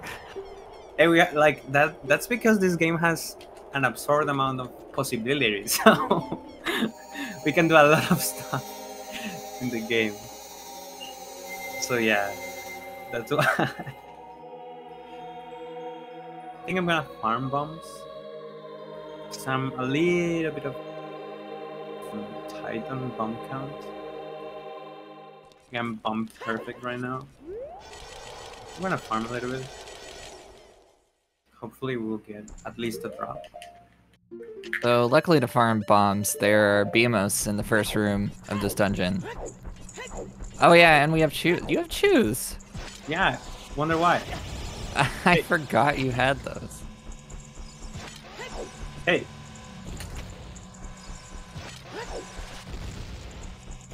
Okay, we got it. Mission complete. All right, we good to go.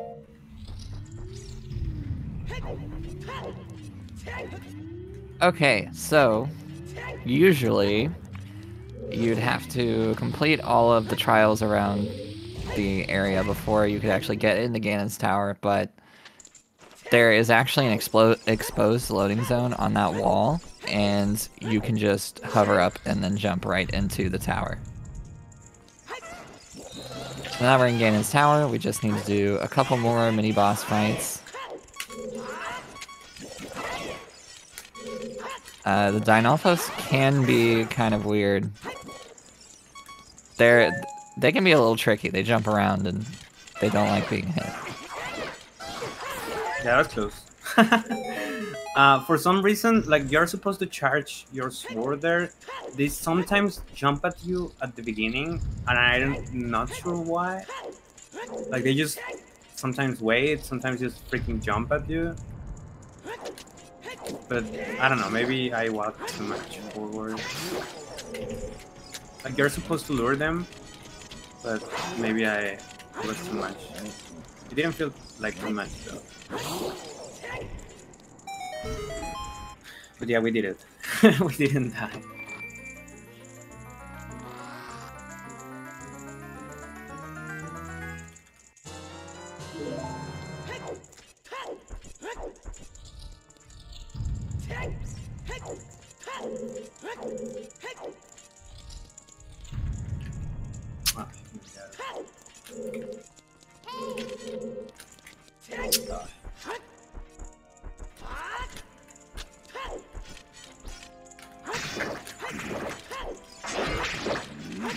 Okay, that's bad. Uh, if you hit one of them twice, like there's no.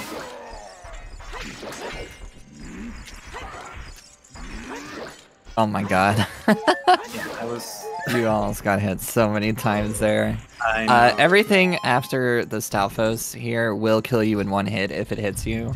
Those Iron Knuckles, I think, do four hearts, five hearts of damage. So, yeah, he would definitely die if he got hit there. You can even die twice. Okay, last heads of the run and we actually got it. Go.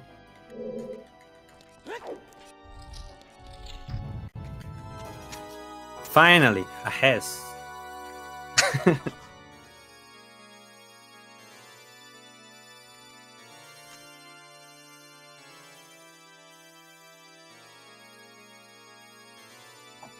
But yeah, you can die twice to the Knuckles. Um, if you have a fairy, for some reason, when you revive after the fairy like has healed you, you don't get invincibility. Is that or like the Knuckles just don't care about invincibility? I think the Knuckles don't care about invincibility actually. Like you can roll into the hitbox and it will kill you. So if you die and you revive, there's a big chance that you just die again because the hitbox is still active.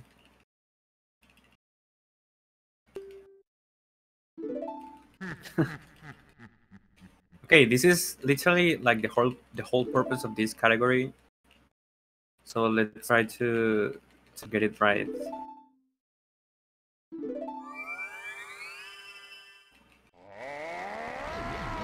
It's almost done, yeah. We're close.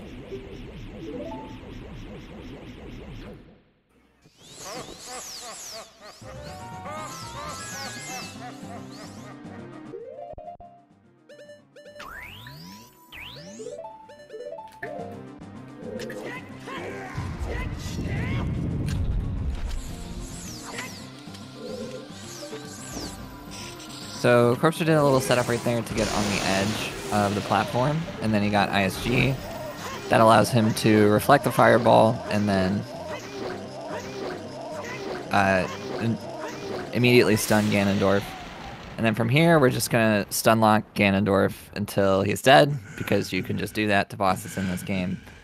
Uh, and I have something to say. I for some reason I thought the light arrow didn't hit the first time, so I tried to shut him, but actually it hit. And I panicked. I thought I, I got rid of ISG, so I went for the stun lock strat. And I don't know how, but I did it. So let's go. yeah, that was really impressive. That was a struggle. I was about to die there. so GG, like like nice. Oh my god, I am so used to randomizer at this point. I forgot about tower Yeah, collapse. cutscene- I mean the the whole section of Yeah, I thought you were about to just go fight the final boss. But we Where- still have one more thing. Mm-hmm.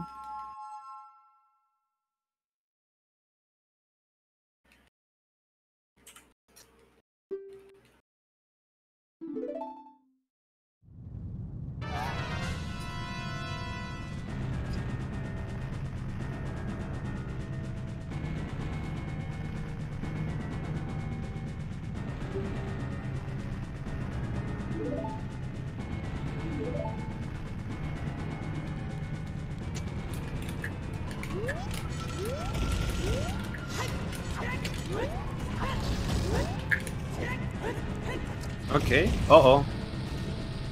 Okay, that's that's fine. Yeah. Oh. Oh no.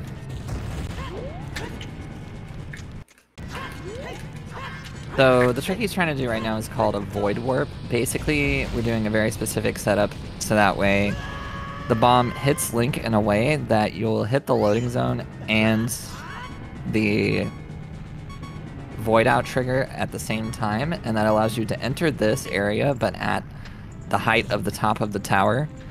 And you would use that to basically fall all the way down the tower and skip the collapse completely. However, we were low on health, so it didn't work. Yeah, I forgot. I forgot. But we can just try again. Yeah, that's why we get bumped. oh no, please don't. Oh my god.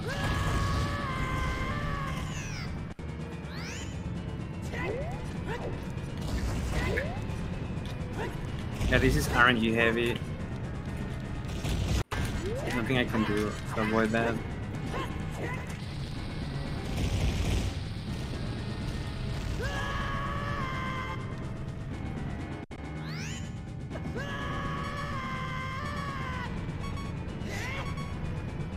Oh no, I'm low on. I'm low on health again. I forgot. No. That's so funny. This time will be the time for sure. Yeah, like the rocks are RNG completely. Oh my god.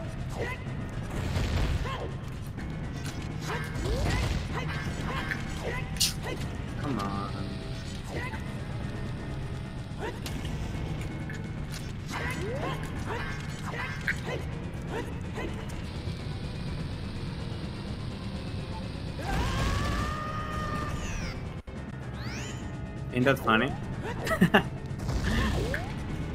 Uh, you don't have enough health, Oh, right. Should I do? so either die or go down the tower. Uh, at this point, I have just one more try. So let's do the last try of this trick. And if it doesn't work, just yeah, it's literally RNG. There's nothing I can do. I think, even though I think it it was not that slow to void warp. I feel like it was the same speed dying there. Deep rage. Fine.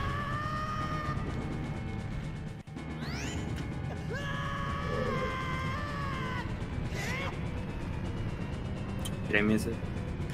No, I didn't. Oh, don't, don't, don't, don't, don't, don't. That was close. Holy shit. I'm sorry for it. but that, you cannot understand how close that was because uh, there is like a room there if i like go far enough but there but also oh, the console can crash. So yeah that was a struggle. That was really hard. Well not hard that was like so close of going really really bad. But here we are rocking like a hurricane. Jeez, this run has been hella cursed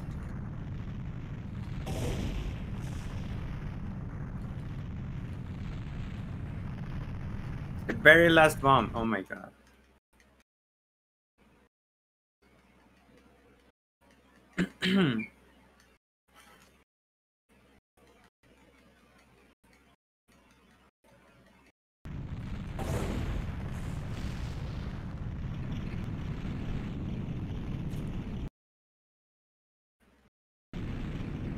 Yeah, there's a lot of chaos. Oof. Yeah, marathon runs can go like that.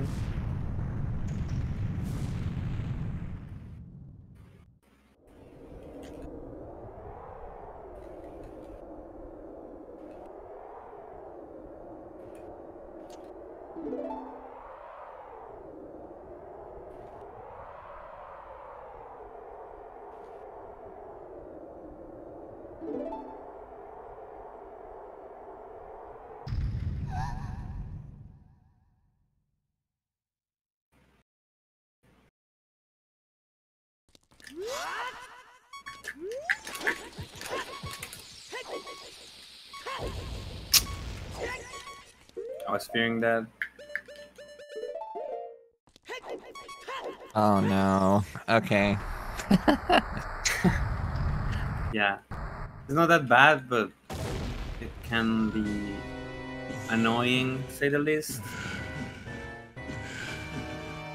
So what he was trying to do there is he was trying to super slide into this cutscene. If you do that, you can actually keep your sword and make the first phase of this fight super fast. However, uh, since that didn't happen, we're now going to have to use the hook shot to damage Ganon, since we have no other items that can do that.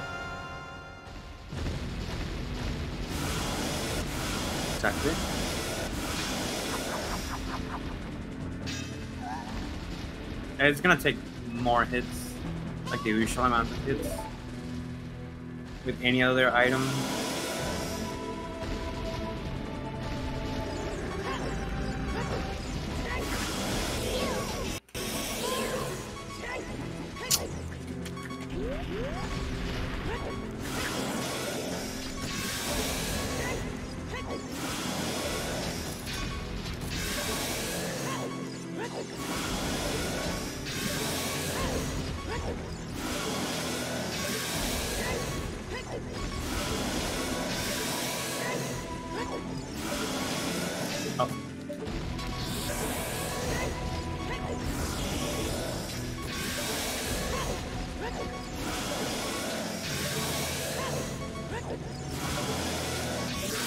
That was scary.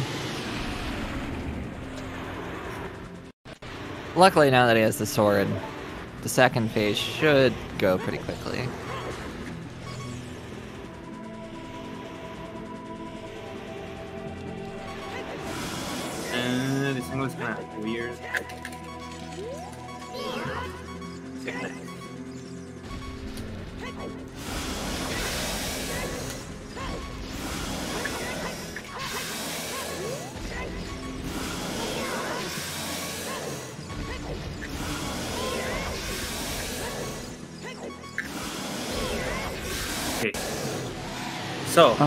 Close.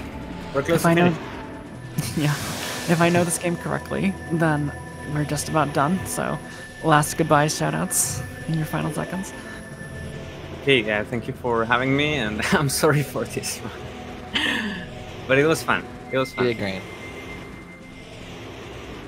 And uh, done. All right, on to Skyward Sword with your average link with commentary by Pippi in a top hat.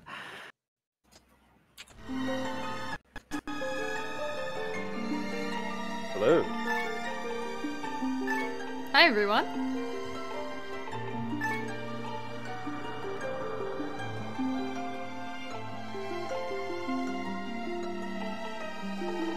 All right. Three, two. Oh, sorry. I wasn't quite ready with my splits. Okay. So, uh, this is Skyward Sword. Um, the first thing you'll notice is that uh, we're playing in hero mode because, uh, well, it has a few benefits. One of which is that you can skip cutscenes, which saves tons of time. So, quite important. Uh, so I'm gonna talk to Fledge here. Uh, he'll have some important duties later on. He has information that um, he probably shouldn't, but it, it definitely makes a ton of sense if you understand how computers work. Yeah, we'll get to that. we'll get to that when it comes up. and have Horwell talk to us. Uh, you'll also notice I'm playing on the Japanese version. That's because it has considerably faster text than other versions. Uh, it's about two minutes faster than English. Uh, little tutorial on how to how to run and jump and stuff like that. Despite the fact that we're playing on hero mode, which is the new game plus mode, Horwell is like, yes, you definitely need to know how to Z target because we totally don't know how to do that. Uh, don't quite have the correct angle. There we go. A very Yeah, smooth one- recovery on a strange jump. That's a trick. That's a trick. It doesn't look like one. Yeah, there's another thing that's optional. We're going to save this remlit. Um, it'll come up later as well. Trust me. This run's gonna be uh quite crazy, but Every Skyward Sword run, in fact, saves the animals, so there's no bid war. I'm very sorry. uh, does all dungeons? Because all dungeons doesn't save the remnant. D- all dungeons does not. Any any percent run. Yeah. the only Any real percent's category. The only run, the only run that currently saves the remlit.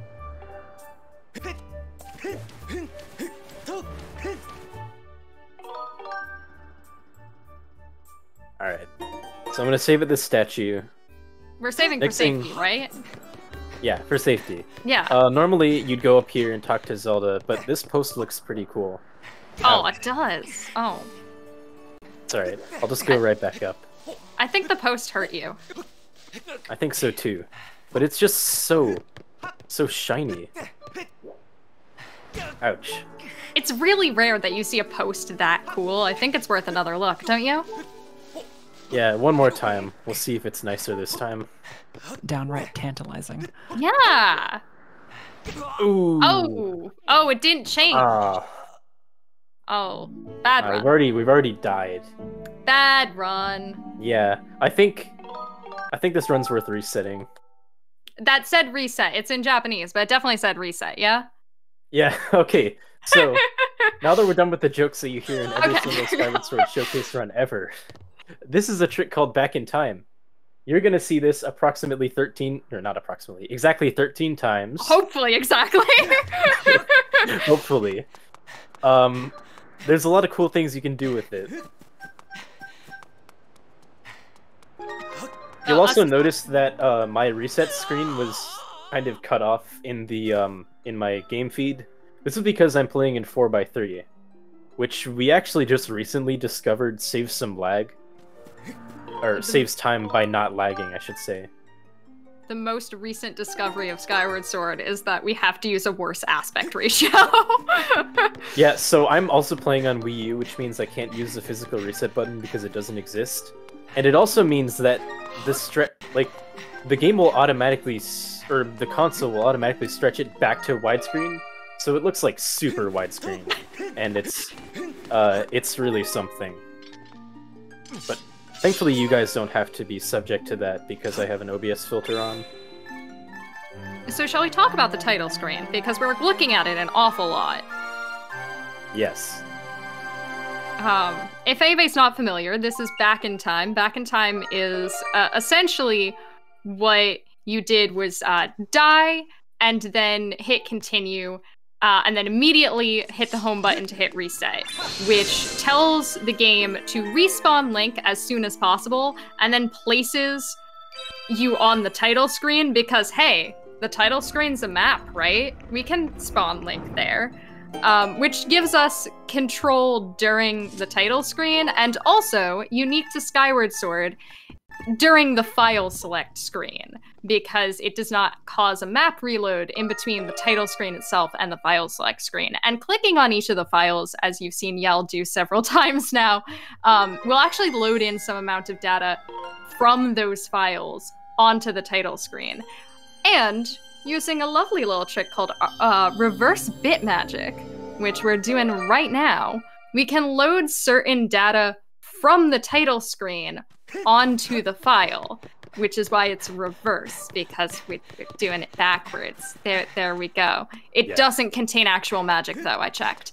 And Um, during during that sequence, I also saved at the statue, which put me on the same layer of Skyloft that you'd see on the title screen, which has that weird lighting effect that you saw, and it also has the goddess statue open, which is convenient because it means I can get the goddess sword. Yeah, so not everything that happens on the title screen is actually going to get saved to the file because, uh, while it is writing to active memory, there's like a security feature or something. I don't know why it's there. Why did did they know that this was a problem? Um, but basically, when you go to start your file, it's going to revert your file memory back to what it should be, and then it's going to do a fade out animation and then it's gonna start your file actually. But if you make a change to your file data during that fade out animation, you're doing it after the revert. So, hence starting the file during that cutscene of the pillar of light forming actually spawned in the Faron pillar on file one. So, hey, we can go a Faron now, right? There's nothing standing in our way, right? Nothing at all? Well, uh, there's a little thing called a Loftwing that we'll also need. Sounds fake. I don't think it's real. So yeah. Uh, The next part is somewhat like intended, except we already have a sword. Normally you'd have to go, after you talk to Groose, you'll have to go get the practice sword from the sparring hall. But I've already got the goddess sword. So, and that's just better anyway. yeah. This is also the only sword I'm going to be getting. I was gonna say, it's such a cool sword that we don't need any other sword throughout the entire game. Master sword? Nah. It First sure would be nice to have any other sword. Is there... Ah, there's going to be a part coming up uh, in a little over an hour where I'd really wish I'd had a stronger sword. Yeah, uh, we don't exactly do a lot of damage with the goddess sword, so uh, some fights are hit based, and that's great because the goddess sword does in fact do hits. But fights that are damage based are gonna be a little bit more interesting because it doesn't do a lot of that. We're essentially going to be fighting bosses with a toothpick. Um, Yeah, so another another uh, seemingly random thing. I'm going to be entering and exiting this house. Uh, it will come up in about 10 minutes. Uh, she knows about a very important rope, and by she, I mean the fact that we left her house knows about it. For some reason, it it's setting a flag in memory when you leave her house, which is a nonsensical flag, but benefits us. So I'll take it. yeah, we're just being neighborly.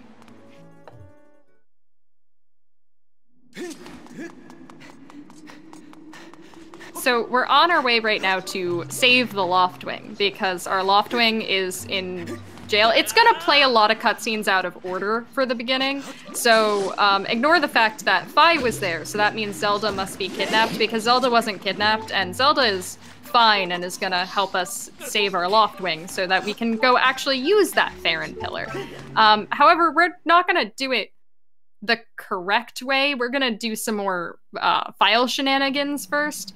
Um, if you were very perceptive, you might have noticed that we actually started with two hero mode files, and that's for very complicated reasons gonna be to set up uh, this coming trick where we're essentially going to obtain the ability to jump off of a loftwing before we have a loftwing to jump off of, which is silly. Um, and you know, I don't think is the intended progression of gameplay, but we make up the rules here, right? Yeah, the idea is that once we have that ability, uh, and we save the Loftwing again, well, well, I'll explain when I get there, but it means we'll be able to just dive during the Loftwing tutorial, which you're not normally supposed to be able to do, and that's when we'll interfere for the first time. Uh, Zelda's gonna try to teach us to use the Loftwing a lot of times to varying degrees of success. Uh, however, this is the first time, and we do not have the ability to jump off the Loftwing yet, so she's actually gonna give us a tutorial that we do have to sit through. So, uh, if you have a donation, now might be the time. Well, as a matter of fact, I do. Renegade Boss donates an additional $10, saying this donation goes to pushing the animals off Skyloft. Oh, but we need the Remlit. Yeah, despite the fact that you did not give me an option, that, that you told us that it was not an option, um, we are now forcing it onto the game. You actually Okay, can you actually can throw lemlets or remlits off the side of Skyloft, but they'll just fly back with their ears. Because they can't just be cats. They're like bat lemurs or something. I don't know what they are. Everything can fly in this game. Secretly, everything in this game is a bird. Alright. So there's a little trick coming up, and because of it, and because of the fact that I use a metronome cue, I'm gonna mute myself uh, for a moment. So Uh, this trick is essentially a it's a two frame window to press the A button to do a side hop input. And there you go. That's a trick. Wow. Hooray. Um, essentially, there is a, a cutscene trigger box that loads in around Zelda, but it has a bit of a delay before it loads in, and it would lock you into not only a cutscene, but also the entire of the wing ceremony, like chasing the birds and all of that. Oh, by the way, welcome back to Bit. Um, but uh, we don't want to do the wing ceremony because that's slow. So you actually have a two frame window to do a side hop, um, which clears you uh, out of the trigger box when it spawns in. And then you can just run around. You can actually uh, go talk to Groose during that time or either of his cronies, and they have nothing to say. Um, but don't talk to Zelda, because if you go back to Zelda, you will re enter the trigger box. Yeah, uh, oftentimes if people are mashing to get this trick, they'll accidentally hop back into the trigger, uh, which is really embarrassing. And the worst feeling. it's like, I got it! I didn't get it. Uh, so what's happening right now is something called a file dupe, where using the splash screen, which is the screen that actually has the title on it, um, we have copied all of our data from file 3 onto file 2 and are now placing file 2 just in the sky and starting file 2. So we're playing on file 2 right now, but its previous save, if like we were to die, uh, would put us where we were in file 3, which uh, was a copy of file 1 when we created or when we saved the Loftwing.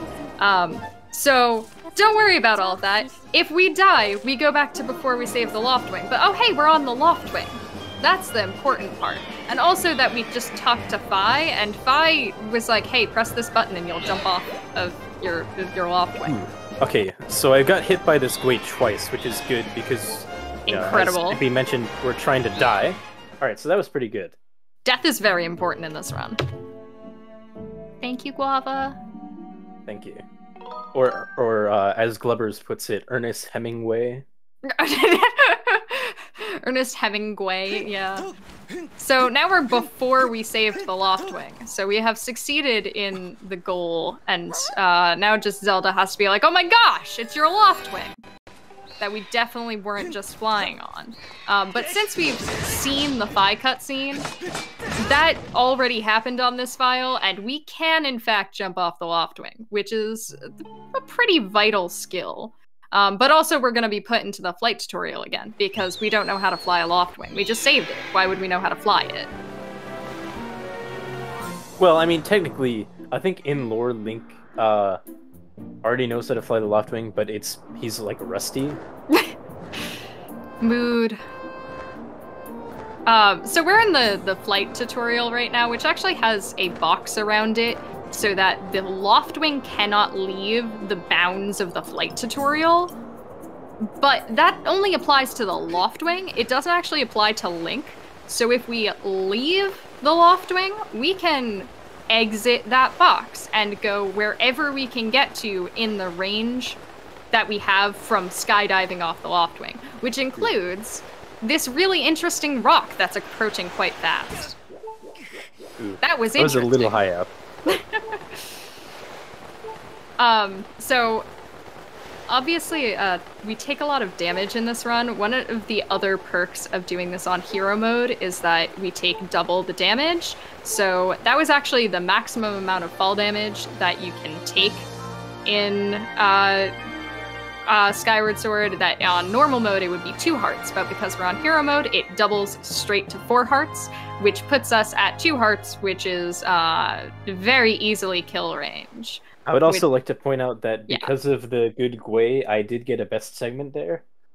So oh, we love that.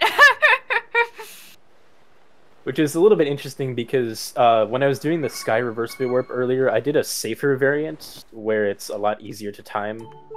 Uh, because if you mess that trick up, it is very tragic. I think there's a backup, but it loses a ton of time. Most people just reset. If there's anybody who doesn't, um, you have the fortitude of a god. All right. oh, So you coming died. up, Yeah, I did die. Unfortunate. So here is coming up probably the most complicated back in time sequence in the run. Essentially, uh, what our goal is going to be is to get into Faron without leaving the title screen and uh, manipulate what are called flags in memory.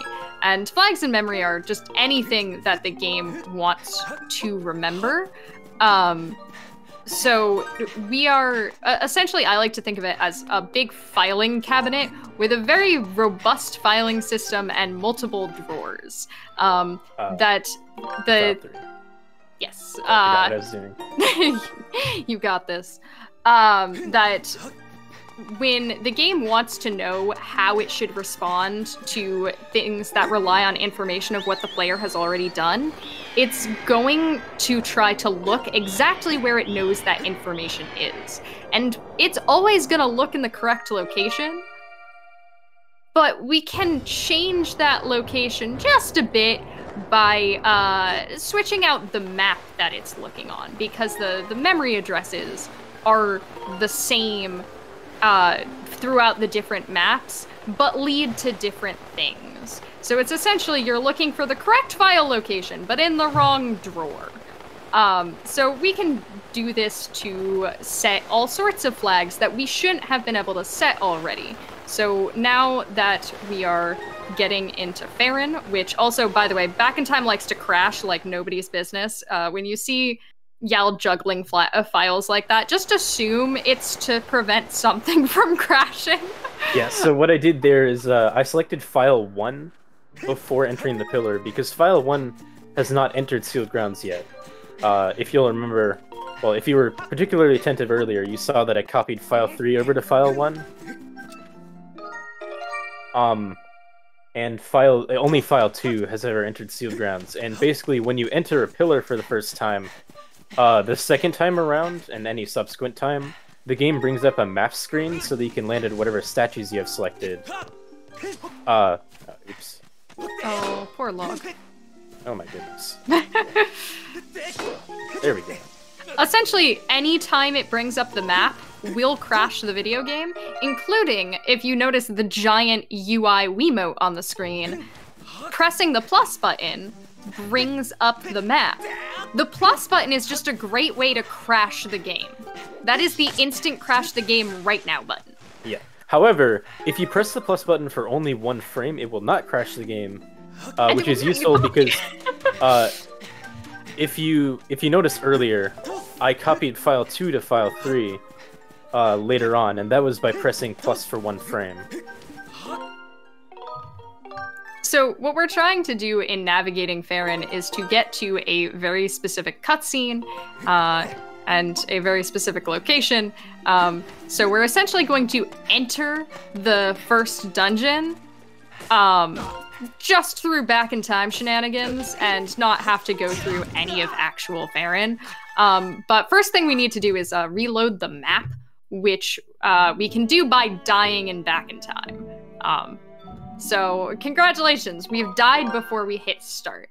Um, but what reloading the map does is it makes it check the file that we had open to update certain things based on the flags on that file. And we had file one open, and file one was the file that we were playing when we entered that random lady's house earlier. Um, and because we were so good and neighborly, she's going to put down a vine for us, which uh, we need to get over to the Skyview uh, Temple. Um, also, uh, because we did one of those nice little bit saves, it's actually going to take our location data from Skyloft and apply it to when we start our file, which is going to not just put us inside the Skyview Temple, but put us also about more than halfway through the uh, the dungeon, right? Like it's it's a decent. We don't actually do much of the dungeons in this game, but in title screen's easier. Yeah, so with that, um, I'm going to be spawning, as as Pippi said, uh, more than halfway through the dungeon. Um, I'd also like to point out a while ago when I was doing that one frame copy. Uh, normally, if you played in 16 by 9, there would have been a lot of lag as you're moving over to the upper academy area because you're facing where a lot of stuff on Skyloft is. But for some reason, playing on 4x3, there must just be not as much to render and there's like no lag. Uh, yeah, that was kind of magical. Um, we also have to enter a room and then immediately leave because uh, due to the way we loaded in, uh, not everything exists yet.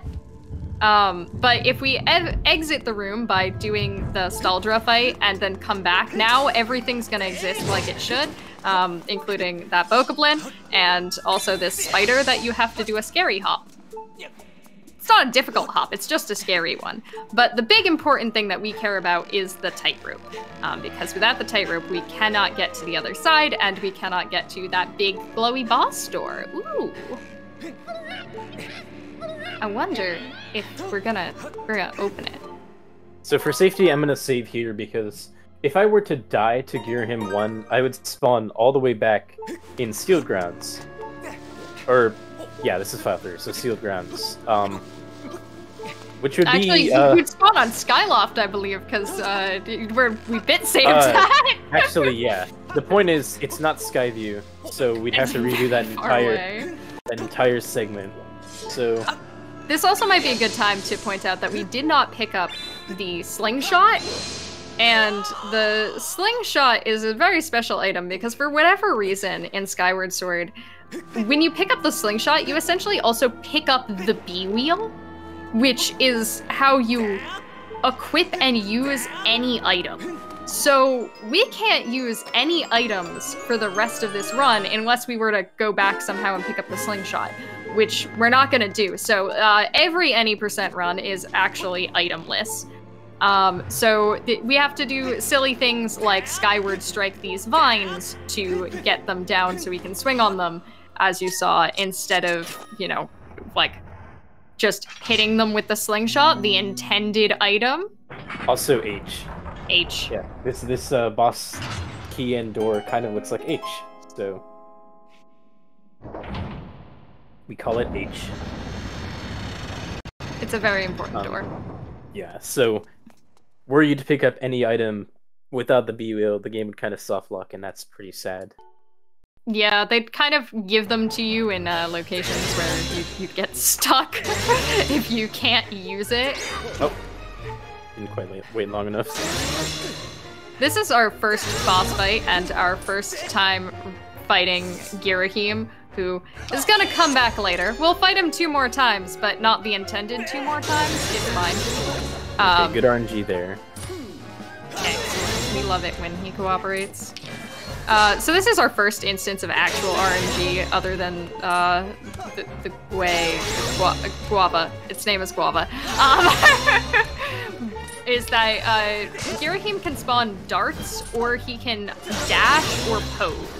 Dashing and posing both allow damage, um, which is good because it kills him. Um, and darts are just wasted time. So minimal darts is good RNG. I would be impressed if you were able to do this fight with the blindfold because there aren't really any uh, audio cues, and unlike Dem- like Demise is pretty much scripted. Yes. Uh, okay, so uh, if you'll remember, I'm playing on file three right now, so usually getting this heart container would be kind of useless. However, there's a somewhat difficult section coming up, and I'm gonna pick up the heart container for safety there. You're Picking up the heart container? Oh my gosh. I practiced this part earlier and I had no trouble with it, but you never know what's gonna happen. Yeah, so normally it wouldn't be very useful because the scariest part for your health total is the very end of the game. And uh, going through the final gauntlet, again, with a toothpick. Um, but because we do that on file one and we're on file three right now, it's not actually gonna carry over this health total. However, we will be using file three for the next dungeon as well, which is going to be the in Eldin. And not actually the dungeon itself is as scary in terms of health as uh, getting there. Because we take an alternative method. Yeah. All right. So,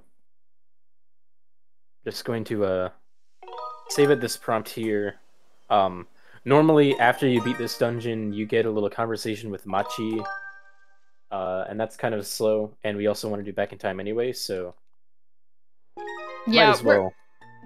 We're gonna low. keep file two for a while, right at the top of the spiral in the sealed grounds, uh, and at two hearts because it makes this fun and easy. Oh wow, you died. I did die. Now, there was a reverse bit warp earlier for Skyview. I'm gonna do another one, although to a much closer location. Essentially, a reverse bit warp, by the way, is uh, very similar to reverse bit magic. Instead of using flags, though, and moving memory around, we are moving ourselves, essentially. Uh, you are hitting start and then moving through a loading zone, and it's going to change what room you spawn in um, based on what room you entered after it's already done the revert to your file data. So by hitting start on file 3 coming up and then entering the goddess statue, we're going to start uh, inside the goddess statue room. Which is very handy and is a nice way to teleport around pretty quickly. And yeah. also, because we hit Uh, start, we are no longer in back in time. Yeah, so the main purpose of this is so that I can place the tablet normally, uh, which, since I haven't actually done that on any of my files, it's going to play the events that normally happen after you place the uh, Emerald tablet, which is uh, you get the tunic and you spawn in the academy and you go off on your adventure. Uh, I'm going to need the tunic uh, because, for one, it makes it slightly faster to get to the sky and back in time. And for two, it's necessary for an RBM that will come up uh, later. Yeah, unlike Breath of the Wild, we do actually wear clothes, but only temporarily. Yeah, we'll have clothes for Eldin, and then Comfy Pajama Run will come back, don't worry. But once again, we're starting file two because, oh yeah, where did we leave file two? Oh, death! Oh, wonderful. yeah, it's actually pretty convenient because uh, since we don't have the tunic, uh, Sealed Grounds is in a special state called Layer Zero, which is essentially the baseline state of that area, and then all the other layers put stuff on top of it. Uh, and normally there's like bars there that prevent you from, you know, falling to your death. But they don't exist on Layer Zero, so hooray. Yeah, some of the uh, the Skyloft layer that we use in Back in Time, I believe, is also layer zero. It's it's just layers that aren't necessarily what you're supposed to access. Um, Well, the, the Playing the Skyloft layer, the Skyloft layer is layer 28. oh, it's layer I don't know what- 28. It's the exact opposite. It's way too high. There aren't actually 28 layers, but this one's layer 28 because reasons. I don't know. There's a lot of numbers that go into uh, Skyward Sword routing, and uh, it's done by people smarter than me. And with more ability to do comp sci and math. But uh, as we will do a lot, um, we're going back into the tutorial to go back to Faron to then immediately leave Faron and try to reverse bit warp our way into Eldin. Um, a nice note, though, is that while we're in Back in Time and also in the Loftwing tutorial, it doesn't really have a place to go to access our name. So Zelda just forgot our name. We are just exclamation point. Just thanks, Yeah. Zelda. I thought we were childhood friends or something. I don't think it's actually specific to like this part. I think it's just generally in back in time. Yeah, Uh, it never really knows where to look. I don't think it doesn't have a file to look at.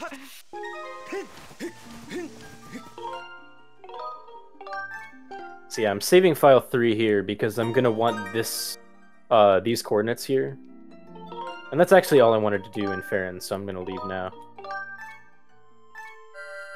So it's just gonna be that wherever, whenever we next start file three, which we're gonna do really, really soon, um, it's going to spawn on the map that we like are supposed to spawn into based on what we've done so far, except with the coordinates of that save statue. Um, but if it's a different map, it'll be a different location because it's just kind of uh, XYZ coordinates. Y'all remember how geometry works, right? Um, Yeah, and also, uh, since we're still in the Loftwing tutorial, the game kind of forced us uh, back into the like the feasible range. Also, Yeah. really there's a lot of teleporting around that happens to if you mess up that little zip through the speed boost um, it'll teleport you to try to put you back in bounds and the camera goes on a wild adventure um, it's very fun So yeah, uh, welcome to Eldin. Um, I know we did Breath of the Wild like two hours ago, but I think uh, we should do some more Breath of the Wild and Skyward Sword.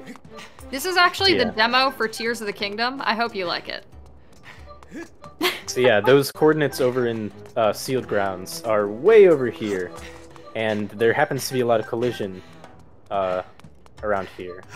And so I'm just gonna run up to the top. Yeah, we're actually trying to cross that river of lava, but it's too wide to jump across down here. But if we go on an adventure, we'll find a way across. Also, uh, what he did in Back in Time there was just essentially the same thing uh, we did to get into the goddess uh, room, which is start the file and then immediately. Oh, very nice. Alright, so so fortu- so fortunately I made it there without taking damage. Unfortunately, this means I have extra health, so I'll have to take more damage. So yeah, I got the safety heart container before, and now it's losing me more time. Oh no. It's okay. It's safety. Um, but yeah, we just started file three and then entered the loading zone for Eldin. Um, and it put us right in Eldin. How nice. Ah, Also, hey, free damage. Didn't quite have enough stamina there. A lot of the general movement of this game is about stamina management, as you might notice. The final quarter of the stamina wheel actually decreases at half the rate of the rest of it. Um, oh, by the way, death, because back in time, why not? Um, so it's optimal usually to try to just reuse the final quarter over and over and over again because it refills at the same rate, but it's just used up at half the rate. So. yeah. normally at this point in the game, you will have gotten the digging mitts, and these Mogmas will talk to you about how the door is locked and you'll need a key to get in, and you have to go find five key pieces. But uh, that's sounds slow, slow, and I don't have and I don't have digging mitts because I kind of ran past them. Luckily, I know another way. I have a Also, lockpick. digging mitts sounds like an item. What are those? Yeah, the file that ends up beating this game is gonna have like goddess sword and the emerald tablet and the amber tablet, and that's it. Not even the tablet in the middle.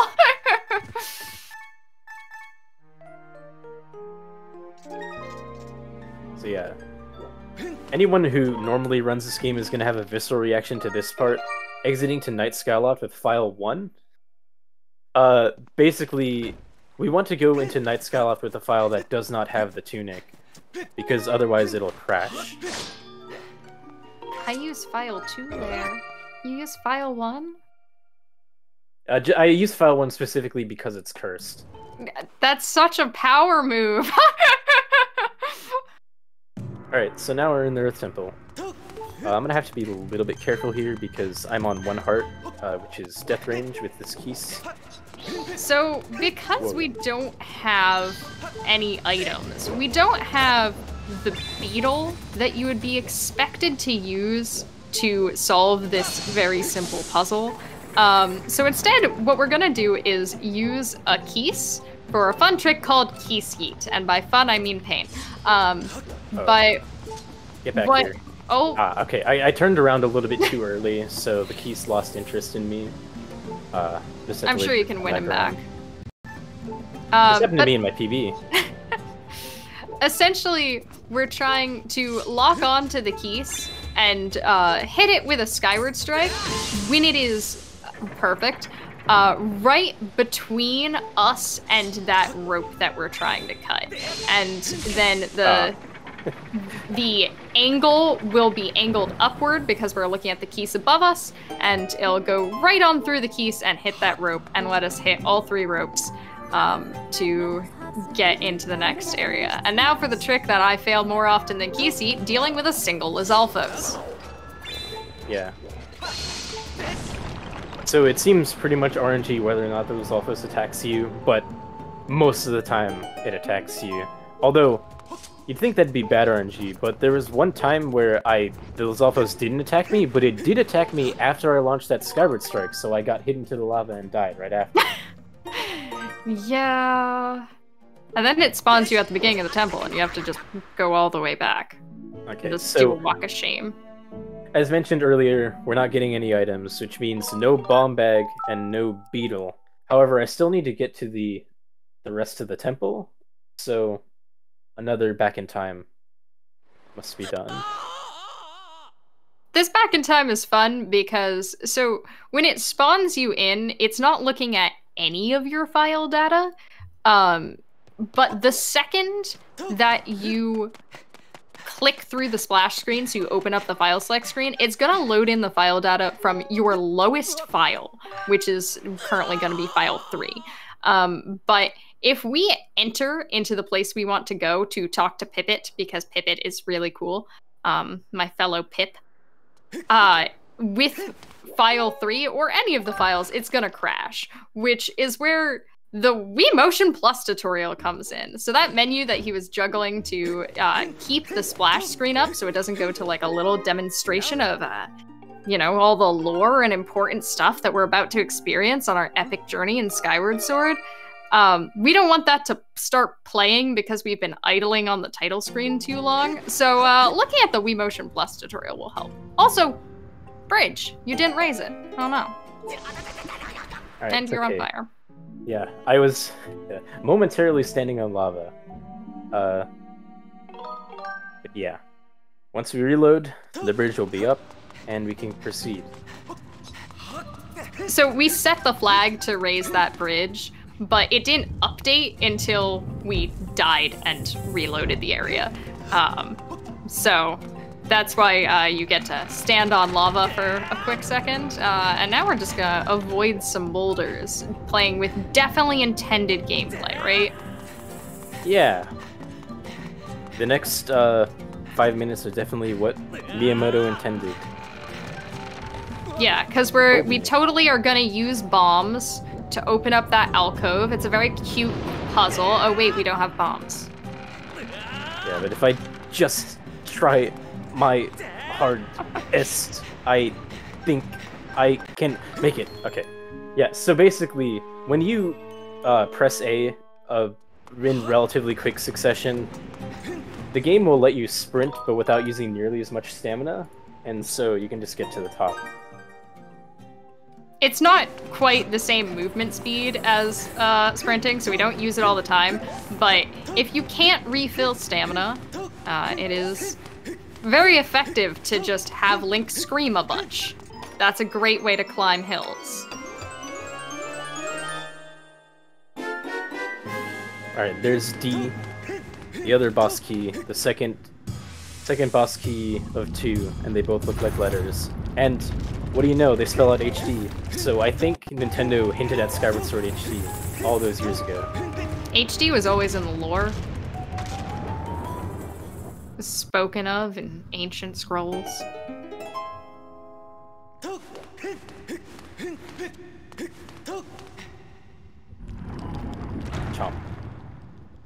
Uh, the very fun sort of setup of this dungeon is that Boulder's gonna follow us into the next room after Indiana Jonesing us and is going to become the boss. Also, D. Goodbye, D. Um, so we're gonna go fight the meatball. Uh, the meatball, it should be a very fun and easy boss. His name is Scaldera, but he looks like a meatball, so. Um, However, Yeah. again, we don't have bombs, so we have to use the bombs provided by the terrain, which is not quite the intended method. Um, especially considering that um, they are not everywhere on the arena. Oh, nice camera angle. But before we do that, uh, we have to talk to both Fi and Girahim, and Girahim talks for a while. Yeah, in fact, there is a. Uh, there's unfortunately not a practice ROM or anything, but there are practice Gecko codes, and one of the codes is specifically to skip this text. Um, and I actually use it for inspiration for a randomizer patch get rid of this text as well. You are doing very important work getting rid of this painful cutscene. Because this isn't a proper cutscene, so you can't just press 2 and skip it with hero mode powers. You have to just, like, scroll through his text. And it's all in Japanese, so I can't even appreciate the lore. I just make up what he says. Not to mention the fact that compared to other games, Skyward Sword text is kind of really slow. yeah. So it's not quite as bad on Japanese, but So it- here we have the bombs. We're just gonna take some damage. That's fine. Um, at the top of the stage, but there aren't bombs at the bottom. So what we actually do during this fight, since we can't bring the bombs with us with the bomb bag, is we manage Scaldera's health very intentionally because once he passes a certain threshold of damage, he's gonna transition phases and he's not gonna come high enough up in the arena anymore for us to access these bombs. Um, so if we can do an exact amount of damage using some very specific attack setups, um, which he seems to be cooperating on. Um, now he's transitioned phases, and uh, he also, though, has low enough health that his armor doesn't do anything. And that was good. beautiful Scaldera. That is what we call a tricycle, so named because it's three cycles. Also, yeah, I had to on a tricycle. roll the bombs down. Uh, I intentionally took damage because it makes him fall directly down. Otherwise, he'd go uh, like stand up high and then run up to the bombs, and takes a little bit uh, extra time. And I needed damage down anyway, so Also, during that phase transition, it, Yell rolled below him, so you're taking damage from his backside because he'll actually jump towards the player. Um, so if you are above him, he's just gonna climb. If you are below him, he's gonna jump over you and roll down to the bottom. If you are in a specific range of angles, um, he will jump over the side and go for a swim. yeah, yeah. There's a there's a trick to doing that without taking damage, but it runs the serious risk of having him just jump into the lava. Uh, he also doesn't take damage from the lava because he was born in the lava, molded by it, molded by the spicy floor. Um, so, uh, it's just a soft lock. There, there is a way to damage him, but it's so ungodly specific that it it's just a soft lock for the fight. Um, I didn't even know there was a way to damage. There is, and I can't replicate it, but it makes the cutscene play sideways. So yeah, I'm gonna instead of saving at the prompt, I'm gonna cancel and run back inside because there are a few flags in Earth Temple that are useful. Um, they, I think the main one is that the log in Faron Woods is down, which is nice. Don't have to do log jump. No more log jump. Log jump, by the way, just uh, skips a cutscene of the camera going, "Oh, you did it! You moved a log," by never moving the log to where the game wants us to put it, and just uh, doing a fancy little jump instead. By obviously, if we can just move the log via magic and never play the cutscene, then that's infinitely easier, and we don't we don't need to do any fancy jumps at all. Yeah, not only do I want to bonk file one here, uh, probably should have explained this earlier. Whenever we're bonking a tree in back in time with the file, it's loading the flags of that file in. So like for example, when I open file one here, this gate opens up. Yes, unfortunately you did miss Keese Yeet. Uh, Keese Yeet went very well.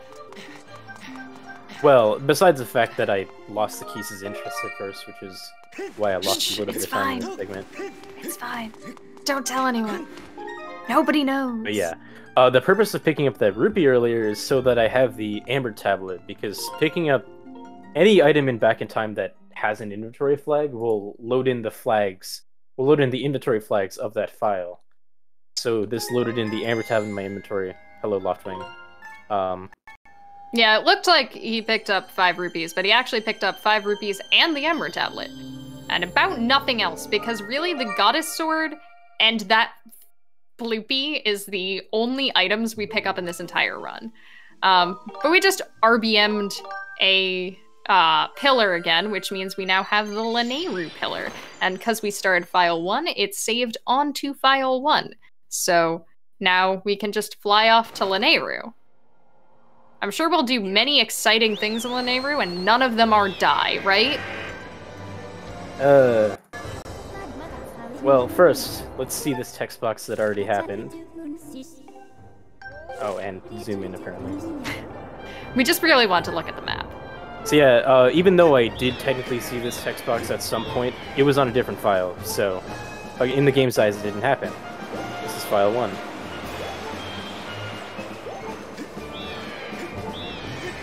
So there we go. Uh, we got the, the nice yellow Lanayru pillar over there.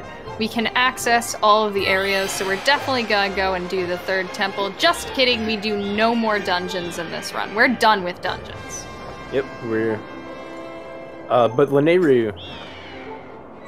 Like, basically, the entire premise of this run is just get to Lanayru as fast as possible because there's a very fun minigame. Uh, yeah, it's a very fun minigame with uh, very magical properties. Yeah. One of the other perks of being on hero mode is that we can access all of the boss rush minigame.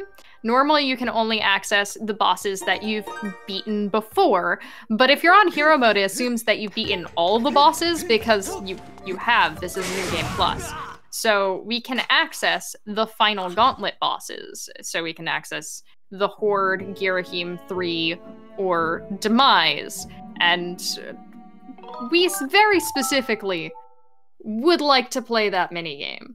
It sounds really fun and like a great waste of time. And earlier, earlier I was talking about how uh, you could bonk files in back in time to load in flags. Uh, the file that we were bunking was file one, and file one is now in Lanayru. So unfortunately, to get over to the other side of this uh, gate, we're gonna have to do it the old-fashioned way. Uh, if you remember, like 45 minutes ago, this is how I got over for the first back in time. You just void out. Because for some reason, if you void out at a certain position, it just assumes you're over here. It's very good at determining where it should put you. This is also uh, a regular bit warp, not a reverse bit warp, which is done just by hitting save and start at the same time. And it's just going to put you on the map you are on, so Lanayru, but with the coordinates of the statue that you saved at, um, which happens to be way out in the middle of nowhere. So, welcome to pretty far out of bounds. Yeah, just like Eldin, there's fortunately some collision over here. And Oh. there's a place of interest. Am I even going the right way? I think I am. Did you bring a map? Oh no, the map might crash the game. It's fine. The map will not crash the game in uh, not in back in time. I was going way the wrong way. Wow. Okay, it, it's been it's been a while. Uh, That looks correct. I think I have a terrible sense of direction.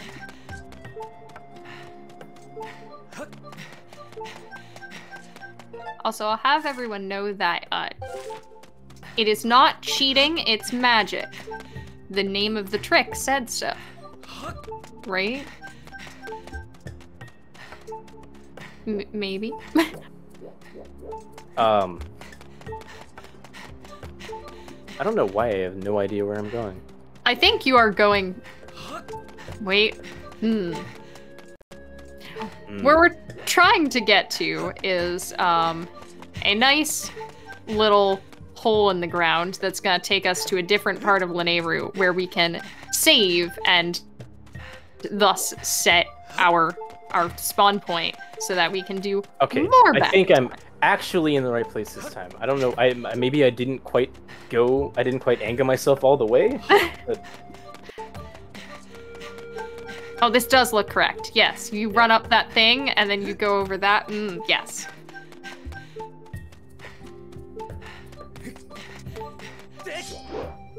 We found a hole in the ground. Huzzah.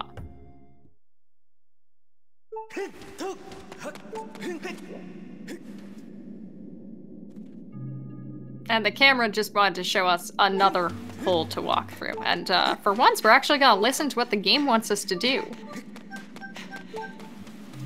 Uh, Yeah. And we're going to go meet my best friend who's a cactus. yeah, so this is Lanayru Gorge. Uh, normally you're supposed to be here way near the end of the game uh, after you've uh, talked to Levias and you need to go get the Song of the Hero. Uh, but actually, talking to Levias sets and sets some important information here that's not here. So, welcome back to Layer Zero. We're gonna have to do a few things to get stuff uh, in a workable state. Yeah, so we want to do the boss rush minigame, which requires talking to the Thunder Dragon. However, in order to talk to the Thunder Dragon, we need the Thunder Dragon to exist, which is going to require uh, a bit of finagling with flags. So I hope y'all like Bit, because we're going to do a good couple of Faron bits that we're just grabbing some flags from Faron, and we are then applying them to Lanayru, and uh, hopefully uh, the result should be that we both um, set up a minecart and also uh, can like have the, the thunder dragon be in his saved state that we've already done his quest line because we're definitely at the end of the game we played everything as intended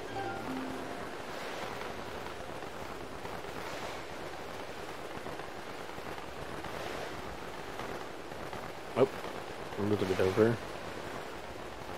Yeah, skydiving can be kind of fun, uh, especially when there's a giant menu in the way.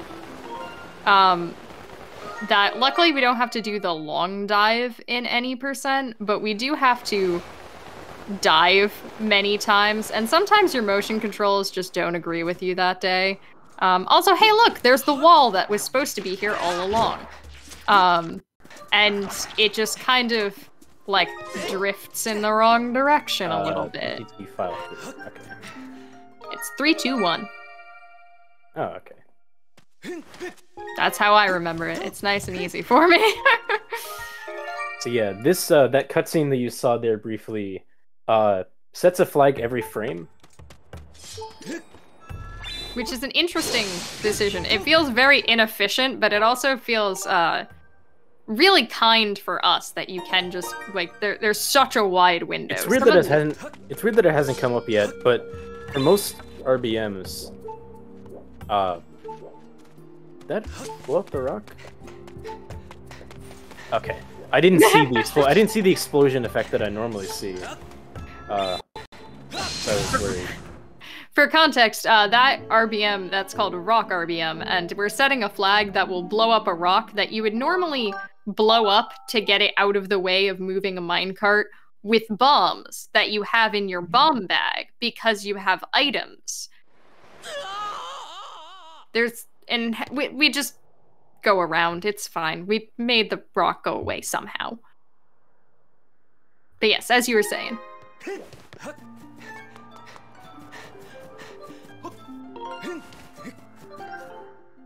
Uh, we are also just gonna go back and uh, do another fun Faron bit. Yes.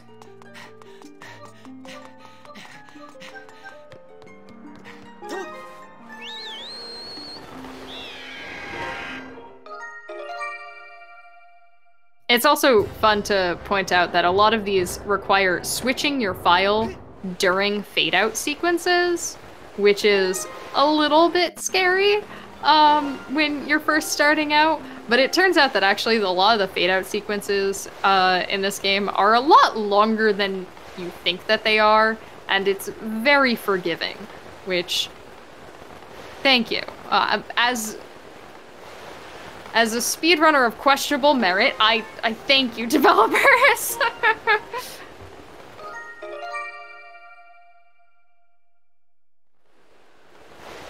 All right, so doing the same thing again. Uh, we're gonna go a little bit farther this time. this is everyone's favorite RBM. Uh, which also known as uh, the one where we get to see Machi and he makes cute uh, little QQ noises.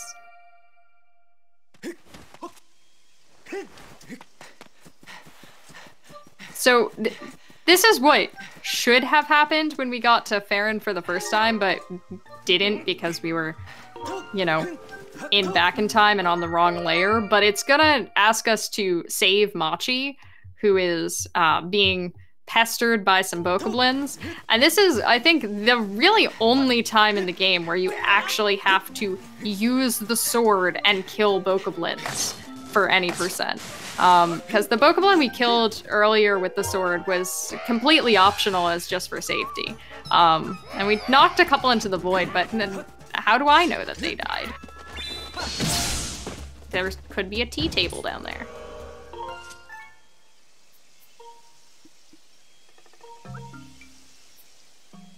That fight also relies on another perk of hero mode, which is that our Skyward Strike deals a lot more damage than it should, but the blade itself doesn't.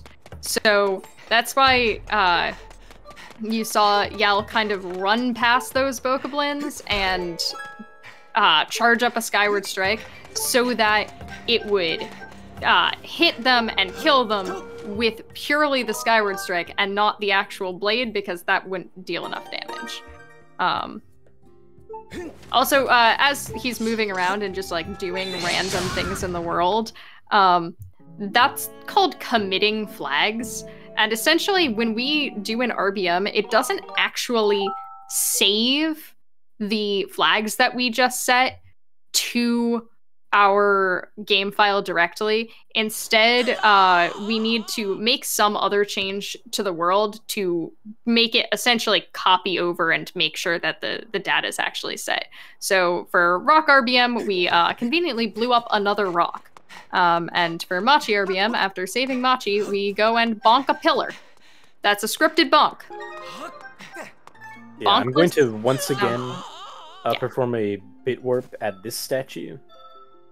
Uh, it's going to put us out of bounds, and hopefully I should actually know which direction I'm going this time. Uh, in, in my experience, I think you just turn to the right. Yeah, that's what I tried to do last time. there. we go. Um, but we have a question from chat of if you die by accident, does it bork the whole thing? Depending on where you are in the run. Normally, yes, so, no. Normally, so, you can retry. This is a very specific uh, exception to that rule, actually. So basically, what the Machi RBM did is it set a temporary flag that means that the minecart escort is active, and um, the game will unset that flag if you die. Uh, so it is kind of bad if you die here. Hopefully we can be very careful and not die. This is jank jump, by the way. I don't know why it works. Don't ask me. Oh, and sometimes it doesn't work, and I don't know why it doesn't work either. Um. Yeah. Oops. While we're jank jumping, you could probably squeeze into a, a quick donation before we get to the end of the run. Perfect timing a $10 donation from Coco. He says, one last donation from me to round out a hundo. Why do people happy? Thank you very much for your, in totality, $100. Thank you so much to everyone who's donated. This has been a lovely event. Oops. Alright, so yeah, now we're over here. Um, I always, I always do that. I also do, and I hate it. Uh, this is called a break slide. Um, it makes you move on quicksand the fast uh, using uh, some E- ESS shenanigans, uh, which allows us to get close enough to that door that when we void out, it just spawns us right on the other side. And the nice is- perk about layer zero is that there's no Dekubabas here. Yeah.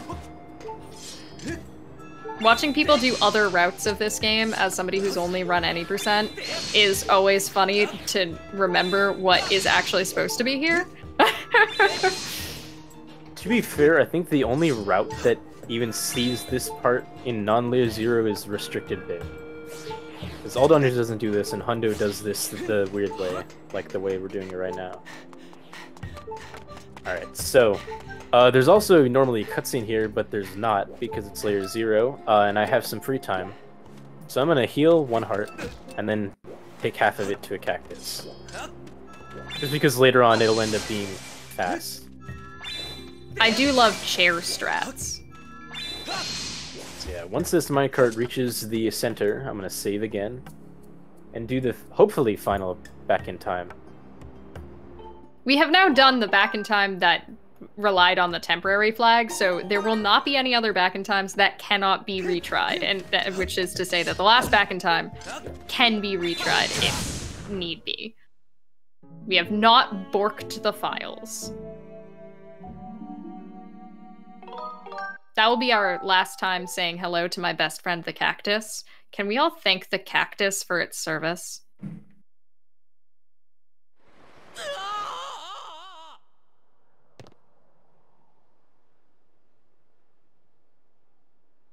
Alright, so this one is set up just like all the other ones, or all the other ones in Lanayru, I should say. Yep, we're going right back to Faron, and we're actually going to go back to that uh, cutscene that we saw during our first Faron bit. Um, and we're going to do it a little bit differently, because instead of waiting for Link to move into a loading zone, we're just going to like hit start to steal the flag from a cutscene. Um, but it's a nice it's a nice memory of where we've come from.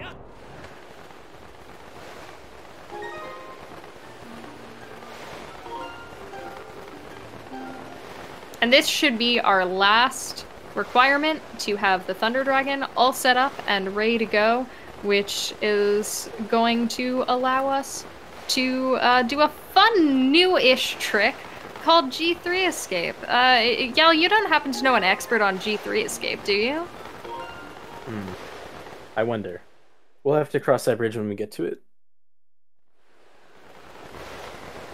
We'll we'll find somebody who's got credentials in being able to talk about G3 Escape, right? But for now, we get to run past the Dekubabas one last time. Also, those uh, fun log teleports um, are uh, a nice example of things instantly changing when you change files. That uh, all you have to do is stare at where the log is going to be and jump, and the log appears below you uh, when you switch over files, which is very handy.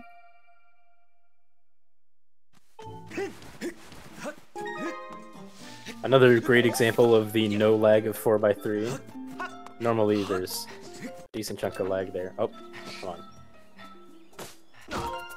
we do have to use that rope uh that we were using earlier which if you'll remember required us to reload the map to make it spawn correctly so we're just gonna reload the map again by uh once again dying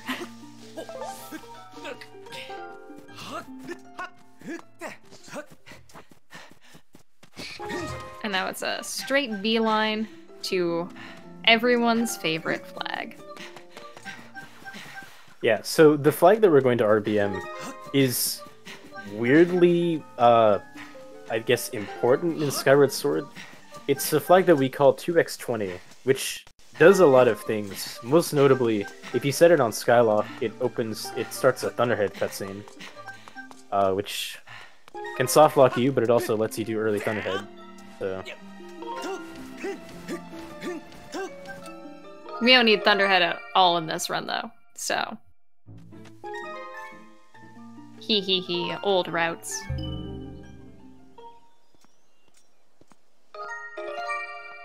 And Ooh, that. Uh. Okay, I thought I thought I might have started my file a little bit early. But that one's nice because you get instant confirmation whether or not it worked. Because if Fi spawned, then and like tries to talk to you, that means it worked. If Fi did not spawn for some reason, um, that means you're in trouble. in the old route of this game, the optimal way to do this RBM involved like harp strumming, so it was really stressful. I'm glad that's no longer a thing. But yeah, so now uh, here's the boss rush. Um, the boss of interest uh, in this run is Girahim 3. Alright, so, funny story about this. Um, a long time ago, or not a long time ago, but like a few years ago, it was found out that you can hop through a fence at the bottom of the Girahim 3 arena, but we couldn't do anything with it because reasons. Skyward Sword is notoriously, like, anti-glitches. um, but this whole showcase was definitely anti-glitch. besides back in time. Um, but basically, uh, I was trying to find a way to like slip past a void plane, and I accidentally found uh, the trick that you're about to see. So essentially, right now we're not trying to kill Girahim. We're trying to escape and get to that nice cozy save statue at the bottom. Um, and we're doing that by manipulating platforms to keep Girahim going lower and lower in the arena. So these silly dangles are actually manipulating the platform below that Girahim is sitting on so that when he drops onto the next platform, instead of going straight up back to the center where it's supposed to, it's going to move into the center first and then up. Um, which, if we can hit him off before it starts moving up, we will continually be moving down. So now Girahim is uh, quite far away. So this is the the long scary dangle that. This is also uh, the one where usually, if it fails, it's here. Yup. Four, five, half. And it decided to fail. Um, okay, so I kind of have to have you kill me to retry this. So I'm not really sure why that failed. This I found it. I don't know why it works. There's been all sorts of theories as to what makes that last platform sometimes just decide to move up.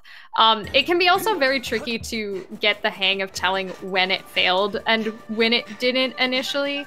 Um, but essentially, you're looking at the background to try to see if the platform that he's standing on starts moving into the center or up.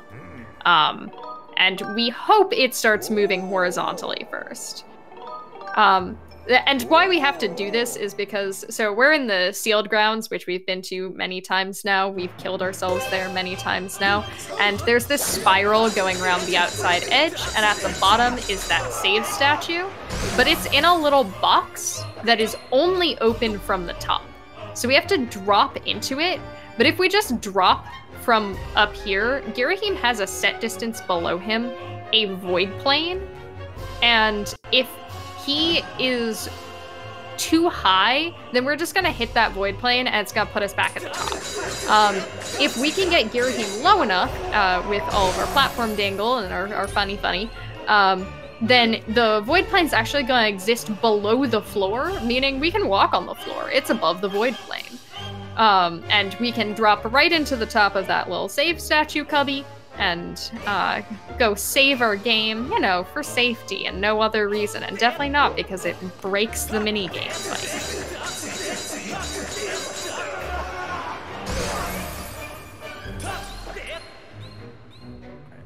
So, try this again.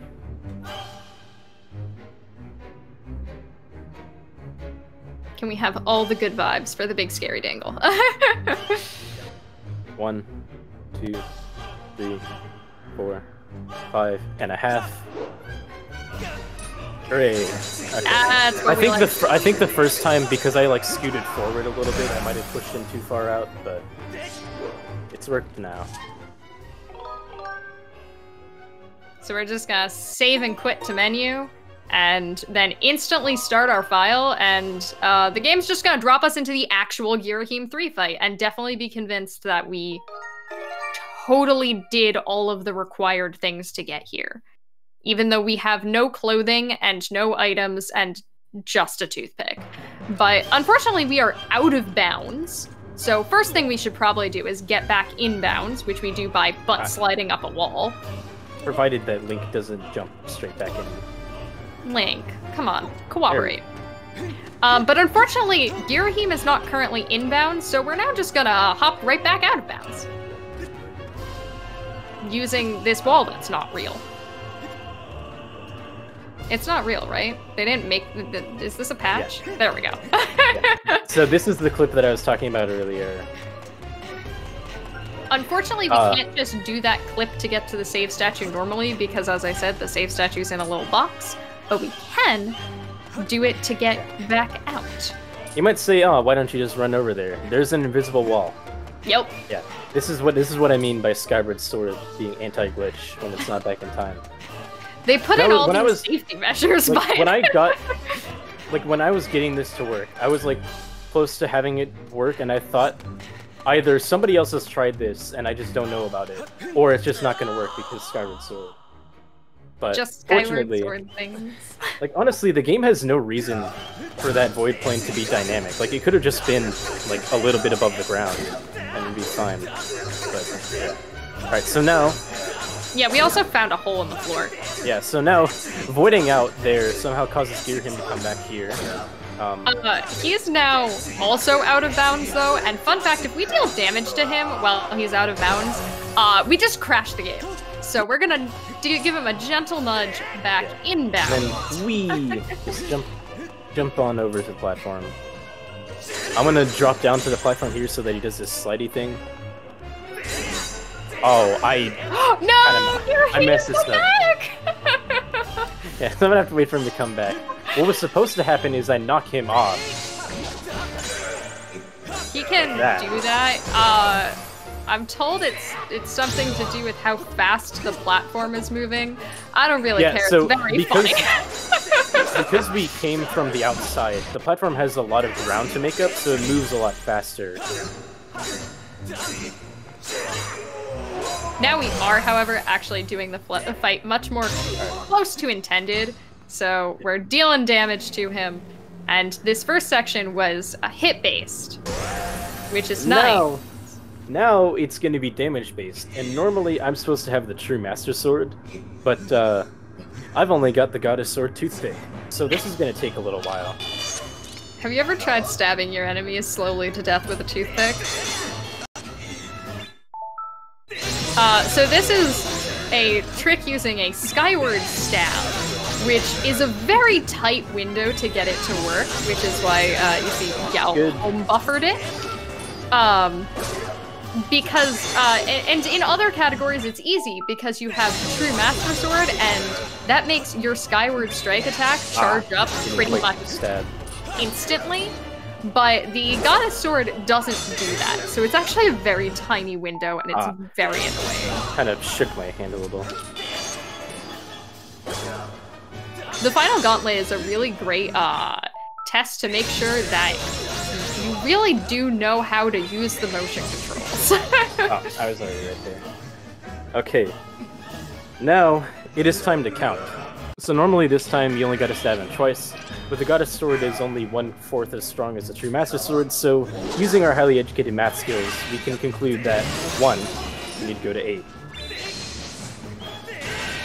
I didn't know that any speedrunner could count. I'm impressed. Three. You also low-key need to be managing your stamina during all of this, because if you just do it as fast as possible, you're gonna run out of stamina, Five. and then you're gonna be standing, panting in front of Girahim and not able to poke him with your sword. Seven.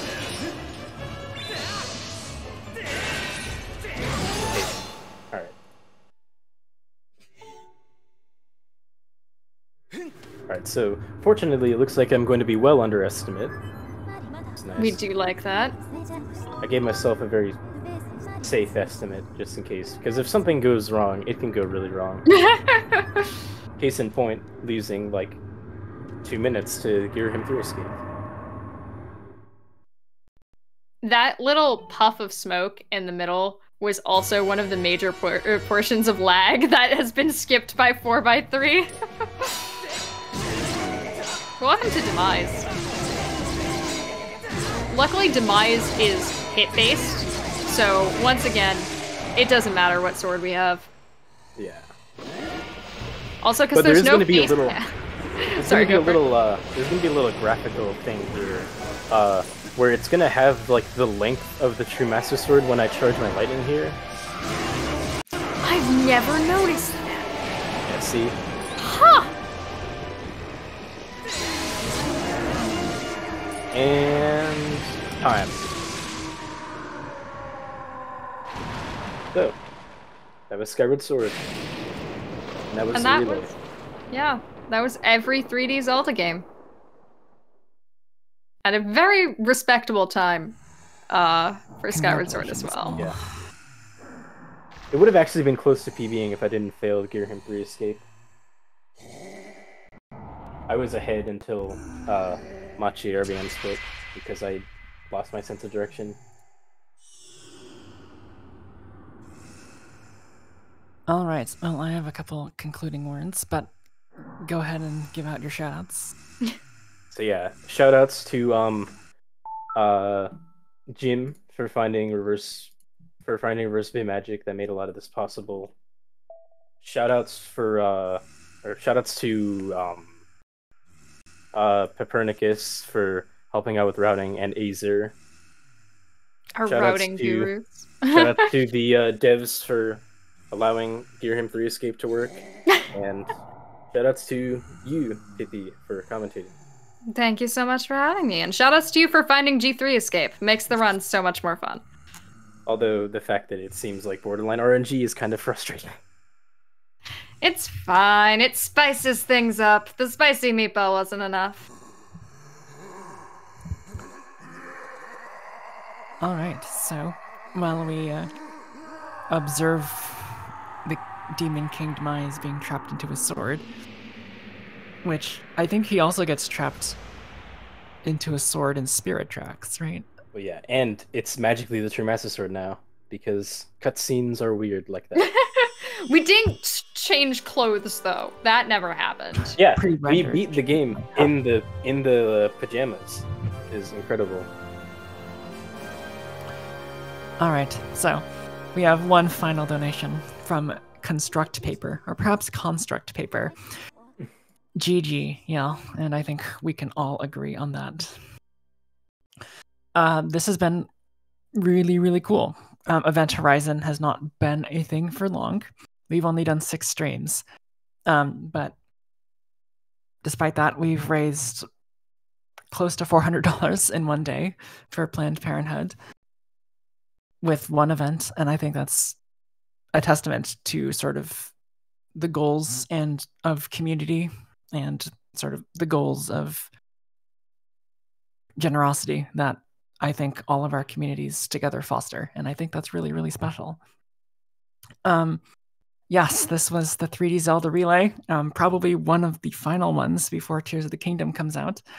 Um, I've heard a lot of talk from our runners that perhaps they want to run this back soon. Um, so maybe you'll see that in the near future. But for now, thank you all very much for watching. Thank you, Beast and Mini and Dope and Corpser and Noman and Yal for showing off your amazing talents um, on one big final uh, run for the first session of Event Horizon. Um, once again, thank you all and have a good night.